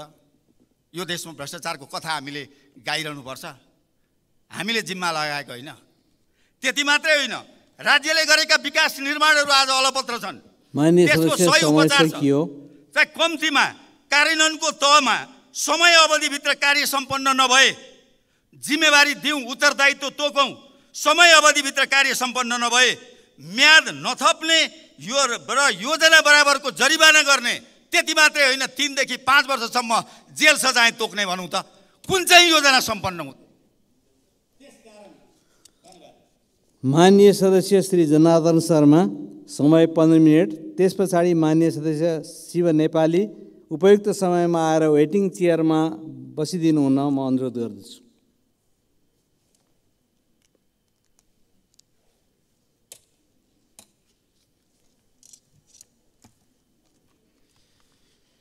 सम्मान्य सभामुख महोदय सभा महोदयको अनुमतिले सामान्य राष्ट्रपति श्री रामचन्द्र पौडेलले सङ्घीय संसदको दुवै सदनको संयुक्त बैठकलाई गर्नुभएको सम्बोधन सरकारको नीति कार्यक्रम बारेका छलफलहरूमा सहभागी हुने अनुमति चाहन्छु। र सर्वप्रथम छलफलको हाम्रो एउटा प्रक्रियाले यो संसदीय अहिलेसम्मको परम्परागत मान्यतालाई बदलौँ नयाँ ढङ्गले अगाडि बढाउँ भन्ने कुरा यहाँ स्थापित हुन गइरहेको मैले महसुस गरेँ। त्यसो हो भने हामीले कानुन र हाम्रा नियावलीहरूलाई हामी परिवर्तन गरेर त्यतातिर जान पनि म त तयार। अब यहाँ परम्परागत सत्तापक्ष र प्रतिपक्ष होइन। सकारात्मक र नकारात्मक कुराहरूमा सकारात्मक कुरा सकारात्मक नकारात्मक कुरा नकारात्मक रूपले राख्ने खालको विधि पद्धति बनाएर समर्थन र विरोध गर्ने परिस्थिति सिर्जना गर्न हामी सक्छौँ। सक्छौँ भने यो गर्नुपर्छ भन्ने म राख्न चाहन्छु। जहाँसम्म नीति कार्यक्रमको सन्दर्भमा संशोधन प्रस्ताव हुँदै यहाँसम्म आइपुग्दा नीति कार्यक्रमले उठाएका विषयहरूको औचित्यलाई त्यसको महत्त्वलाई र त्यसको एउटा वैज्ञानिकतालाई स्थापित गर्ने काम गरेको मैले महसुस गरेको छु।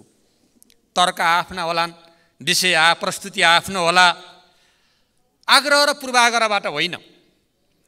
यथार्थ धरातलमा टेकेर हेर्ने हो भने नीति कार्यक्रम के हो? एउटा मार्गदर्शक हो। यो आफैमा सिङ्गो कार्यक्रम होइन सिङ्गो बजेट होइन। यसले मार्गदर्शन गर्ने हो र हामीले भावी लक्ष्यहरू के के राखेका छौँ भने लक्ष्य निर्धारण गर्ने कुरा हो। यसलाई बोकेर बजेटले ठोस र विस्तृत रूपमा प्रस्तुत गर्ने कुरा हो भन्ने मैले बुझेको छु। यो आफै अहिले नीति कार्यक्रम आफै परिणाम होइन। यो लक्ष्य हो।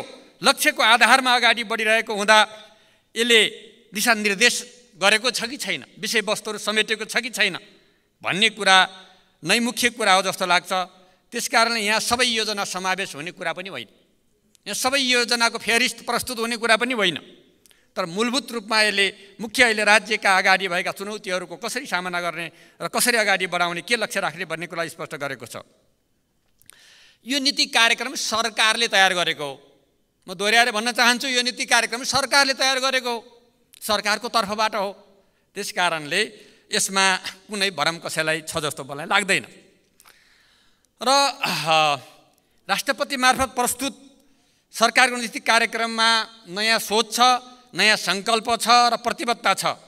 वर्तमानमा नीतिगत संरचनागत कार्यान्वयनका क्षेत्रमा र प्रतिफलका क्षेत्रमा देखिएका समस्यालाई समाधान गर्ने गरी यो आएको छ। यसको मुख्य कुरा यही हो। जहाँ अहिले जो समस्याहरू छन् नीतिगत रूपमा जहाँ संरचनागत रूपमा कार्यान्वयनको क्षेत्रमा र प्रतिफल आउने कुरामा जहाँ समस्या छन् त्यस समस्यालाई समाधान गर्ने गरी यो नीति कार्यक्रम आएको छ। यसको म जोरदार समर्थन गर्दछु। अब हाम्रो हामीले विगतमा हामीले हेर्दै गयो भने हामीले राष्ट्रियता लोकतन्त्र जनजीविकाका लागि ठुलो सङ्घर्ष गर्दै आयौँ।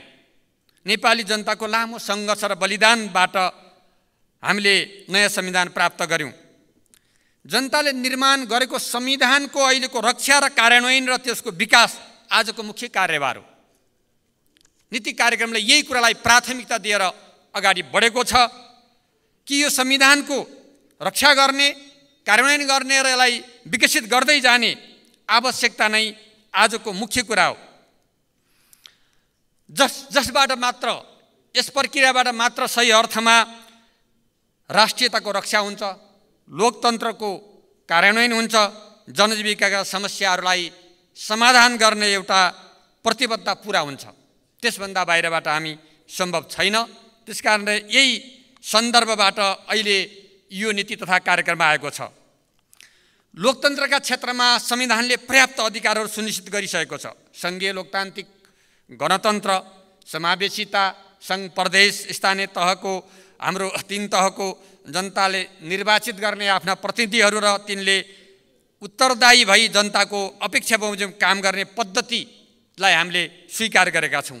समानताको अधिकार वाक स्वतन्त्रता सामाजिक न्याय लोकतन्त्रका मुख्य पक्षहरू हुन् भन्ने कुरा हामीले सबैले आत्मसात गरेका छौँ र संविधानमा ती कुराहरू उल्लेख छन्। यति बेलाको हाम्रो सामुको संविधान प्रदत्त मौलिक अधिकारहरूको कार्यान्वयन गर्ने काम नै महत्त्वपूर्ण काम हो र यी कामहरू बाँकी छन्। यी कामहरू हाम्रो ध्यान जानुपर्छ।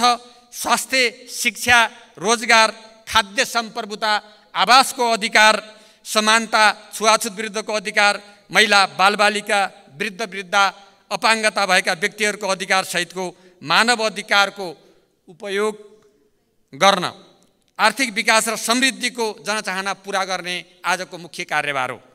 यही कार्यभारलाई पुरा गर्ने उद्देश्यमा केन्द्रित भएर नीति कार्यक्रम प्रस्तुत गरिएको कुरा म यहाँ निवेदन गर्न चाहन्छु। यी समग्र पक्षको समष्टिगत राज्य प्रणाली सामाजिक न्यायमा आधारित प्रणाली हो। यी कुराहरू भए नै आज सामाजिक न्याय स्थापित हुने हो। सबै खाले विभेदबाट मुक्त समाज र आर्थिक विकास र आत्मनिर्भरताको प्रारम्भिक स्तर सामाजिक सांस्कृतिक रूपान्तरण मार्फत विविधतामा एकताको समाज नै सामाजिक न्यायमा आधारित र समाज अर्थात् समाजवाद उन्मुख अवस्था हो। यही कुरा हुँदा समाजवाद उन्मुख अवस्था हुने हो। त्यसकै लागि आज नीति र कार्यक्रमको छलफल र बहस हामीले गरिरहेका छौँ। त्यसैमा आधारित भएर यो नीति र कार्यक्रम आएको छ। अब यसका लागि हामीले संविधानको मर्म र भावनाअनुसार ऐन कानुनहरू अरू थप बनाउनु छ। ती ऐन कानुनहरू बनाउने कुरालाई यहाँ अगाडि सारिएको छ। चाहे त्यो निजामती ऐन होस् चाहे शिक्षा ऐन होस् ती आवश्यक ऐनहरू निर्माण गर्ने कुराहरू अगाडि सारिएको छ र संरचनाहरू निर्माण र तत्त तहमा हस्तान्तरण गर्ने कुराहरूलाई पनि यहाँ स्पष्ट गरिएको छ। अब ऐन कानुन र संरचनाहरूको नेतृत्वकर्ता जनआकाङ्क्षा पुरा गर्न उत्तरदायी भएर काम गर्न आवश्यक छ। यही उद्देश्य पुरा गर्न सरकारले नीति कार्यक्रम मार्फत आफ्नो प्रतिबद्धता पुरा गर्ने सङ्कल्प गरेको छ। सरकारले गरेका सङ्कल्प यही भित्र रहेका छन्। भ्रष्टाचार विरुद्ध मुख शून्य सहनशीलताको नीतिलाई प्राथमिकतामा राखेको छ। छानबिनको कुरा आएको छ। छानबिन गर्ने साँच्चीकै छानबिन गर्ने निर्णय गरौँ नीतिगत निर्णय गरौँ कानुनी व्यवस्था गरौँ र छानबिन गरौँ।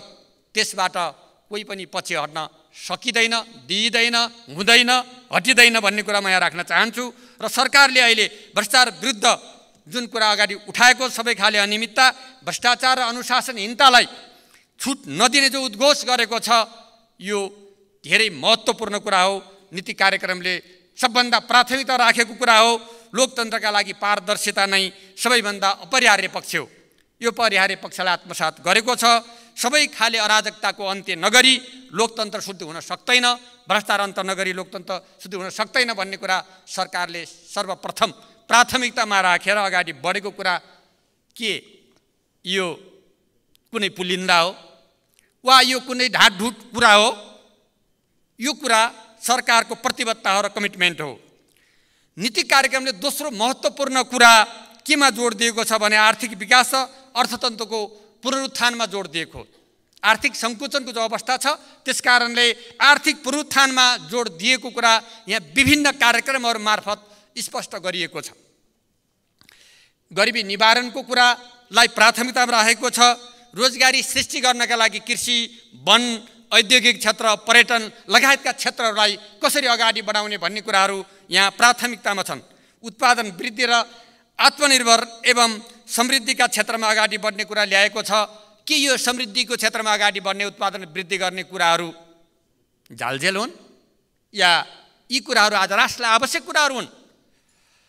कृषि क्षेत्रलाई प्राथमिकतामा राखेर उत्पादन र उत्पादकत्व वृद्धिका लागि आवश्यक कुराहरू मल बिउ कृषि बिमा बाँझो जमिनको प्रयोग शीत भण्डार सङ्कलन केन्द्र बजारको व्यवस्था र उत्पादनका विभिन्न के अरे मोडेल एकवटा एक सामुदायिक कृषि उत्पादन एक पालिका एक उत्पादन क्षेत्र चक्लाबन्दी भूपयोग नीति जैविक उत्पादन लगायतका कार्यक्रमहरू अगाडि सार्नु। के विगतका महत्त्वपूर्ण कार्यक्रमहरूलाई अस्वीकार गर्नु हो? ती कार्यक्रम निरन्तरताका कार्यक्रम बहुवर्षीय कार्यक्रम स्वत कार्यक्रमको रूपमा रहेका कुरा पनि म स्पष्ट गर्न चाहन्छु। ती रहि रहन्छन् अगाडि बढ्छन्। त्यसमा थप अझ त्यसलाई कसरी विस्तृत गर्ने भने कृषि क्षेत्रको विशेष प्राथमिकता साथ यहाँ जुन कुरा अगाडि सारिएको छ ती आफैमा महत्त्वपूर्ण छन्। के यो कुराले यो कुरा आजको आवश्यकता होइन? बाँझो जमिनको प्रयोग गर्नु आजको आवश्यकता होइन? कृषिको उत्पादकत्व वृद्धि गर्ने कुरा आजको आवश्यकता होइन? यसको लागि मल बिउ कृषि सिँचाइ लगायतको व्यवस्था गर्ने आजको आवश्यकता होइन? वन क्षेत्रको समेत प्रयोग गरी जडीबुटी खेती गर्ने वन्यजन्तु पालन गर्ने त्यसको संरक्षण गर्ने काठ काठजन्य वस्तुको प्रयोग गर्ने कुरा नीति कार्यक्रमले समेटेको कुरा के यो खिसिचिउरीको विषय हो? के यो आज आवश्यक छैन? हाम्रो उत्पा हाम्रो उत्पादन हाम्रो स्वाभिमान अभियान मार्फत स्वदेशी उत्पादन रोजगारी वृद्धि उद्यमशीलताका लागि सिप बिउ पुँजी आदिको व्यवस्था मार्फत रोजगारी सृष्टि गर्नु के सरकारले गल्ती गरेको हो? कि यो कुरा नगरेर अर्को के कुरा गर्न पर्ने हो? त्यसकारणले सरकारले उत्पादन क्षेत्र कृषि क्षेत्र रोजगारीको क्षेत्रलाई विशेष प्राथमिकता राखेर जो नीति कार्यक्रममा ल्याएको छ यो नीति कार्यक्रमलाई पन्ध्र गते आउने बजेटले त्यसलाई पुष्टि गर्नेछ प्रमाणित गर्नेछ त्यसलाई कार्यान्वयनमा अगाडि लैजानुपर्नेछ। औद्योगिक विकासको सन्दर्भ यातायात प्रणालीको सुधार गर्ने कुरा विद्युतीय उपकरणसहितको यातायातलाई प्राथमिकतामा राख्ने कुरा देशलाई पूर्ण विद्युतीकरणमा लैजाने कुरा आवश्यक छैनन् र सरकारले यिनै कुराहरू ल्याइरहेको छ। यसर्थ हामीले यहाँ आज भएको युवा बहुल जो जनसङ्ख्या छ युवा बहुल जनसङ्ख्याको उपयोग कसरी गर्ने त्यसको सदुपयोग कसरी गर्ने तिनको क्षमता वृद्धि गर्ने कुरा उद्योग पर्यटन कृषि क्षेत्र मार्फत रोजगारी सृजना गर्ने। वैदेशिक रोजगारमा गएकाहरूको संरक्षण त्यसमा विविध पक्षहरू होला संरक्षणमा संरक्षण उनको कमाइको यहाँ सदुपयोग र सम्मान गर्ने नीति सरकारले लिनु के उनीहरूप्रति अपमान हो र यी कुराहरू सरकारले अगाडि बढाएको छ। आज शिक्षा क्षेत्रको समस्या छ। शिक्षा क्षेत्रका लागि हाम्रा सिकाइको हाम्रो तरिका हाम्रो विधि हाम्रो प्रणाली आजको विकसित विज्ञान र प्रविधिको प्रयोग गर्ने स्तर त्यहाँ हामीले कायम गर्न सकिरहेका छैनौँ। त्यस कारणले पाठ्यक्रमको पुनरावलोकन गर्ने कुरा र सबै बालबालिकाहरूलाई विद्यालयमा ल्याउने र टिकाउने योजना दलित अल्पसङ्ख्यक लोक उन्मुख समुदायका बालबालिकालाई विशेष कार्यक्रम मार्फत तिनीहरूलाई सिक्ने सिकाउने वातावरण बनाउने कुराको आवश्यकता आज छैन हाम्रो देशमा। के पूर्ण भइसकेको छ? आवश्यक छ भने नीति कार्यक्रमले यही कुरालाई सम्बोधन गरेको छ। र पढ्दै कमाउँदै कार्यक्रमलाई कमाउँदै पढ्दै र पढ्दै कमाउँदै कार्यक्रमलाई विस्तार गरी अगाडि बढाउने कुरा गरेको छ जसबाट बाह्र कक्षासम्मका विद्यार्थीहरूले आफ्नो कक्षाबाट निस्किँदा एउटा न एउटा सिप र क्षमता दक्षता हासिल गरेर अगाडि बढ्न सक्ने र आत्मनिर्भर भएर अगाडि बढ्ने एउटा स्थिति सिर्जना भएको छ। उच्च शिक्षामा सुधार गर्ने कुरा नवप्रवर्तन आधारित अध्ययन अनुसन्धानमा प्राथमिकता दिने जोड दिने कुरा जो विषयहरू नीति कार्यक्रमले समेटेको छ यी कार्यक्रमहरू आफैमा शिक्षा क्षेत्रलाई आजको आवश्यकतामा अगाडि बढाउने कुरासँग सम्बन्धित छन्। जनस्वास्थ्य र सरसफाइ फोहोर व्यवस्थापनका नीतिगत प्राथमिकताहरू स्वास्थ्य क्षेत्रमा आम जनताको पहुँच पुर्याउन चिकित्सक र अस्पताल विस्तारमा जोड दिने कुरा यही त आजको आवश्यकता हो। आज दुर्गम क्षेत्रहरूमा गाउँहरूमा पालिकाहरूमा जिल्ला अस्पतालहरूमा डक्टरहरूको अभाव छ। त्यसलाई पूर्ति गर्नु नीति कार्यक्रमले जोड दिएको छ।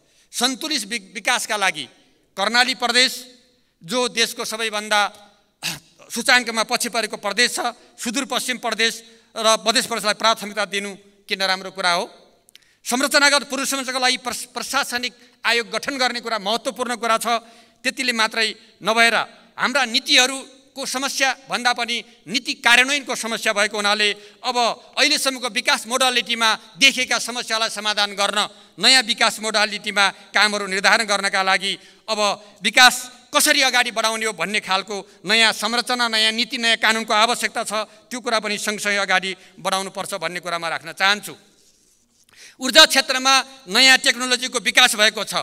सामान्य सभामुख महोदय आज हामीले त्यसलाई आत्मसत आत्मसातीकरण गरेर विद्युत व्यापारको चिन्ताबाट मुक्त भई हाइड्रोजन र युमुनियामा रूपान्तरण गर्दै आयातित पेट्रोलियम ऊर्जाको विकल्पमा हरित ऊर्जा गर्ने हरित ऊर्जा प्रयोग गर्ने र विश्व बजारमा निर्यात निर्यात गर्ने सम्भावनालाई हामीले केन्द्रित गर्न जरुरी छ।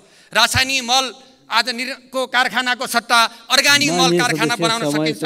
सामान्य सभामुख महोदय मैले सकेँ मात्र एउटा वाक्य भन्न चाहन्छु। पर्यटनको हाम्रो अपार सम्भावना छ। त्यो अपार सम्भावनालाई पशुपतिको क्षेत्र मात्रै होइन सगरमाथा लिमी भ्याली र मुक्तिनाथ जस्ता ठाउँहरूमा आज हामीले यातायातको व्यवस्था गऱ्यौँ भने त्यो अगाडि बढ्न सक्छ। यसरी शिक्षा क्षेत्रको दोहोरो मागदण्डलाई अन्त्य गर्नको लागि डिजिटल प्रणाली लागू गर्नुपर्छ। शिक्षकहरूको अभावलाई पनि त्यसले पूर्ति गर्नेछ भन्ने कुरामा राख्दै रोजगारीका सबै उपायहरूलाई उपयोग गर्दै औद्योगिक स्थापनाहरू अध्ययनमा आधारित होइन अनुसन्धानमा आधारित गऱ्यो भने त्यसले बढी प्रतिफल दिनेछ भन्ने कुरा राख्दै नीति कार्यक्रम शानदार छ वैज्ञानिक छ सशक्त छ भन्ने कुरा राख्दै बिदा हुन्छु। धन्यवाद। मान्य सदस्य श्री शिव नेपाली समय छ मिनट। त्यस पछाडि मान्य सदस्य ध्रुवबहादुर प्रधान।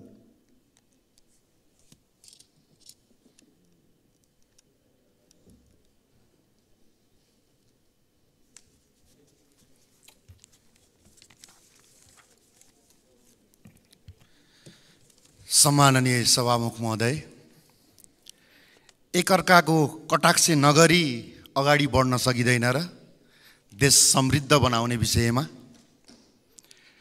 सम्माननीय सभामुख महोदय यस गरिमामय सदनमा सम्माननीय राष्ट्रपतिज्यूले जेठ पाँच गते नीति तथा कार्यक्रम सङ्घीय संसदको दुवै सदनको संयुक्त बैठकलाई गर्नुभएको सम्बोधनमा कृषि क्षेत्रको उत्पादन र उत्पादकत्व वृद्धि गरी साँच्चै नै देश आत्मनिर्भर र स्वाभिमानी नेपाली हुनको लागि नै छ तर वैशाख अट्ठाइस गते एक दैनिक पत्रिकामा नेपाली दुध नकिन्ने तर बाहिरबाट आयात गर्ने गल्ती नहोस् भन्ने सम्पादकीय लेखले सम्पूर्ण किसानलाई त्रसित बनाएको छ। यसले नेपालमा प्रचलित उखान काम कुरो एकातिर कुम्लोक बोकी ठिमीतिरलाई प्रतिबिम्बित गर्दछ। उक्त लेखलाई आधार मानियो भने दैनिक एक लाख पचास हजार लिटर दुध आयात गर्नुपर्ने उद्योगीहरूको माग छ। यदि सरकारले आयात खुला गरेमा केही व्यक्तिहरूलाई अधिकतम मुनाफा सुनिश्चित छ तर नेपालका कृषकका उत्पादित दुधले भने पक्कै नै सडक सफा हुनेमा दुई मत छैन। यदि किसानले उत्पादित वस्तुको सङ्कलन गुणस्तर परीक्षण र आत्मनिर्भर कृषि अर्थतन्त्रमा अडिग भई कार्य गर्न सकेमा उद्योगीहरूको मनोमानीको उपचार आयात हो भन्ने अन्त्य हुने थियो।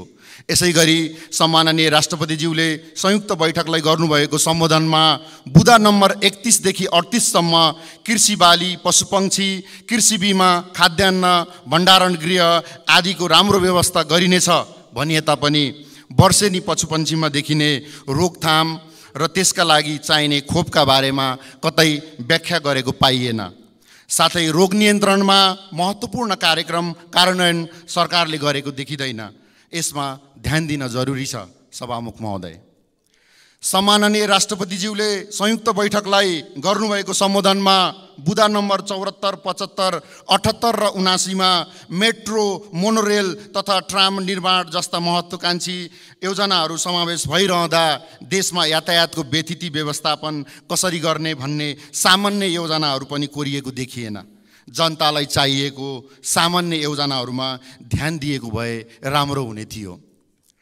कृषि क्षेत्र र धुवानी क्षेत्र एक अर्काको परिपू परिपूरक क्षेत्र हुन्।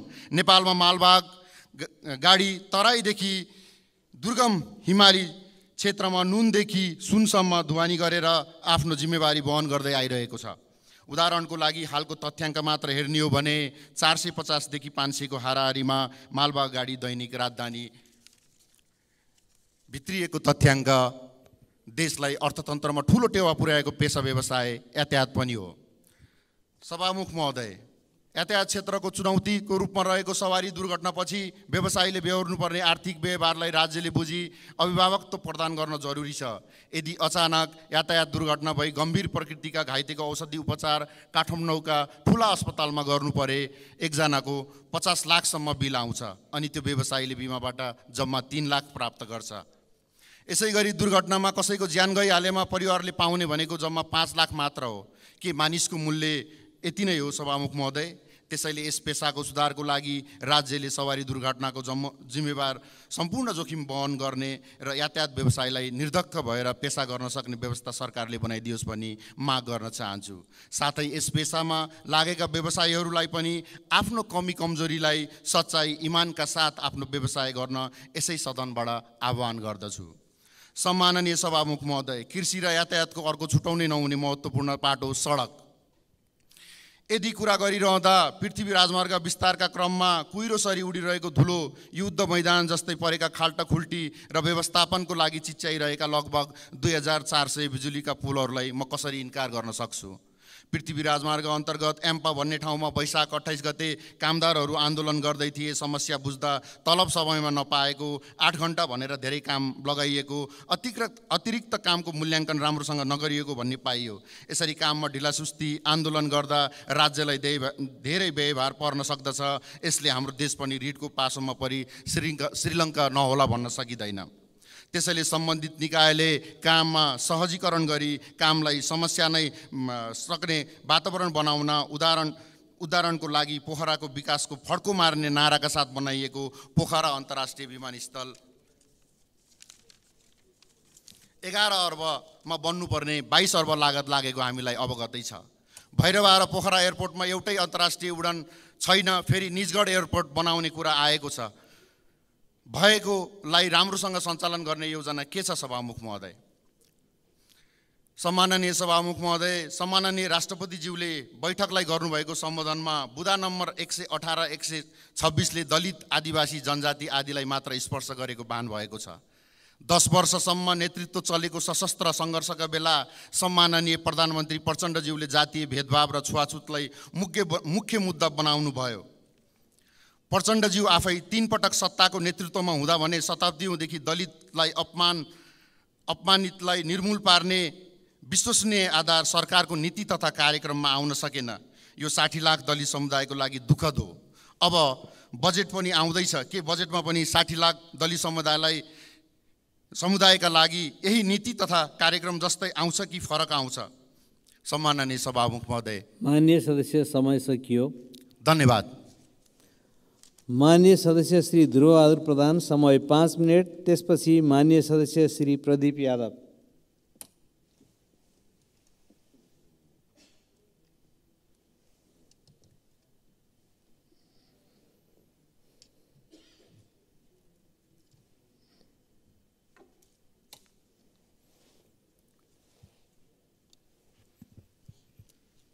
सम्मान्य सभामुख महोदय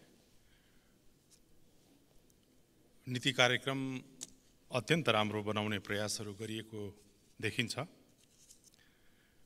केही राष्ट्रियताका सवाल केही जनजीविकाका सवाल र केही विकास र विशेष परिस्थितिमा गर्नुपर्ने विकासका कुराहरू छुट भएको महसुस गरिएको छ। र केही यस्ता प्रश्नहरू जो व्यावहारिक छैनन् त्यस्ता कुराहरूलाई अलिकति नजरअन्दाज गरेको पनि देखिएको छ। यदि यी कुराहरूलाई समावेश गरियो भनेदेखि सरकारले ल्याएको यो नीति कार्यक्रम अत्यन्त उत्तम हुने थियो भनेर त्यसका केही सुधारका पक्ष अथवा इन्कर्पोरेट गर्न सकिन्छ भन्ने त्यस्ता कुराहरूलाई म निवेदन गर्न चाहन्छु। सभामुख महोदय तिन तहको सरकारको अन्तर सम्बन्धको विषयमा उल्लेख गरिएको छ। बुँदा नम्बर बाह्रमा त्यस बुँदामा गरिएको उल्लेख जुन व्यवहारिक देखिएको छैन व्यवहारिक प्रमाणित भएको देखिएको छैन सम्बन्ध कमी कमजोरी देखिएको जुन सेवाग्रहीले सेवा प्राप्त नगरेको अनुगमनको कारणले भएको कारणले गर्दा त्यो कुरालाई सुदृढ बनाउन नितान्त आवश्यक भएकोले त्यसबिचको सम्बन्ध प्रभावकारी बनाउने आवश्यक भएकोले त्यसलाई सुधार गर्नुपर्ने आवश्यक देखिन्छ। र पुँजी बजारको विकास विस्तारको लागि गैर आवासीय नागरिकको लगानी लगानी खुला गरिने भन्ने भनिएको छ। त्यो त्यतिखेर मात्रै सम्भव छ। यदि हामीले नागरिकता विधेयकको संशोधनको क्रममा अन्य देशको नागरिकता प्राप्त गरेको नेपाली लाई नेपालीको नागरिकता स्वतः रद्द हुने जुन प्रावधान छ यदि त्यसको अन्त गरियो भने यो पनि सम्भव हुन सक्ने भएकोले यो संशोधन गरेर मात्रै यी कुराहरू राख्न उपयुक्त हुन्छ जस्तो लागेको छ। कृषि कर्जा अनुदानको फेरिस्त एकतिस र बत्तिसमा दफामा उल्लेख गरिएको छ बुदामा अनुदानको फेरिस्त सार्वजनिक गर्न अत्यन्त अत्यन्त आवश्यक छ। त्यसको धेरै दुरुपयोग भएको कुरा भएकोले कृषिलाई सेवा प्रदान गर्ने सरकारले निष्पक्षता साथ मूल्याङ्कन गरी अगाडि बढ्न पनि यसलाई उपयुक्त हुने अवस्थाहरू देखिएको छ। जहाँसम्म सिँचाइको सन्दर्भ छ जुन चाहिँ दफा एक बुँदा नम्बर एक एकचालिसमा उल्लेख गरिएको छ त्यो सिँचाइ प्रबन्धको लागि बोरिङ र डिप बोरिङ भएको स्थानमा कृषकको निवेदनको आधारमा पन्ध्र दिनभित्र कृषि मिटर जडान गर्न सक्ने छौँ भन्ने खालको कुरा उल्लेख गरियो भने त्यो उपयुक्त नै देखिन्छ। सीतामाता पाताल प्रवेशको गरेको ठाउँ रामायण लेखिएको स्थल वाल्मिकी आश्रम तथा रामग्राम भगवान् बुद्धको अस्तु भएको स्थानलाई विश्व सम्पदा सूचीमा राख्न उल्लेख गर्न छुटाइएको अवस्था पनि छ। पर पर्वटिक पर्यटकीय गन्तव्य बनाउनको लागि आदिवासी जनजाति अठार लाख करिब जनसङ्ख्या भएको भूमिपुत्र थारूहरूको ठुलो तबका नवलपरासी पश्चिम दुईमा बस्दछ। सरावल गाउँपालिका वार्ड नम्बर दुई मनरीमा थारू प्रतिष्ठान तथा सङ्ग्रहालय निर्माण गरी अन्तर्राष्ट्रिय राष्ट्रिय पर्यटक आकर्षण गर्न सकिने भएकोले त्यस्तोको विकासको कुरा पनि राख्न उपयुक्त हुन्थ्यो। पाली नन्दन गाउँपालिका जहाँ तिन सय बिघाको नन्दन ताल रहेको छ जसलाई विकसित गर्न नितान्त आवश्यक आवश्यक देखिएको छ। प्रमाणित सुकुम्बासीलाई ध्वनि पूर्जा उपलब्ध गराइ गराउनु पर्छ भन्ने कुरा यहाँ उल्लेख गर्न नितान्त आवश्यक देखिएको छ। मुद्रण सुरक्षण मुद्रण केन्द्र यसै वर्ष पुरा गरिनेछ भन्ने कुरा उल्लेख गर्न नितान्त आवश्यक देखिएको छ। नेपाली खेलाडीहरूले एसियन गेम्स र ओलम्पिक गेम्समा पदक प्राप्त गर्न सक्ने सम्भावनाको आधारमा अन्तर्राष्ट्रिय मापदण्डको अभ्यास स्थल प्राथमिकता दिई निर्माण गरिनेछ र उक्त स्तरको प्रशिक्षकको व्यवस्था गरिने व्यवस्था हुन पनि आवश्यक देखिएको छ। नागरिकताको समस्या एक महिनाभित्र पुरा गरिन्छ भन्ने कुरा पनि उल्लेख गर्न नितान्त आवश्यक देखिन्छ। खुला सिमानामा नियमनकारी व्यवस्था गर्न सीमा अपराध नियन्त्रण गरी छिमेकीसँगको सुमधुर सम्बन्ध कायम गर्न नितान्त आवश्यक देखिएको छ। नेपाली सेना समय सकियो। नेपाल प्रहरी तथा सशस्त्र प्रहरी बललाई आफ्नो सेवा सम्पादनका लागि दक्ष बनाई स्वतन्त्र रूपले कानुन बमोजिम उच्च मनोबल साथ काम गर्न वातावरण सिर्जना गर्न नितान्त जरुरी देखिएको छ। धन्यवाद। जय राष्ट्रवाद। मान्य सदस्य श्री प्रदीप यादव समय आठ मिनट। त्यसपछि मान्य सदस्य श्री भानुभक्त जोशी।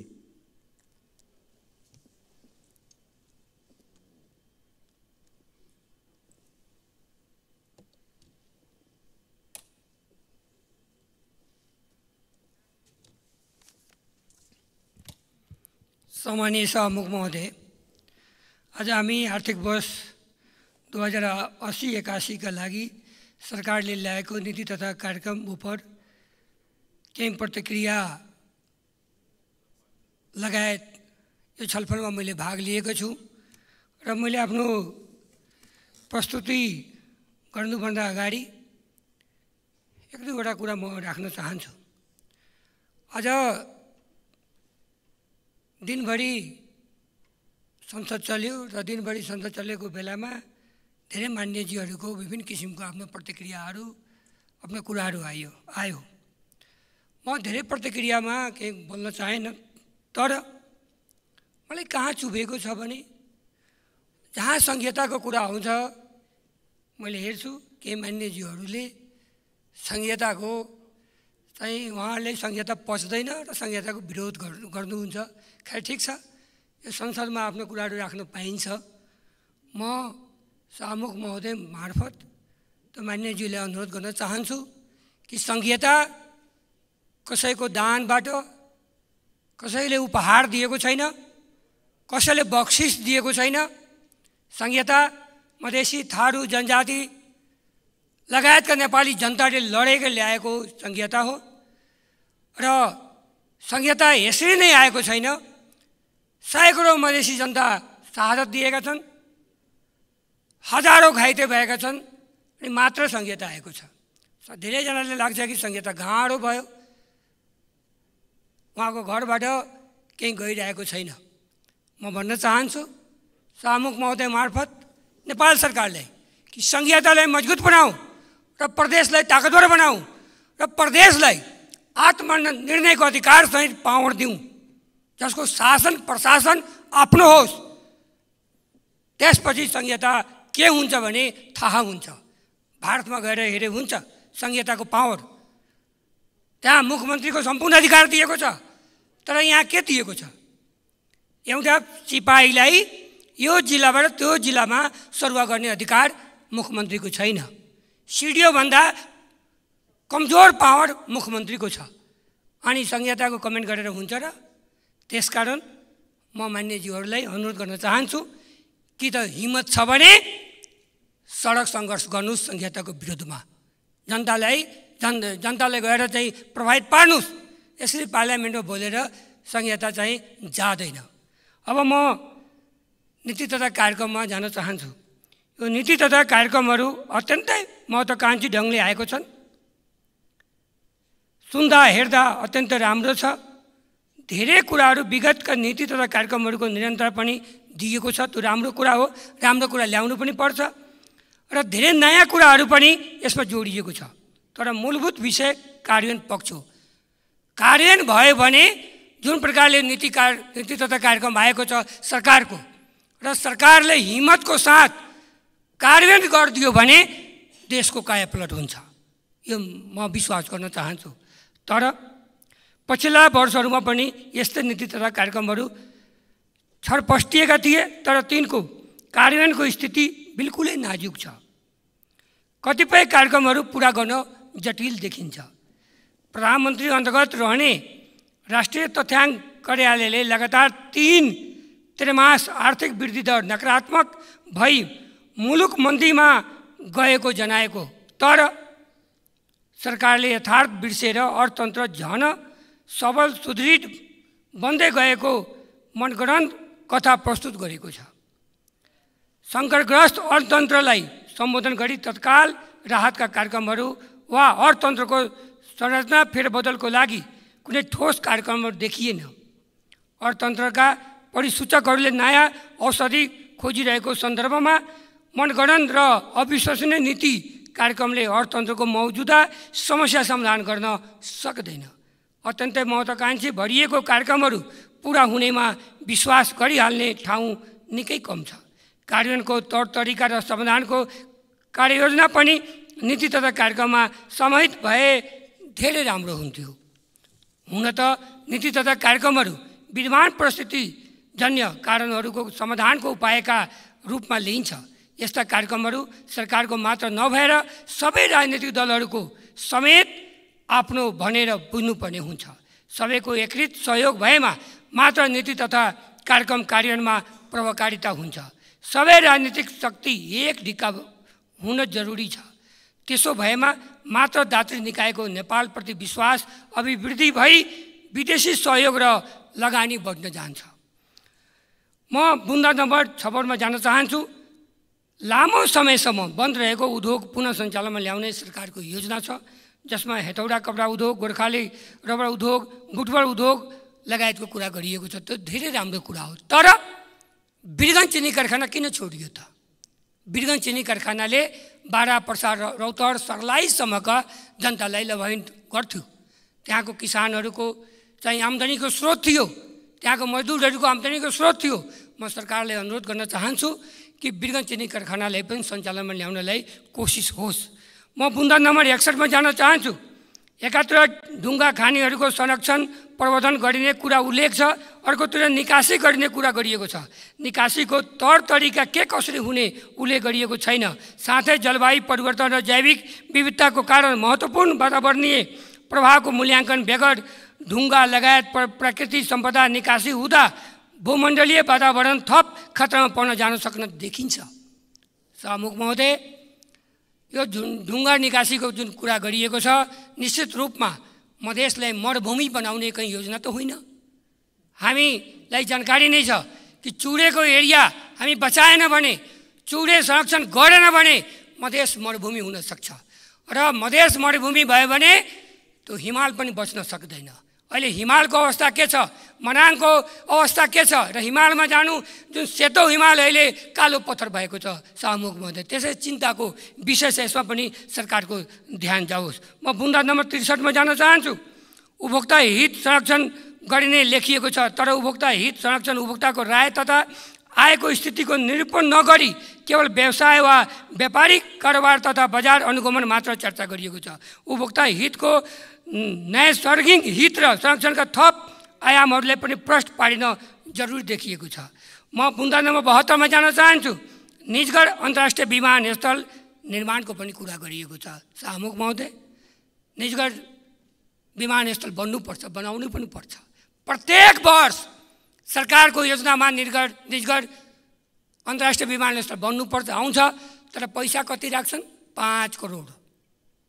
पाँच करोडमा निजगढ निर्माण निजगढ निजगढ विमानस्थल निर्माण हुनसक्छ र अब सरकारले हुन त यो बजेट होइन। सरकारको नीति कार्यक्रम हो सरकारको एउटा मास्टर प्लान हो। तर म सरकारलाई अनुरोध गर्न चाहन्छु कि निजगढ विमानस्थल बनाउनु छ भने त्यसको चाहिँ पैसाको सकाय सहमुख अन्त भन्छु सकाय सहमुख त्यसको चाहिँ पैसाको सुनिश्चित हुनु पर्यो। अर्को कुरा कि निजगढ विमानस्थलको नाउँमा जुन प्रकारले रुख चाहिँ बेसी रुख काट्न गर्ने जुन एउटा प्लान छ त्यो प्लान रोक्नुपर्छ सरकारले। बरु निजगढ विमानस्थलको ठाउँमा जुन टाङ्गिया बस्ती छ जुन पाँच सय हेक्टरमा कब्जा गरिएको छ मुआब्जा दिएर पनि टाङ्गिया बस्ती कब्जा त्यहाँ भएको छ त्यहाँ नागरिकहरूले केही नागरिकहरूले बाहिरबाट ल्याएर बसाइएको छ र कब्जा गराइएको छ त्यो पहिला हटाउनु पर्यो। पाँच सय हेक्टर त्यो र पाँच सय हेक्टर जङ्गलबाट लिनु पर्यो। अनि मात्र विमानस्थल निर्माणको काम अगाडि बढाउनु पर्यो। एकातिर जङ्गल काट्ने अर्कातिर डाँडागाडाबाट ल्याएर चाहिँ बस्ती बसाउने। र अर्को कुरा सरकारको के छ भने यता विमानस्थल निर्माणको पनि कुरा गर्ने अनि टाङ्गिया बस्तीमा गएर बिजुली पनि दिने खानेपानी पनि दिने। मान्य सदस्य श्री भानुभक्त जोशी समय छ मिनट त्यसपछि मान्य श्री अब्दुल खान।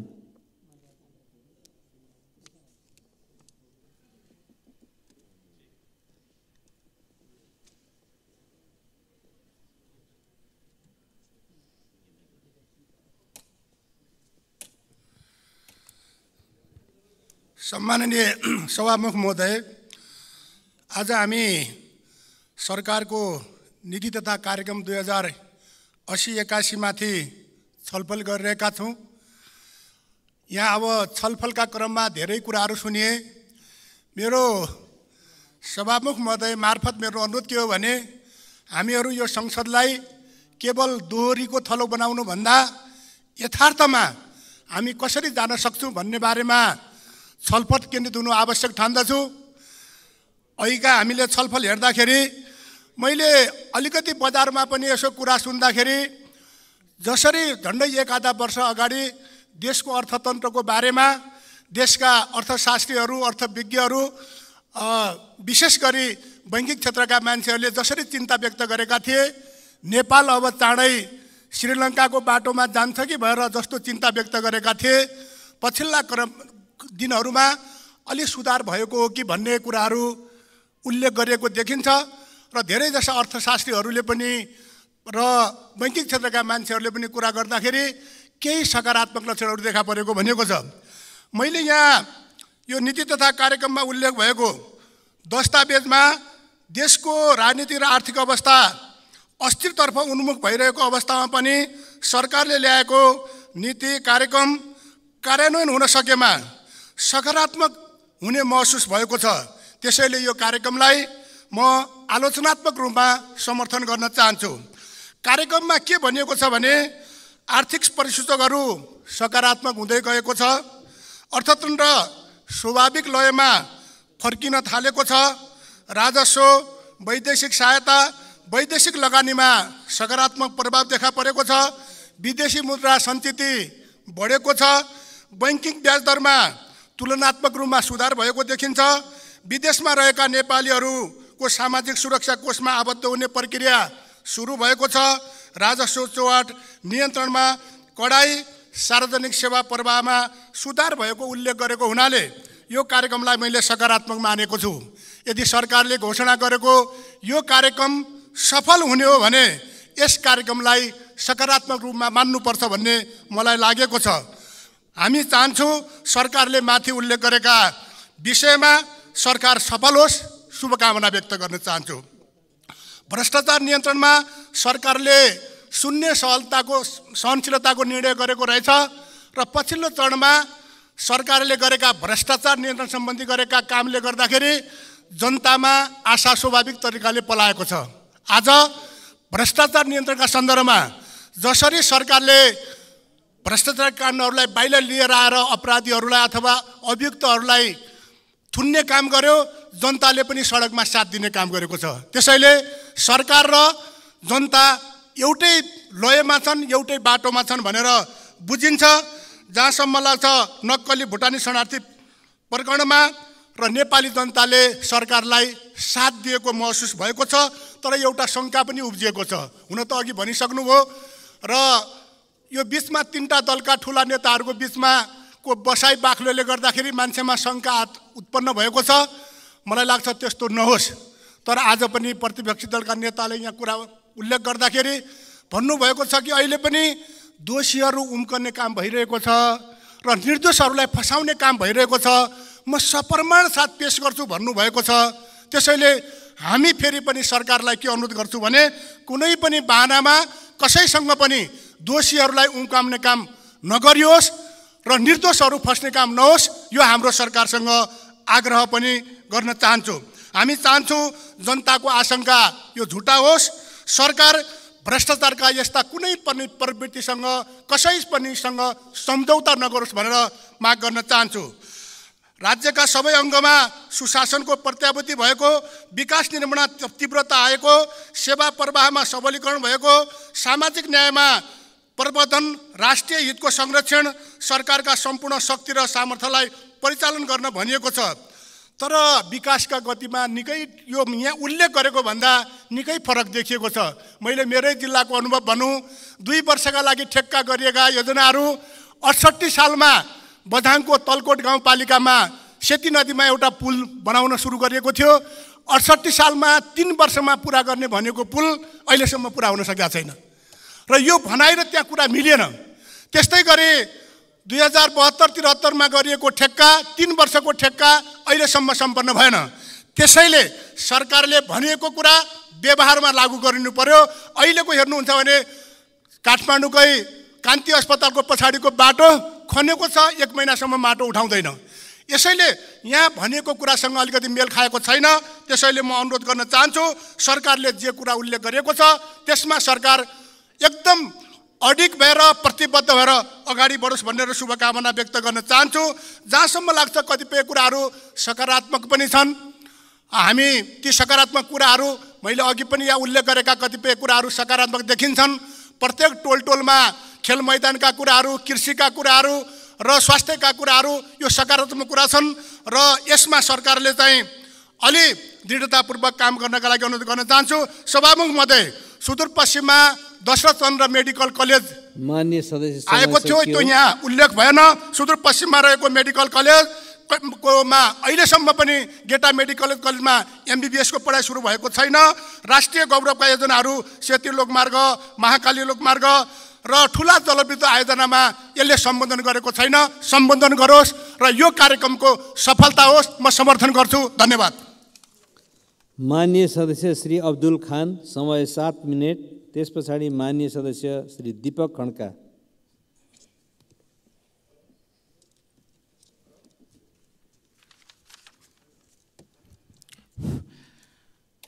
सम्मानीय सभामुख महोदय मुलुकको हित लोकतंत्र सामाजिक न्याय, समाजवाद र अग्र अग्रगामी परिवर्तनको लागि आर्थिक वर्ष दुई हज़ार अस्सी एकासीको नीति तथा योजनामा हामी आज छलफल गर्दैछौँ। वास्तवमा हाम्रो सरकारले ल्याएको नीति तथा कार्यक्रमहरू धेरै हदसम्म उपयुक्त र समसामयिक रहेका छन्।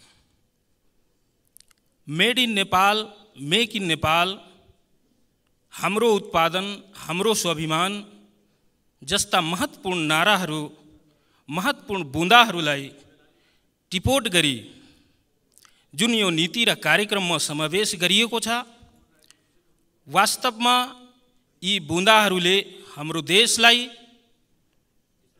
हाम्रो आर्थिक वर्षको उन्नति र प्रगतिलाई हाम्रो समाजको दशा र दिशालाई आवश्यक नै एउटा गन्तव्यतिर पुर्याउँछ यदि हामी इमान्दार भयौँ भने। यसमा एक बुँदा भनिएको छ विदेशमा गएका विदेशमा हाम्रा युवा साथीहरू गएका रोजगारको क्रममा गएका तिनीहरूको समस्या सुन्नको निम्ति चौबिसै घन्टा हटलाइनको व्यवस्था गरिएको छ। तर म सरकारलाई भन्न चाहन्छु त्यो हटलाइनले मात्र समस्या समाधान हुँदैन। त्यसको निम्ति वैदेशिक सरकारसँग हाम्रो सरकारले दिगो र। यस्तो सम्झौता गर्नुपर्छ कि हाम्रा विदेशमा गएका साथीहरूले आफ्नो तलबको निम्ति आफ्नो स्यालेरीको निम्ति उहाँहरूले गिडगिडाउनु नपरोस् आज उहाँहरूले यहाँबाट एग्रिमेन्ट गरेर विदेशमा जान्छन् तर काम पाउँदैनन् स्यालेरी पाउँदैनन् त्यसको निम्ति हाम्रो सरकारले वैदेशिक सरकारसँग दिगो र उपयुक्त नीति नियमहरू सम्झौताहरू गर्नुपर्छ। त्यस्तै यहाँ महत्त्वपूर्ण कुरा के भनिएको छ भने नेपालको आँखा अस्पताल अर्थात् तिलगङ्गा हस्पिटलले उत्पादन गरेको आइलेन्स विदेशी बजारमा हामी पुर्याउँछौँ। एकदम महत्त्वपूर्ण कुरा हो। यस्तै खाले हामीले अन्य उत्पादनहरू हाम्रो देशभित्र उत्पादन नेपाली गलैँचा जस्ता उत्पादनहरू गरेर विदेशका मार्केटहरूमा विदेशका बजारहरूमा यदि हामीले निर्यात गर्न सक्यौँ भने वास्तवमा हाम्रो देश समृद्धितिर जान्छ त्यो एकदम सही कुरा हो। त्यस्तै खेलकुद तथा कला क्षेत्रलाई प्रमोसनको निम्ति यो नीति तथा योजनाले धेरै कुराहरू समेटेको छ सभामुख महोदय। र यसले खास गरी उद्योग क्षेत्रको कुरा गरेको छ तर तिनवटा उद्योगलाई मात्र सञ्चालनमा ल्याउने जुन कुरा गरेको छ यसमा मलाई अलिकति संशय भएको छ सभामुख महोदय। किनभने हाम्रो देशमा छ सय एकानब्बेवटा उद्योगहरू छन्। छ सय छत्तिसवटा सञ्चालनमा छन् बत्तिसवटा निर्माणाधीन अवस्थामा छन् र तेइसवटा बन्द अवस्थामा रहेछन्। म सरकारलाई भन्न चाहन्छु कि तेइसवटै उद्योगलाई सञ्चालनमा हामी ल्याउँ अर्को पोइन्टमा के भने छ दुई वर्षभित्र पाँच लाखभन्दा बढी नयाँ रोजगारी सिर्जना गर्ने कुरा भनेको छ। यतातिर हामी तिनवटा उद्योग मात्रै सञ्चालन गर्ने अर्कातिर पाँच लाख रोजगारी कसरी सिर्जना गर्ने यो पनि एउटा स्पेसिफाई हुनुपर्छ स्मार्ट योजना हुनुपर्छ। हामी कृषिमा कतिजनालाई रोजगारी दिन्छौँ स्वास्थ्यमा कति दिन्छौँ उद्योगमा कतिजनालाई रोजगारी दिन्छौँ यो कुराको पनि स्पेसिफाई हुनै पर्छ यो योजना नीतिका नीतिहरूमा। अर्को यहाँ हामी शिक्षा क्षेत्रका कुरा गरेछौँ। स्थानीय तहका शिक्षामा चाहिँ हामीले विशेष जोड दिएका छौँ सभामुख महोदय। तर हामीले विश्वविद्यालयलाई यसमा प्राथमिकतामा किन राखेनौँ? नेपालमा एघारवटा विश्वविद्यालय छवटा शैक्षिक संस्थान तिनवटा प्रदेश स्तरीय विश्वविद्यालय रहेका छन्। पहिला हामी विश्वविद्यालयहरूको नीति योजना र का उनीहरूले गर्ने कामलाई स्पष्ट पारौँ न त्यस पछाडि हामीले स्थानीय तहमा विद्यालयहरूलाई त्यत्तिकै सुदृढ अवस्थामा पार्न सक्छौँ। सभामुख महोदय। यहाँ हामीले यो नीति र कार्यक्रममा हाम्रो सरकारले अन्ठानब्बेवटा औषधिजन्य स्वास्थ्यजन्य औषधिजन्य वस्तु निर्माण गर्ने कुरा गरेको छ सभामुख महोदय तर हामी सबैलाई थाहा छ अहिले स्थानीय सरकारको माताहतमा हुने help post sub help PSC गाउँघर क्लिनिकमा पनि अन्ठानब्बेवटा औषधि फ्री दिने कुरा गरेको छ नियमावलीमा छ तर सिटामोल पाउन पनि मुस्किल छ र अहिले हाम्रो देशको औषधि विभागले जम्मा छवटा औषधि निर्माण गर्ने कार्य गरिरहेछ सभामुख महोदय। त्यसकारण सरकारले यो कुरालाई स्पष्ट गर्नुपर्छ कि हामी अन्ठानब्बेवटा औषधि यो कारणले यसरी चाहिँ हामी उत्पादन गर्न सक्छौँ। यो कुराहरूमा सरकारले ध्यान दिनुपर्छ सभामुख महोदय। त्यस्तै कृषि बालीहरूको समर्थन मूल्यको कुरा गरेको रहेछ। र कुन बाली कसरी समर्थन मूल्य कति समर्थन मूल्य तोक्ने र सरकारले किन्ने कि बिचौलियाले किन्ने कि कसै अर्कैलाई किन्न लगाउने त्यो कुरा पनि स्पष्ट हुनुपर्छ यो नीति र कार्ययोजनामा। किनभने हाम्रो देश नेपालमा लगभग वर्षेनी पन्ध्र लाख मेट्रिक टन धान उत्पादन हुन्छ। तर अहिलेसम्म नेपाल सरकारले तिस हजार मेट्रिक टनभन्दा बढी धान समर्थन मूल्यमा खरिद गर्न सकेको छैन। अन्य कुन बालीहरू समर्थन मूल्यमा खरिद गर्छ भन्ने कुरा पनि स्मार्ट हुनुपर्छ। त्यसको पनि स्पेसिफाई हुनुपर्छ। बालीको पनि कुन बालीको कति उचित समर्थन मूल्य निर्धारण गर्नुपर्छ र सरकारले किन्ने वातावरण बनाउनुपर्छ यो कुरालाई। त्यस्तै सभामुख महोदय यसमा हामीले मान्य सदस्य के कुरा गरेछौँ भने बोर्डरमा सघन अवस्थामा पुलिस परिचालन गर्ने किन? चोरी पैठारी निकासीलाई बन्द गर्ने। तर हामी छोटी भन्सार नाकाहरूलाई स्थापना गर्ने कुरा गरिरहेको छैनौँ सभाङ महोदय। छोटी भन्सार नाकाहरू स्थापना भएपछि बल्ल चाहिँ हाम्रो राजस्व वृद्धि हुन्छ हाम्रो राजस्व बढ्छ र देश समृद्धितिर जान्छ। त्यसकारण यो नीति र कार्ययोजना धेरै राम्रा छन्। अझै यसलाई राम्रो पार्नको लागि हाम्रा धेरै विद्वान साथीहरूले बिहानदेखि आ आफ्ना कुराहरू आफ्ना तर्कहरू राख्दै आउनुभएछ यी कुराहरूलाई सुझावको साथ लिएर सरकारले अझ यसलाई स्मार्ट बनाउँछ भन्ने मलाई लागिरहेछ। हस् धन्यवाद। मान्य सदस्य श्री दीपक खड्का समय तेह्र मिनट। त्यस पछाडि मान्य सदस्य महेश बस्नेत।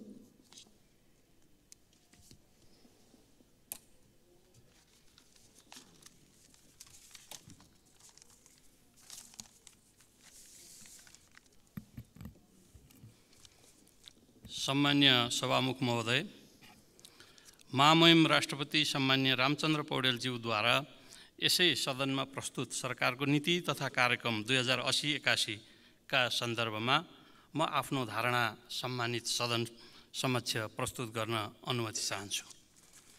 सम्मान्य सभामुख महोदय सरकारको नीति तथा कार्यक्रम दुई हजार एकासी असी एकासीमा सुशासन कायम गर्ने भ्रष्टाचार नियन्त्रण गर्ने राजस्व चुहाट नियन्त्रण गर्ने सार्वजनिक सेवा प्रवाहलाई सामाजिक न्यायका आधारमा आधारित बनाउँदै सरलीकृत बनाउने सन्तुलित परराष्ट्र नीति अवलम्बन गर्ने तिनै तहका सरकारहरूबिच आपसी समन्वय गर्दै विकासको न्यायचित वितरण गर्ने।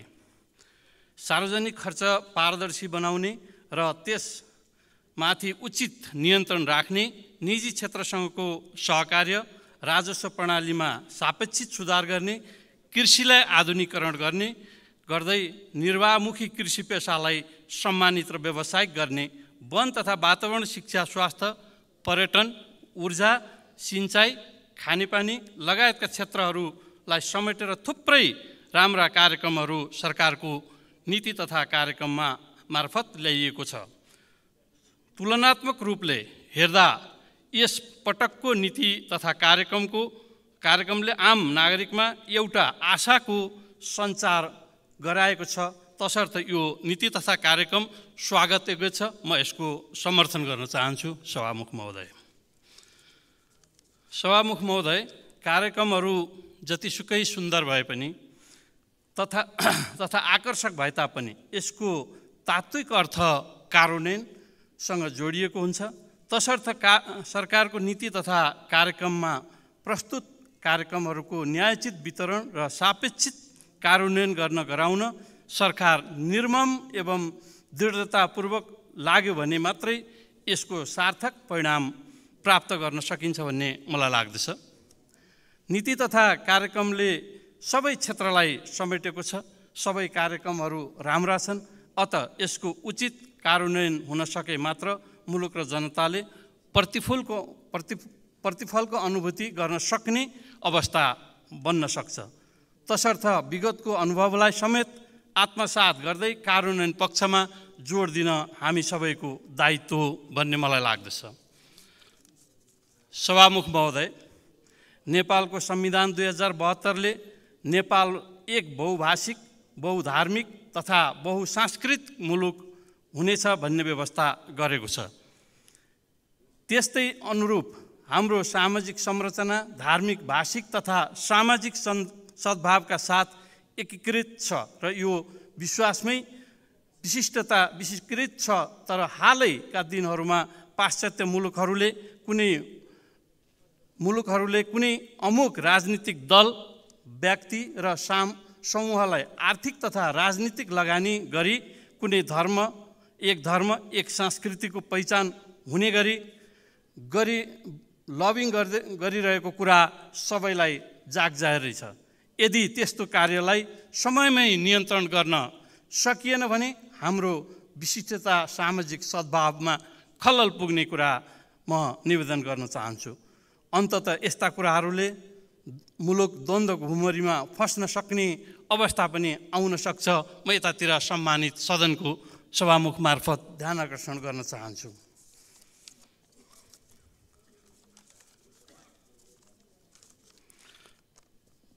सम्मान्य सभामुख महोदय सरकारको नीति तथा कार्यक्रममा समावेश भएका तर थप स्पष्ट पार्नुपर्ने केही विषयहरू साथै समावेश हुने पर्ने छुटेका केही विषयहरूलाई विषयगत रूपमा संक्षेपमा म सम्मानित सदन समक्ष राख्ने अनुमति चाहन्छु। सभामुख महोदय। अर्थ तथा राजस्वसँग सम्बन्धित। हाम्रो मुलुकको अर्थतन्त्र आन्तरिक रूपमा कृषि उत्पादनको ग्रास्त उत्पादनको महत्त्वपूर्ण हिस्सा धानेको छ भन्ने बाह्य रूपमा विप्रेषण रूपमा आधारित अर्थव्यवस्था रहेको कुरा हामी सबैलाई विविधै छ। हामी समाजवाद उन्मुख अर्थतन्त्र अर्थव्यवस्था कुरा गरिरहेका छौँ। राजस्व सङ्कलन सङ्कुचित बन्दै गइरहेको छ। राष्ट्रको आय सन्तुलित वितरण हुन सकेको छैन। राजस्व परिचालन घट्दो अवस्थामा रहेको छ। विकास बजेट सानो आकारको सानो हुँदै गइराखेको छ। त्यो पनि खर्च हुन नसकेको अवस्था विद्यमान छ। उत्पादकत्व वृद्धि गर्ने क्षेत्रमा राज्यको लगानी नभएको अवस्था छ। यस्तो अवस्थामा उत्पादकत्व वृद्धि गर्ने क्षेत्रमा लगानी बढाउनु पर्ने स्वदेशी तथा विदेशी लगानी मैत्री कानुन निर्माण गरी लगानी प्रोत्साहन गर्ने वित्तीय क्षेत्रको लगानी सीमाङ्कृत वर्गसम्म जोड्न सर्वसुलभ रूपमा कर्जा प्रवाह गरी राजस्व स्वराज स्वराजगर मार्फत सञ्चालन गर्ने बजेट कार्यान्वयन गर्न प्रभावकारी अनुगमन गर्ने साथै करका दायराहरू थप फराकिलो बनाउँदै लगिन भने विश्वव्यापी रूपमा फैलिँदै गएको आर्थिक मन्दीले हाम्रो जस्तो तेस्रो मुलुकको अर्थव्यवस्था धाराशायी बन्न सक्ने खतरा हुन सक्छ। तसर्थ अर्थ अर्थतन्त्रका सूचकहरूलाई संरचनागत सुधार गर्ने आवश्यक कानुन निर्माण गर्ने उक्त कानुन मार्फत नै विज्ञहरू रहने र एक का कार्यक्रममा समेट्न यस सम्मानित सदन मार्फत ध्यान आकर्षण गर्न चाहन्छु। सभामुख महोदय हामीहरूले अहिले नीति तथा कार्यक्रमका विषयमा उल्लेख गर्दै गर्दा यो एउटा दस्तावेज खालि यो बजेटको संविधान मात्रै हो भनेर बुझ्नु पर्दछ संविधानमा धेरै कुराहरू समेटिएर आउनेछन्। हाम्रो आजको आवश्यकता परिपूर्ति गर्नका निमित्त यति राम्रा कुराहरू समेटिराखेको विषयलाई हामीहरूले परिपूर्ति गर्नका निमित्त हामीसँग आएको स्रोत पुँजीको अभाव हुन सक्छ। र पुँजी बढाउनेतर्फ हाम्रो ध्यान आकर्षित हुनुपर्दछ। म आग्रह गर्न चाहन्छु सभामुख महोदय यो हाम्रो सम्मानित सदन जनप्रतिनिधिहरूको सदन केवल बजेटका हिसाबले पक्ष विपक्ष हुनु हुँदैन भन्ने मेरो मान्यता छ। बजेटले न पक्ष चिन्छ न विपक्ष चिन्छ। त्यसो भएका कारणले स्रोतको परिचालन कसरी गर्ने? स्रोतलाई हामीहरूले व्यवस्थित कसरी गर्ने र स्रोत भित्र्याउने कुराहरू कुन कुन बाटाबाट आउन सक्छन् भन्ने कुरा यो सदन जिम्मेवार हुन सक्नुपर्दछ। सदन भनेको सभामुख महोदय यो आशा जगाउने ठाउँ हो। यहाँ धेरै कुराहरू सुनियो पक्ष विपक्षका कुराहरू पनि आए। म सम्मानित सदनमा सभामुख मार्फत म आग्रह गर्न चाहन्छु। हामी जनप्रतिनिधिहरू जनताले आश र विश्वास भरोसा गरेर पठाएको हो। त्यही आशा र विश्वास भरोसा अहिले पनि कायमै छ। जनताहरूलाई हामीहरूले आश जगाउन सक्नुपर्दछ जगाएका आशलाई कार्यान्वयन गर्न सक्नुपर्दछ। हाम्रा थुप्रै स्रोत र साधनहरू हामी कहाँमा मौजा छन् तिनको सदुपयोग गर्न सक्नुपर्दछ। म आग्रह गर्न चाहन्छु। हामीहरूले पटक पटक भन्दै आएका छौँ सबैले सबैका निर्वाचनका बेला घोषणापत्रहरूमा उल्लेख भएका विषयहरू हुन्। हामीसँग भएको जलस्रोतलाई उपयोग गर्ने कुरा झन्डै पैँसठी हजार मेगावट जलविद्युतको उपयोग गर्ने कुरा सबैका घोषणापत्रहरूमा छन् र दस हजारभन्दा बढी मेगावट एकै वर्षमा उत्पादनमा अगाडि बढाउने सबैका घोषणापत्रहरूमा देखिन्छन् तर कार्यान्वयन पक्ष असाध्यै कमजोर देखिन्छ। त्यस कारणले म आग्रह गर्न चाहन्छु सभामुख महोदय हामी सांसदहरू मिलेर यसलाई कार्यान्वयनको पक्षमा लान सकिन्छ। सरकारले ल्याएका नीति तथा कार्यक्रमहरू राम्रा छन्। यसैका जगमा उभिएर हाम्रो अर्थतन्त्रलाई बलियो बनाउने पाटोमा हामी अगाडि बढ्न सक्छौँ। हामीले अहिले बिस हजार मेगावाटलाई पिपिए गरेर निर्माणका लागि अगाडि बढायौँ भने सम्मान्य प्रधानमन्त्रीज्यू भारत जाँदै हुनुहुन्छ। दस बाह्र हजार मेगावाट बिक्री गर्ने गरेको सम्झौता आउने पहल हामी सबैले गरौँ आग्रह गरौँ। सरकारले आग्रह गरोस् र दस हजार मेगावाट अबका पाँच वर्षमा नेपालमा खपत हुने गरीको व्यवस्था गर्न सकिन्छ। यसो भयो भने झन्डै चालिस खर्ब बराबरको लगानी सुरुवात हुन्छ। चालिस खर्बको लगानी सुरुवात हुँदै गर्दा खरबौँको बजेट हामीसँगै मौजा रहन्छ। त्यसो भएका कारणले म सङ्खुवा सभाको मान्छे सम्मानित सभामुख महोदय मार्फत म आग्रह गर्न चाहन्छु। सङ्खुवा सभामा यहाँहरूलाई सबैलाई थाहै छ सबैले पटक पटक भन्नुभयो अरुण तेस्रो नौ सय दुई मेगाहट विद्युत आज उत्पादनको चरणमा छ अब केही महिनामा यो उत्पादन सम्पन्न हुँदैछ।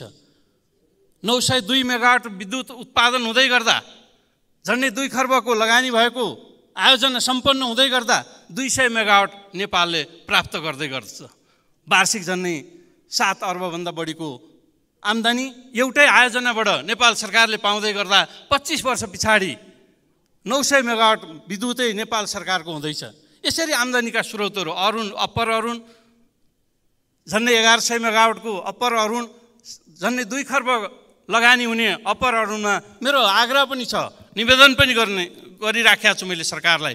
म आज नीति तथा कार्यक्रमको अवसरमा म फेरि निवेदन गर्न चाहन्छु। यो आयोजना सम्पन्न हुँदै गर्दा सङ्खुवा सभामा झन्डै एकचालिस हजार घरधुरी छन्। यो एउटा मोडल हुनसक्छ। र चालिस एकचालिस हजार घरधुरीलाई पाँच लाख रुपियाँ लगानी मात्रै दिनुहोस्। हामी अनुदानका कुरा गरिराखेका छौँ। हामी म अनुदानमा विश्वास गर्न चाहन्न। सस्तो ब्याजमा दिनुहोस्। ऋण दिनुहोस् सङ्खुवा सभावासीलाई। र इक्विटी लगानी हुन्छ।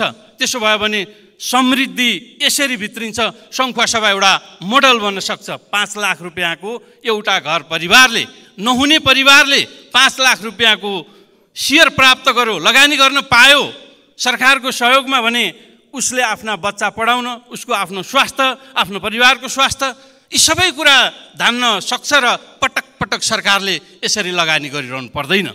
म आग्रह गर्न चाहन्छु साढे तिन हजारभन्दा बढी मेगावट झन्डै छ खर्बको लगानी अहिले सङ्खुवा सभामा सुरु भइराखेका छ।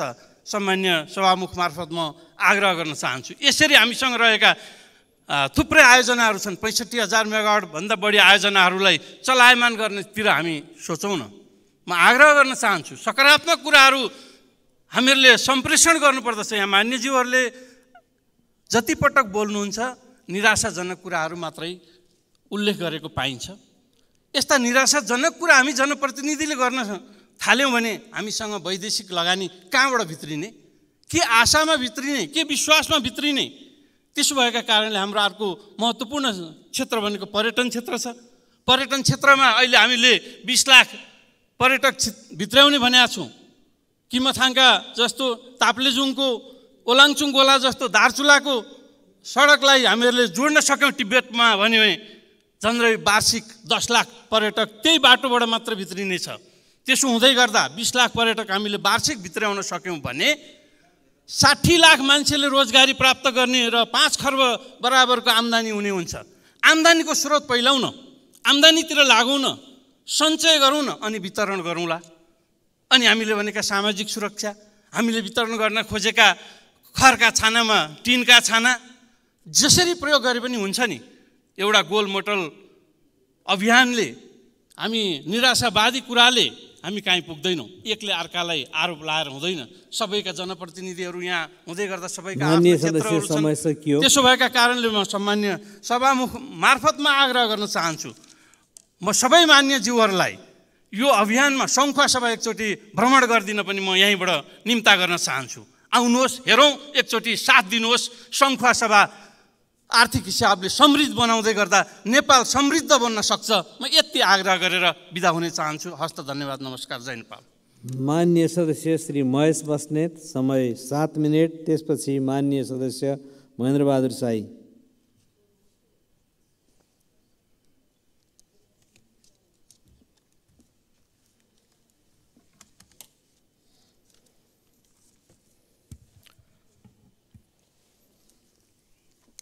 सम्माननीय सभामुखज्यू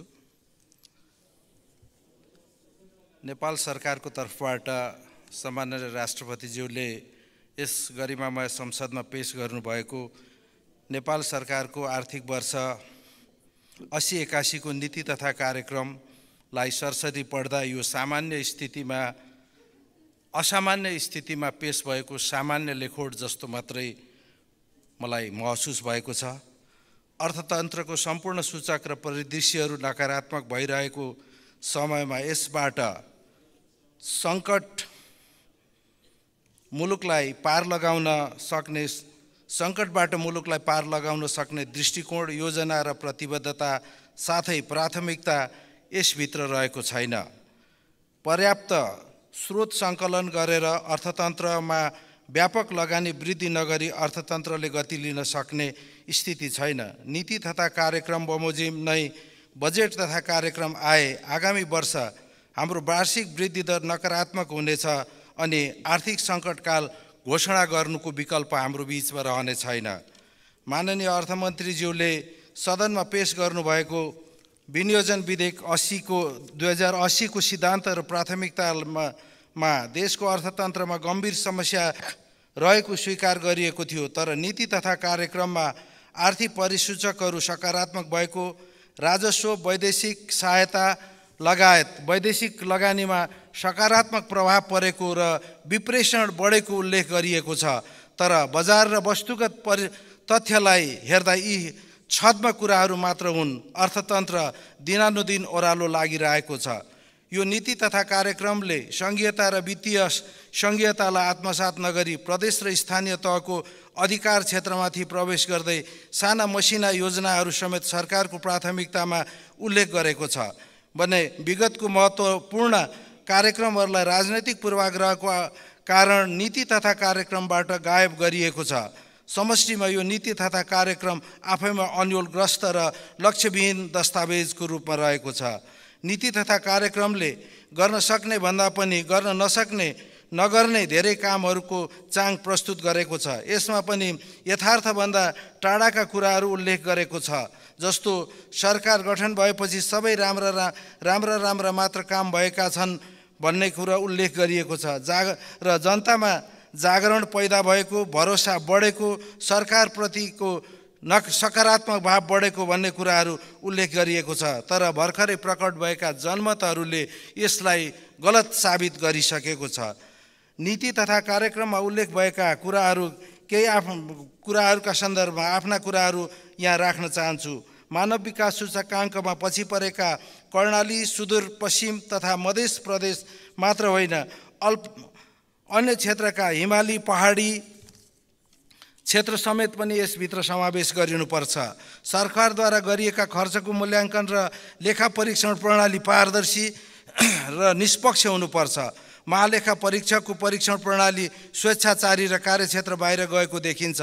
बेरोज उत्पादन गर्ने कारखानाको रूपमा महालेखा परीक्षण कार्यालय रहेको देखिन्छ। यसलाई स्वच्छ पारदर्शी र प्रभावकारी बनाउने नीति कार्यक्रम आउनु पर्यो। त्यो खै?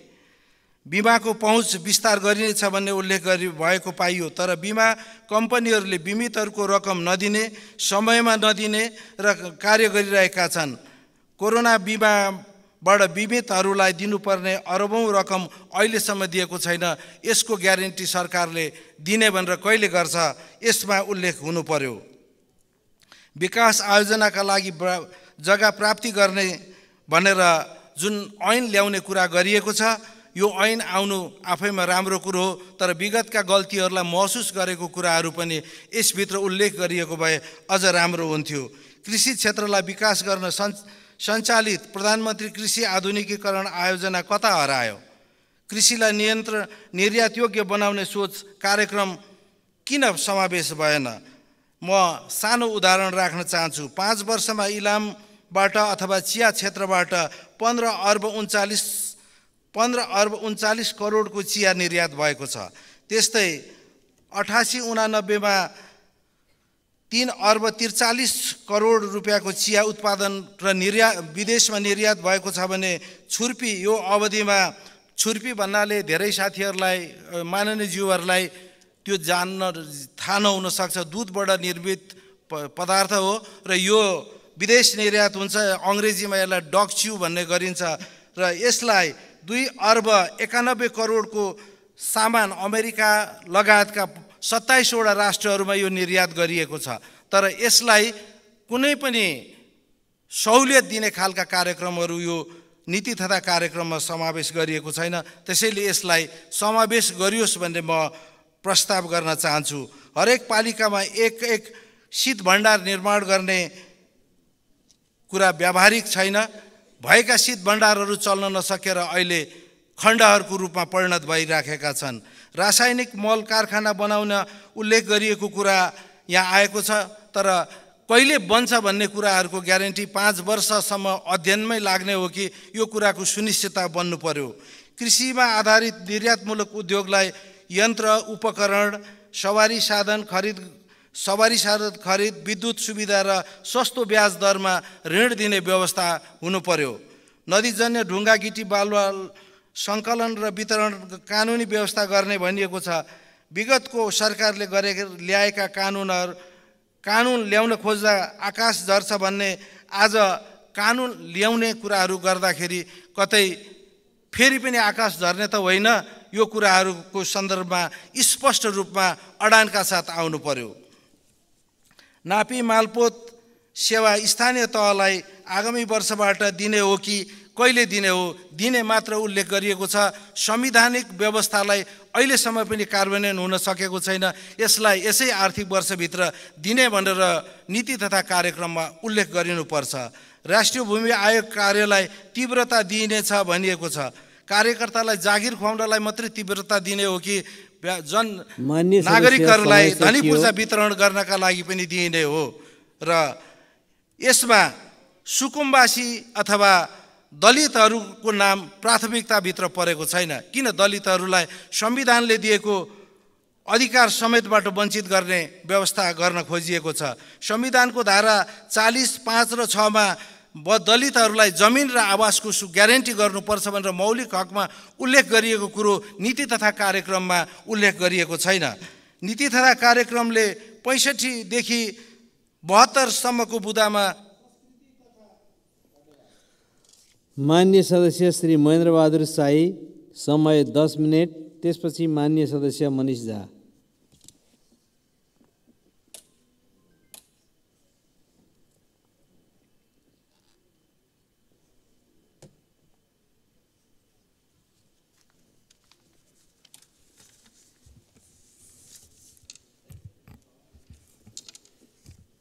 सम्माननीय सभाग महोदय हामी फेरि पनि परमा परम्परागत शैलीमा हामी चाहिँ छौँ। र पुरै अगाडिका चेयरहरू खाली छन्। म खाली चेयरलाई सलाम गर्न चाहन्छु। यस्तै खाली चेयर हुँदा पनि क्यामेरा खिच्ने मान्छेसँग पनि यहाँ नहुँदासम्म पनि सभामुखले धैर्यतापूर्वक सदन चलाइराख्नु भएको छ यसलाई म उच्च सम्मान गर्न चाहन्छु। उहाँलाई पनि सलाम सलाम गर्न चाहन्छु। हामी धेरै परम्परागत भएका चाहिँ छौँ। पुरानो मूल्य मान्यता परम्परा प्रचलनलाई हामीले फलो गरिरहेका चाहिँ छौँ। र यसका लागि हामीले खालि यो कर्मकाण्डी कर्मकाण्ड पुरा गर्नका लागि मात्रै न सदन न न्यायपालिका कार्यपालिका व्यवस्थापिका यदि हामीले यसका बदला हामीले स्मार्ट बन्न सकेनौँ स्मार्ट ढङ्गबाट यसलाई चलाउन सकिएन भने सायद हामी यही अहिलेकै अभिगतमा हामी सधैँ रहिरहने चाहिँ छौँ। यसका लागि मेरो आग्रह चाहिँ छ नियमावली संशोधन गरौँ। कम्तीमा पनि एकाउन्न प्रतिशत सांसद अनिवार्य सभामा उपस्थित हुने र त्यसरी सदन चलाउने गर्दा अझै राम्रो होला प्रभावकारी चाहिँ होला। र यसमा नीति तथा कार्यक्रम सरकारले धेरै मिहिनेत गरेर यहाँ प्रस्तुत गरेको चाहिँ छ। सायद कुनै पनि क्षेत्रहरू छुटेका चाहिँ छैनन्। र समग्र विकासको पाटो आर्थिक समृद्धिको पाटो र सामाजिक न्याय सहितको सुशासनको पाटो र सबै क्षेत्रमा सरकारले धेरै मिहिनेत गरेर नीति तथा कार्यक्रम चाहिँ ल्याएको चाहिँ यसका लागि म सरकारलाई धेरै धेरै म धन्यवाद दिन चाहन्छु। र हाम्रो समस्या भनेको लेख्नेमा समस्या चाहिँ होइन। योभन्दा अघिल्ला सरकारले पनि धेरै यस्तै प्रकारका एकदम राम्रा पढ्दाखेरि एकदम आकर्षक सदनमा ताली पनि हान्ने यस्ता प्रकारका चाहिँ नीति तथा कार्यक्रम नआएका चाहिँ होइनन्। तर यसले रिजल्ट के दियो भन्ने कुरा नै मुख्य कुरा हो। अहिले पनि नीति तथा कार्यक्रममा यो आएन त्यो आएन ऊ आएन भनेर संशोधन धेरै यहाँ राख्नु पर्ने आवश्यकता चाहिँ हो जस्तो मलाई लागेको चाहिँ छैन। र हामीलाई सबैभन्दा बढी चिन्ता भनेको अब यसको कार्यान्वयन के हुन्छ भन्ने कुरा नै अहिलेको प्रमुख चाहिँ विषय चाहिँ हो। र विगतका सरकारले ल्यायो नीति तथा कार्यक्रम प्रधानमन्त्रीले पेस गर्नुभयो। त्यो एकातिर चाहिँ गयो। अर्थमन्त्रीले बजेट चाहिँ पेस गर्नुभयो अर्को अर्को बाटोमा हिँड्यो। र त्यसपछि मन्त्रालयका विषयगत फेरि चाहिँ यहाँ कार्यक्रमहरू यहाँ पेस भए ती कार्यक्रम अर्को ठाउँमा चाहिँ गए। अहिले पनि हामी नीति तथा कार्यक्रममा छलफल गरिराखेका चाहिँ छौँ।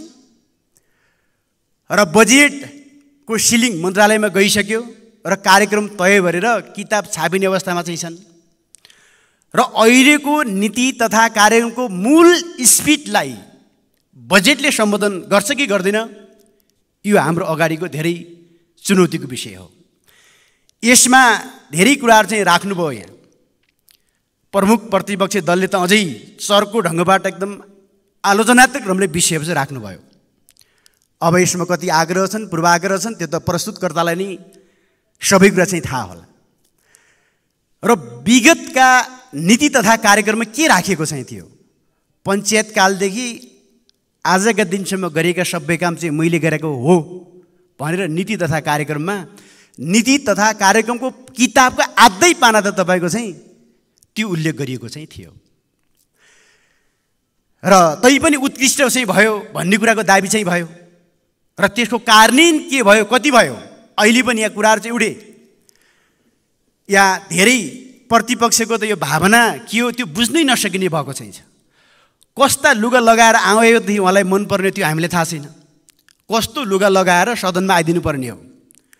कसरी हिँडिदिनु पर्ने हो सभामुख महोदय कसरी बोलिदिनु पर्ने हो यो कुराको केही अनभिज्ञता चाहिँ पैदा भएको चाहिँ छ हिजो आफू सरकारमा रहँदा धेरै कुरा गरे जस्तो सबै ठाउँ ठाउँमा टावर खडा गरे जस्तो अहिलेको सरकारले सबै टावर चाहिँ ढालिदिए जस्तो। र हिजोको सरकारले सबै गर्नुपर्ने सबै कामहरू सम्पन्न गरिसके जस्तो अहिलेको सरकार टोटल त्योबाट भत्काइदिए जस्तो। जुन प्रकारको प्रस्तुति चाहिँ यहाँ भएको चाहिँ छ यो अलिकति त्यति शोभनीय चाहिँ छैन। र जनयुद्धका बारेमा पनि आफूलाई चाहिएको बेला आफूलाई खुसी भएको बेला महान जनयुद्ध भन्नु पनि पछि नपर्ने राष्ट्रपतिलाई भोट हाल्दाखेरिमा महान जनयुद्ध प्रधानमन्त्रीले भोट हाल्दाखेरि महान जनयुद्ध। अलिकति आफूलाई सहयोग नभइए बेला अनि त्यो माओवादी शब्दै सुन्नु नचाहने जनयुद्ध सुत्दै नचाहने यी प्रकारका आग्रह र पूर्वाग्रहबाट पनि हामी मुक्त भएर अहिलेको आवश्यकता चाहिँ भनेको फेरि पनि मैले अघि पनि भनौँ फेरि पनि दोहोऱ्यो म के भन्छु भन्नु छ भने यो सरकारको सफलता र असफलता कुनै एउटा दलको कुनै एउटा व्यक्तिको चाहिँ होइन। यतिखेर जनताले सिङ्गो राजनीतिक कर्मीहरू सबै राजनीतिक पार्टीहरूलाई एउटा अग्नि परीक्षाको रूपमा चाहिँ लिएका चाहिँ छन्। यदि हामी सबैले व्यापक छलफल र बहस गरेर अहिले पनि नीति तथा कार्यक्रम चाहिँ आए नीति तथा कार्यक्रम संशोधनै गर्न पाइने कुनै गीता होइन। आवश्यकताको आधारमा संशोधन गर्न पनि सक्नुपर्छ। यसैको लागि त संसदमा आयो छलफलमा आयो। छलफलमा केवल औपचारिकता मात्रै पुरा गर्नका लागि चाहिँ हो भने त यत्रो यो गर्न जरुरी छैन फेरि त्यो। अहिले पनि भन्छु मैले यी खासै बोलिएका कुराहरूको अर्थ नराख्ने हो भने बोलिरहनुको अर्थ छैन समयको बर्बादी गर्नुको अर्थ छैन समय त्यत्तिकै खेर गइरहेछ छ। त्यसो भए हुँदाखेरि यसलाई व्यापक छलफल र बहस गरेर अब हामीले जनताको अपेक्षा पुरा गर्न कसरी सक्छौँ? जनताले खोजेको भनेको तीव्र विकास नै हो। विकासका बारेमा व्यापक छलफल गरौँ र यसको हामीले गुरु योजना चाहिँ बनाऊ। नीति तथा कार्यक्रम प्रत्येक वर्ष वर्ष फरक फरक हुनै सक्दैनन् अझै मेरो प्रस्ताव त के छ भने नीति तथा कार्यक्रम पाँच वर्षको एकपल्ट ल्याए हुन्छ। त्यही हो कार्यान्वयन गर्ने भनेको। अहिले पनि अघिल्लो पटक आएका अघिल्लो सरकारले ल्याएका नीति तथा कार्यक्रमको कार्यान्वयनकै चरणमा छन्। कार्यान्वयनमै छन्। त्यसो भए हुनाले खालि हामी छलफलका लागि मात्रै छलफल चाहिँ हामीले गर्ने होइन कि? छलफलबाट आउने रिजल्ट के हो? त्यसबाट आउने परिणाम के हो? यो कुरालाई हामीले ध्यान दिन जरुरी चाहिँ छ आखिर यत्तिकै कर्मकाण्डी मात्रै पुरा गर्ने छलफलको कुनै अर्थ नरहने हो भने त यत्रो प्रकारको चाहिँ हामीले यो कार्यक्रम गर्नै जरुरी चाहिँ छैन। यसका लागि त हामीले सबैले आफ्नो घरबाट इमेल पठाए भइहाल्यो सरकारलाई। के सुझाव दिनुपर्ने हो? त्यसो भए हुनाले अलिकति हामीले छलफल चाहिँ गरौँ कि हामीले गुरु योजना चाहिँ हामीले बनाऊँ? सडक कस्तो बनाउने कतिवटा यो देशमा पुल हाल्ने कति किलोमिटर सडक चाहिँ बनाउने विद्युतीकरणको लागि चाहिँ हामीले कति अहिले आवश्यकता चाहिँ छ? शिक्षा स्वास्थ्य लगायतका विषयहरूमा चाहिँ हामीले के के गरेर जाने? भन्ने कुराका बारेमा व्यापक छलफल गरौँ। यहाँ छलफल हुन्छ कुरा हुन्छ तर कार्यान्वयन चाहिँ हुँदैन। शिक्षाका मामिलामा के समस्याहरू छन्? शिक्षा कस्तो चाहिँ बनाएर जाने? शिक्षा नीति के हुने? भन्ने कुराका बारेमा हामी व्यापक छलफल हामी गर्छौँ तर हिँड्छौँ त्यो पुरानै बाटो हामी फेरि हिँड्छौँ। स्वास्थ्यका कुरा चाहिँ हामी उठाउँछौँ त्यही पुरानै ठाउँमा हामी चाहिँ छौँ त्यसो भएर हामीले जति कुरा चाहिँ हामीले नवीनतम कुरा जति हामीले उठाए पनि तर हामी फेरि कहाँ जान्छ त्यो पुरानै ठाउँमा हामी जान्छौँ। त्यसो हुँदा अलिकति यसलाई चाहिँ विशेष गरी चाहिँ हामीले ध्यान दिएर अगाडि बढ्न जरुरी छ। यसका लागि यहाँ चाहिँ छ केही विषयहरू अहिलेको हाम्रो देशको अर्थतन्त्र ओह्रालो लागेको चाहिँ छ। यसलाई उकालो कसरी चाहिँ उकालो कसरी चाहिँ हामीले बढाउने उकालोतिर कसरी लैजाने भन्ने कुराका बारेमा छलफल गरौँ यसका सम्भावित चाहिँ हाम्रा क्षेत्रहरू चाहिँ के हुन्? यसका लागि चाहिँ व्यापक छलफल गरौँ। तत्कालका सम्भावनाहरूको खोजी गरौँ लगानी केन्द्रित गरौँ। अन्तर्राष्ट्रिय लगानी कत्रलाई नेपाल भित्र्याउने वातावरण सिर्जना चाहिँ हामीले गरौँ। निजी क्षेत्रलाई सरकारको सहायतार चाहिँ संस्थाकै रूपमा सहायतार शक्तिको रूपमा चाहिँ हामीले विकासमा चाहिँ समग्र विकासमा चाहिँ हामीले लैजाउँ। र त्यसै लिजमा दिने हामीले व्यवस्था चाहिँ हामीले गरौँ। र सुशासन भ्रष्टाचार सामाजिक न्यायका क्षेत्रमा चाहिँ हामीले ध्यान दिउँ। जनताले त्यही खोजेका छन्। देशको समग्र विकासका लागि चाहिँ हामीले वृहत चाहिँ गृह योजना चाहिँ बनाएर हामी कार्यान्वयनमा हामी सबै प्रतिबद्ध भएर चाहिँ हामी जाउँ। र त्यसपछि अहिलेको समस्या भनेको जनताले खोजेको सडकको कुरा छ विद्युतको कुरा छ खानेपानीको कुरा छन् सिँचाइका कुरा छन् भवनका कुरा चाहिँ छन्। अहिलेको उच्च जोखिम चाहिँ छ यसको लागि चाहिँ एकीकृत बस्ती विकासका कुरा चाहिँ छन्। पर्यटन पूर्वाधारको कुराहरू चाहिँ छ उत्पादनका क्षेत्रहरू चाहिँ हामीले पहिचान गर्ने। पर्यटन चाहिँ हो कृषि हो यी सबै कुराहरू चाहिँ अहिले हामीले जसरी नीति तथा कार्यक्रमले सम्बोधन गर्यो त्यसरी नै फेरि बजेट सबै ठाउँमा विकेन्द्रित हुने हो भने फेरि पनि बजेटले रिजल्ट निकाल्न सक्दैन। अहिले गर्नुपर्ने कामका बारेमा चाहिँ हामीले बजेटलाई केन्द्रित गरौँ प्राथमिकता निर्धारण गरौँ। अनि मात्रै यो देशमा चाहिँ हामीले विकास र समृद्धिको नयाँ आयाम चाहिँ ल्याउन सक्छौँ। नत्र भने फेरि अब हामीले छलफल गर्ने तर हामी पुरानै बाटो हिँड्दा यसरी सही रिजल्ट निकाल्दैन। धन्यवाद। मान्य सदस्य श्री मनिष झा समय नौ मिनट। त्यसपछि मान्य सदस्य दिपक बहादुर सिंह।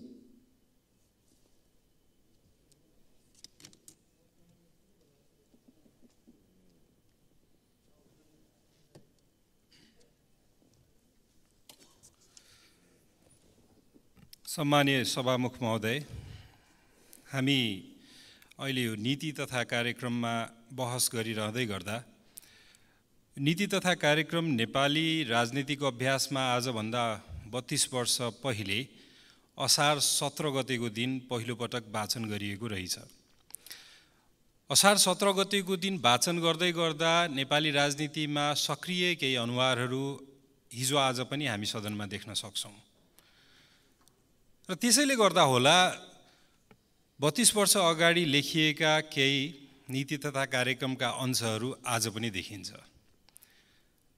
औषधि सर्वसुलभ रूपमा उपलब्ध गराइनेछ शिक्षाको स्तर उन्नति हुनेछ सडक सञ्जालको निर्माण गरिनेछ। यसरी नै केही कुराहरू आज पनि देख्छौँ।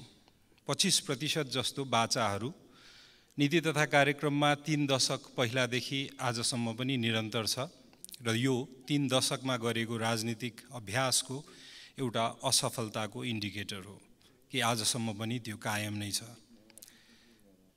प्राथमिकता तथा सिद्धान्तका चर्चाहरू केही सप्ताह अगाडि भयो यो सदनमा।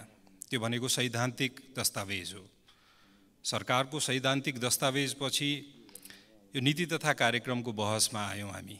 यसलाई लेटर अफ इन्टेन्ट भनिन्छ आशय पत्र यो आशय पत्रमा छलफल गर्दै गर्दा अन्तर्राष्ट्रिय अभ्यासमा के छ भने आशय पत्र कहिले पनि एक पक्षीय हुँदैन। दुइटै पक्षले छलफल गरेर त्यसमा केही सहमतिहरू गरेर अनि निष्कर्षमा पुग्ने प्रचलन छ। त्यसैले गर्दा हामी अधिकार राख्छौँ राजनीतिक र संवैधानिक व्यावहारिक तिनै पक्षमा अधिकार राख्छौँ। यसमा हाम्रो आशय पनि हामीले अभिव्यक्त गर्न पाउनुपर्छ। त्यही गर्दैछौँ। र यस पश्चात एक्सन प्लानमा जानेछ। त्यो भनेको बजेट भन्ने छ यसरी principal document letter of intent र एक्सन प्लान यो अन्तर्राष्ट्रिय जगतमा पनि यो राजनीतिक अभ्यास रहेको छ सदनमा। यसरी हामीले यो निर्माण गर्छौँ। तर यो आशय पत्र जसलाई हामी नीति तथा कार्यक्रम पनि भन्दैछौँ यसको निर्माण गर्दै गर्दा यसका निर्माताहरूले लेखकहरूले कुनै न कुनै मानसपटलमा उहाँहरूको मानसपटलमा कुनै तस्बिर त खेलिरहेको थियो होला नि।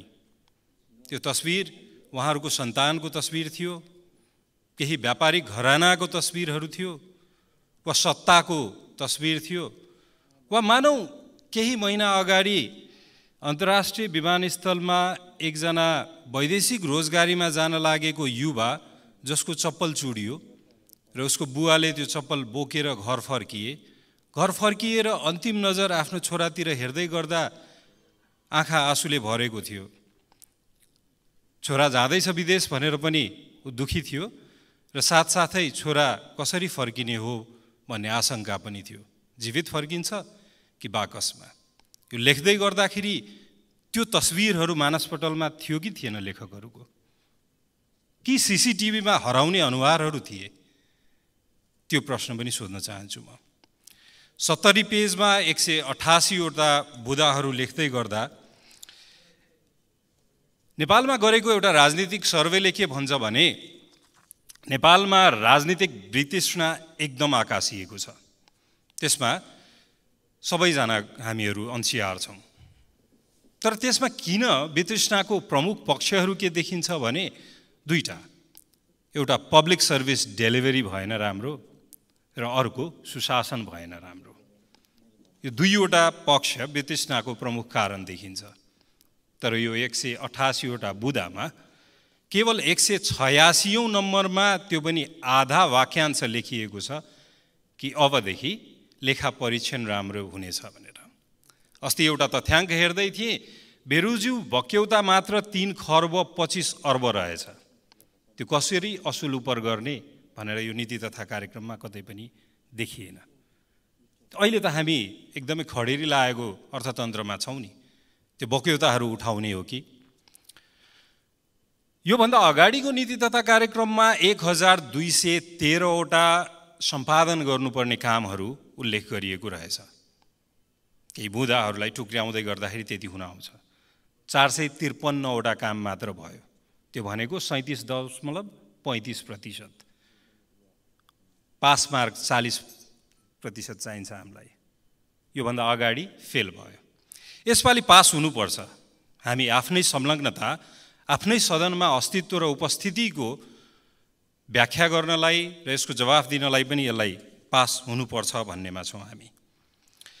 पच्चिस प्रतिशत पहिलाकै छ जुन दुई हजार अडचालिस साल असार सत्र गते वाचन गरिएको कुराहरू। तर पनि यो परिवर्तन त अब त परिवर्तन हुनु पर्यो नि। बुद्धले भन्नुहुन्छ परिवर्तन त्यो बेला मात्र परिवर्तन मानिनेछ जब लक्षित वर्गले परिवर्तनको आभास गर्न पाउनेछ। यो कागजमा लेखिएको परिवर्तनलाई परिवर्तन मान्ने छैनौँ हामी र मान्दैनौँ र हामीलाई मत दिने मतदाताहरूले पनि मान्नुहुन्न किनकि उहाँहरूको जीवनमा परिवर्तन आउनु पर्यो। हाम्रो उत्पादन हाम्रो स्वाभिमान भनेर एउटा कुरा उल्लेख गरिएको छ। म सन् सोह्र सय चालिसको एउटा कुरा सम्झिन चाहन्छु। हाम्रो उत्तरमा मिङ्ग डाइनेस्टी र दक्षिणमा मुगल डाइनेस्टी थियो। मिङ्ग डाइनेस्टी सोह्र करोड पपुलेसन थियो मुगलको एघार करोड थियो। हाम्रो लगभग हाम्रो भूभागको पच्चिस लाख जति थियो। काठमाडौँ पाटन र भक्तपुरले रसुवा र नुवाकोटको क्षेत्रमा रहेको बेत्रावती भन्ने ठाउँमा ट्रेड फेसिलिटेसन अफिस खोलिसकेको थियो त्यो बेलामा। तर आजभन्दा ठिक्क एक सय वर्ष अगाडि सन् उन्नाइस सय तेइसमा नेपालमा पहिलो निजी क्षेत्रको कम्पनी दर्ता भयो। कामधेनु चर्खा प्रचारक महागुठी सङ्घ। हामीलाई लगभग तिन सय वर्ष लाग्यो व्यापारको ट्रेड फेसिलिटेसन गरेर पहिलो कम्पनी रजिस्टर्ड गर्नमा। उन्नाइस सय सैँतिसमा विराटनगर जुट मिल नेपालको फर्स्ट एफडिआई कलकत्ताको एउटा व्यापारीले एक लाख आइसी इन्भेस्ट गरेर। यसले मैले भन्न खोजेको के हो भने हामी सुरुवात गर्न त जान्दछौँ तर हामी संस्थागत अभ्यास गर्न जाँदैनौँ। र लोकतन्त्र लोकतन्त्रमा इन्स्टिट्युसनहरू जबसम्म स्ट्रङ हुँदैन तबसम्म डेमोक्रेटिक प्र्याक्टिस स्ट्रङ हुँदैन। हामी सुरुवात मात्र गर्दैछौँ। र अर्को एउटा तथ्याङ्कले देखाउँछ कि हामी कहाँ बोर्ड समितिहरू दुई सय पन्ध्रवटा छ। र हिजो मात्र सेतो पार्टीको एउटा सर्वेक्षणले देखाएको छ आवश्यकता एक सय एकवटा मात्र छ हामीलाई। अरू सबै राजनीतिक नियुक्तिकोहरूको लागि हामीले त्यसलाई अस्तित्वमा राखिरहेका छौँ। त्यसले हाम्रो दुई खर्ब रुपियाँ खर्च बढाइरहेको छ। त्यो हामी किन चाहियो? त्यसैले इन्स्टिट्युसनल प्र्याक्टिस गर्नुपर्ने ठाउँमा गरिरहेका छैनौँ। सुरुवात गरिरहेको संस्थाहरू धमाधम बन्द हुन्छ। तर जुन समिति र बोर्डहरू हामीलाई चाहिएको छैन त्यो हामी राखिरहेका हुन्छौँ। त्यसबारेमा पनि कुनै उल्लेख गरिएको छैन। त्यसलाई कसरी सुधार्ने? पटक पटक त्यही अभ्यास गरेर पटक पटक त्यही औषधि खाएर त्यो रोग त निको हुँदैन नि। त्यो औषधिले काम गर्थ्यो भने त निको भइसकेको हुन्थ्यो। त्यसैले अब औषधि बदल्ने हो कि? नत्र हामीलाई बदल्ने छन् मतदाताहरूले। त्यो हामीले सोच्नुपर्छ। तिलरुवाकोट र जानकी मन्दिरको कुरा उल्लेख गरिएको छ। जानकी मन्दिर विश्व सम्पदा सूचीमा सूचीकृत हुनुपर्छ भनेर पटक पटक कुरा चर्चामा आएको छ। तर कसरी गर्ने? त्यहाँ भएको टायल कमर्सल टायल ओछ्याउने भ्रष्टाचारीलाई किन कारवाही गरिँदैन? जुन बिजुली जडान गर्नमा भ्रष्टाचार भएछ त्यहाँ पनि योभन्दा अगाडि मध्य प्रदेशको मध्य प्रदेशको जुन प्रदेश सरकार थियो त्यसको संलग्नता छ। त्यो कारवाही किन हुँदैन? किन राजनीतिक संरक्षणहरू दिइन्छ? त्यो जबसम्म तपाईँहरूले कारवाही गर्नुहुन्न तबसम्म यो विश्व सम्पदा सूचीमा सूचीकृत गराउने राजनीतिक बाचाहरू मात्र सफल हुँदैन। त्यसैले गर्दा यो संस्थागत अभ्यास हामी अलिक कठोर त भइदिनु पऱ्यो नि आफ्नो प्रयासहरूमा। आफूलाई सुमसुम्याएर गर्ने प्रयासहरूले हामीलाई कहिले पनि परिवर्तित हुन दिँदैन। त्यसैले अलिक कठोर हौँ कठोर कदमहरू लिउँ र संस्थागत अभ्यास गरौँ। यसरी हामी सफल हुन सक्छौँ यो कार्यान्वयन गर्न सक्छौँ। धन्यवाद। मान्य सदस्य श्री दीपक बहादुर सिंह समय पाँच मिनट त्यसपछि मान्य सदस्य रन्जु कुमारी झा।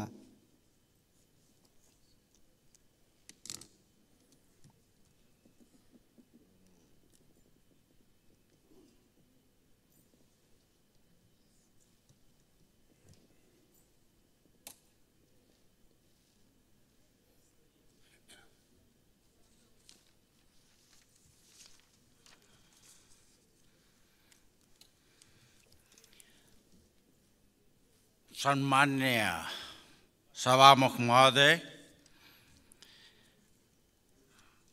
आज बिहानदेखि यो उसमा कार्यक्रममा सबैको साथीहरूको कुरा सुन्न पाए बुझ्न पाए हेर्न पाए सत्ता पक्ष पनि विपक्षले पनि आफ्नो आफ्नो गुनासो रमाइलोसँग राख्नुभयो।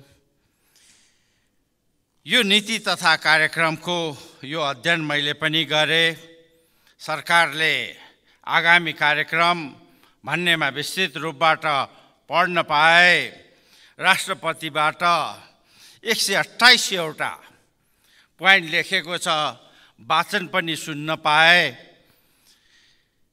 र जुन यसभित्र लेखिएका थिएन् अहिले हेटौँडा सिमेन्ट उद्योग उद्योग उदयपुर सिमेन्ट उद्योग सरकारले जेसुकै भने पनि बेच्ने तयारीमा छ प्राइभेट सेक्टरलाई दिने तयारीमा छ।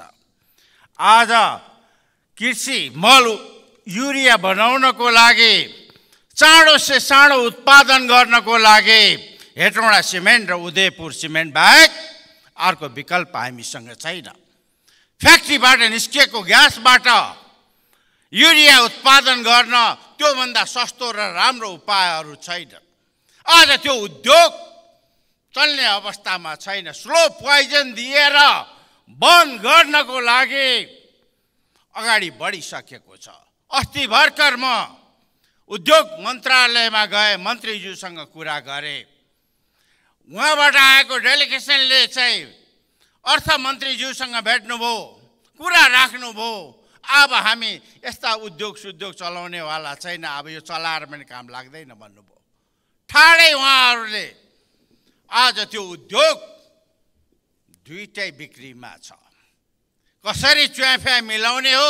हिजोका दिनमा पनि धेरै कल कारखाना बिक्री भएका थिए। फेरि त्यही रोग पसेको हो कि? तर एउटा दुर्भाग्य हुन्छ जुन मल युरिया निकाल्नको लागि प्राइभेट सेक्टरसँग त्यो सिमेन्ट प्लान्टसँग मिलेर गर्ने हो भनेदेखि त्यहाँ ठुलो कमिसनको चलखेल हुन्छ। त्यो बचाउनु पर्नेछ मान्य जीवहरूलाई सत्ता सत्ता पक्ष पनि विपक्षकोलाई पनि म भन्न चाहन्छु। त्यस्तै गरिकन हेटौँडा कपडा फ्याक्ट्री लगायतका दुईवटा अर्को उद्योग सञ्चालन गर्ने भनिकन सरकारले नीति बनाएको छ। पटक पटक हेटौँडा कपडा उद्योग चलाउनको लागि पाँच छ करोड रुपियाँ पठाइदिन्छन्। कार्यकर्ता भर्ती गरिकन लटर पटर भयो जस्ता त्यस्तै छ। माकुरीका जाला फ्याक फ्याँक्ने बाहेक अरू केही काम भएको छैन।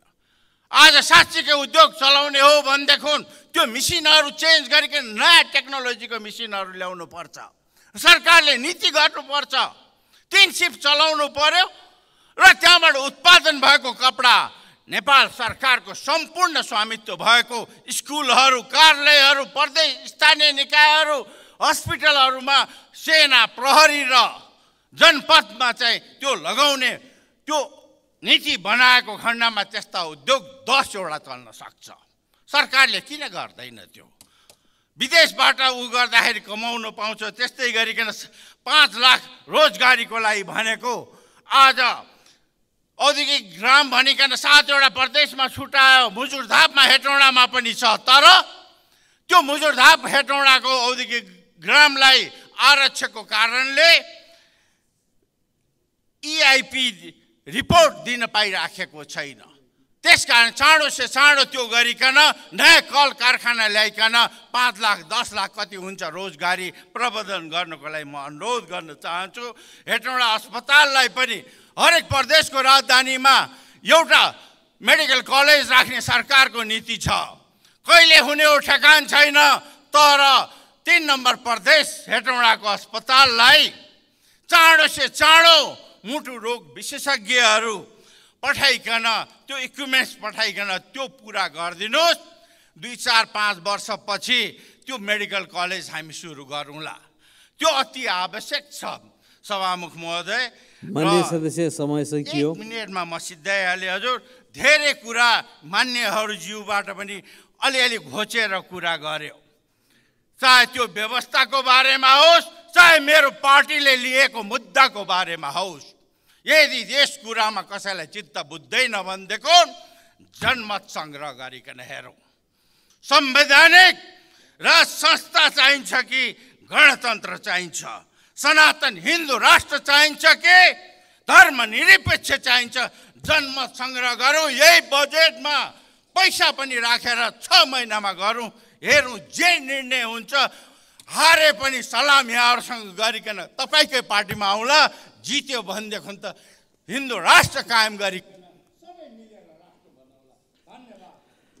मान्य सदस्य श्री रन्जु कुमारी झा समय पाँच मिनट। त्यस पछाडि मान्य सदस्य अमरबहादुर थापा।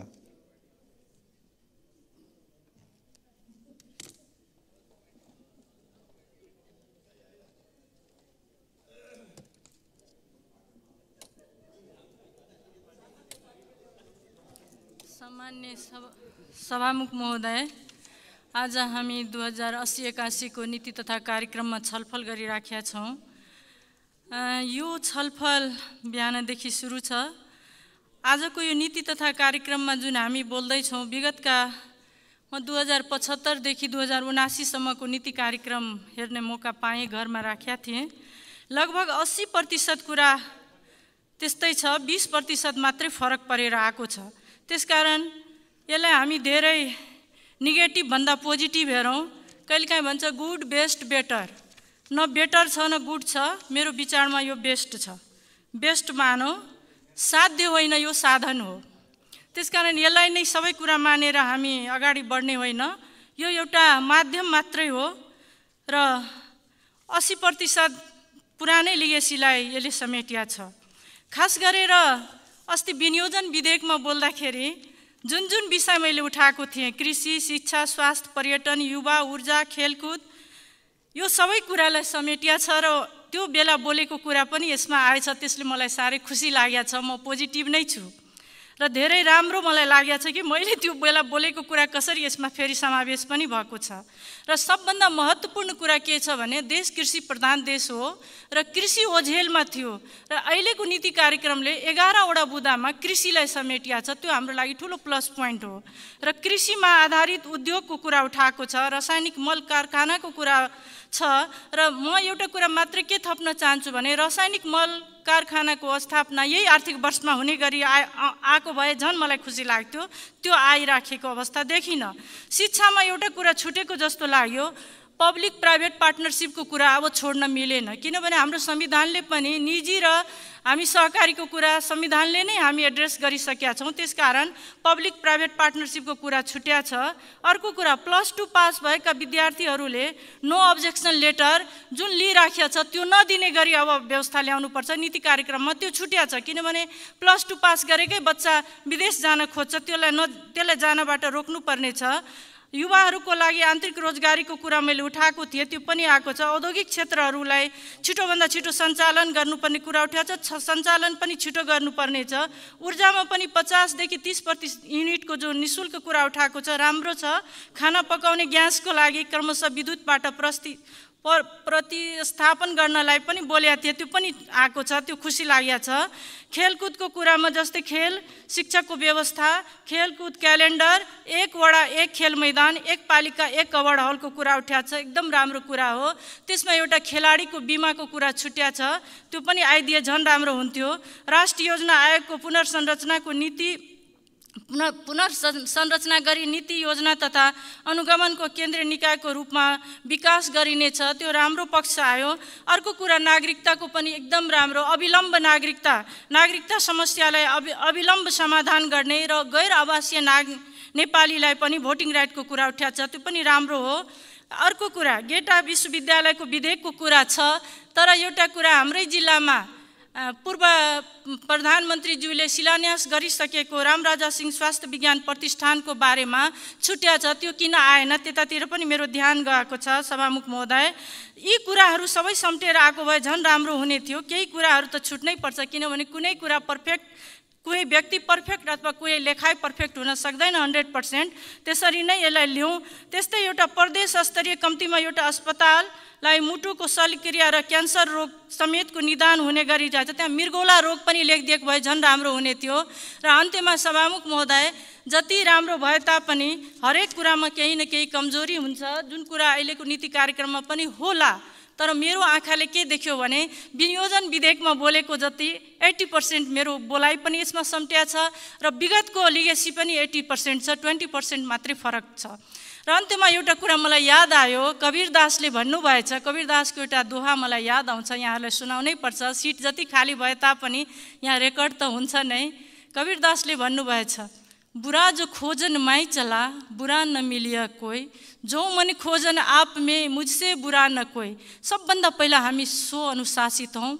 आफूलाई पहिला समीक्षा गरौँ अनि अर्कोतिर औँला उठाउँ। यति भन्दै मेरो शब्दलाई विश्राम दिन्छु। धन्यवाद। सबैजनालाई।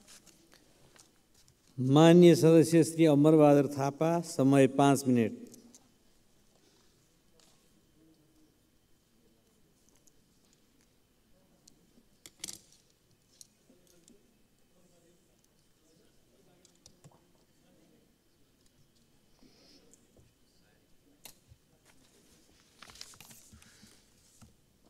माननीय सभामुख महोदय हामी आज नीति सरकारको नीति तथा कार्यक्रममा छलफलमा सहभागी छौँ।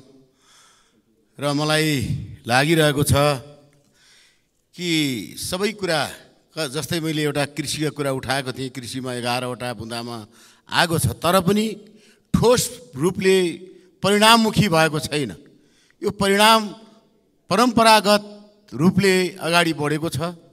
र वितरण तरिकाले अगाडि बढेको छ। एक सय अठासीवटा जाने पोइन्टहरू छन् सत्तरीवटा पेजमा लेखिएको छ। यति गर्नलाई यो हाम्रो बजेटले भ्याउँछ कि भ्याउँदैन? त्यसैले हामीले यो वर्ष कति गर्ने के गर्ने भन्ने कुरा सरकारले ध्यान दिनु पर्थ्यो। हिजोदेखि अहिलेसम्मका सरकारले वितरण तरिकाले अगाडि बढ्ने ठोस यो वर्ष मैले कृषिमा निर्भर गर्छु यो वर्ष विद्युतमा निर्भर गर म देशलाई गर्छु भन्ने कुराको ठोस परिणाममुखी योजनाहरू आएको छैन। त्यसो भएको हुनाले कृषिलाई प्रदेश र स्थानीय तहलाई तहमा समन्वय गरी ठोस के वितरणमुखी भएको छ त्यो पनि। के हो? कृषिलाई सबै आम रूपले जाने भन्दा पनि गरिब किसानलाई ठोस परिणाममुखी योजना के भन्छ? जबसम्म हामी गरिब किसानहरूको जीवनस्तर माथि उठाउन सक्दैनौँ अनि बाठाटाँठाको लागि मात्रै यो काम गर्न सुरु गऱ्यौँ भने फेरि पनि गरिबी अन्त हुन सक्दैन। त्यसैले मैले पटक पटक भनिरहेको छु कि दुई वर्षभित्र परिचय पत्र बनाइनेछ। दुई वर्ष होइन यही वर्ष अभियानको रूपमा गरिब किसानहरूको परिचय पत्र बनाएर त्यो गरिब किसानहरूको जीवनस्तर माथि उठाउने काम गर्नु पर्यो। तब मात्र यो देशको उन्नति प्रगति हुनसक्छ त्यसैले म आग्रह गर्न चाहन्छु कि धेरै कुरा आयो त पनि धेरै कुराहरू समेटिएको छ तर पनि ठोस रूपले यो गरिनेछ भन्ने कुरा आएन गरिन्छ भन्ने आएको छैन गरिनेछ गरिनेछ मात्रै छ। त्यसो भए हुनाले यी केही कुरा सरकारले दुई तिनवटा कुराको प्राथमिकीकरण गर्न पर्यो यो गरिने गरिन्छ यो यो गरिनेछ भन्न पर्यो। तब मात्र देशले अनुहार बदल्न सक्छ। त्यस कारणले गरिब किसानका निमित्त तत्काल परिचय पत्र बनाएर तिनको जीवनस्तर उठाउनका लागि नयाँ प्रविधिबाट नयाँ त तरिकाले परम्परावादी खेतीबाट होइन नयाँ प्रविधिबाट उनीहरू मैले अहिले पनि भनेको छु जस्तै नयाँ एभोकाडो छ केबी किबी छ र जाने के अरे यस्ता यस्ता नयाँ चिजहरू छन् फलफुलका चिजहरू छन्। जब एक रोपनी जग्गामा चारवटा बिरुवा लगायो भने किसानले तिन वर्षभित्र लाखौँ रुपियाँ कमाउन सक्छ। त्यतातिर नगएर उही परम्परावादी कि किसानलाई बनाएर किसानहरूको जीवनस्तर उठ्न सक्दैन। पैँतिसको म मेरो यो कमेन्ट छ। एक सय एक एकानब्बे र बयानब्बेमा जलस्रोत जडीबुटी ज जङ्गल। यो तिनवटा चिजलाई यो सरकारले प्राथमिकताकरण गरेन भने राष्ट्रको आय उत्पादन र आय आर्जन हुन सक्दैन। त्यसो त्यस कारणले अहिले पनि हामीले जस्तै नीति कार्यक्रम ल्याउँला बजेट ल्याउँला वितरणमुखी मात्रै बनाउँछौँ। हामीले यो राष्ट्रको ढुकुटी बलियो बनाउने विधि के हो? कुन सरकारले कहाँ कसरी गर्न सक्छ? र अहिलेसम्मका अर्कालाई गाली गर्ने मात्रै हो आफूले गर्नुपर्ने होइन नेगेटिभ हेर्ने र पोजिटिभ हेर्ने हाम्रो दृष्टिकोण छैन। अघि पनि सांसदजी मान्यजीले भन्नुभयो सयमा अस्सी प्रतिशत त उही पुरानै छ यो नीति कार्यक्रम। भने अहिले अहिलेको सरकारले मात्रै त ल्याएन। सबै कुरा त अरू पुरानो सरकारले पनि ल्याएका छन्। त्यस कारणले यो वर्ष म यो गर्छु भन्ने कुरा कुन सरकारले के प्रमाणित गरेको छ यस्तै वितरण तरिकाले अगाडि बढेको छ।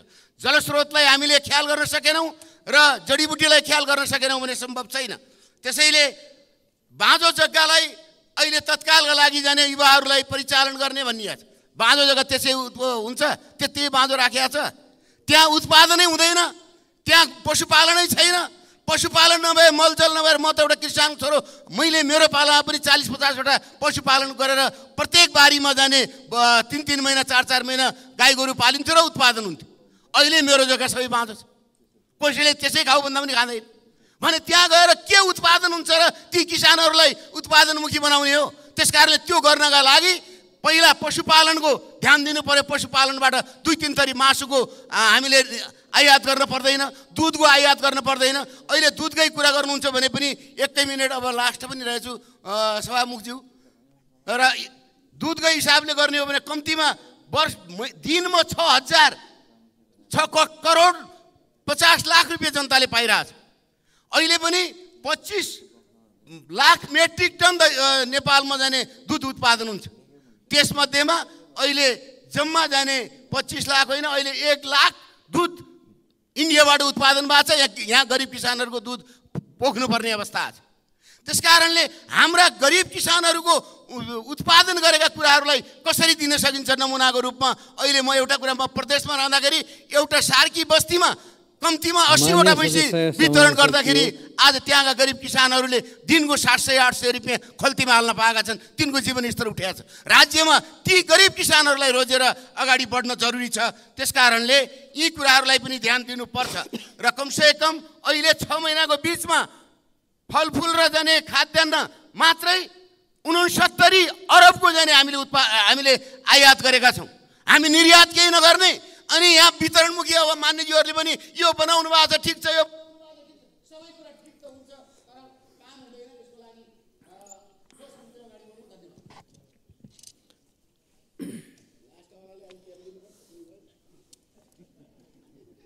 मान्य सदस्यहरू सम्माननीय राष्ट्रपतिको सम्बोधनमा उल्लेखित आर्थिक वर्ष दुई हजार अस्सी एकासीको लागि नेपाल सरकारको वार्ष वार्षिक नीति तथा कार्यक्रममाथिको छलफलमा मान्य सदस्यहरूले बोल्ने क्रम आगामी बैठकमा जारी रहनेछ। मान्य सदस्यहरू प्रतिनिधि सभाको अर्को बैठक दुई हजार अस्सी साल जेठ आठ गते सोमबार बिहान एघार बजे बस्ने गरी यो बैठक स्थगित हुन्छ।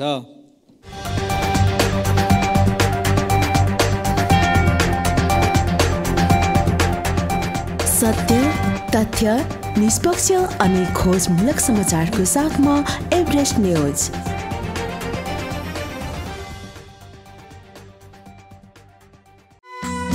चौरासको गाउँमा रमाइलो ठाउँमा चर्कुने चौतारी तपाईँ कलासँग जोडिन चाहनुहुन्छ वा सञ्चार क्षेत्रमा रमाउन चाहनुहुन्छ आउनुहोस् हामीसँग गीत रेकर्डिङ म्युजिक भिडियो वृद्धचित्र चलचित्र निर्माण समाचार सङ्कलनदेखि सम्प्रेषणसम्म